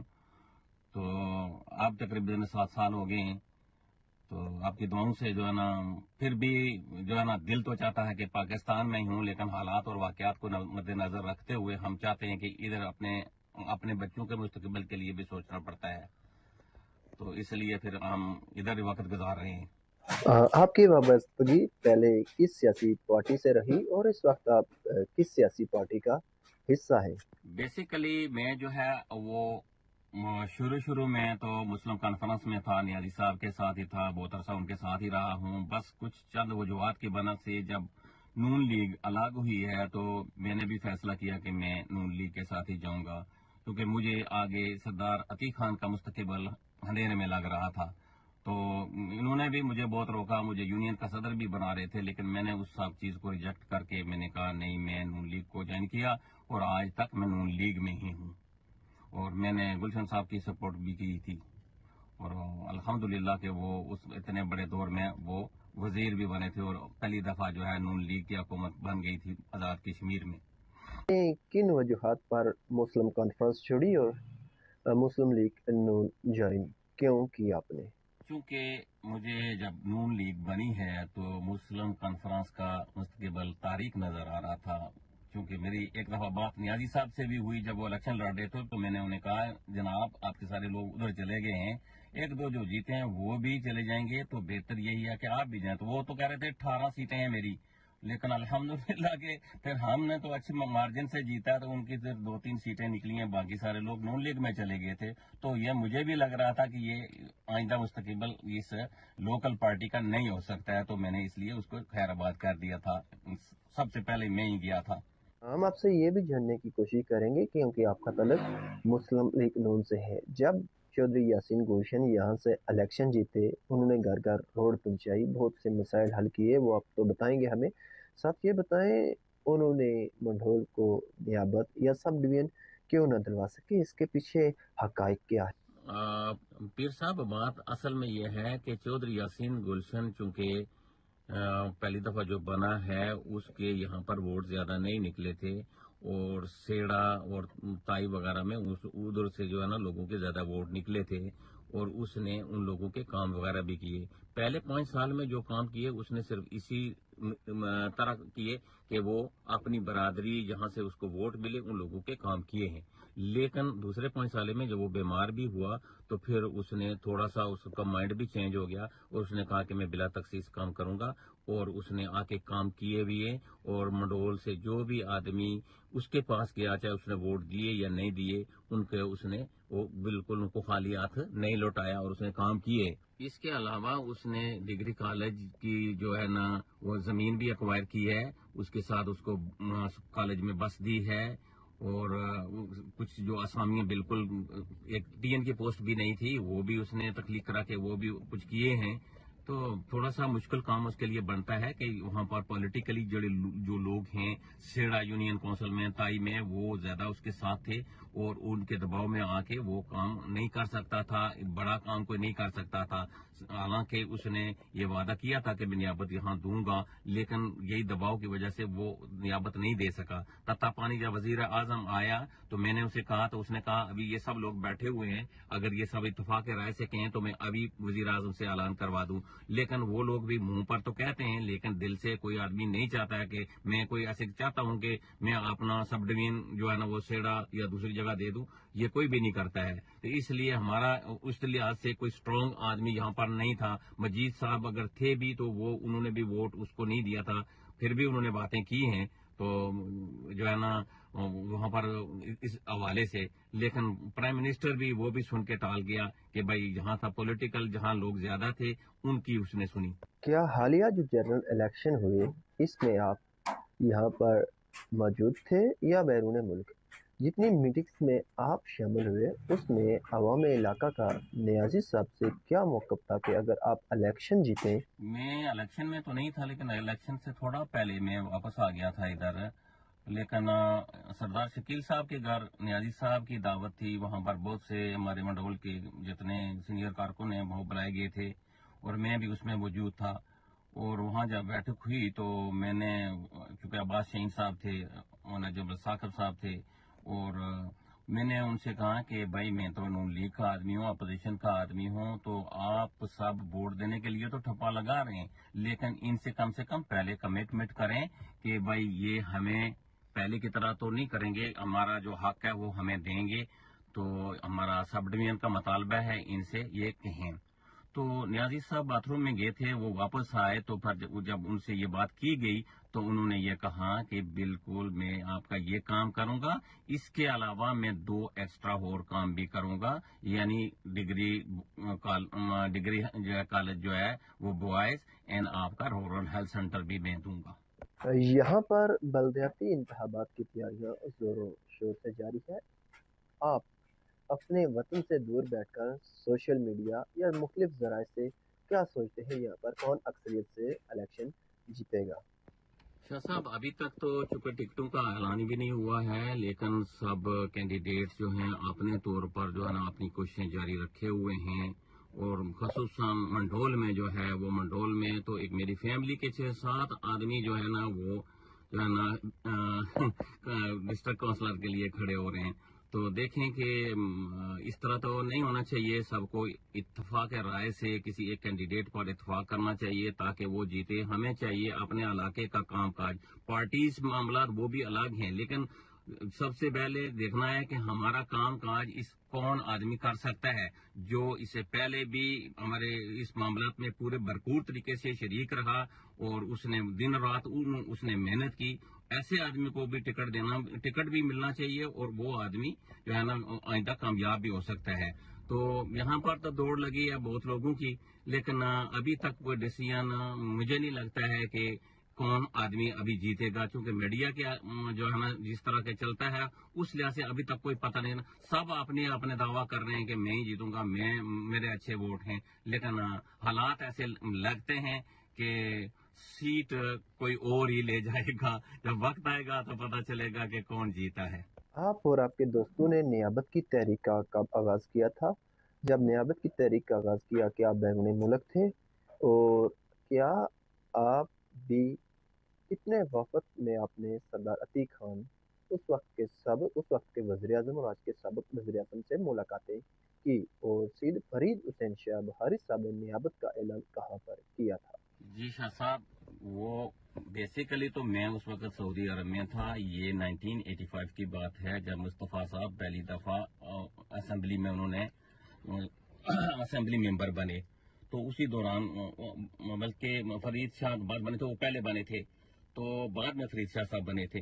تو ظاہر ہے ان کا ایک تعلق تھا اپنا، لیکن ہمارے ساتھ انہوں نے یہی وعدہ کیا تھا میں، مجاہد اول، کہ یہ ہمیں آپ کو یہ جو ہے نا دیں گے نیابت یہاں پر۔ تو ظاہر ہے کہ ہماری سیاسی قیادت یہاں پر اس طرح کی اسٹرانگ نہیں تھی، جس کی وجہ سے جو ہے نا وہ اندر اندر سے انہوں نے جو ہے وہ نیابت کا ادھر کروا لیا۔ حتیٰ کہ اتنا بھی ہے کہ بالکل اینڈ پر دوسرے دن افتتاح تھا، لیکن انہوں نے وہ بھی نہیں بتایا کہ بھائی صبح افتتاح ہو رہا ہے۔ تو بس ایسے ہی گول مول کھاتے میں انہوں نے کروائی تھی وہ جو ہے نا نیابت۔ تو اس کے بعد انہوں نے کہا کہ ہم اس کو پندرہ پندرہ دن رہ کے مسجد میں بھی انہوں نے بیٹھ کے آجی صاحب تھے، انہوں نے کہا کہ پندرہ دن ادھر رہے گی، پندرہ دن ادھر رہے گی۔ لیکن اس پہ بھی عمل نہیں ہوا، بلکہ یہ ہوا کہ جب یہ وزیر بنے بعد میں فرید شاہ صاحب کے فوتنے پر تو سب کچھ انہوں نے جو ہے نا اس کو غائب بھی کر دیا۔ آپ نے یہ پوچھا ہے کہ آپ کتنی دفعہ سردار عتیق خان صاحب کو ملے ہیں؟ یہ جو ہم نے ہماری یہ کوشش تھی کہ ہم ان کے بعد کہ جب نیازی صاحب وزیر حکومت تھے، اس وقت ہماری کوشش تھی کہ اس کو بنایا جائے سب ڈویژن چونکہ نیابت وہاں پر ہے اور یہاں سب ڈویژن بنایا جائے اور ہم جا کے وفد لے کے گئے ہیں مجاہد منزل پر سردار عبد القیوم صاحب مجاہد اول سے ملے، انہوں نے ہمارے ساتھ بہت اچھا سلوک کیا، انہوں نے عتیق صاحب کو ادھر کال کر کے بتایا، ہمارا سارا وفد پھر دوبارہ چلا گیا مظفر آباد عتیق صاحب نے بھی بہت اچھے طریقے سے ڈیلنگ کی، لیکن انہوں نے وعدہ بھی کیا کہ مینڈر نام سے ہم نے یہ اس کو جو ہے نا تحصیل نام رکھا تھا۔ لیکن اس کے بعد جو ہے نا اندر اندر سے انہوں نے اس کو جو ہے نا سیڑھے کے مقام پر جو ہے نا اس کو تحصیل ہیڈ کوارٹر بنانے کا نوٹیفکیشن جاری کر دیا۔ جبکہ میں اس وقت مسلم کانفرنس کا یونین کا صدر تھا۔ اور میں نے پھر جو ہے نا، ہم لوگوں نے تحریک شروع کر دی۔ ہم نے پندرہ اٹھارہ دن جو ہے نا، دن رات جو ہے نا ہماری تاریخ چلتی رہی ہے۔ جلوس نکالتے رہے ہیں، زندہ پھر سے لے کے بوکڑا تک جاتے رہے ہیں۔ تو اللہ کے کرم سے وہ چیز جو ہے نا، وہ منسوخ ہو گئی تھی۔ تو پھر ہم جو ہے نا، اس کو دوبارہ کوشش کر رہے ہیں کہ اس کو یہ جو ہے نا، بنی جائے کسی طریقے سے۔ ہم نے کوشش کی ہے۔ جس کے آپ نے گلشن صاحب کو بھی کہا ہے لیکن کہ کچھ نہ کوئی نیابت تو کر دو۔ انہوں نے بھی کہا کریں گے لیکن ظاہر ہے کہ حالات کچھ ٹھیک نہیں تھے جس کی وجہ سے وہ بیچارہ بھی مجبور تھا پولیٹیکلی وجہ سے۔ جب آپ منڈھول کی کوئی خبر سوشل میڈیا اخبار پرنٹ میڈیا کے ذریعے وصول کرتے ہیں تو آپ کا دل کیا دھڑکتا ہے اور اس کے بارے میں آپ کے کیا تاثرات ہوتے ہیں؟ دل تو چاہ... دل تو چاہتا ہے کہ جتنا جلدی ہو ممکن ہو کے وہاں پہنچ جائیں، اس الیکشن میں بھرپور طریقے سے حصہ بھی لیں اور جو اپنے لوگ ہیں، ان کو ایک پلیٹ فارم پہ جمع کر کے ایک اچھا رزلٹ سامنے آئے جو علاقے کی تعمیر و ترقی کر سکیں۔ لیکن شاہ صاحب، دوسری بات تو یہ ہے کہ یہ بڑی اچھی بات ہے کہ یہ بلدیاتی انتخاب ہو رہے ہیں، ورنہ یہ بلدیاتی جتنے فنڈز ہیں وہ ایم ایل اے کے پاس جاتے تھے تو ہم لوگوں کو مرہون منت اپنی مرضی سے وہ کرتا تھا ایم ایل اے۔ تو یہ بہت اچھا اقدام ہے۔ یہ تو میرا نیازی صاحب کا شکریہ ادا کرتے ہیں کہ انہوں نے یہ بنیاد رکھی ہے کہ بھائی انتخاب کے سلسلے میں تو یہ لوگ اگر بنیں گے تو کم از کم ایک وارڈ سطح پر جو ہے نا ہر بندے کا کچھ نہ کچھ، کوئی چھوٹا موٹا پانی کا کام، چھوٹے موٹے یہ کام یہ لوگ کریں گے۔ تو میں حتل البسا کوشش بھی کروں گا کہ بھائی اگر نومبر میں الیکشن ہوئے تو میں میں بھی شرکت کروں۔ آخری سوال اور آپ سے ہم بھی اجازت چاہیں گے، آپ نے اپنا قیمتی وقت وہاں سے ہمیں دیا۔ ہم آپ سے یہ جاننے کی کوشش کریں گے کہ جب آپ نے میری آپ سے فون پر بات ہوئی اور آپ نے منڈھول ہائی سیکنڈری اسکول کی ویڈیوز دیکھی اور آپ نے کہا کہ میں انشاءاللہ جب آؤں گا تو اس کے لیے کچھ کروں گا، تو اس حوالے سے بھی ذرا ہم کو بتا دیجیے گا۔ پھر صاحب، یہ تو اسکول ہمارا اپنی ذاتی چیز ہے، ہم اس کے لیے اپنی جان بھی حاضر کرنے کے لیے تیار ہیں۔ تو اس سے پہلے بھی جو کمرے وغیرہ بنے ہیں، عمر نے بھی ہم لوگوں نے جو ہے اس میں پارٹیسپیٹ کیا ہے اور آئندہ بھی انشاءاللہ ضرور کریں گے۔ آپ کو پتہ ہونا چاہیے کہ ہم لوگ اس چیز کے پرواہ نہیں سمجھتے ہیں۔ اپنے علاقے کے لیے، اپنی مساجد کے لیے، اپنے اسکولز کے لیے، اپنے دیگر چیزوں کے لیے جہاں تک ہمیں ہوا ہم بھرپور طریقے سے تعاون کریں گے اپنی منڈول بٹل کے عوام کے لیے جہاں بھی کوئی صورتحال ایسی ہوگی انشاءاللہ ضرور ہم ان, ان, ان کے لیے اپنی جان کا نظرانہ بھی دینے کے لیے تیار ہے پیسے تو کوئی بڑی بات نہیں ہے۔ تو میں انشاءاللہ آیا تو انشاءاللہ کوئی ایک بڑا کام انشاءاللہ ضرور کر کے آپ لوگوں کو بتاؤں گا کہ رشید صاحب نے کوئی کام کیا جو میرے مرنے کے بعد بھی کوئی چیز تاریخ میں زندہ رہی آخر میں جناب کا بہت بہت شکریہ کہ آپ نے اپنا قیمتی وقت نکال کے مجھ جیسے ناچیز سے رابطہ کیا اور اپنے علاقے کے مسائل مجھ سے دریافت کیے۔ تو میں یہ اس کے لیے دعا گو ہوں کہ آپ اللہ تعالیٰ آپ کو دن دگنی رات دگنی ترقی عطا فرمائے اور اپنے معاملات میں اور بہتر خدمت منڈول کی کر سکیں آپ۔ وما علینہ البلاغ والسلام۔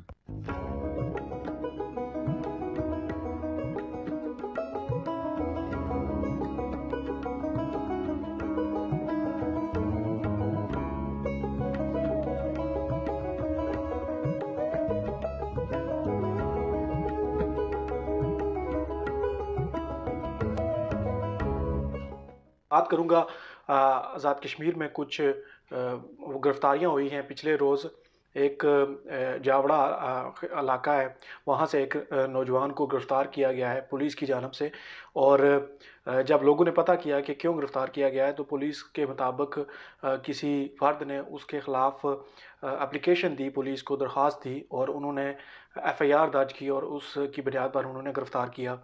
جس فرد سے انہوں نے یہ اپلیکیشن منسوب کی لوگوں نے ان سے جاننے کی کوشش کی کہ آپ نے کیا اپلیکیشن دی ہے اور اس لڑکے کا کیا جرم ہے یا آپ سے اس کو کیا شکایت ہے کہ آپ نے پولیس کو درخواست دی ہے؟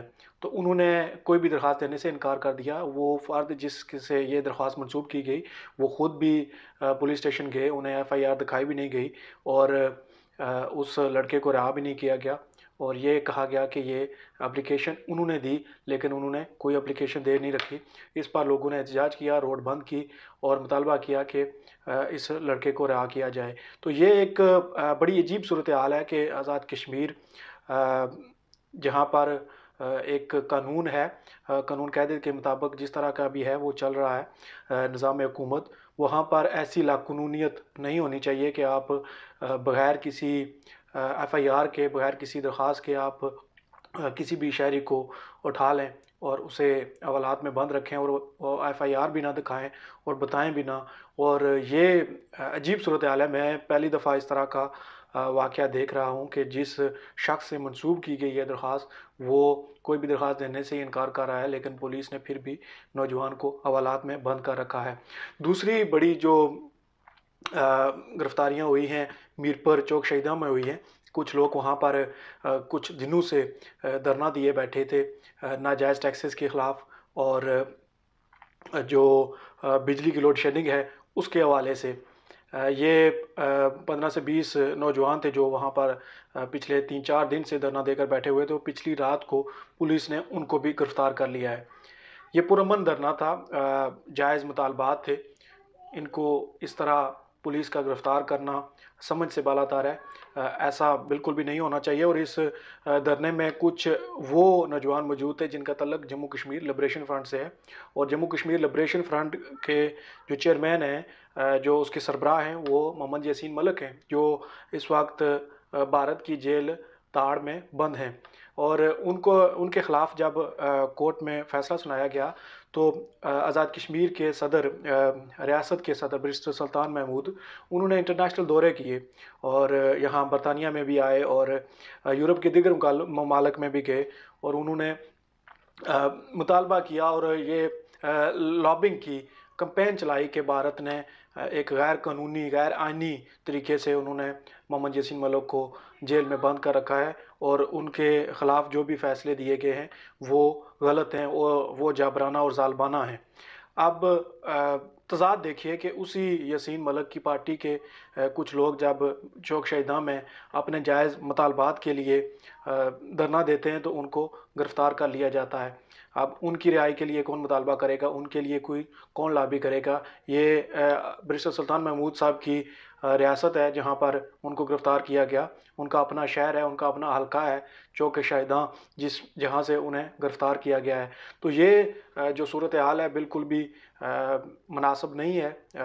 وزیر اعظم آزاد کشمیر سردار تنویر الیاس یہ پہلے بھی بیان دے چکے ہیں کہ اگر یہ لوگ اپنے جائز مطالبات کے لیے مطالبات سے ہٹیں گے نہیں، پیچھے نہیں ہٹیں گے۔ اور اسی طرح تحریکیں چلاتے رہیں گے، احتجاج کرتے رہیں تو وہ ہم بھی تار جیل بنائیں گے۔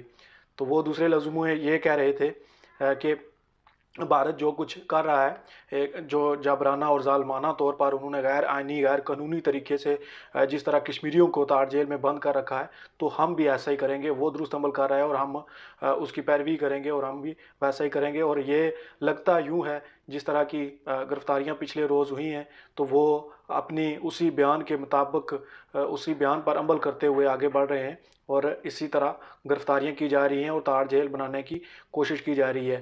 یہ عمل بالکل بھی درست نہیں ہے اور بالخصوص میرپر کے لوگوں کو بھی یہ دیکھنا چاہیے کہ چند ایک لوگ ہیں جو آپ کے حقوق کے لیے آواز اٹھا رہے ہیں۔ تو منگلہ ڈیم جو میرپر کے لوگوں کی قربانیوں کے سلے میں بنا ہے یہاں پر ابھی تک ٹھوار یہاں پل مکمل نہیں ہو سکا۔ متاثرین منگلہ ڈیم کے مسائل اب بھی موجود ہیں۔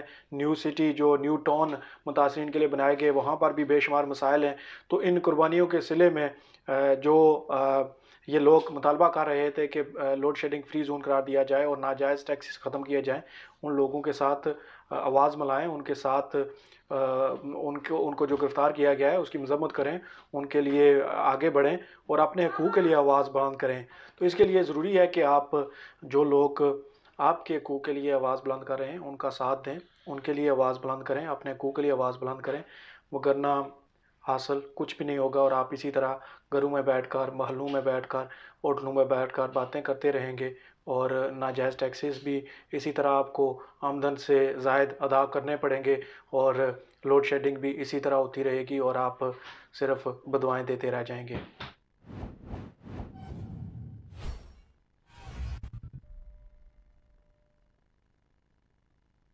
باغ محکمہ زراعت باغ کے زیر اہتمام زرعی نمائش کا انعقاد کیا گیا۔ سینکڑوں زمینداروں نے اسٹال لگا کر اپنے کھیتوں میں تیار کی گئی زرعی اجناس کی نمائش کی۔ محکمہ زراعت باغ کے زیر اہتمام زرعی نمائش کے موقع پر کسان کانفرنس کا بھی اہتمام کیا گیا، جس کے مہمان خصوصی وزیر حکومت سردار میر اکبر خان تھے اس موقع پر شہریوں کی کثیر تعداد نے زرعی اسٹالز کا دورہ کیا۔ ذمہ داروں کی کاوشوں کو سراہا اور اس نمائش میں محکمہ زراعت آزاد کشمیر کے ذمہ داران اور اہلکاران نے بھی شرکت کی۔ اس موقع پر کسانوں نے جموں کشمیر ٹی وی سے گفتگو کرتے ہوئے کیا کہا؟ آئیے جانتے ہیں باغ سے یوسف کشمیری کی اس رپورٹ میں۔ جے کے ٹی وی دیکھنے والوں کو باغ جموں کشمیر سے یوسف کشمیری کا سلام۔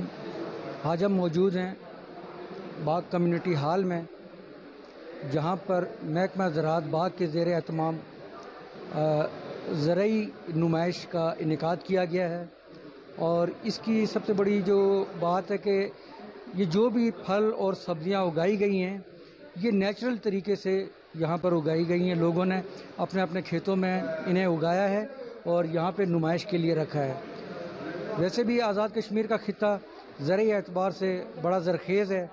ہمارے ہاں لوگوں نے کھیتی باڑی، زمینداری چھوڑ دی ہے، جس کی وجہ سے ہم لوگ بڑے مسائل کا شکار ہے ہمیں سبزی، فروٹ، پنڈی کے ہم مرہون منت ہو کر رہ گئے تو یہ ان کی محکمہ زراعت کی مختلف سماجی تنظیموں کے تعاون سے ایک کاوش ہے کہ لوگوں میں یہ شعور ڈیولپ ہو کہ وہ اپنا اگاؤ، اپنا کھاؤ کی طرف لوگ جائیں اور اپنی واپس اپنی کھیتی باڑی اور اس سسٹم کی طرف واپس آئیں جسے وہ بھلا چکے ہیں۔ تو آئیے دیکھتے ہیں ہم یہاں پر مختلف لوگوں سے بات بھی کریں گے جنہوں نے اپنی، اپنے کھیتوں میں یہ جو سبزیاں اور پھل اگائے ہیں؟ اللہ کا شکر ہے۔ اچھی بات ہے۔ لیکن مرد پڑے نہیں انہوں نے بھی کام چھوڑ دیا خواتین نے بھی چھوڑ دیا۔ شامی دن میں جس طرح نماز میں جھگڑے سے کی اور مثال والا میں ابھی کیسے کیسے تو فلانی چیز کی دے نہیں۔ آٹا والے نہیں، ابھی میں دیکھ رہا تھا کہ آزاد کشمیر کے اندر آپ ذرا تصور کریں آپ کہتے ہیں مہنگائی ہو گئی۔ وہ بہت بڑی آپ یہ ابھی میں نے دیکھا نہیں ہے۔ آزاد کشمیر کے اندر ایک دن میں آپ ذرا تصور کریں آپ صرف آٹا جو ہے کہ یہ سب ایک کروڑ پچیس لاکھ کا ایک دن کا آپ آٹا کھاتے ہیں جو باہر سے آتے ہیں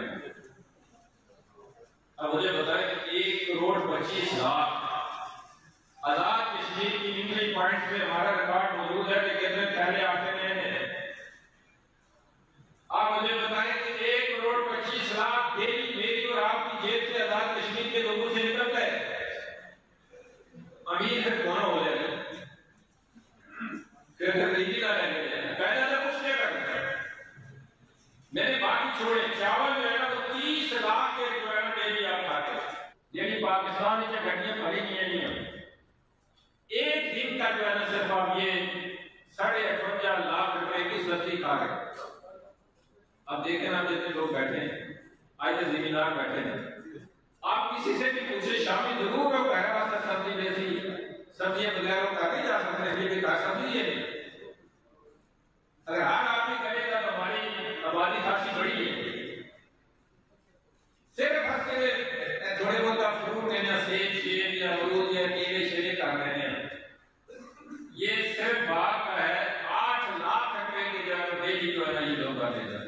کہ میڈیا والے، یہ لوگ آپ میرے پاس یہاں آئے ہیں، میں نے سٹال لگایا ہوا ہے۔ میں گزشتہ تیس، پینتیس سال سے یہ میں کاشتکار ہوں اور میں فخر سے میں زمیندار اپنے آپ کو کہلاتا ہوں۔ میرے خاندان والے، رشتے والے، آپ نے پہلے بھی سنا ہوگا، وہ سارے سردار چوتائی اور مغل لکھتے ہیں۔ لیکن میں اپنے نام کے ساتھ زمیندار خوشی کے ساتھ لکھتا ہوں اور میں فخر بھی محسوس کرتا ہوں۔ میں گزشتہ پینتیس سال سے یہ زمینداری کر رہا ہوں۔ میں آٹھ کنال زمین میں کاشتکاری کر رہا ہوں اور دلچسپ بات آپ کو یہ بتاتا ہوں کہ اس میں میں چوہتر من مکی اور چونسٹھ من مک گندم حاصل کر رہا ہوں۔ گزشتہ تیس پینتیس سال سے۔ گزشتہ تیس سال سے میں محکمہ زراعت کے ساتھ اٹیچ ہوں۔ محکمہ زراعت کو میں اپنا بیج مکی کا سپلائی دیتا ہوں۔ میں جب آپ کو یہ کہوں کہ اسی زمین میں ڈھائی سو میں نے درخت بھی لگائے ہوئے ہیں جو میں اس کی مینجمنٹ کرتا ہوں اور اس کی مارکیٹ کرتا ہوں فروٹ کی۔ اور آج میں نئی پروڈکٹ میرے ایک ساتھی نے جام جو ہے وہ آپ کو پیش کیا ہے اور وہ جام تھا سیب کا، ایپل جام اور میں پرسیمن کا، جس کو آپ جاپانی کے پھل کہتے ہیں، اس کا میں آج جام لے کے آیا ہوں کہ ہمارے یہ یہاں سے پرسیمن، یہ جاپانی پھل پاکستان میں جاتا ہے ٹرکوں کے حساب سے۔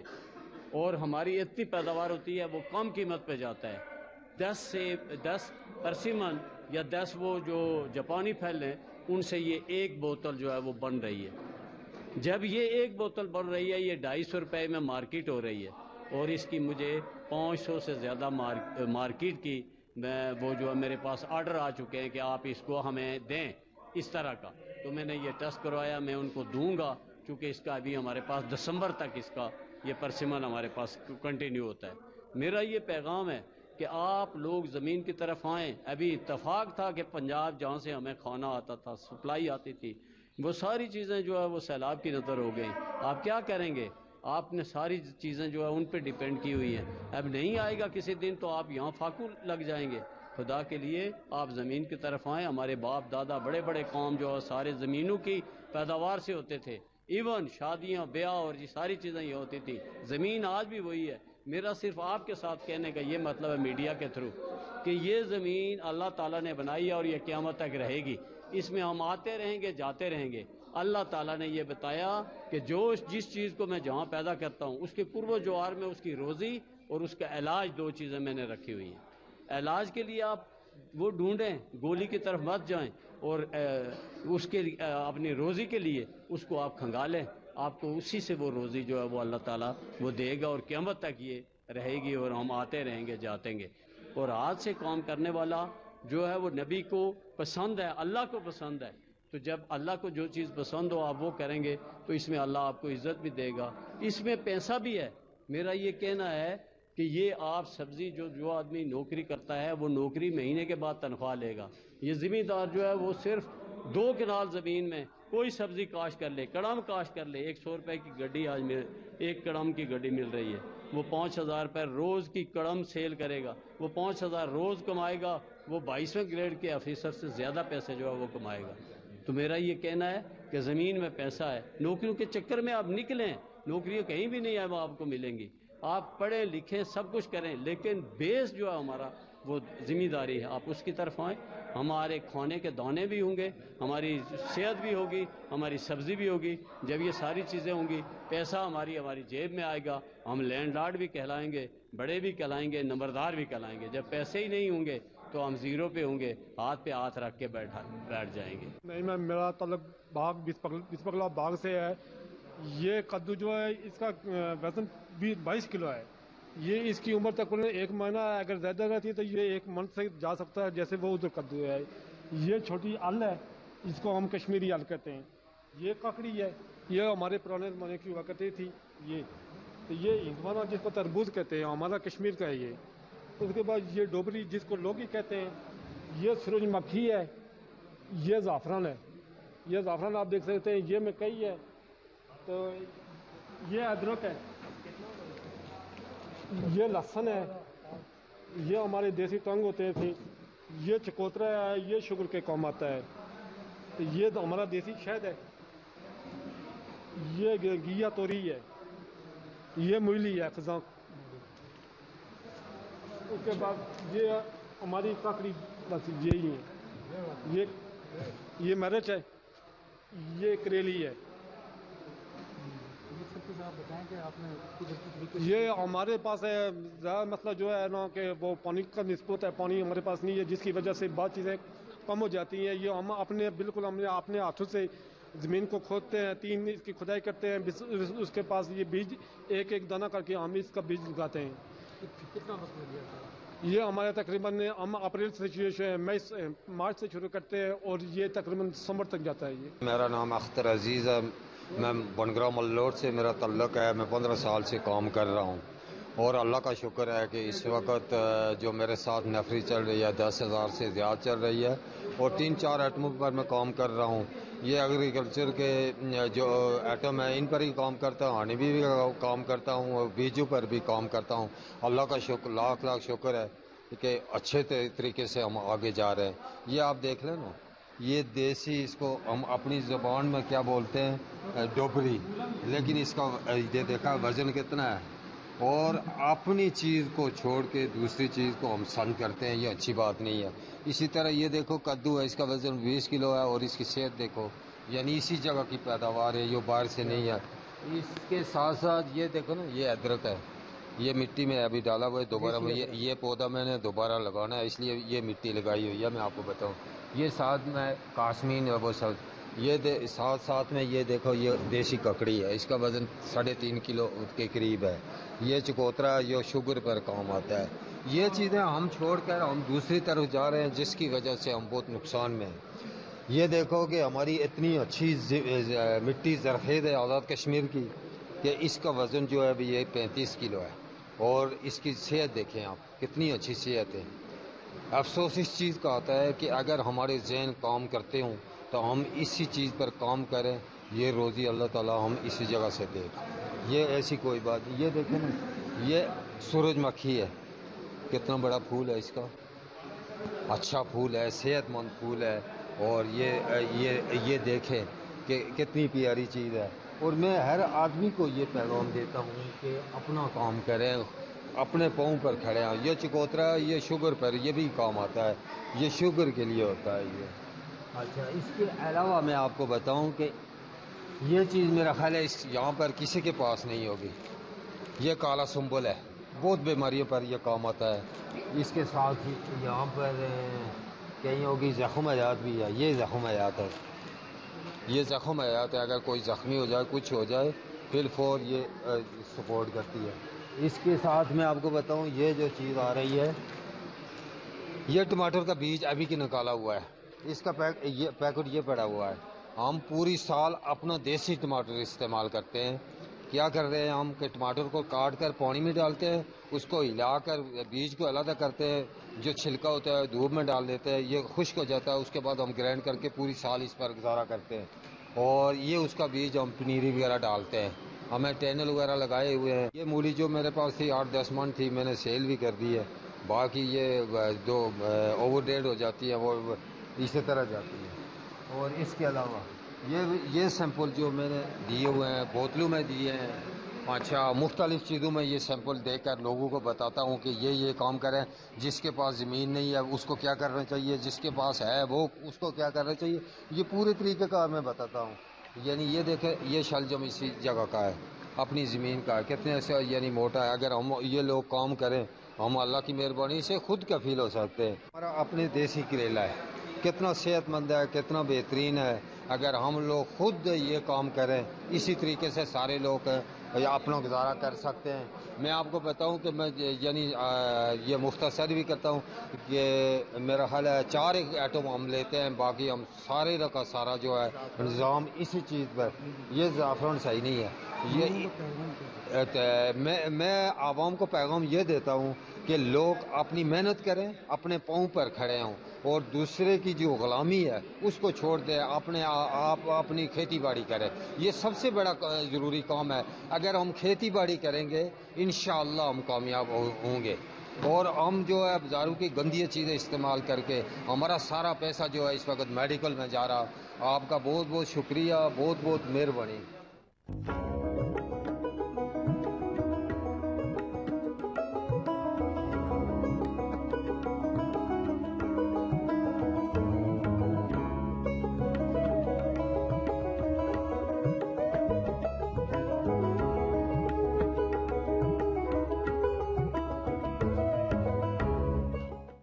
پاکستان کے زیر انتظام جموں کشمیر کے دارالحکومت مظفر آباد میں یوم استحصال کشمیر کے موقع پر طلبہ ایکشن کمیٹی کی جانب سے تمام طلبہ تنظیمات کا مشترکہ مارچ ریلی کا انعقاد کیا گیا، جس میں طلبہ کی کثیر تعداد نے شرکت کی۔ Rally central press club Muzaffarabad سے شروع ہو کر اقوام متحدہ کے مشن کے باہر اختتام پذیر ہوئی۔ پولیس کی باری نفری نے طلبہ مارچ کو روکنے اور رکاوٹ ڈالنے کی کوشش کی، جس پر طلبہ نے گڑی پان چوک میں علامتی دھرنا بھی دیا۔ طلبہ مارچ کا مقصد پندرہ آئینی ترمیم، ٹوریزم ایک اتھارٹی سیاتی مقام پر قبضے اسیرانی راولہ کوٹ کی غیر مشروط رہائی، بجلی بلاد میں ناجائز ٹیکسیز، لوڈ شیڈنگ کے خاتمے، شدت ہزار رائے پر پابندی، ظلم و جبر ناانصافی کے خلاف آواز اٹھانا اور ان تمام معاملات کو فوری یکسو کیے جانے کا مطالبہ تھا۔ طلبہ نمائندگان نے ریلی سے خطاب کرتے ہوئے کہا کہ پندرہویں آئینی ترمیم کے مجاوزہ مسودے کو واپس کیا جائے اور دیگر تمام مطالبات کو فوری پورا کیا جائے۔ فرحان طارق، جے کی ٹی وی، ظفر آباد، Jammu Kashmir.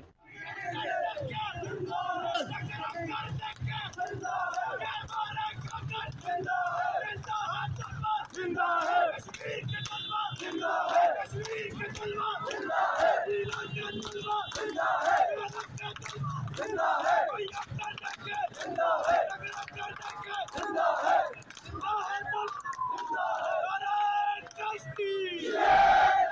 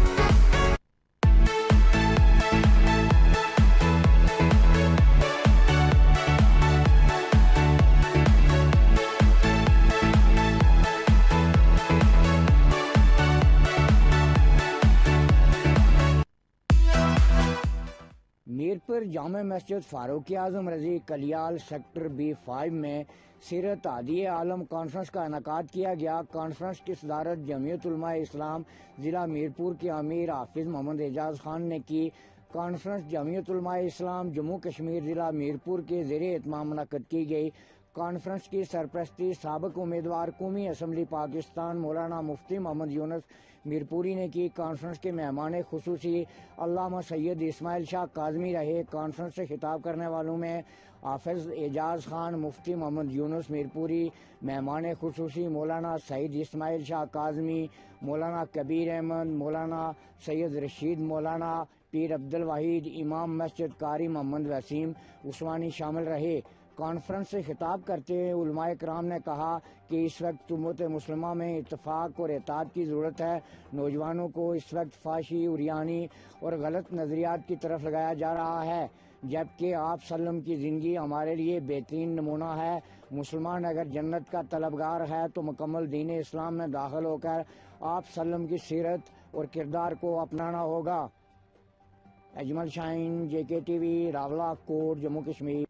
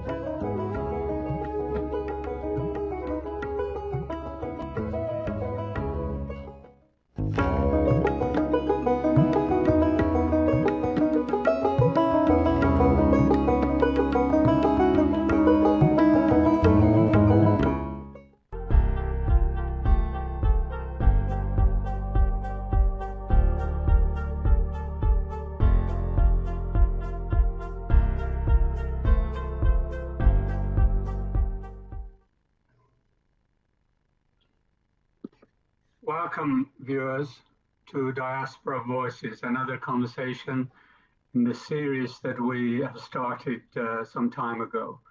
And um, um, it's very uh, humbling for my generation, for um, people who came um, as the first generation of Kashmiris, um, very humbling. Uh, a sense of pride also uh, because we've grown up as migrants and uh, working in factories um, and doing menial work, any work that we could find. And um, uh, slowly we've settled and made progress, some progress, plenty of progress actually as I'm learning. And um, um, our uh, future generations have made even more progress. And I'm speaking to one of those people um, who are part of our pride uh, for the community celebration. And um, um, uh, maybe it's an opportunity for my generation to say, well, you know what, you can relax, you, you, you've done your bit and uh, the future generation, you can pass the baton to them and they will carry on the work. Uh, so I'm here. It's a pleasure, absolute pleasure, um, uh, to be in the company of uh, an accomplished writer from uh, the diaspora. And uh, I, for, the, for the next hour or so, I'm just going to be in conversation, learning, um, uh, learning about and learning from uh, Sabah Khan. So Sabah Khan, welcome, welcome. Um, thank you so much. Um, Dr. Karamat Iqbal, I want to call you uncle. Can I can I call you uncle? Is that okay? I, I look at you and I'm thinking my uncle, so Yes, I think there are viewers who may not understand what that is about. We, we are not related as far as I know. We're a very large community. And um, um, do you want to explain why you want to call me uncle when we're not related? um, well, first of all, calling you Dr. Karamat Iqbal just sounds very formal. Um, and I also wouldn't call you Karamat, I wouldn't call you by your first name um, calling you by your surname sounds again it sounds very formal.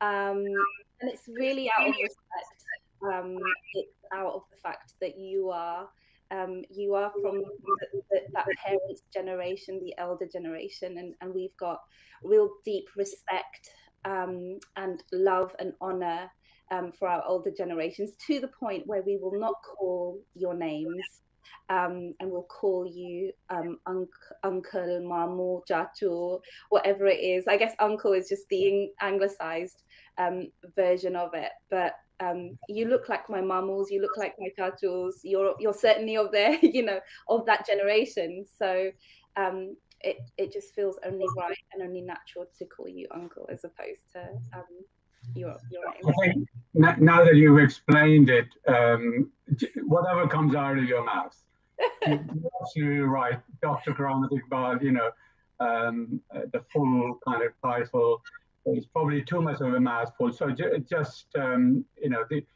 remember this conversation is about you, not about me. So hopefully there won't be too many uh, needs to call me, but it, uh, whatever comes out of your mouth. Um, so uh, just briefly um, tell us uh, what you do currently.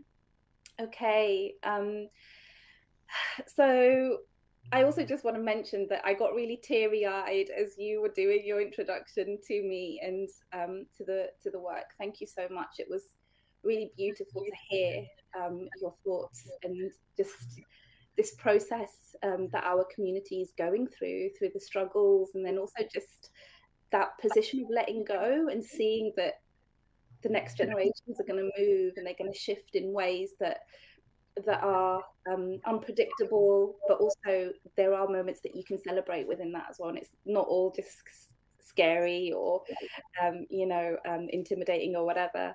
Um, so thank you for that. That was a real, that was, um, that's got me really like open and raw. so um, that's where I'm starting from. In terms of what I'm doing currently, Can I just stop you there? Um, I don't. This won't be apparent from the screen, but um, I've got I've got tears ready on my face for some reason. I, I I really don't understand because you know some, I find my body takes over and, and emotions and um, the, you know maybe it was you you telling me reminding me of my age or um, um, and certainly you you the age of my children and you know um, uh, so yes, it's absolutely a um, emotional kind of connection. Um, so um, yeah, just tell us um, um, what you do currently. yeah, let's stick to the script. Otherwise, we're just going to be bawling our eyes out, aren't we? but it's it's honestly it's it's um it's a real honor to know that that, feeling is mutual. Um, so um, what I'm doing currently, um, so I did the the book that we're going to talk about. My, my big offering to the world that we're going to talk about um, was published last year. Um, that took about five years, and in the process of making that, I transitioned away from my architectural work. So I trained as an architect. Um, I was one of the first um, in my family to go to university and continue that higher education. So it was a real privilege, and it was it was a real honor to be able to do that, you know, within the family structure and then continue that. Um, but for its own reasons, architecture as an industry, and, and we might go into that today, um, was really difficult for me. Um, I couldn't really express so much of the, the things that I had I had experienced. Um, so really, the book became that avenue for me, and it's also helped me um, build up my own um, art practice. So I consider myself now, once now that the book is out there, I consider myself as an artist and an author um, and a graphic novelist.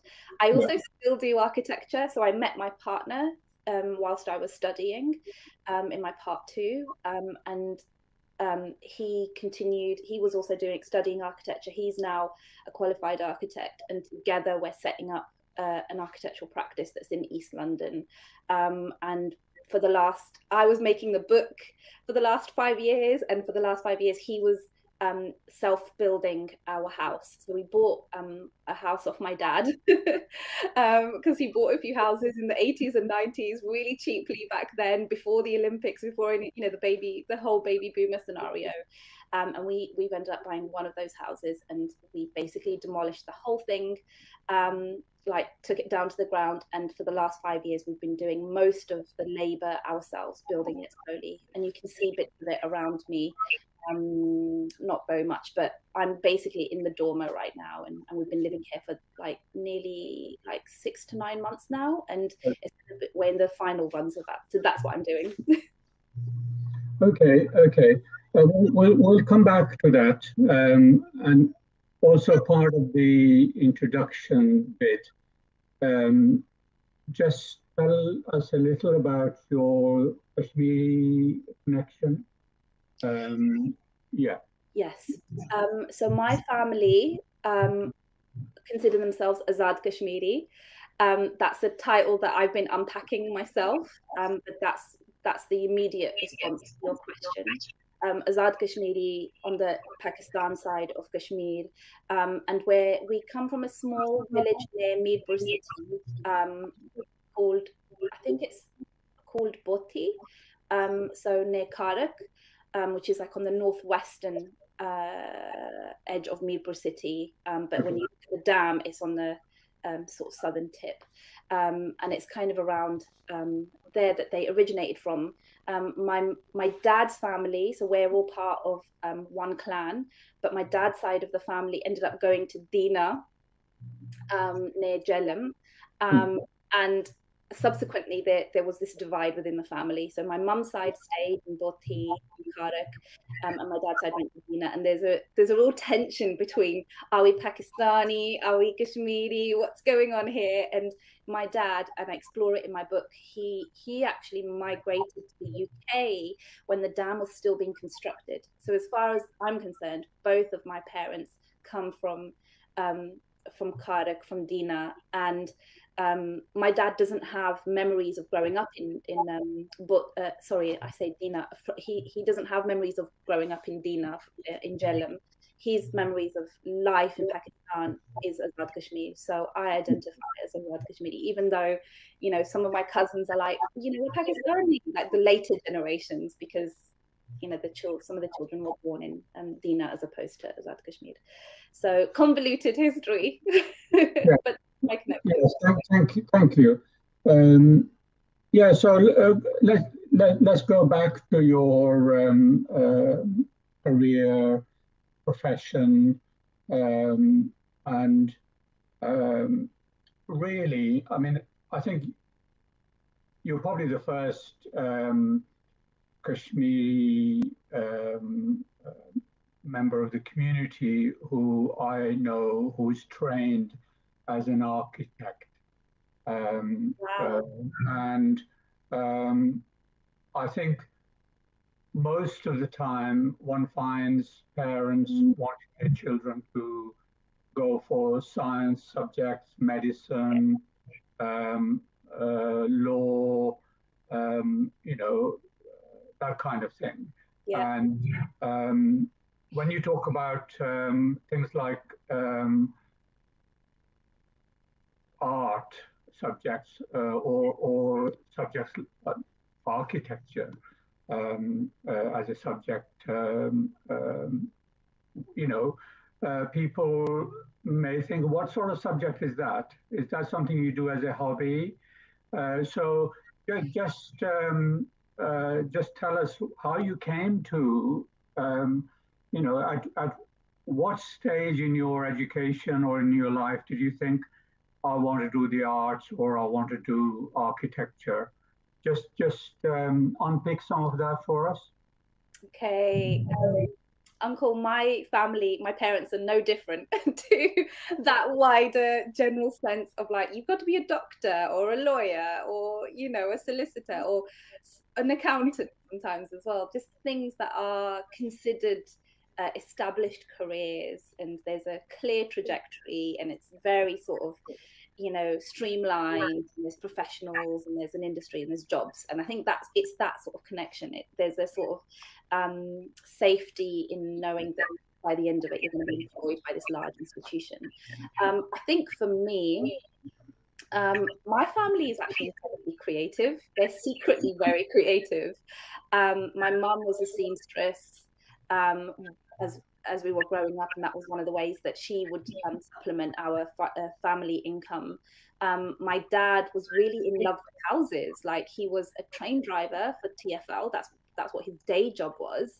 But he he he wanted to be a landowner. He had his ideals of his you know previous caste and really sort of channeling this idea of and spaces and homes and facilitating that for other community members as well. So he he went up climbing the property ladder and you know doing that sort of stuff.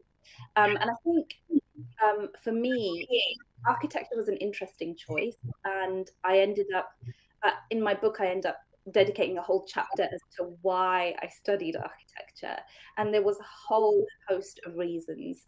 Um, I ended up doing it because it was a profession and it was something that I could say to my mum and dad. This is a prof, you know, it's equal to law and uh, and medicine. It takes as long as they do, um, and I'll come out of it and I'll be fully qualified. It's just not and it is more connected to the arts and i think it's because for me if i really didn't have the pressure of you know societal pressures i would have done something like fine art and i would have done something that's a lot more um, perhaps uh, yeah creative and expressive i think um, and i think for me architecture was a bit of a halfway house it was expressive but it was also you know it sort of ticked lots of different boxes um, i also like that I would be in university education for seven years as well. To be like, yes. Um, I'm also, it's um, important to mention that I'm the youngest in my family. So being the youngest and being a girl, um, you know, I didn't have to help with the with the bills and the finances of the house.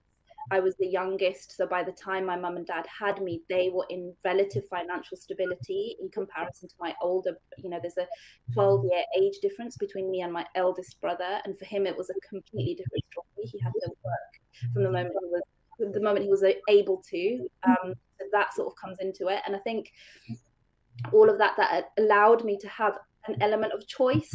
Um, even though there were still those background pressures, I was still able to sort of to some extent be able to dictate. So it was a real coming together of of reasons. Yeah. Um, just as you started to speak, um, I began to think about the arts and crafts movement. Yeah. Um, and the, this idea that whole life and everything in it is art, yeah. is a craft. And um, when you started to talk about um, yourself and um, your your own family being creative, yeah. For some reason I had a image of an uncle because uh, I, I was um, 12 when I came to England from Kashmir. And, and, so I spent the first 12 years of my life over there. And I had an uncle who used to build um, stone, dry stone walls.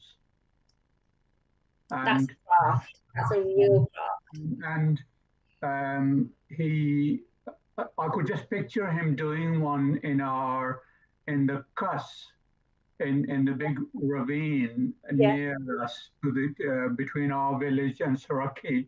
Um, yeah. There was a cuss, and um, it, it was that kind of very uh, smooth uh, stone um, uh, from near near the water, almost like kind of big pebbles.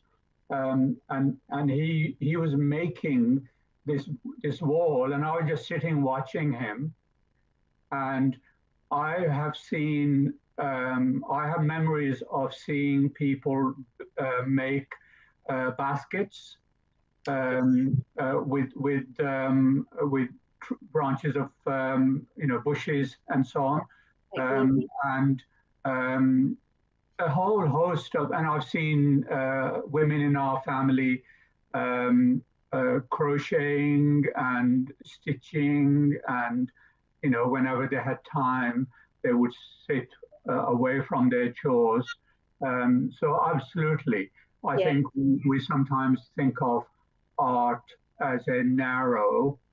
Yeah. And you can probably relate to that, uh, presumably, because uh, I have this image that architects kind of go um, and stand in, in the environment, get under the skin of the environment, um, and create something. Yeah. Uh, yeah. yeah. I, I, totally agree. There's such a disconnect with, and I think it's like high art, right? There's this real perception of like, what is art? And it's just like all this, you know, sort of bourgeois kind of distant stuff that's not connected to our sense of self. And um, as you're talking, Uncle, I'm, I'm literally thinking of that chapter towards the end of my book where I liken my mum, like I'm like I think there's a bit where I say my mum is the first architect I know. and it's doing exactly that. It's putting this idea of this lofty, you know, an architect, what does that mean, and these aspirations that we have, but then bringing it to something that's so recognizable and familiar to you. And for me, I make that analogy. She would me in my clothing made my clothes until I was like 15, 16 years old. And she would make my shelter because that's what architecture is. Architecture is shelter. Uh, clothes, barda, uh, is shelter. And and and it's a really, you know, I think we need to do that more for ourselves because it is, it's a it's it's an exercise in love and um, giving ourselves back our humanity. I think because we are artists and we are artists. And that example of the stone wall guy, you know, that memory, it's beautiful because stonewalling, it's a dying art, it's a dying craft. People, you know, it's not getting passed down. Um, especially here in the UK, but it's a thing here in the UK as well, and across the whole world. It's a way of um, building those walls and demarcate, demarcating those um, lands. Um, so yeah, we need to honour those. Yes. Yeah. I think when in the early days, I'm I'm I'm old enough um, uh, and know you know um, in the 70s and 80s, um, our community didn't really prioritize uh, girls' education, and um, um, I think uh, here, here you are from within the community who um, uh, has has done, you know, um, uh, not not just compulsory education, but you're talking about earlier. You were talking about seven years of study uh, post compulsory, uh, maybe at university level.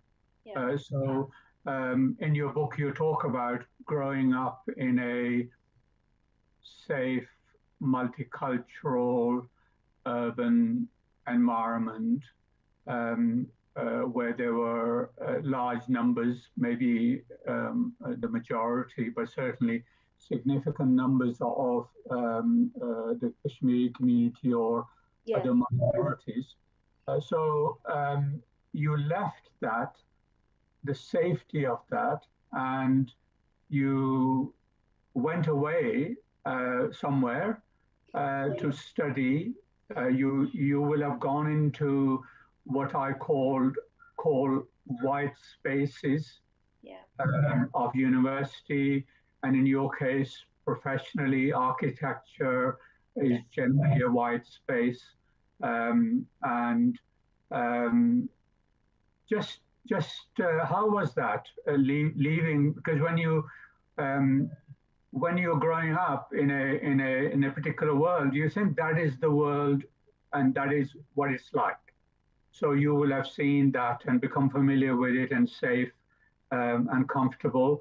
And then you went away and you thought, oh my goodness, the world is is different. Yeah. So how was that transition into uh, going to university, leaving your area, and entering other spaces professionally?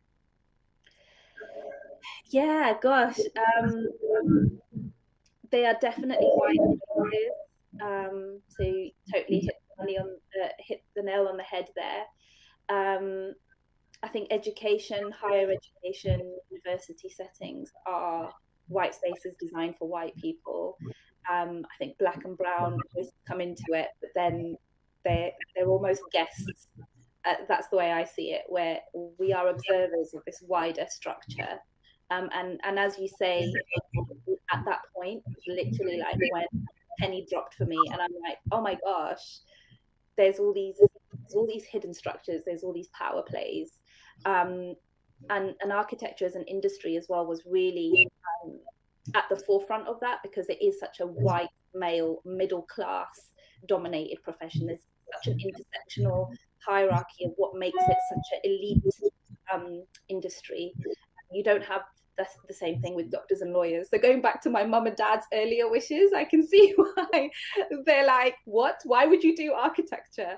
Um, because actually, it is so impenetrable and it is such a challenge. Um, and it's really, it really knocked my confidence. It knocked my sense of um, worth, my, my contribution to society.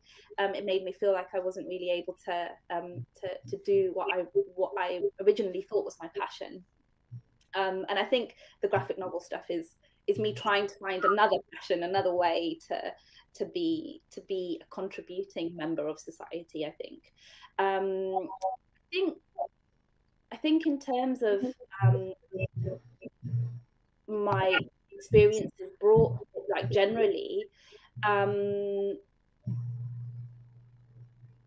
there's a real you know there's a bit in the book where i talk about how um in our early days me growing up in forest gate in east london and being surrounded by um, other asians and other multi you know, ethnic communities different types of you know global majority communities um, we recognize i recognize and I, and I leaned into more of those differences not realizing that actually there's these wider structures there's this wider race structure class structure. Um, and it really came to a head if i'm completely honest when i eventually met my partner who's white middle class british.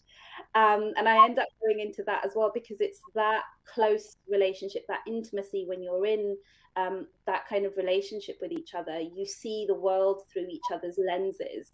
And it was only at that point when the penny dropped for me again. Uh, there's a whole series of moments where I'm, I'm coming to terms with.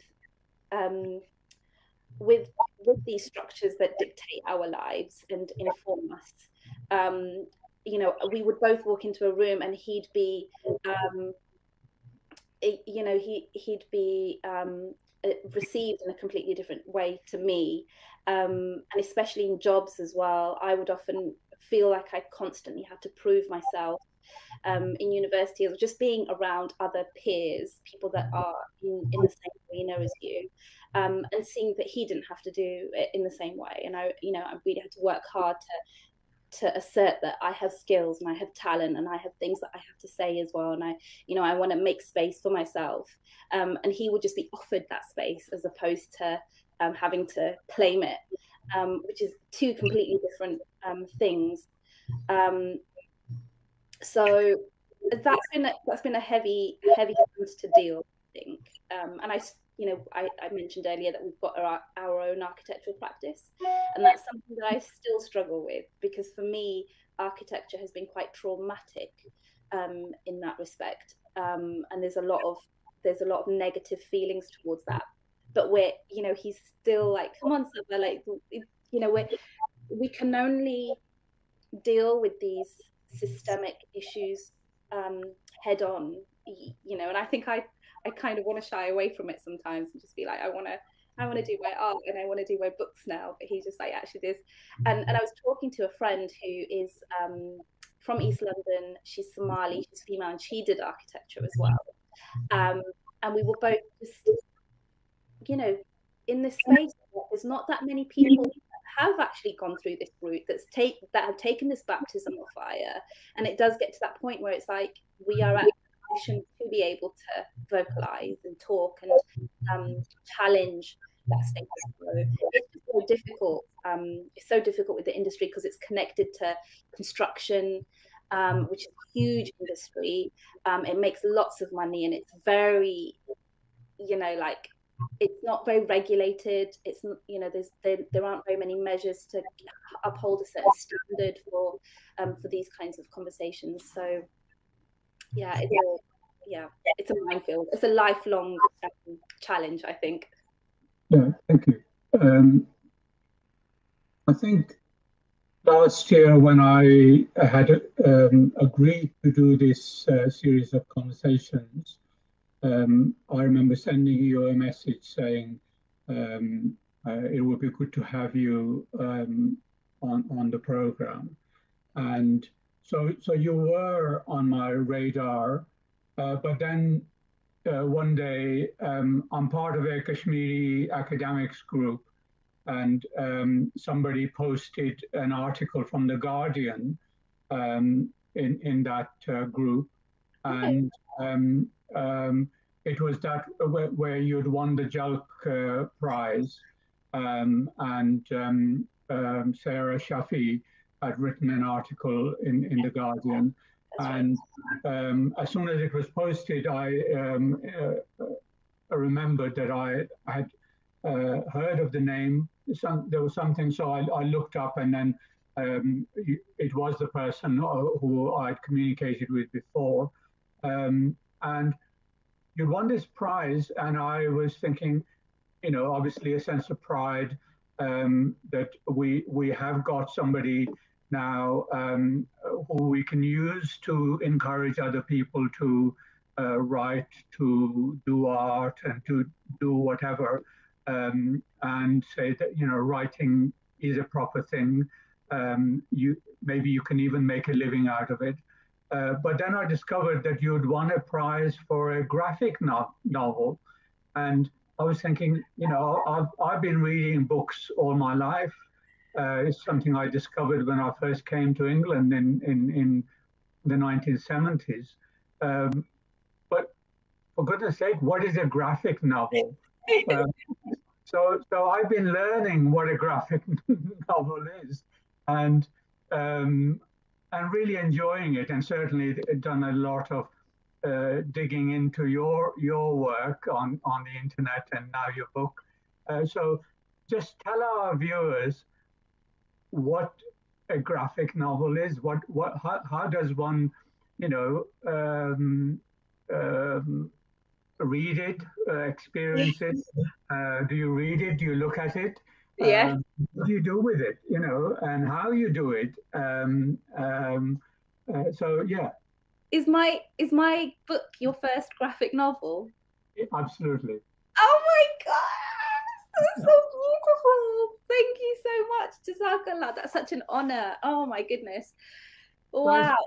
Well, first proper book, and, but I have to say, um, I'm I'm looking at it and I'm thinking, yeah, I, I've I've connected with comics and I've connected with books of photographs um, and how to look at books of photographs um, where you don't see you you don't flick through uh, because you can flick through too quickly and get to the end and, and you think um, I've done it and then actually you haven't done it properly. Um, so I've got books on my coffee table, um, you know, those big books that you can use as doorstops. Yeah. Um, and I look at them, I, I tell myself to look at maybe a dozen pages at a time and then stop because after you, you then begin to be punch drunk with it and you don't look at it properly. And um, so um, I've been trying to do the same uh, with, with yours. Uh, so anyway, um, how, you know, how, how, how should one read and experience a graphic novel? Okay, Yeah, so here it, here it is, and I'm just gonna try to flick. Oops, let's just try to get it in. Yeah. So it's very. Oh, I'm like not doing it properly. Um, Yeah. There we go. It's all visuals. Uh, well, it's visuals and writing. So a graphic novel. Um, there's so many. The starting points for graphics was very much comics. It was uh, graphic novels was very much comics and um, that association of like superheroes and action and you know that sort of stuff. It's still kind of holding on to the origin story of graphic novels. So I think a lot of people when they think that they think of those sorts of things like marvel and superheroes and things it's moved on so much since then and there's a whole subgenre where um so those comics those marvel type ones they'll have a person who writes the comic they will have a person who draws the comic who colors the comic who puts the lettering in the comic. There's a whole team of people that come together to do those guys. But now there's like a subgenre and it's been going on since the 80s i think of the singular artist author writer doer.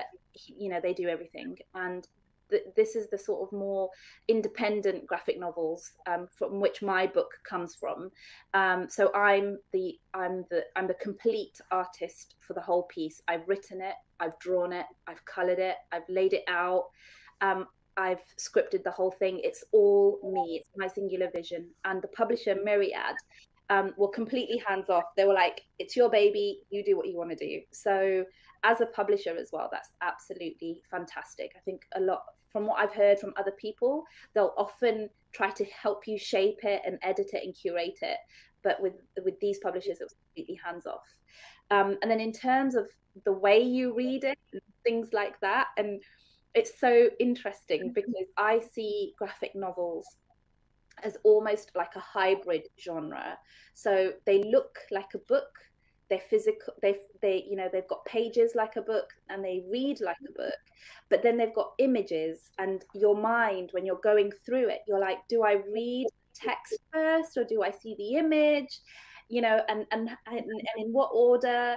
and I think you know as a designer we try to make that as easy as possible for you so you're not stumbling over the immediate things but essentially it's it's the way you as a person your experience come to the come to the page and how you bring it all together. And there's something incredible about graphic novels in that they can be read within a couple of hours. So I've had people read my book within a couple of hours. I've had people like you take their time and read it slowly. Um, but that's what makes it really fascinating because it becomes almost like a film. So, like with films, they'll be a couple of hours long, but they'll take years to compose and put together. And there'll be a whole team of people that come to it, but you consume it very quickly and you get the idea of it very immediately.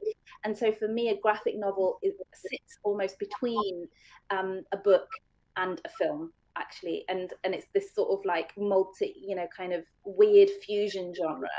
And it really messes with your mind. Um, i love it because it allows people to bring themselves to the table. So you i'm asking you as the reader make the connection between what i've written and what i'm drawing. And it will be based on your own experience is what you read into it. And i think that's where it, I get really emotional when other Mirpuri people, when other Azad Kashmiri people read my book because they will read into it in ways that other people will not you know they'll they'll get to a certain point but then they'll be like okay you know i don't really you know i i can relate to that and get an understanding of it but it's not my story it's not my experience. And that's okay. So it really you know it it, it allows people to just come as they are really which is really really beautiful and i love it. Yeah. I mean i, I think as you were talking um uh, and as, as I was going through your book, I was thinking actually, I have come across a graphic novel before um, uh, we have two children, and I discovered um, uh, through them uh, children's uh, books. Yeah. Um, and um, some of those were uh, graphic novels. Yeah. They, they were uh, sometimes were written by two people, so one would write the words, one would do the illustrations, and sometimes the same person would do, would do it.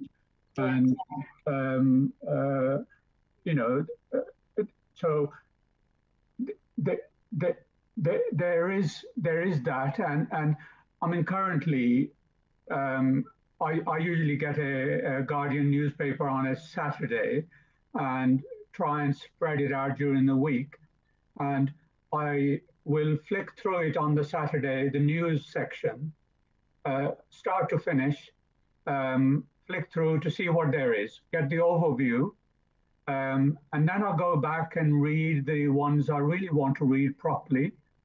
And I decide where I want to read them. Uh, and some sections I may want to read during the week. And I think when I received your book uh, recently, um, I flicked through it because I was trying to, you know, prepare for, for this conversation. Um, and then I, I, I decided that actually this wasn't a book uh, where you want to know what happens at the end. This this was a, a book of sections, yeah. and um, I quickly got the overview, and and then I keep going back to little bits, mm. and and and connecting with it, and uh, reflecting on it, and connecting with it maybe as my own story connects with it or learning or uh, then going off and researching around it, uh, what that means, um, and um, you know, um, and finding bits of connection. So there was one um, uh, one bit where you um, a tweet from um, um, I think it's Bo Bo Ren. Yeah, that's right. Yeah. He reads, "My parents were tasked with the job of survival, and I with self-actualization. The immigrant generational gap is real. What a luxury it is to search for purpose, meaning, and fulfillment. And in the academic world, we talk about that as the kind of immigrant paradigm, where the first generation really struggled to find a space. It was sufficient achievement for them to arrive in England yeah. from Kashmir and get a job, any job that would help to pay for the food, help to pay for the family back home. And um, the future generations have come on to do other things. And I think, um, you know, uh, you may have come across uh, Maslow's hierarchy of needs. Yeah. And, and it's basically a, a, a, hierarchy where at the very base, basic level are our basic needs for food, survival, or shelter. Yeah. And much later, uh, we come to things like leisure and higher order activities. And, and so the luxury of having one's child, youngest child in your case, uh, going off and studying for seven years, um, not worry, you know, hopefully you didn't have to worry about uh, where the food was going to come from. Yeah, yeah. And somebody was somebody had done the work and was providing for you, yeah. and society, your parents, your family, your community, um, and so I I think it's that kind of connection uh, that uh, people will hopefully make, and and I've certainly um, I think on three different occasions I've told people I've almost gone out of the way to say to them, you you need to be reading um, or put it on your book list, uh, Rose by I Khan. And um, um, I think I've, I've um, I'm making a presentation at um, the British Education Research Association in September uh, about Kashmiri parents and their contribution. And uh, the opening slide will hopefully be your um, map of Azad Kashmir. Um, so, thank you. Um, so I, I, want to talk about family. You talk about it in your uh, in your book, and most of us know um, when it comes to family, um, you can find uh, it is a supportive structure. And by family, I don't mean just parents, mother and father, uh, and immediate siblings, but the wider extended family. Um, it's a supportive world. Uh, it, it protects us from lots of things. But we also know, and, and you talk about it, um, it can be oppressive, especially for women. And, and our, our community is good at that um, oppressing women and um, um, you know um, how how do you knowing the wider world is hostile to our community um, uh, how do you decide when to be critical of of our community of your parents of of the extended family and when to um, be nice to it and and and and just focus on the positives? Oh gosh that's so so so interesting. It's such a paradox i think. Um i think when i first came to the book and when i first came to like my sense of expression like what i wanted to express there was definitely lots of like anger a lot of like bitterness lots of negative i think it's an easier emotion to tap into as well like you know the un- injustices that have happened to me um, both socially you know with the place that i studied and stuff but also within the home environment. And my family is um, mashallah a very big family in um, east london. So it's not just my nuclear family. It's my mammals and my jajus and my halas and my pupos and my cousins. And there's you know now over the years there's there's so many of us. And, and and we we're all still so connected as well which and once you've got that any structure and the scale of the structure as well it can become oppressive it can become controlling it can be dominating and dictating what is right and what is wrong and you know especially when you chuck in chuck in things like what does it mean to be close to your culture what does it mean to be a coconut? You know, like a lot of my family will be like, oh, she's become a gori. Now that she's with a gora, she's become, you know, they'll say things like that. And I'll be like, oh God. Um, you know, and then things like religion as well, which, you know, can be very outwardly, you know, you can really manifest this idea of the devout Muslim, um, but not actually be critical of your own actions and just do things that are, you know, kind of like repetitive or, ritualistic or things that, that everyone does and you don't ever question um, in terms of like the, the moral you know sort of uh, compass of it. So there's all this sort of convoluted stuff and i think originally it was very much like uh, you know that's the sort of stuff i want to talk about. Um, and what i wasn't seeing was the fact that actually yes that's a makeup but what are the what are the wider structures that influence those behaviors and where what is the root of those behaviors? So yes the behavior is happening and on a one-to-one level i might be getting really annoyed at my mum being really controlling and telling me what to wear and what not to wear. And yes my emotions are valid because on a one-to-one and interpersonal level that's really frustrating and i'm feeling really controlled and you know i'm having to navigate around that. But what is it that's making her feel like she needs to do that to me. And is it coming from a place of i'm going to control my child? Or is it coming from a place of i want to keep my child safe? And and i think that's the those bigger questions i get really excited about.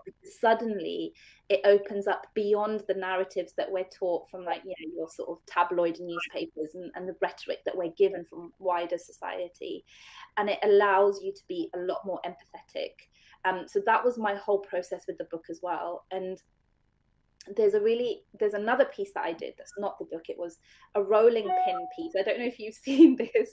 Um, it's on my website, and it's basically like I took a physical rolling pin and I carved my dad, me in the middle, and then my mum on one end, and I and I turned it into a printmaking device. Um, and I basically I allowed voices and I, there were lots of different prints and basically the first one is a very frustrating one. My dad's telling me to cook my mum's teaching me how to cook and i'm i'm i'm being in this subservient mode of the men are there to be fed and the women are there to feed them and and very much my sort of starting point for when it comes to making roti and that that ritual that tradition and I then allow it to move.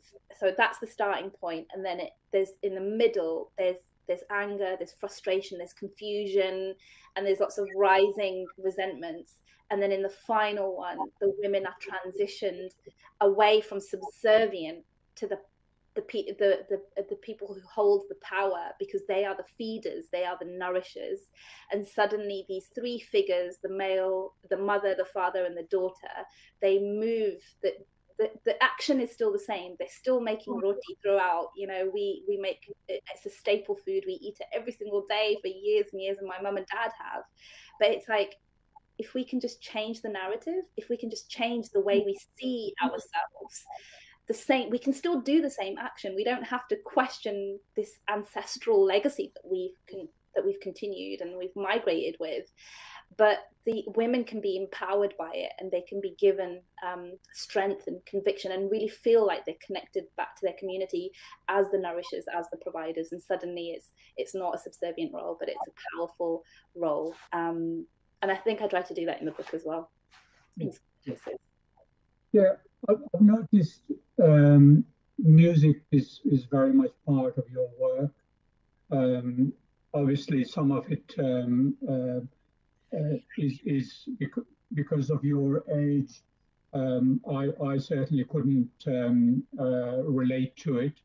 Um, but there was plenty, um, uh, and I was interested to to see that your generation um, is still aware of Muhammad Rafi, uh, Fateh Ali Khan, uh, though um, uh, I didn't see any signs of Bruce Springsteen in there.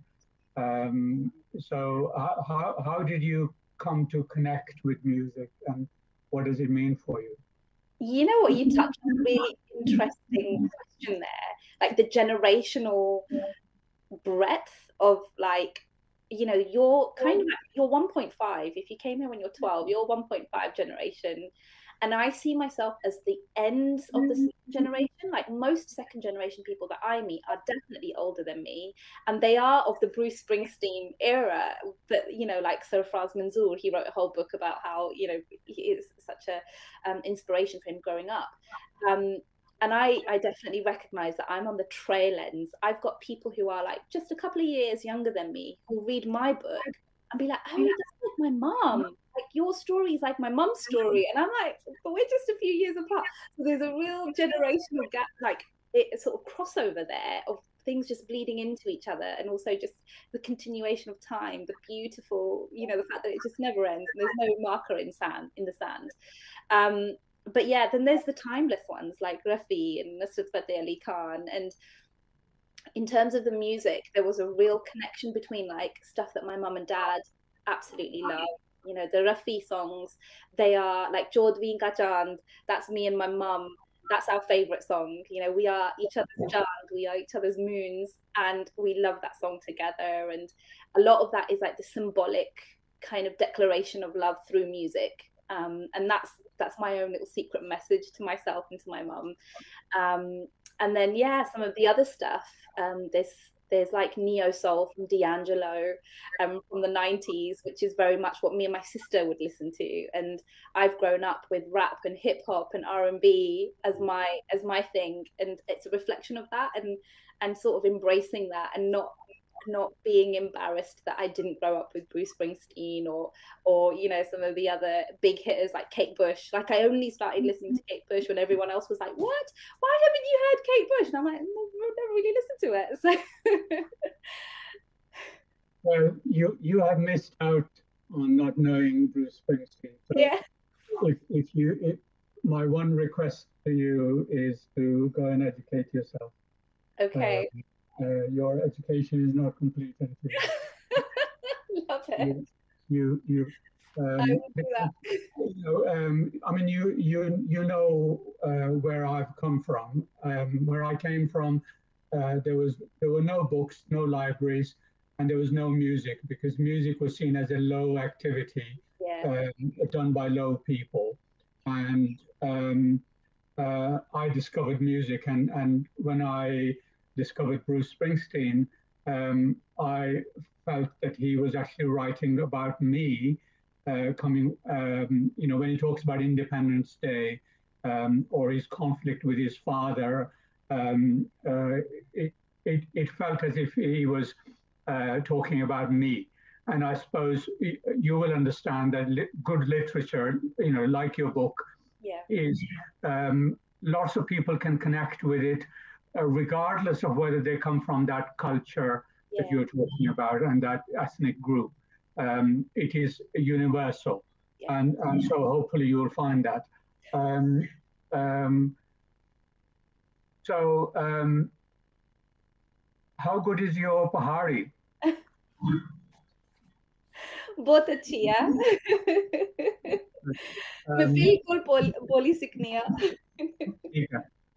um, I mean, you know, th- this conversation is, is probably the only um, program on JKTV that's in English. So we, we, we can't now go into speaking Pahari, but um, uh, I'm of a generation that actually came and didn't really have too much time in the schooling system here. So I've been able to keep my Pahari. So I'm always encouraging the younger generation to um, if they have some party, to keep it alive and, and find strategies. Nowadays, you know, there's lots of uh, YouTube uh, videos and so on, um, and family and so on, um, where you can uh, uh converse. So, do you get an opportunity to speak Pahari? Um,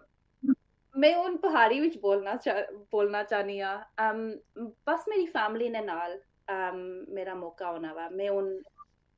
um, جس ਜਿਸਨੇ ਨਾਲ ਮੈਂ ਸ਼ਾਦੀ ਕੀਤੀ ਹੈ ਉਹ ਨਹੀਂ ਬੋਲੀ ਸਿੱਖਣਾ ਤਾਂ ਇਨਸ਼ਾਅੱਲਾ ਆਈ ਡੋਨਟ ਨੋ تھوڑی دیر بعد یا ਓਵਰ ਟਾਈਮ میں اس کی سکھائی سکھا میں بھی یوٹیوب ویڈیو دیکھی گا پر بہت میرا دل کرنا۔ میرا دل نہیں کرنا اس کی اردو سکھانے نا۔ میں وہ نہ کرنا چاہنی۔ بالکل پہاڑی اس کی سکھانا چاہنی ہاں۔ سر میں بھی the the the things I've discovered I read Urdu I speak Pahari and I speak English. And the thing I find with Urdu is I read Urdu regularly because it provides me with the vocabulary for Pahari. Yeah. Uh, so the words in Urdu um, actually provide because I, I I know you can read Pahari sometimes, uh, there is literature, um, but generally I'm familiar with reading Urdu. So yeah. you may have to use Urdu uh, with your partner and for yourself uh, as a as a kind of uh, foundation mm, for the party. Yeah. Um, um, so yeah, good good good luck with that because uh, biling- I'm a great uh, advocate of bilingualism, and um, uh, I think uh, it, it's important. I'm conscious that we haven't looked at any of your pictures, and we we we haven't got much time. So uh, it would be good to look at one or two pictures. Mm-hmm. Um, so um, let's see if I can uh, work the technology and.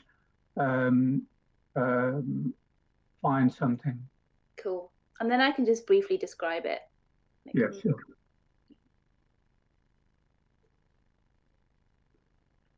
I'm curious to know which ones you chose. Because I sent a whole bunch. All right. All right.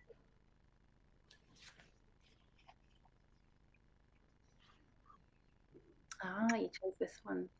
Um, so this is part of a larger piece. So this is two thirds. There's another third that's that I didn't share, um, and this one starts to define what is a displaced person and what is a diaspora.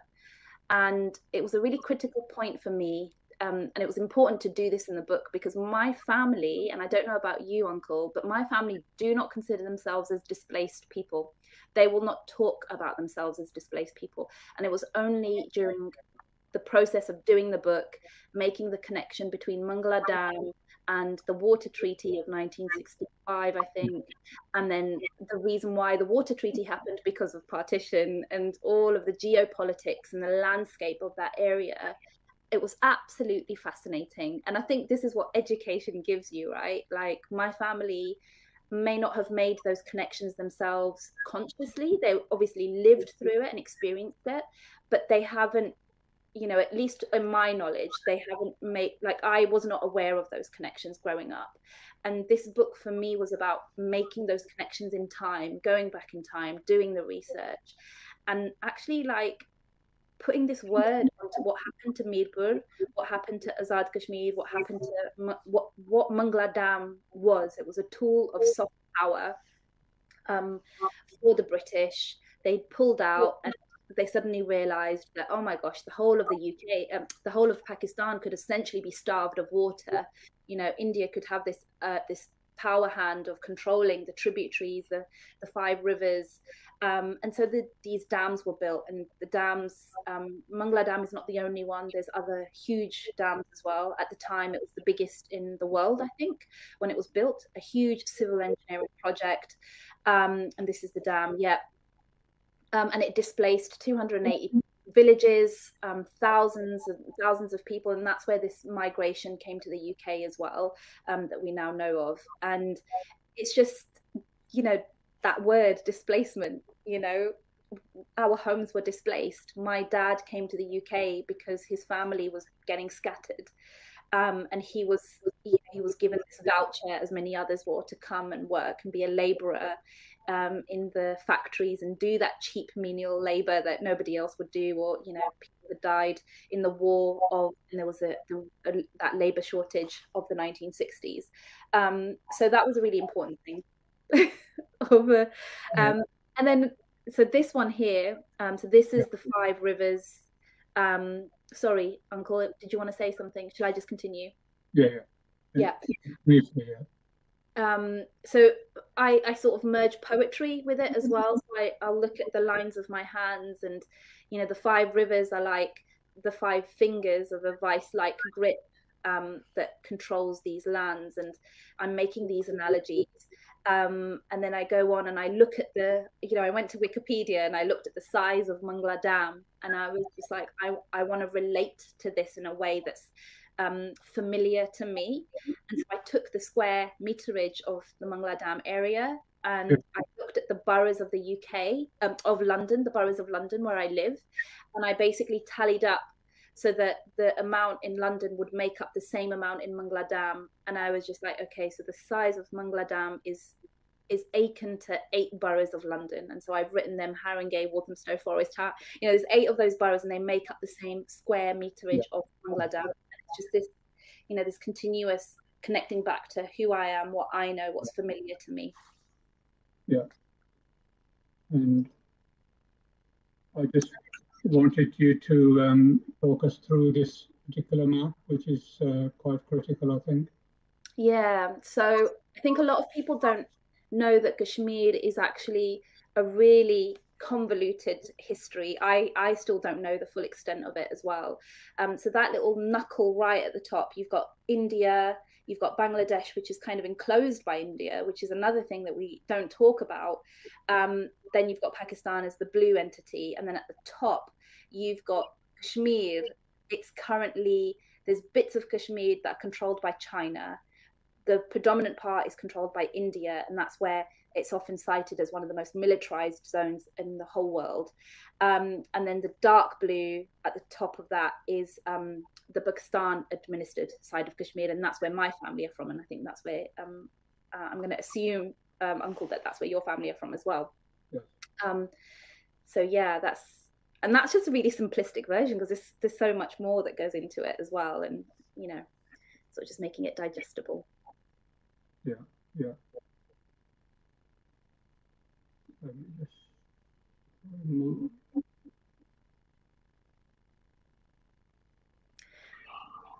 Yes, so um, time is not on our side, sadly. Um, uh, would you like to, re to recommend a book uh, to our viewers? Um, so I have been reading Mannu. Have you heard of Mannu? No. Um, so Mannu is also a graphic novel. Oh, wow. um, it's um, authored by Malik Sajjad and it's by Fourth Estate, the publishers. Um, it was published, I think, in 2016, and it's from the India side of Kashmir. So Malik is an artist. Malik Sajjad is an artist from India side of Kashmir, um, and it's his lived experience. Um, he ends up becoming a political cartoonist, and he ends up having these incredible, really like fraught, tense, and and it's just it's a really great book to give all of us as as people in the UK and who are wanting to know more about Kashmir. Kashmir isn't spoken about enough of, and we don't get things like this that like allow you to go into the area. You know, I've always wanted to go to the India side of Kashmir as well. I don't know if we'll ever be allowed to, but this is a small insight into that because he draws it as well and he draws the spaces and the cities that he's walking around and the family relations that he has and the people that he meets the relationships that he ends up making along the way. Um, and it's i think it's still so relevant. Um, i tried to speak to him for south asia heritage month this year. Um, yeah. i think the, the, that group were trying to get us to be in conversation with each other um, me as me as Azad Kashmiri diaspora and him as actually there and living it on the India side, and it was a really exciting prospect. But I think because of the communications blockade, we've not been able to make it happen. And I think they're about to announce the fact that you know we're going to still keep trying, but that that's still a very real thing. And you know we're not hearing about it but it's still happening. And all of us have a responsibility and a duty to find out more about it these hidden untold things that are happening. And we only get you know snippets through the media and there aren't very many channels. So this is the one that i would recommend definitely. Manu a boy from kashmir malik sajad Okay, thank you very much. Um, I think it is um, stating the obvious that I would like our viewers to go out and buy your book. Um, but I'm I'm going to um, um, read um, one one particular um, recommendation, uh, and this is from Simon Chadwick, the Cartoonists Club of Great Britain. It says, utterly engaging, instantly relatable. It takes a degree of bravery to write and illustrate something so personal and forthright. The fact that it also manages to embrace a sense of humor just furthers how remarkable a book this is.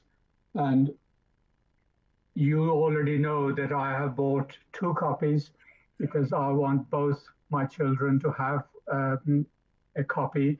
Uh, It's almost a piece of me um, uh, and piece of my heritage, my side of the family, um, because of the the way uh, you intelligently uh, talk about sociology, ethnography, biography, uh, exploring identity, migration, multicultural life. Um, so there is so much in the book um, that every family should have at least one copy. So thank you.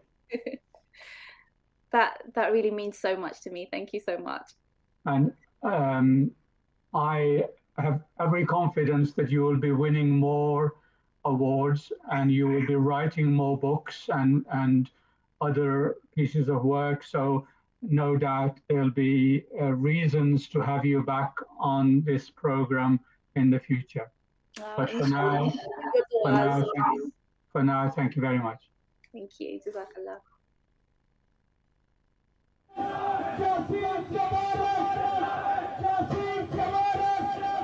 Justice,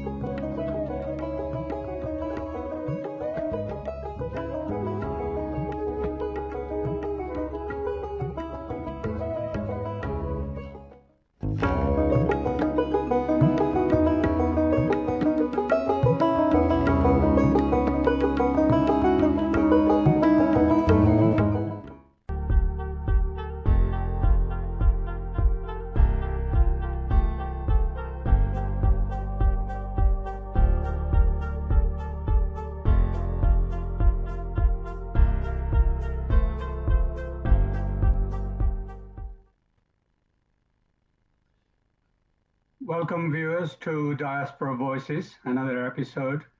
Today we um, have the opportunity to talk with Alice Knott, who has researched the Kashmiri community in Birmingham. And um, um, when I read the dissertation, I thought I have to have a conversation with Alice because it is um, very interesting what she uh, has written. And uh, so, welcome, Alice, to Diaspora Voices. Thank you for having me.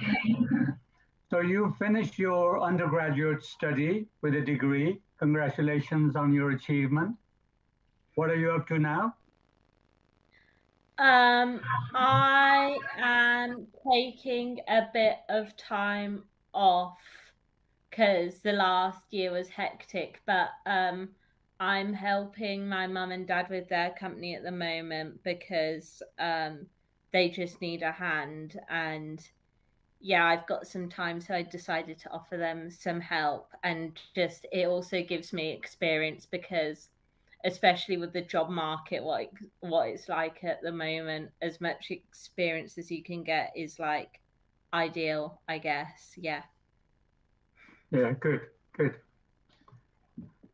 I happened to be reading, uh, just going through some some stuff, um, and I came across uh, the writer Bernardine Evaristo, and uh, there was a comment she made. Uh, she said, um, "I reflected that my creativity could be traced back to my early years, cultural background." and the influences that have shaped my life not least my heritage and childhood. In these programs, we often focus on the history and development of the Kashmiri community. But so I'm very interested in um, your family background and your heritage and the things you have been influenced by. Um, so my family background is white British mainly. Um, my mum grew up in Birmingham on the Sarehole Road. Um, I went and saw my nan and granddad there every week when I was little. Um, and I mean, I've recently been doing been doing um, you know, Ancestry, the website. It's like Find My Past, where you can draw these family trees. And it's interesting to see how my mum's family have got married in the same church in Harborne now for five generations, um, Oh, including wow. my parents and um, my family have been christened there, including myself, for five generations. Um, on my dad's side, my dad was born in Bishop Stortford. Um, and he was, although his like immediate family wasn't big, his dad had about seven or eight. I've probably got that wrong, and we'll probably get some comment from my nan that I've got it wrong. But um, Right. brothers and sisters, my dad had something like 17 cousins in total. Okay, Um, okay. but they were EastEnders who moved up to Bishop Stortford because of the Blitz and different things. And then my dad finally moved to Birmingham, quite similar to a lot of communities. He moved to Birmingham because that's where the job he wanted to do was, and that there was more opportunities in Birmingham than there was in Bishop Stortford. Right. Okay, okay. That's fascinating. Um, you you may be familiar with, um, and and certainly minority people um, are used to being asked, "Where do you come from?" And I'm off. You know, whenever I'm asked that question, um, I always say to people, usually they're white people, and I usually say to them, I will tell you where I come from if you promise to tell me where you come from.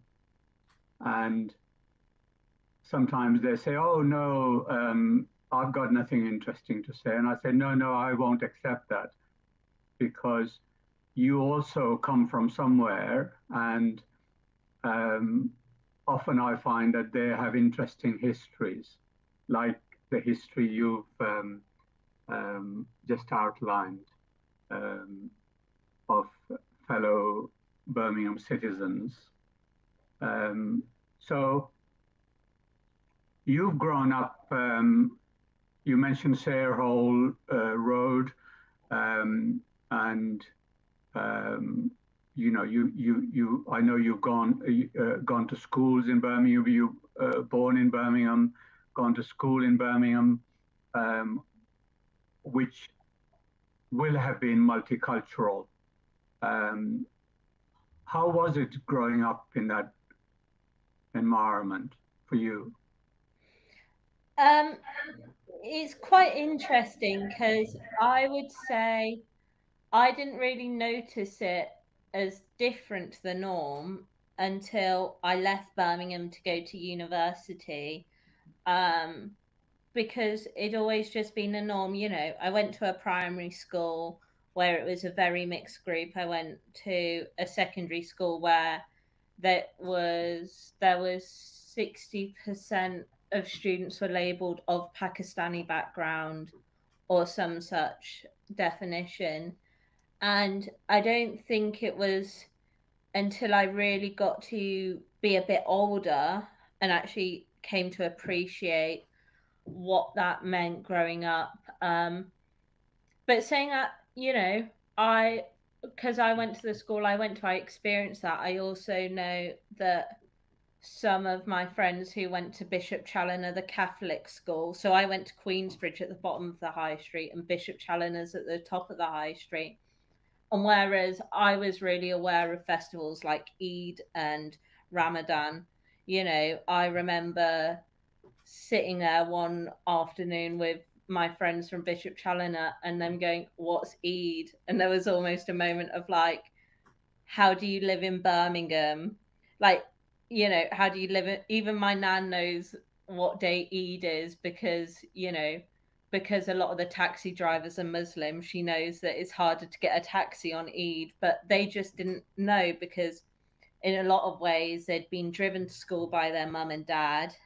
Mm. They'd then gone to a Catholic school that didn't have the same mix as my school. And, you know, it was quite sheltered from it. And yeah, you come to, I feel like it's one of those when you're growing up, you don't notice it as much because it's just normal to you. You don't hmm. necessarily, like, I thought the rest of the world was like that. I thought, you know, the rest of the world has, you know, Muslims and Christians and black children and white children and children from all different backgrounds all just going to school together and learning together. And you know that's just a fact of life. And it's not mm-hmm. until you get a bit older and you start talking to people from other places that you realize oh that was more unique than i thought. But it's one of those where it's like not even my mum had that growing up in hall green in the um 1970s and 80s that it was far more white even then and it's going to become more of a factor in people's lives going forward but no it's it's i i i have come to very much appreciate that as a environment to grow up in because i feel like it's given me a perspective on life i wouldn't necessarily have mm-hmm. Yes, you mentioned your mum growing up um, in Hall Green in the 70s. Um, so, from what you know, um, Birmingham has changed.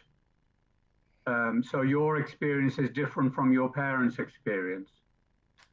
Yeah, so one of the things mum really remembers from her childhood was that the first non-white family moved in next to her family home in Hall Green, and people were just very racist about it because like they were the first non-white family and it's one of those where people didn't accept them at the time, including some of my own family.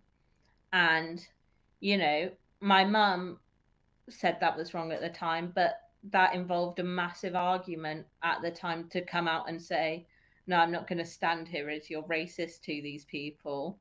Um, but that same family who moved in next door to my grandparents' house actually ended up caring for my granddad and now my nana in their old age because, you know, that's the culture, I think, in that community a lot more than our community. And also, you know, they just came to build a relationship with my nan and granddad. And yeah i'm very thankful for baloo and his family next door to my nan and granddad because yeah we're you know and even but even compared to when my mum was 18 you know the reaction now hall green's a lot less white than it was. Hmm. And there's still places that are a lot more white in birmingham but i think people are getting a lot more accepting of diversity in some ways, but then there are still people trying to hold out. And, you know, what you realize is there's not that much difference. Like, everyone goes to school, everyone likes, all children like to run around and play games and be silly. You know, there's, and everyone needs the same things. They need, you know, a warm home, they need food, they need, you know, a livelihood and that's what matters in the end it doesn't really matter what your skin color is or where Yes, you come from yes. in many ways Yes, yeah, thank you. That's such a lovely endorsement of multicultural Birmingham that you've outlined from your own experience. Um, so, at what point in in your growing up, in your schooling, did you become interested in ethnic minorities or learning about them, learning about the Kashmiri community? Um, was it something you learned at school, uh, or or just uh, something you you became aware of? Just ta- take us back to uh, those early early times, the early influences. so I, I think at school you're aware that that other people didn't celebrate Christmas necessarily or stuff like that. In primary school, you're aware of stuff like that, or some people went and celebrated Eid. Um, and then as we grew older and I went to secondary school, you used to talk a bit more about the differences when you go home. You know, some people go home and it's like they've got a childminder or something, whereas some people go home and, you know, their mum's at home and, you know, helping out at home and stuff. And I feel like you sort of grow up and you don't really look for the why behind it. You just like think, oh, well, that person lives like that. I live like this. And what about it, you know, mm, almost. Mm, mm. But as I grew older and I got more into politics and history, and it was sort of as I transitioned from like college to uni and started to read more about some of the histories of like Britain and stuff, and you come to appreciate more that like it's not just like there's a big Pakistani community or a big South Asian community and they're one they're just you know you can see it quite simplistically of like they're just one homogenous blob. Actually there's lots of differences between people just as much as there's differences between white people who live in Kings Heath compared to white people who live in Harborne like mm, mm. you know and I feel like as I was going through university, I started to appreciate more and more that people don't fully understand what multiculturalism is Yeah. and don't fully a- appreciate the impact people from different parts of the globe have had on the UK. And I feel like as Birmingham, we've often championed that, but like we haven't championed it equally, if that makes sense. So some communities, for whatever reason, have got more of a voice than other communities, especially when, I mean, I talked about in my dissertation, you know, it's far easier to find information on the um, communities who moved here from the Caribbean or when it was called West the West Indies than it is to find out about communities who moved from Kashmir or Mirapur. Like that's just and yeah, you start to appreciate that not everyone's aware of like the full extent and then you want to know the full extent of everything in a way. Yes, yes, yes. I think that that is a pleasant surprise. Um, the your your uh, awareness of the different communities and particularly of the distinction between other between Pakistanis and Kashmiris, because I have just written uh, a blog for uh, the British Education Research Association along the lines of majority of Pakistanis are from Kashmir. So to write something like that for academics and educationalists would tell you that there are many people who don't know that distinction between Pakistanis and Kashmiris, and clearly you do, and um, uh, that that that's that's very encouraging. Um, um, you know, to know the the, the person you are um, and the uh, system you've gone through here in in in in, uh, in Birmingham. Uh, you um, um, your your dissertation uh, was titled "A Reassessment of Kashmiri Settlement in Birmingham Between 1960 and 1980." Um, I found your dissertation not just interesting but groundbreaking. Um, it arrived in my inbox and I read the first page and I couldn't stop. Early on in your dissertation, you say, and I quote, I have a degree of insight many other white British people still do not have. You talk about what it means to be a minority, I quote, and it is an experience to which white British people will have to become more accustomed. And you point out that understanding different communities' history is essential for positive community cohesion.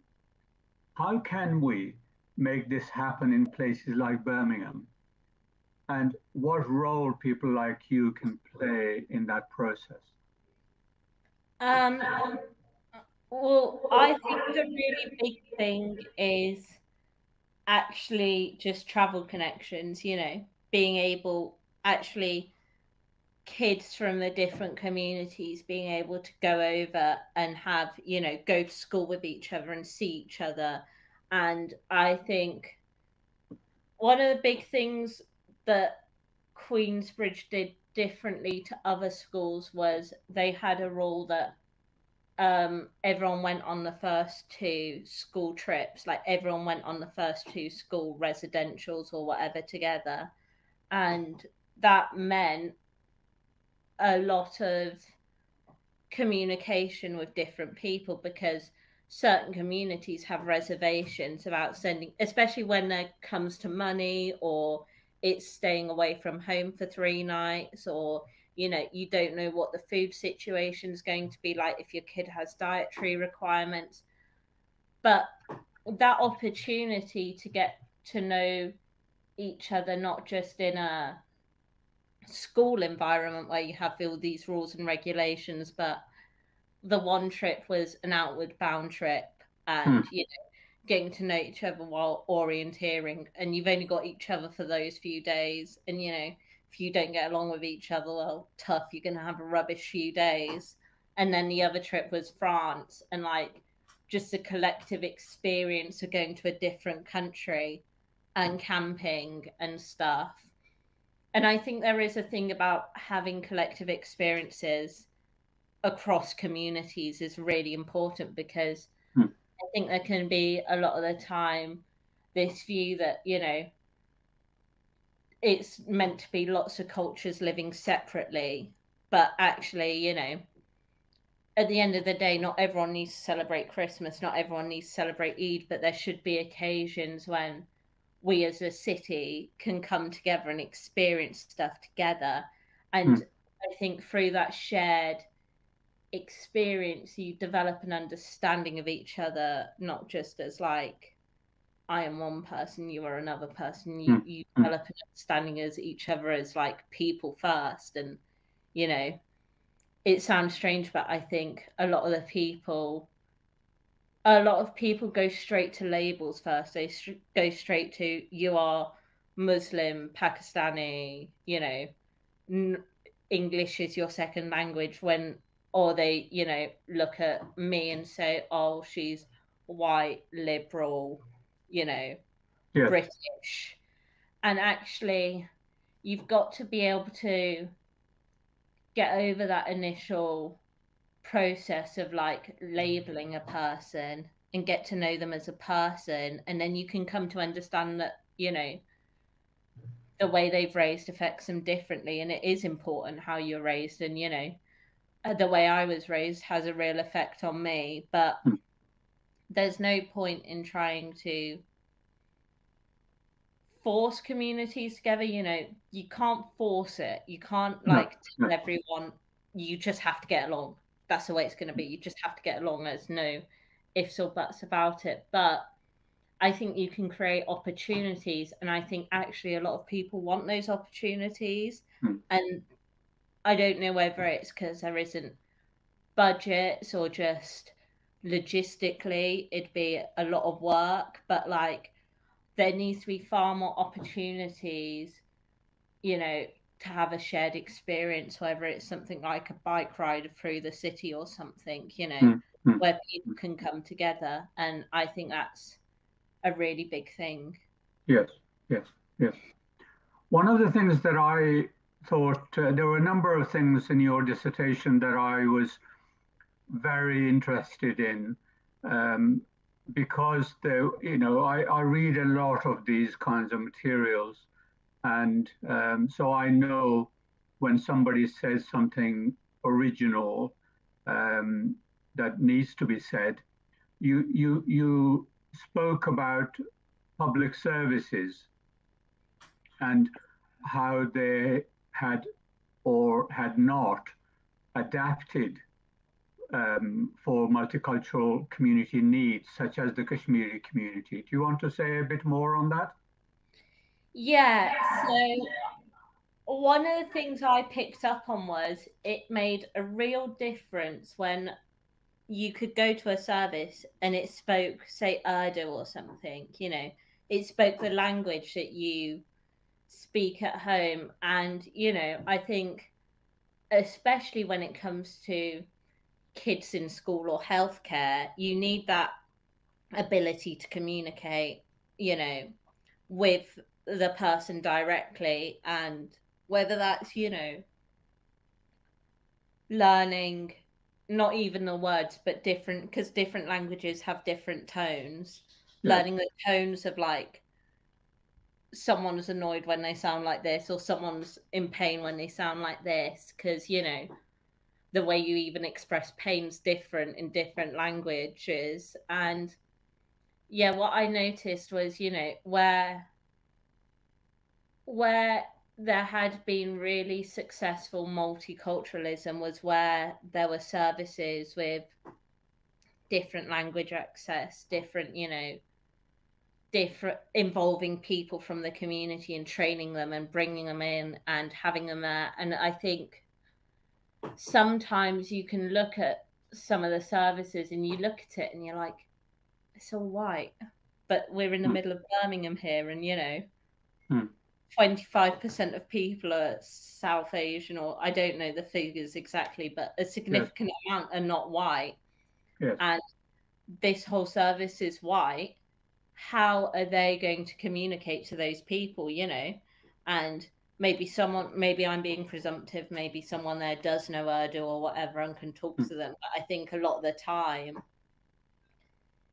you it's it's about you've got to adapt the services because at the end of the day, if they're a public service and they don't serve people, well, hmm. then they're not hmm. public and they're not a Yeah. service. So, Yeah.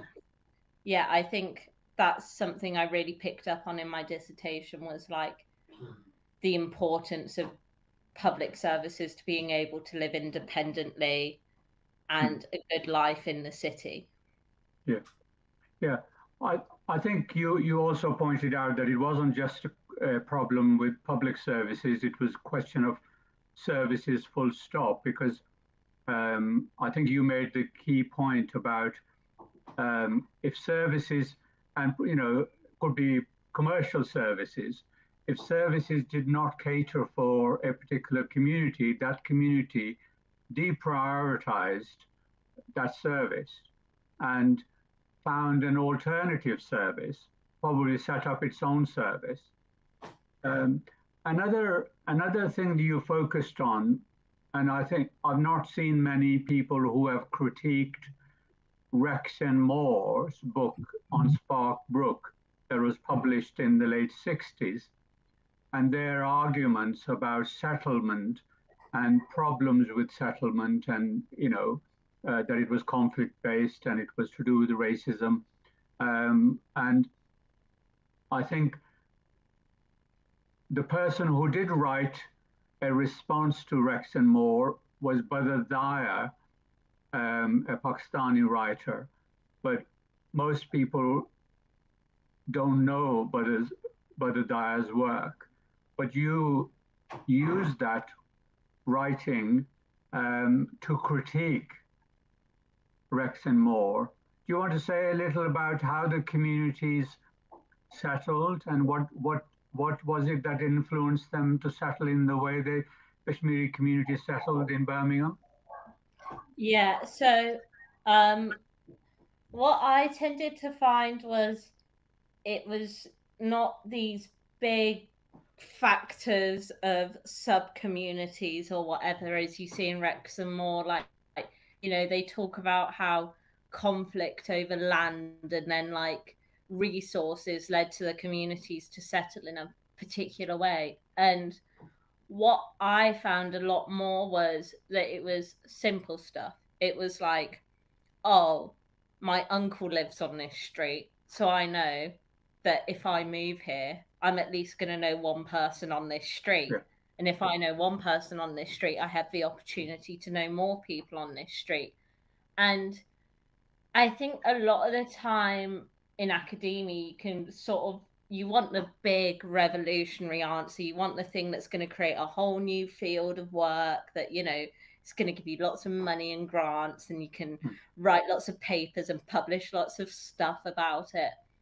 And I think sometimes what people don't want to hear is they move there because they like there and they knew people there and it worked. Like it Yeah, worked yeah. living there. It's hmm. it's often the simple answers, you know, why did why did my parents eventually move to Clarence Road? My parents eventually moved to Clarence Road because my godparents lived three doors down that way. You know, it's the same with my family and where they moved to. It's hmm. there's because it's it's not moving, you know, into a new neighborhood. It's moving across continents. People want like there to be a big, complicated answer, but like often the answer is for the first people, oh, it's cheap. That's like Yeah. the first answer. Oh, I can afford to live here. The second Yeah. answer is then, oh, my family live here. I'll move here. And then the third answer is usually, oh, I grew up here. Oh, I quite like here. Oh, I'll stay here. And it's Yes. it's not it's not big and complicated. It's it's the same reasons as why anyone else would move places a lot of the time. Yeah, I mean, I think the, the important thing you did um, in your dissertation is you point to the what's described as the agency of the Kashmiri community, their own decision making, their own choice um, to make the decision of where to settle and why. And you also spoke about obviously the Kashmiri migration was male dominated in the early days, but latterly, to, you know, in the 60s, um, uh, certainly uh, around the time of 1962 Immigration Act, uh, women started to come uh, to Birmingham from, you know, from Kashmir, and families started to join up. And you talk about the the role women played in how the community settled. Yeah, I think it's one of those that wasn't present really in the literature at all. And I think that's partly for many reasons. I think partly one of the reasons is a lot of them didn't learn English as much as the men did because the women were staying and managing a home, whereas the men were going out to like the factories and workplaces or whatever. Um, but I think it's an underappreciated area, you know, just because someone is staying at home looking after the children doesn't mean they don't have a say, you know. Hmm. If, you know, I can tell you from even just my own family experience, if my mum doesn't like the paint on the wall, the paint's not staying on the wall because that's just the way life goes. And if I think there's almost a sense of like, oh, the men made all the decisions because they had money, and you know, the women were just subordinate to that. But I got a lot more of a sense of like, no, if a woman moved there and like they didn't like the area, well, they weren't staying in the area, you know, they they Hmm. Would move or like you know family had moved to because a lot of them were coming over here to have families of their own wherever their families had moved to the women Yeah. would also want to move to.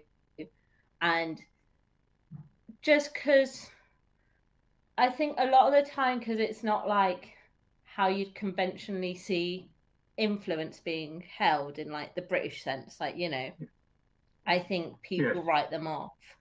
And I don't think Yeah. that's and I think there's also a thing that like a lot of English academics can't talk to Kashmiri women because they don't know the language or they think there's like a cultural barrier or something. But actually, you know, and there's this view that there's quite a rigid social structure and you can't break out of that social structure at all. But Yes. I know from when I was growing up, you know, every family had different rules at my school. Every no family was the same. There was no one size fits all about it, you know. Hmm. Every family, even in a community, is different to another family.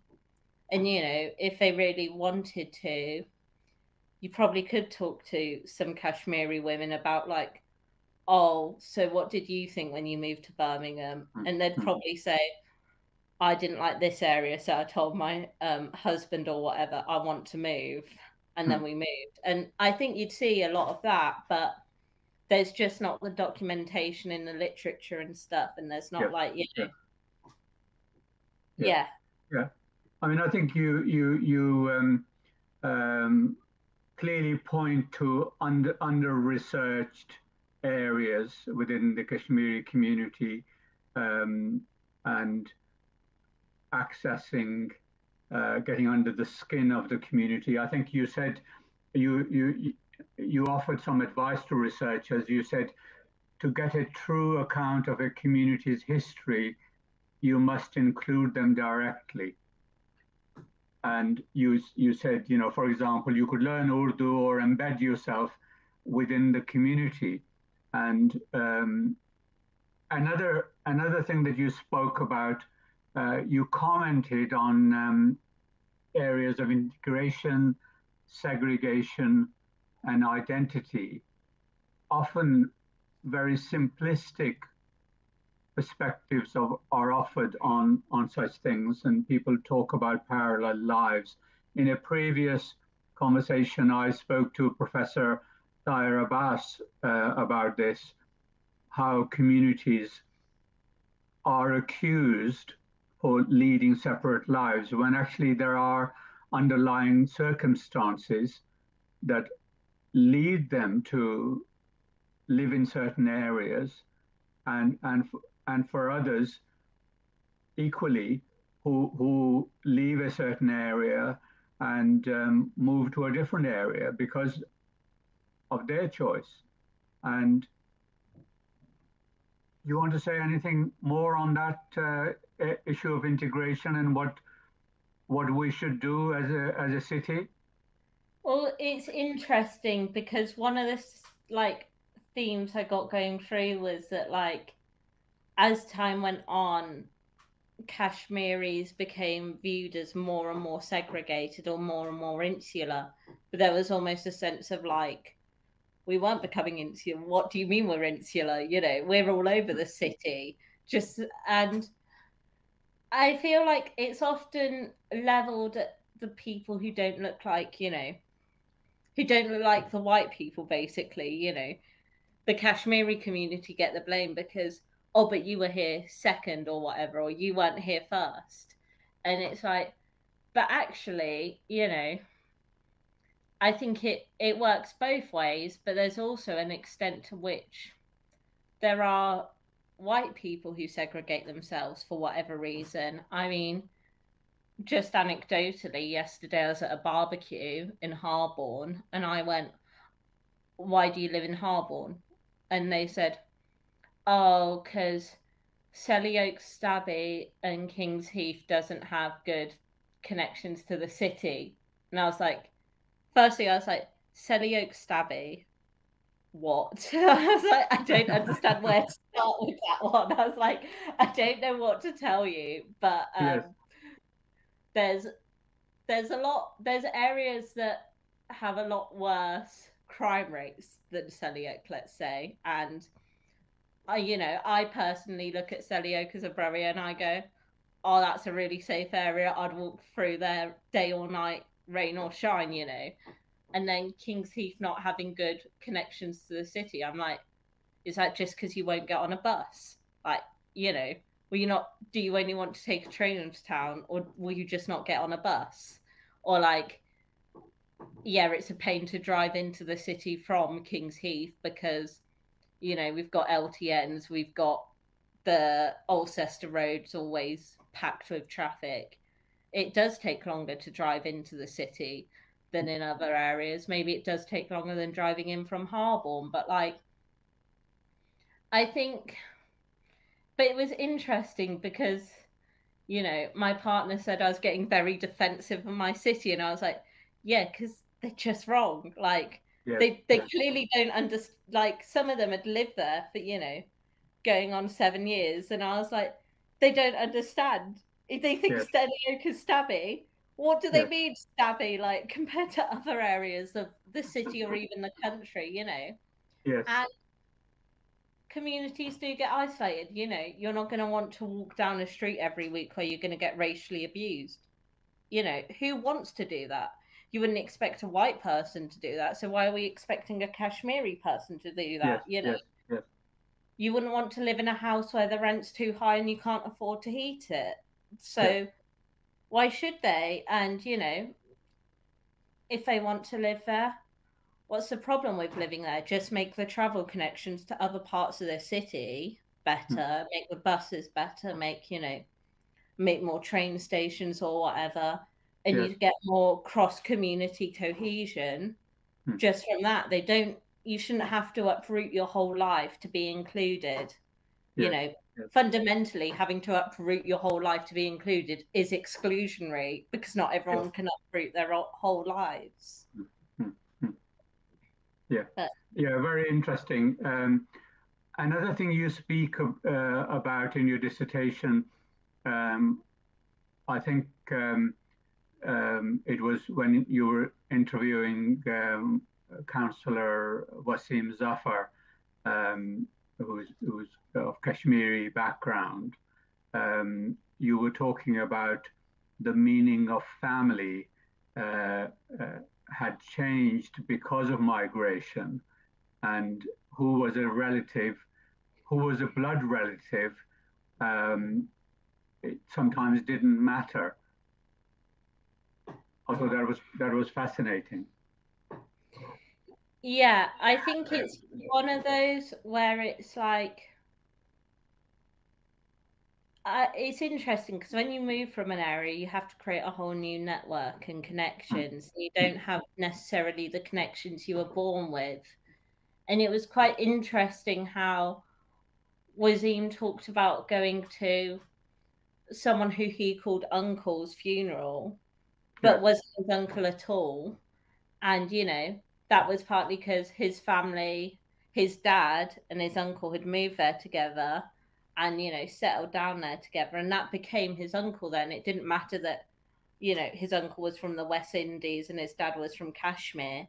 Yes. And it's very, and it was interesting because it very much parallels, you know, my dad moved here from Bishop Stortford. My uncle Bill moved here from Glasgow. My uncle Bill is still my uncle Bill at the end of the day. It doesn't matter that, you know, in blood he's not my uncle. He's still as much of an uncle as anyone else, and he's still family in a way. And I think, Yeah, you know, yeah. we're starting to see a greater acceptance of that changing attitude that, you know, you don't have to necessarily have a blood link to someone to mm, see them as family. I mean, I know plenty of friends who have aunties and uncles and cousins who aren't really cousins or aunties and uncles, but are as effectively as much of that as any hmm. blood relation. And yeah, I think that changes with as people are more mobile and move to more places and, you know, make different friends and stuff and, you know, move further away from your family. You do sort of need a family to come back to Yes. just so you need you need a safety net and a lot of the time those networks that are built up as a safety net become as good as family Yeah, yeah. And you, you touched on, um, um, uh, in your dissertation, you touched on the fact, um, uh, or the, the sort of question of where is home for the, for the, you know, uh, Kashmiri community, um, in the, in pointing to Birmingham, but also Kashmir. yeah it's interesting because people often talked about going home even at school they talked about going home when they were going to visit family on holiday Yeah. and it's interesting how it's such a theme in migrant communities you know my friend at university christina is from sicily she went to sicily this summer she said oh we're taking my granddad home one last time. And it's like the idea that you're going home one last time because he's getting old now. It's like oh how's that your home then if you have to hop on a plane to get there? But it's you know and you can have two homes. You can have you know a home in one place and a home in another place and they can both have as much importance in your life and as much meaning even if they're seas or continents or planes away and i think there needs to be a greater recognition and appreciation for that fact just because like if you don't understand that then you don't really understand the kashmiri community in a way Mm, mm, mm. and it doesn't mean that they're any less settled in birmingham than say my family Yes. Just means that you know they they have somewhere else that also represents them and also feels like home to them and it doesn't make that great a difference i don't know like that Yeah. was my perspective on it Yeah, yeah, yeah, yeah, yeah. Very interesting.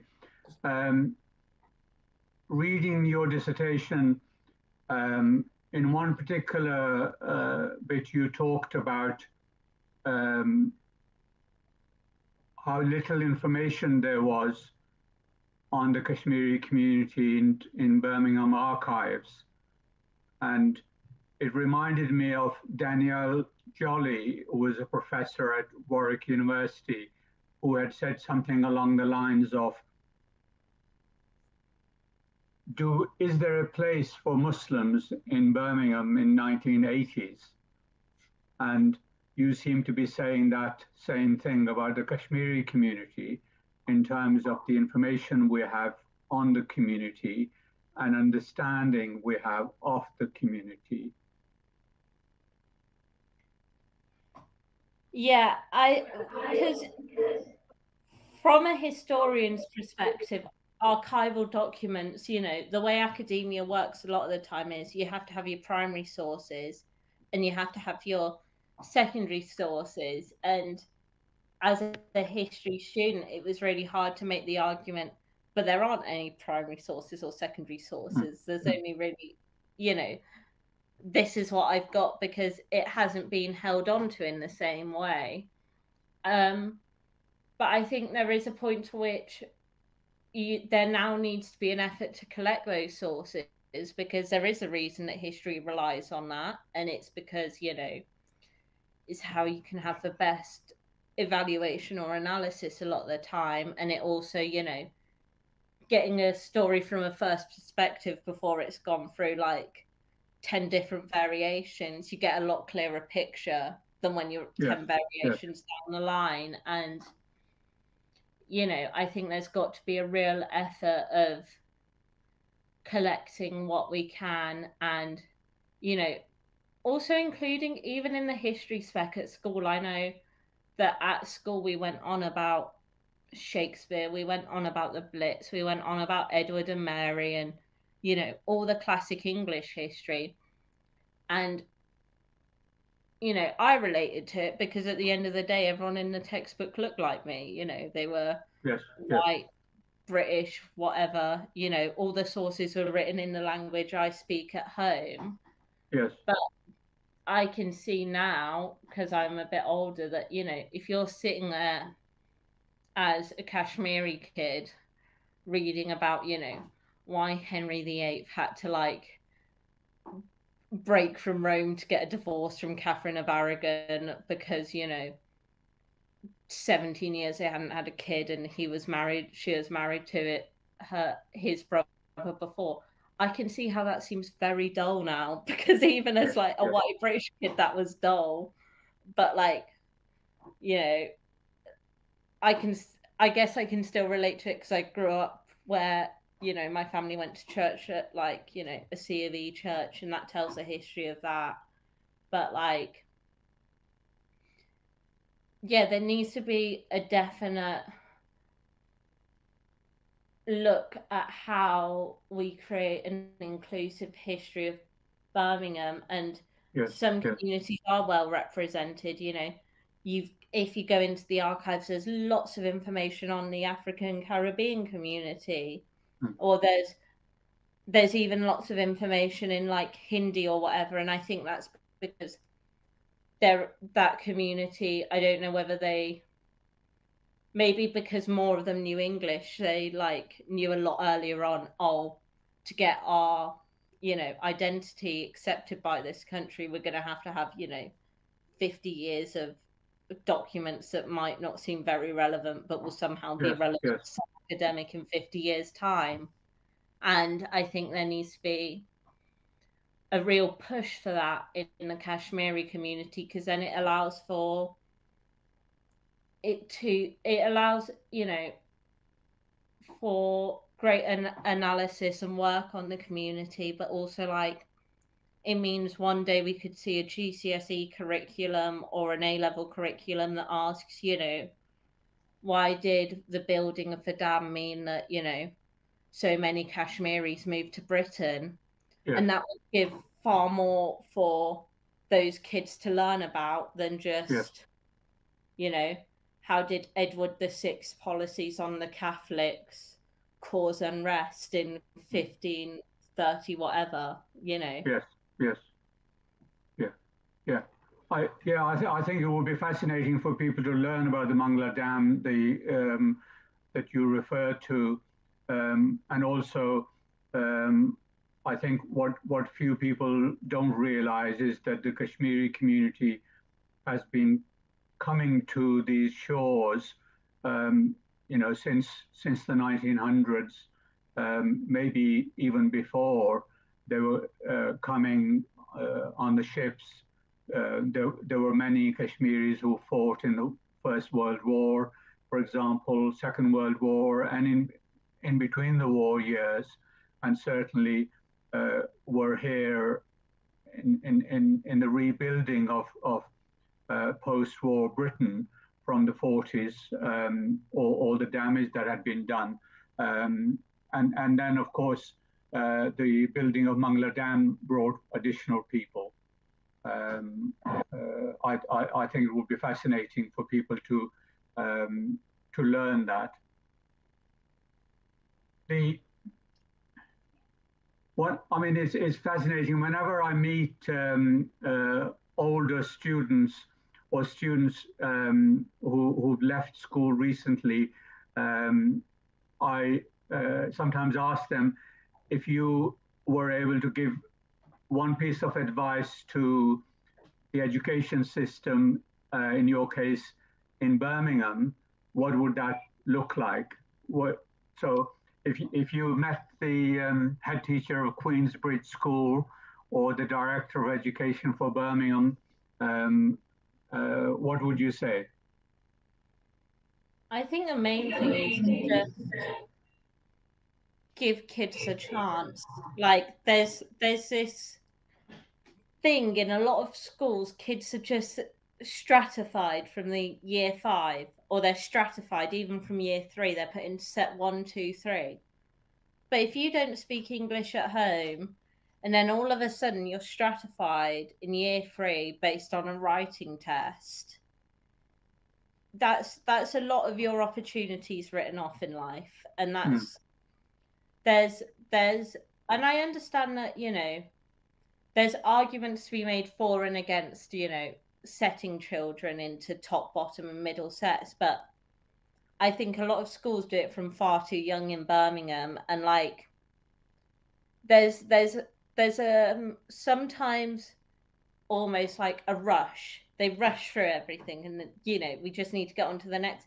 And the education system's sort of designed for that at the moment. It's not designed for like taking a time out, but you know there are a lot of kids who I knew through primary school to secondary school who were put in bottom set in year three and stayed to bottom set till year 11 because at no point did anyone go, wait, why were you stuck in bottom set in year three? You know what I mean? Like, no one took that pause and be uh, and was like, you know, looked at the individual child. And I'd say Queensbridge was a bit different in the fact that you know, when I went there, we had nine hours a week of lessons that had no stratification to them. We were just in mixed groups for nine hours a week. Mm. And I'd say, even from my own perspective, you know, I went from bottom middle set in year six and year seven for English to top set and achieving the highest grades by year 11 yeah. And there's a question as to whether, you know, had I been stratified in everything, would I have had that same opportunity to, you know, hmm. move up and improve in a way? And yeah, I think there's there needs to be a degree of patience and, you know, just, just like do stuff differently. You know, yeah. just do yeah. don't don't be scared of being different and you know, the youth theatre I went to had a really good catchphrase almost of no one is ever left out and no child should ever feel left out of education. And I think that's a really important line. Yeah, yeah, good, good. Um, thank you for that. Um, when you sent me your dissertation, you asked me for feedback. Here it is. I have read many dissertations over the past 10 years or more. They were mainly doctoral level studies. I can say with some confidence that yours felt very much like one of them. So I hope you will consider doing a PhD one day, maybe even on the Kashmiri community, maybe even on Kashmiri women, and then publish it as a book. Before um, before I let you go, is there a favorite book you'd like to recommend to our viewers? Um, I saw this just as I was preparing, and I was trying to think through all the different books I've read, you know. Um, but I've got to say, my favorite ever book was A Thousand Splendid Suns by Khalid Hosseini. And I think um, one of the reasons was just its presentation of women. And like, it will make you cry, it will make you feel every emotion, you know, you'll feel happy, you'll feel sad. And it's almost a realization that, like, you're you're often only as lucky as where you are born you know? Yes, the only thing that stopped me from being in an awful situation like that was the fact i was born in britain. And you know there were laws to protect me. A lot of people don't live with that and a lot of people do have to struggle because of that and that book really is an emotive eye-opening piece i think of literature Yeah, yeah, yeah. Thank you very much for that, and thank you for your time. Um, you are just getting started, um, I sense, with your studies and life, um, and um, uh, stay stay in touch. Um, I'm sure you will do interesting work in the future, and we can have you back and, and learn uh, about that and learn from you. Uh, but for now, thank you very much. Thank you very much for having me. Thanks. Ji, Assalamu. Namaskar, Sasri Akal, Anjali Mudra, and good morning.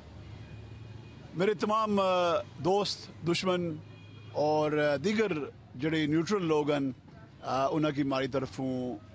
امن نہ پیغام قبول ہوا تنویر احمد عرض کرنا پیا اور تساں کی ایک خوشخبری دینا چاہنا کہ اج تو تیرہ سپٹمبر اج تو ہر روز شامی نو بجے آزاد جموں کشمیر نے وقت پر ایک گھنٹے نی Twitter space Jammu Kashmir T V یا جے کے ٹی وی لائیو نے جڑی ٹویٹر سپیس ہے، اس نے اوپر میں حاضر ہو سا اور ریاستی معاملات یعنی کہ میٹرز آف دا سٹیٹ کی ڈسکس کر سا کچھ ماضی پر، اس تو تھوڑا جا زیادہ حال نے اوپر، اور سب تو زیادہ مستقبل نے اوپر جڑی چیزاں چیز اج تک کیت نہیں ہیں یا اج تک اس چیزاں پر اس طریقے نا توجہ یا غور نہیں دیتا جتنا کہ ضروری سا۔ اُنہیں ساری چیزاں پر فوکس کر کرسیں ایک ایسا فارمیٹ میں لانا پیا، جڑا فارمٹ اج تک ٹویٹر سپیس نے اوپر او قائم نہیں ہے۔ یہ ہوں تو شام میری جائن کر سو ٹویٹر پر۔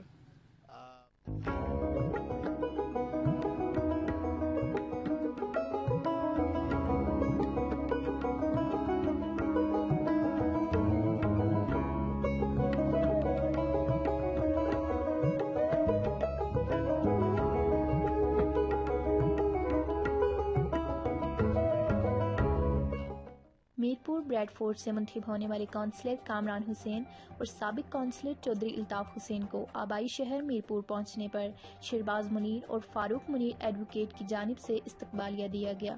استقبالیہ تقریب میں وزیر حکومت چودھری محمد ارشد سمیت دیگر سیاسی سماجی شخصیات نے بڑی تعداد میں شرکت کی۔ میرپور سے ہمارے نمائندے ظہور رشید کی رپورٹ کے مطابق برطانیہ کے شہر بریڈ فورٹ سے دو بار کونسلر منتخب ہونے والے چودھری الطاف حسین کے دو بیٹے اس وقت بھی برطانیہ میں سیاسی خدمات سر انجام دے رہے ہیں۔ سابق کونسلر کے بڑے بیٹے عمران حسین برطانوی پارلیمنٹ میں بطور شیڈو منسٹر ممبر پارلیمنٹ ہیں۔ جبکہ چھوٹے بیٹے کامران حسین بریڈ فورڈ سے بطور کونسلر ذمہ داریاں پوری کر رہے ہیں۔ چودھری الطاف حسین اور کامران حسین کے آبائی شہر میرپور پہنچنے پر فاروق منیر ایڈوکیٹ اور شیرباز منیر ایڈوکیٹ کی جانب سے استقبالیہ تقریب کا انعقاد کیا گیا، جس میں وزیر حکومت چودھری محمد ارشد، چیئرمین زکات کونسل چودھری محمد صدیق، سابق امیدوار اسمبلی راجہ نوید اختر گوگا، سابق چیئرمین چودھری خالد سمیت دیگر سیاسی سماجی شخصیات نے شرکت کی۔ اور خطاب میں مسئلہ کشمیر کو برطانوی پارلیمنٹ میں اجاگر کرنے کو سراہا Chaudhry um, Azam Saab and my uncle and my uh, uncle Chaudhry Farooq Manir Saab's father, Chaudhry Manir, uh, Manir Saab Maroom, who started this grassroots. They started from very grassroots. They built on that, and from there, I, I can comfortably say that we are reaping the rewards of the fruits that they planted many years ago. So, Alhamdulillah, I want to thank you know everybody here for highlighting that point as well.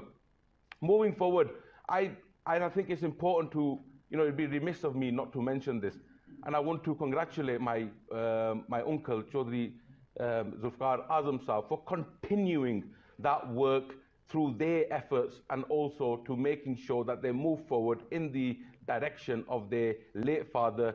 And I want to again pay tribute to you, sir, for continuing that work. Friends, I came here and it was touched upon by um, Chaudhry Arshad Saab on a very brief visit. Um, and I will be going to the Foreign Office, um, uh, inshallah, on uh, Monday evening. And our main, you know, what is the plight of the Kashmiris? The Kashmiris, they're not asking, they're not begging for their land. They're not bowing to the international community. They're asking the international community to offer the obligation that they should hold under UN law that they should come and intervene and give the people of Kashmir the right to self-determination, which is in agreement, whether if you go back into the Shimla agreement or if you go back into any other agreements, or, eh, you know, the security councils, this is what it's asking for. And inshallah, our MPs will be pushing on this and we will be making sure, because now one of the biggest things that has started happening in the United Kingdom is that local authorities, councils, which basically, you know, have the power to send, you know, uh, motions into the parliamentarian circle, have now started to recognize the plight of Kashmir. Before this, you used to see our young people only interested in other causes. Now they are interested in Kashmir. So Alhamdulillah, we are moving in the right direction and making sure that inshallah ta'ala, that we make sure that the issue of Kashmir is always at the forefront until we have a free and fair election so the people of Kashmir can offer their, um, you know, uh, so they can decide their own future. Finally, friends, I know this is not a time for a long um, taqreed, so I'm, I'm extremely sorry for going on a slightly, but I want to thank everyone here, especially my friends from the media and print um, uh, the, uh, section, and also all of the friends that have came here today. Kamran Sahab, Farooq Munir Sahab, Deputy Commissioner sahab, Saab,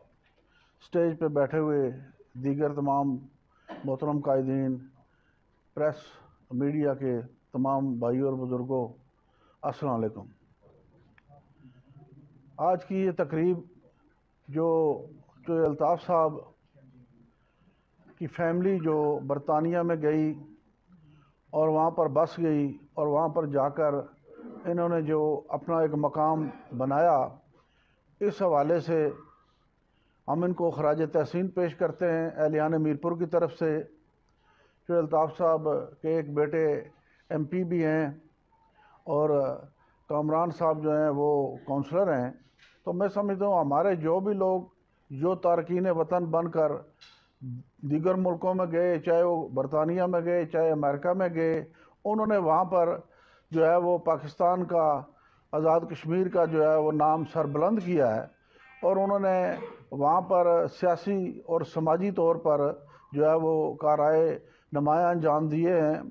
ورنہ ہمارے لوگ بنیادی طور پر تو روزی کے لیے ان ممالک میں گئے تھے، لیکن آج اگر آپ برطانیہ کا ہی کو لے لیں تو وہاں بھی ہمارے لوگ جو ہے وہ سیاست میں اور سماجی حیثیت سے ایک بہت بڑھ کر نمایاں حیثیت کے عمل ہیں۔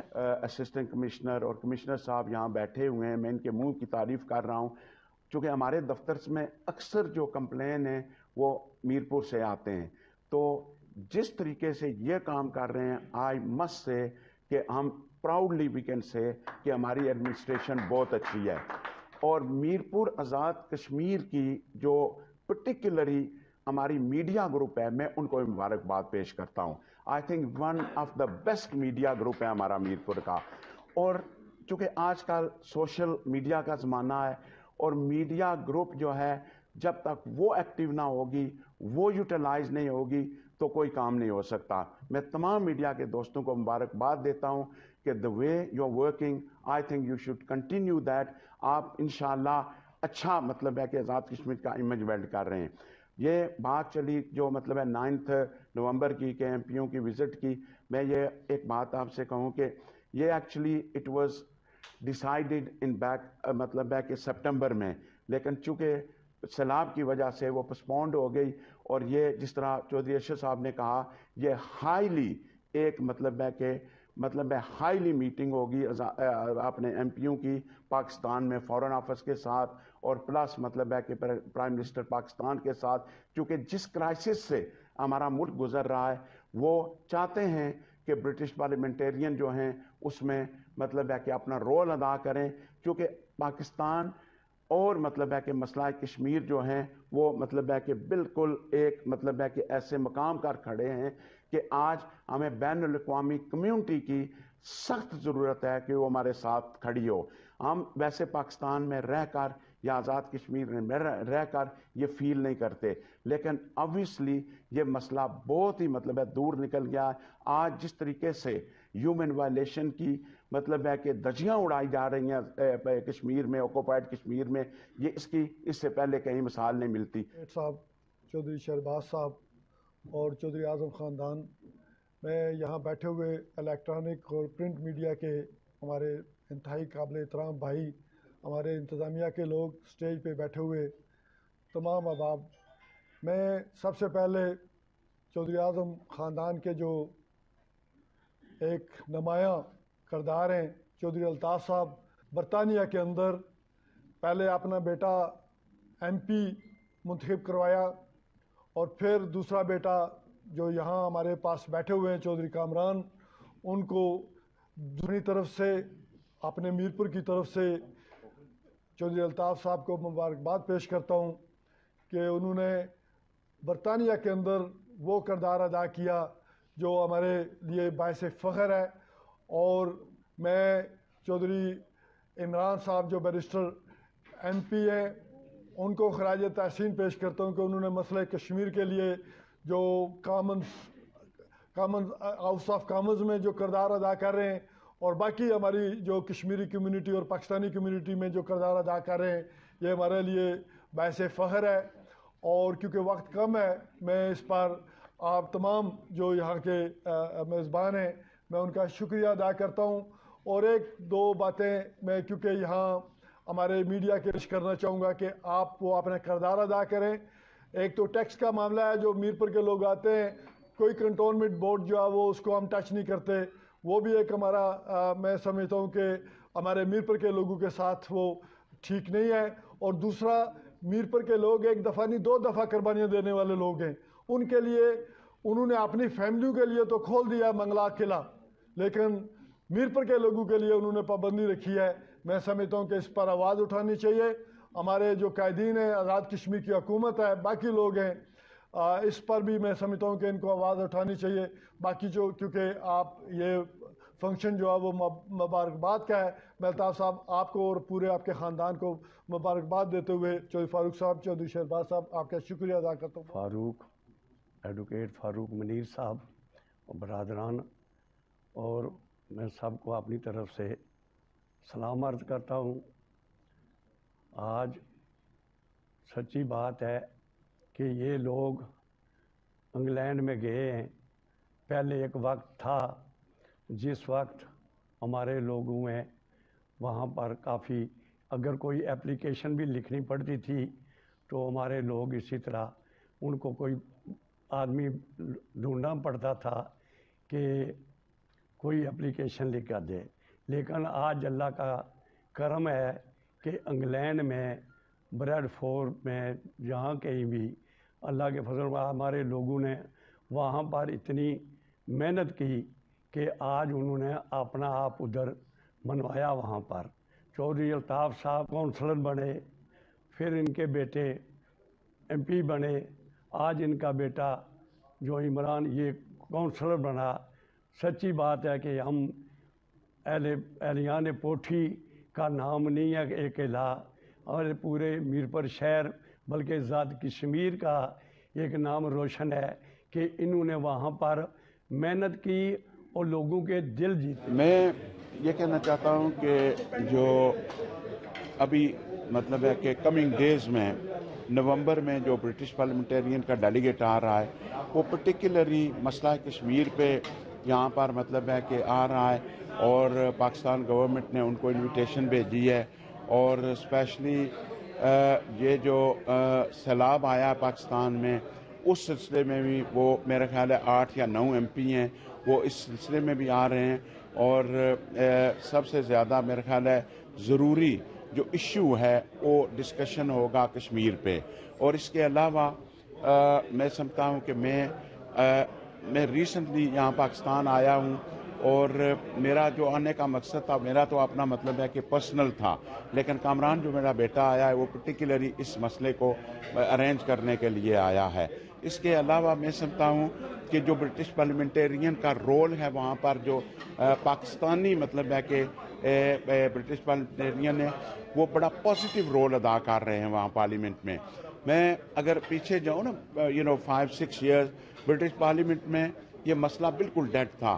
الحمدللہ، آج ایوری سیکنڈ ویک جب پرائم منسٹر کوشچن ٹائم ہوتا ہے، کوئی نہ کوئی ایم پی کشمیر پہ ایشو کشمیر کے ایشو پہ جو ہے وہ کوشچن لے کر آتا ہے۔ اور پرٹیکولری یعنی کہ عمران حسین میرا بیٹا ہے، وہ سب سے زیادہ اگر کوئی کشمیر کے ایشو پہ پرائم منسٹر ٹائم میں جو کوشچن لے کر آتا ہے وہ عمران حسین۔ تو میں سمجھتا ہوں جتنے بھی پارلیمنٹیرین ہیں ہمارے پاکستانی اور آزاد کشمیر کے وہ انتہائی میں سمجھتا ہوں کہ بہت اچھے طریقے سے اپنا جو ہے وہ رول ادا کر رہے ہیں مسئلہ کشمیر پہ۔ We have a delegation which uh, we, is in its infancy at the moment, but we are looking at uh, meeting with the relevant authorities of Pakistan in order to make this uh, delegation a success. Uh, the reason of this delegation is firstly to observe the floods and the devastation in Pakistan, and also, uh, secondly, is the um, uh, the issue of Kashmir, and also to visit the line of control and see firsthand the, um, uh, the obviously the problems and the issues that are facing for the Kashmiris. So this delegation is wholly coming for that particular reason. So. جو معاملات تھے جو چودھری ممتاز صاحب مرحوم نے شروع کیے تھے اس کا جو پھل ہے وہ آج برطانیہ کے اندر بھی ہمیں مل رہا ہے وہ بیرسٹر عمران حسین کی صورت میں اور چودھری الطاف صاحب نے بڑی کوشش کی ہے کہ پہلے اپنے بیٹے کو ایم پی بنوایا اور اس کے بعد چھوٹے بیٹے کو جو ہے وہ کونسلر بھی بنوایا تو ابھی اور بھی کوشش ان کی جاری ہے ان شاء اللہ تعالیٰ ہمارا جہاں تک ہمارے خاندان کا تعلق ہے، ہمارا پاکستان ہو یا آزاد کشمیر ہو یا برطانیہ کے اندر ہو، ہمارا جو بھی کردار رہا، وہ انشاءاللہ مثبت رہے گا اور عوام کے لیے رہے گا ان شاء اللہ تعالیٰ۔ جی۔ بسم اللہ الرحمن الرحیم۔ آج یہ جو فنکشن ہوا ہے اور جس میں چوری الطاف صاحب، جو بریڈ فورڈ میں مقیم ہیں اور ایک عرصہ سے برطانیہ میں مقیم ہیں۔ ان کے ایک بیٹے جو ہیں، ایم پی ہیں، اور ایک بیٹے ان کے کونسلر ہیں۔ تو ہمیں اپنے ان لوگوں پہ خراج تحسین ان کو پیش کرتے ہیں اور ہمیں ان پہ بڑا فخر ہے کہ بیرون ملک رہ کے اور تارک وطن ہو کر انہوں نے وہاں پر اپنی عزت بنائی، وہاں کے سیاسی اور سماجی یہ طور پر اپنے آپ کو ایک بلند مقام پر لے کے گئے اور پھر وہ اس کے ساتھ ساتھ انہوں نے اپنا روزگار بھی کمایا، اپنے خاندان کو بھی انہوں نے فیڈ کیا اور ان چیزوں کے ساتھ ساتھ مسئلہ کشمیر کے لیے بھی انہوں نے قربانیاں دیں اور ہمیشہ جو ہے مسئلہ کشمیر کے لیے انہوں نے پروسیشن کیے اور بھارت کے خلاف جلوس نکالے اور دنیا کو یہ باور کرایا کہ مسئلہ کشمیر جو ہے وہ ایک ایسا مسئلہ ہے جو جس کا حل ابھی باقی ہے۔ تو اس لحاظ سے میں سمجھتا ہوں کہ کئی ذمہ داریاں یہ لوگ برطانیہ میں رہ کے ہم پوری کر رہے ہیں۔ اس کے علاوہ انہوں نے جو سیلاب زدگان کے لیے ان کا وفد آ رہا ہے اور دیگر کنٹرول لائن پر جا رہا ہے، تو اس حوالے سے بھی میں سمجھتا ہوں کہ ہمارے ان لوگوں کے، برطانیہ کے لوگوں کی بڑی قربانیاں ہیں کہ جب بھی کوئی آفت آتی ہے پاکستان کے اندر، اگر زلزلہ ہوتا ہے یا سیلاب ہوتا ہے تو یہ ہمیشہ بہت مدد کرتے ہیں پاکستان کے بھائیوں اللہ الرحمن الرحیم، سب سے پہلے تو میں آج جو ہمارے مہمان آئے ہیں برطانیہ سے، کامران کونسلر ہیں وہاں پر بریڈ فور میں، اور ان کے والد صاحب چودھری صاحب صاحب، ان کو ہم ویلکم کرتے ہیں، اور یہ توقع رکھتے ہیں کہ انہوں نے جس طرح وہاں پر محنت کر کے اپنا نام کمایا اور سیاست میں حصہ لیا، اور خاص کر میں یہ سمجھتا ہوں کہ کشمیر کی آزادی کے لیے ہمارے جو وہاں پر بھائی ہیں انہوں نے بہت کام کیا ہے۔ یہ ان کے بڑے بھائی ہم عمران صاحب ہیں، وہ ایم پیز ہیں وہاں پر۔ اور اس طرح ہمارے کم از کم دس پندرہ کے ایم پیز ہیں جو وہاں پر صرف مسئلہ کشمیر کی کو اجاگر کرنے کے لیے دن رات محنت کرتے ہیں۔ اور پاکستان کو بھی یہ، میں یہ سمجھتا ہوں کہ پاکستان کے لیے یہ ایک ہمارے سفیر ہیں برطانیہ میں، اور انہوں نے کشمیر کی آزادی کے لیے اور پاکستان کی معیشت کے لیے انہوں نے بہت کام کیا ہے۔ یہ ذر مبادلہ بیچتے ہیں ہمیں۔ آزاد کشمیر اور پاکستان میں اور پاکستان کی ترقی میں ان کا بہت اہم کردار ہے۔ بہت شکریہ۔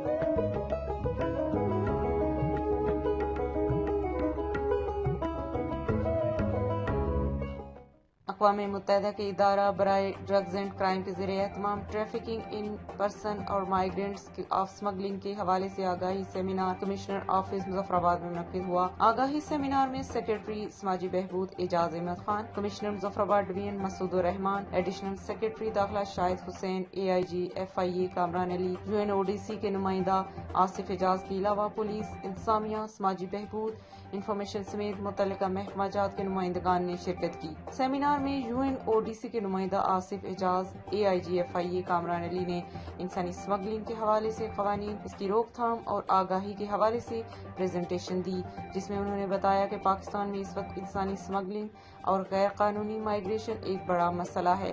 ٹریول ایجنٹس اور ایجوکیشن کنسلٹنٹس کس طرح سادہ لوگ لوگوں کو استعمال کرتے ہیں اور انہیں غیر قانونی مائیگریشن کی طرف راغب کرتے ہیں۔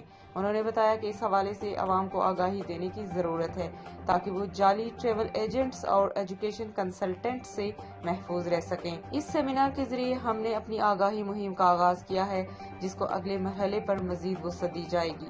سیمینار کی افتتاحی تقریب سے commissioner Muzaffarabad division Masood الرحمان اور اختتامی تقریب سے سیکرٹری سماجی بہبود اعجاز احمد خان نے خطاب کیا۔ سیکرٹری سماجی بہبود اعجاز احمد خان نے کہا کہ آزاد کشمیر ایف آئی اے کے دائرہ اختیار میں نہیں آتا۔ جبکہ یہاں ٹریفکنگ ان پرسن کا قانون موجود نہیں ہے۔ یہ قانون کابینہ سے منظور ہو کر اسمبلی کی قائمہ کمیٹی کے پاس ہے، جو جلد منظور کر لیا جائے گا، جبکہ مائیگریشن کے حوالے سے پولیس سی آر پی سی کے قانون کے تحت کاروائی کرتی ہے۔ انہوں نے کہا کہ محکمہ سماجی بہبود اس حوالے سے کام کر رہا ہے۔ جس میں مزید بہتری لائی جا رہی ہے۔ کمشنر مظفر آباد ڈی این مسعود الرحمان نے کہا کہ غیر قانونی مائیگریشن کے حوالے سے آزاد کشمیر میں شراب بہت کم ہے۔ تاہم ساؤتھ کے اضلاع میں اس کے کیسز رپورٹ ہوئے ہیں۔ اس سلسلے میں لوگوں کو زیادہ سے زیادہ آگاہی دینے کی ضرورت ہے تاکہ وہ جعلی ٹریول ایجنٹس اور ایجوکیشن کنسلٹنٹس کے جھانسے میں نہ آئیں۔ انہوں نے کہا کہ U N O D C کی اس سلسلے میں کاوشیں لائے کے تحسین ہیں۔ آزاد کشمیر میں انسامیہ اور پولیس آپ کے ساتھ بھرپور تعاون کرے گی۔ تاکہ اس مہم کو کامیاب بنایا جا سکے۔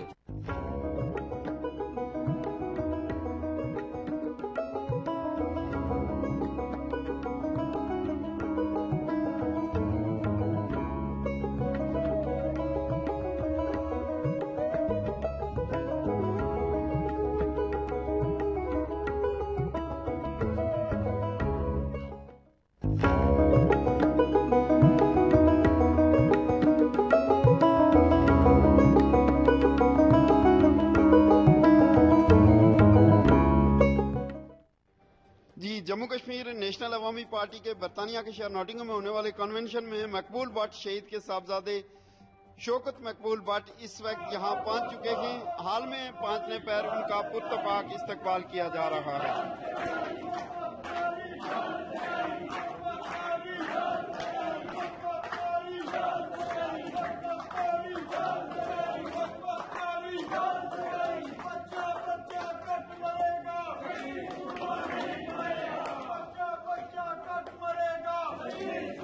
No,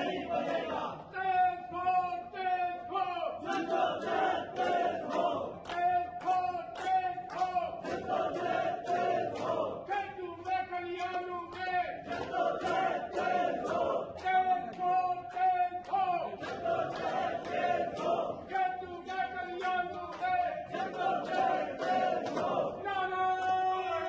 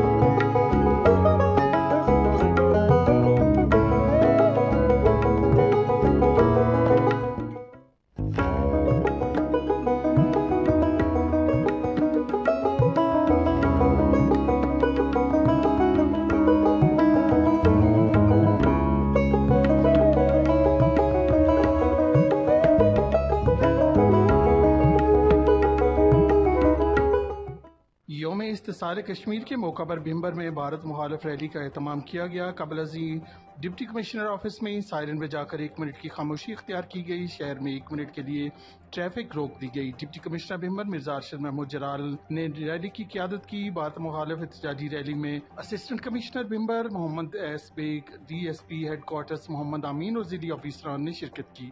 اس موقع پر شرکائے ریلی سے خطاب کرتے ہوئے ڈپٹی کمشنر بھمبر مرزا ارشد محمود جرال نے کہا کہ بھارت نے پانچ اگست دو ہزار انیس کو کشمیر کی شناخت ختم کرنے کی مضموم کوشش کی، جس کی شدید الفاظ میں مذمت کرتے ہیں۔ احتجاجی ریلی میں کالی پٹیاں باندھ کر اور سیاہ جھنڈے اٹھا کر بھارت مخالف نعرے بازی کی گئی۔ احتجاجی ریلی میں سرکاری، غیر سرکاری اداروں وکلا اساتذہ، طلبہ، سول سوسائٹی، صحافیوں، علماء اکرام سمیت تمام شعبہ زندگی سے کثیر تعداد میں لوگوں نے شرکت کی۔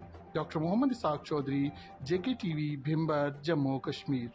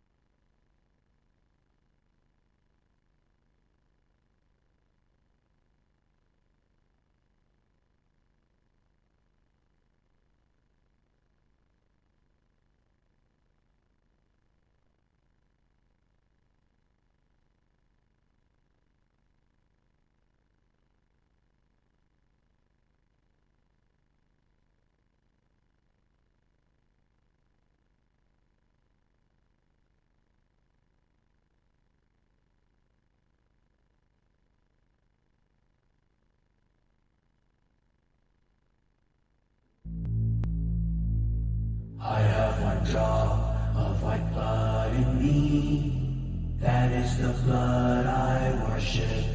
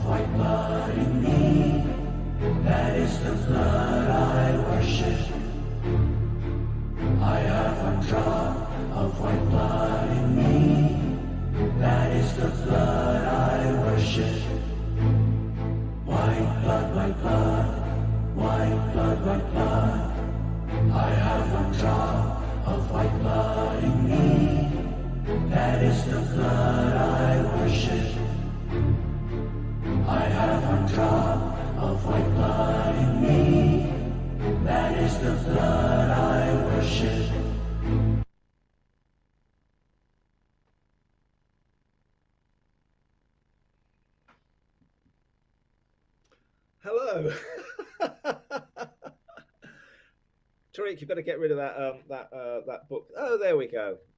Hello. Yeah, the cover's Oh. still Tariq, by the way. Yes, yes. Please wait. Please wait. We're getting there.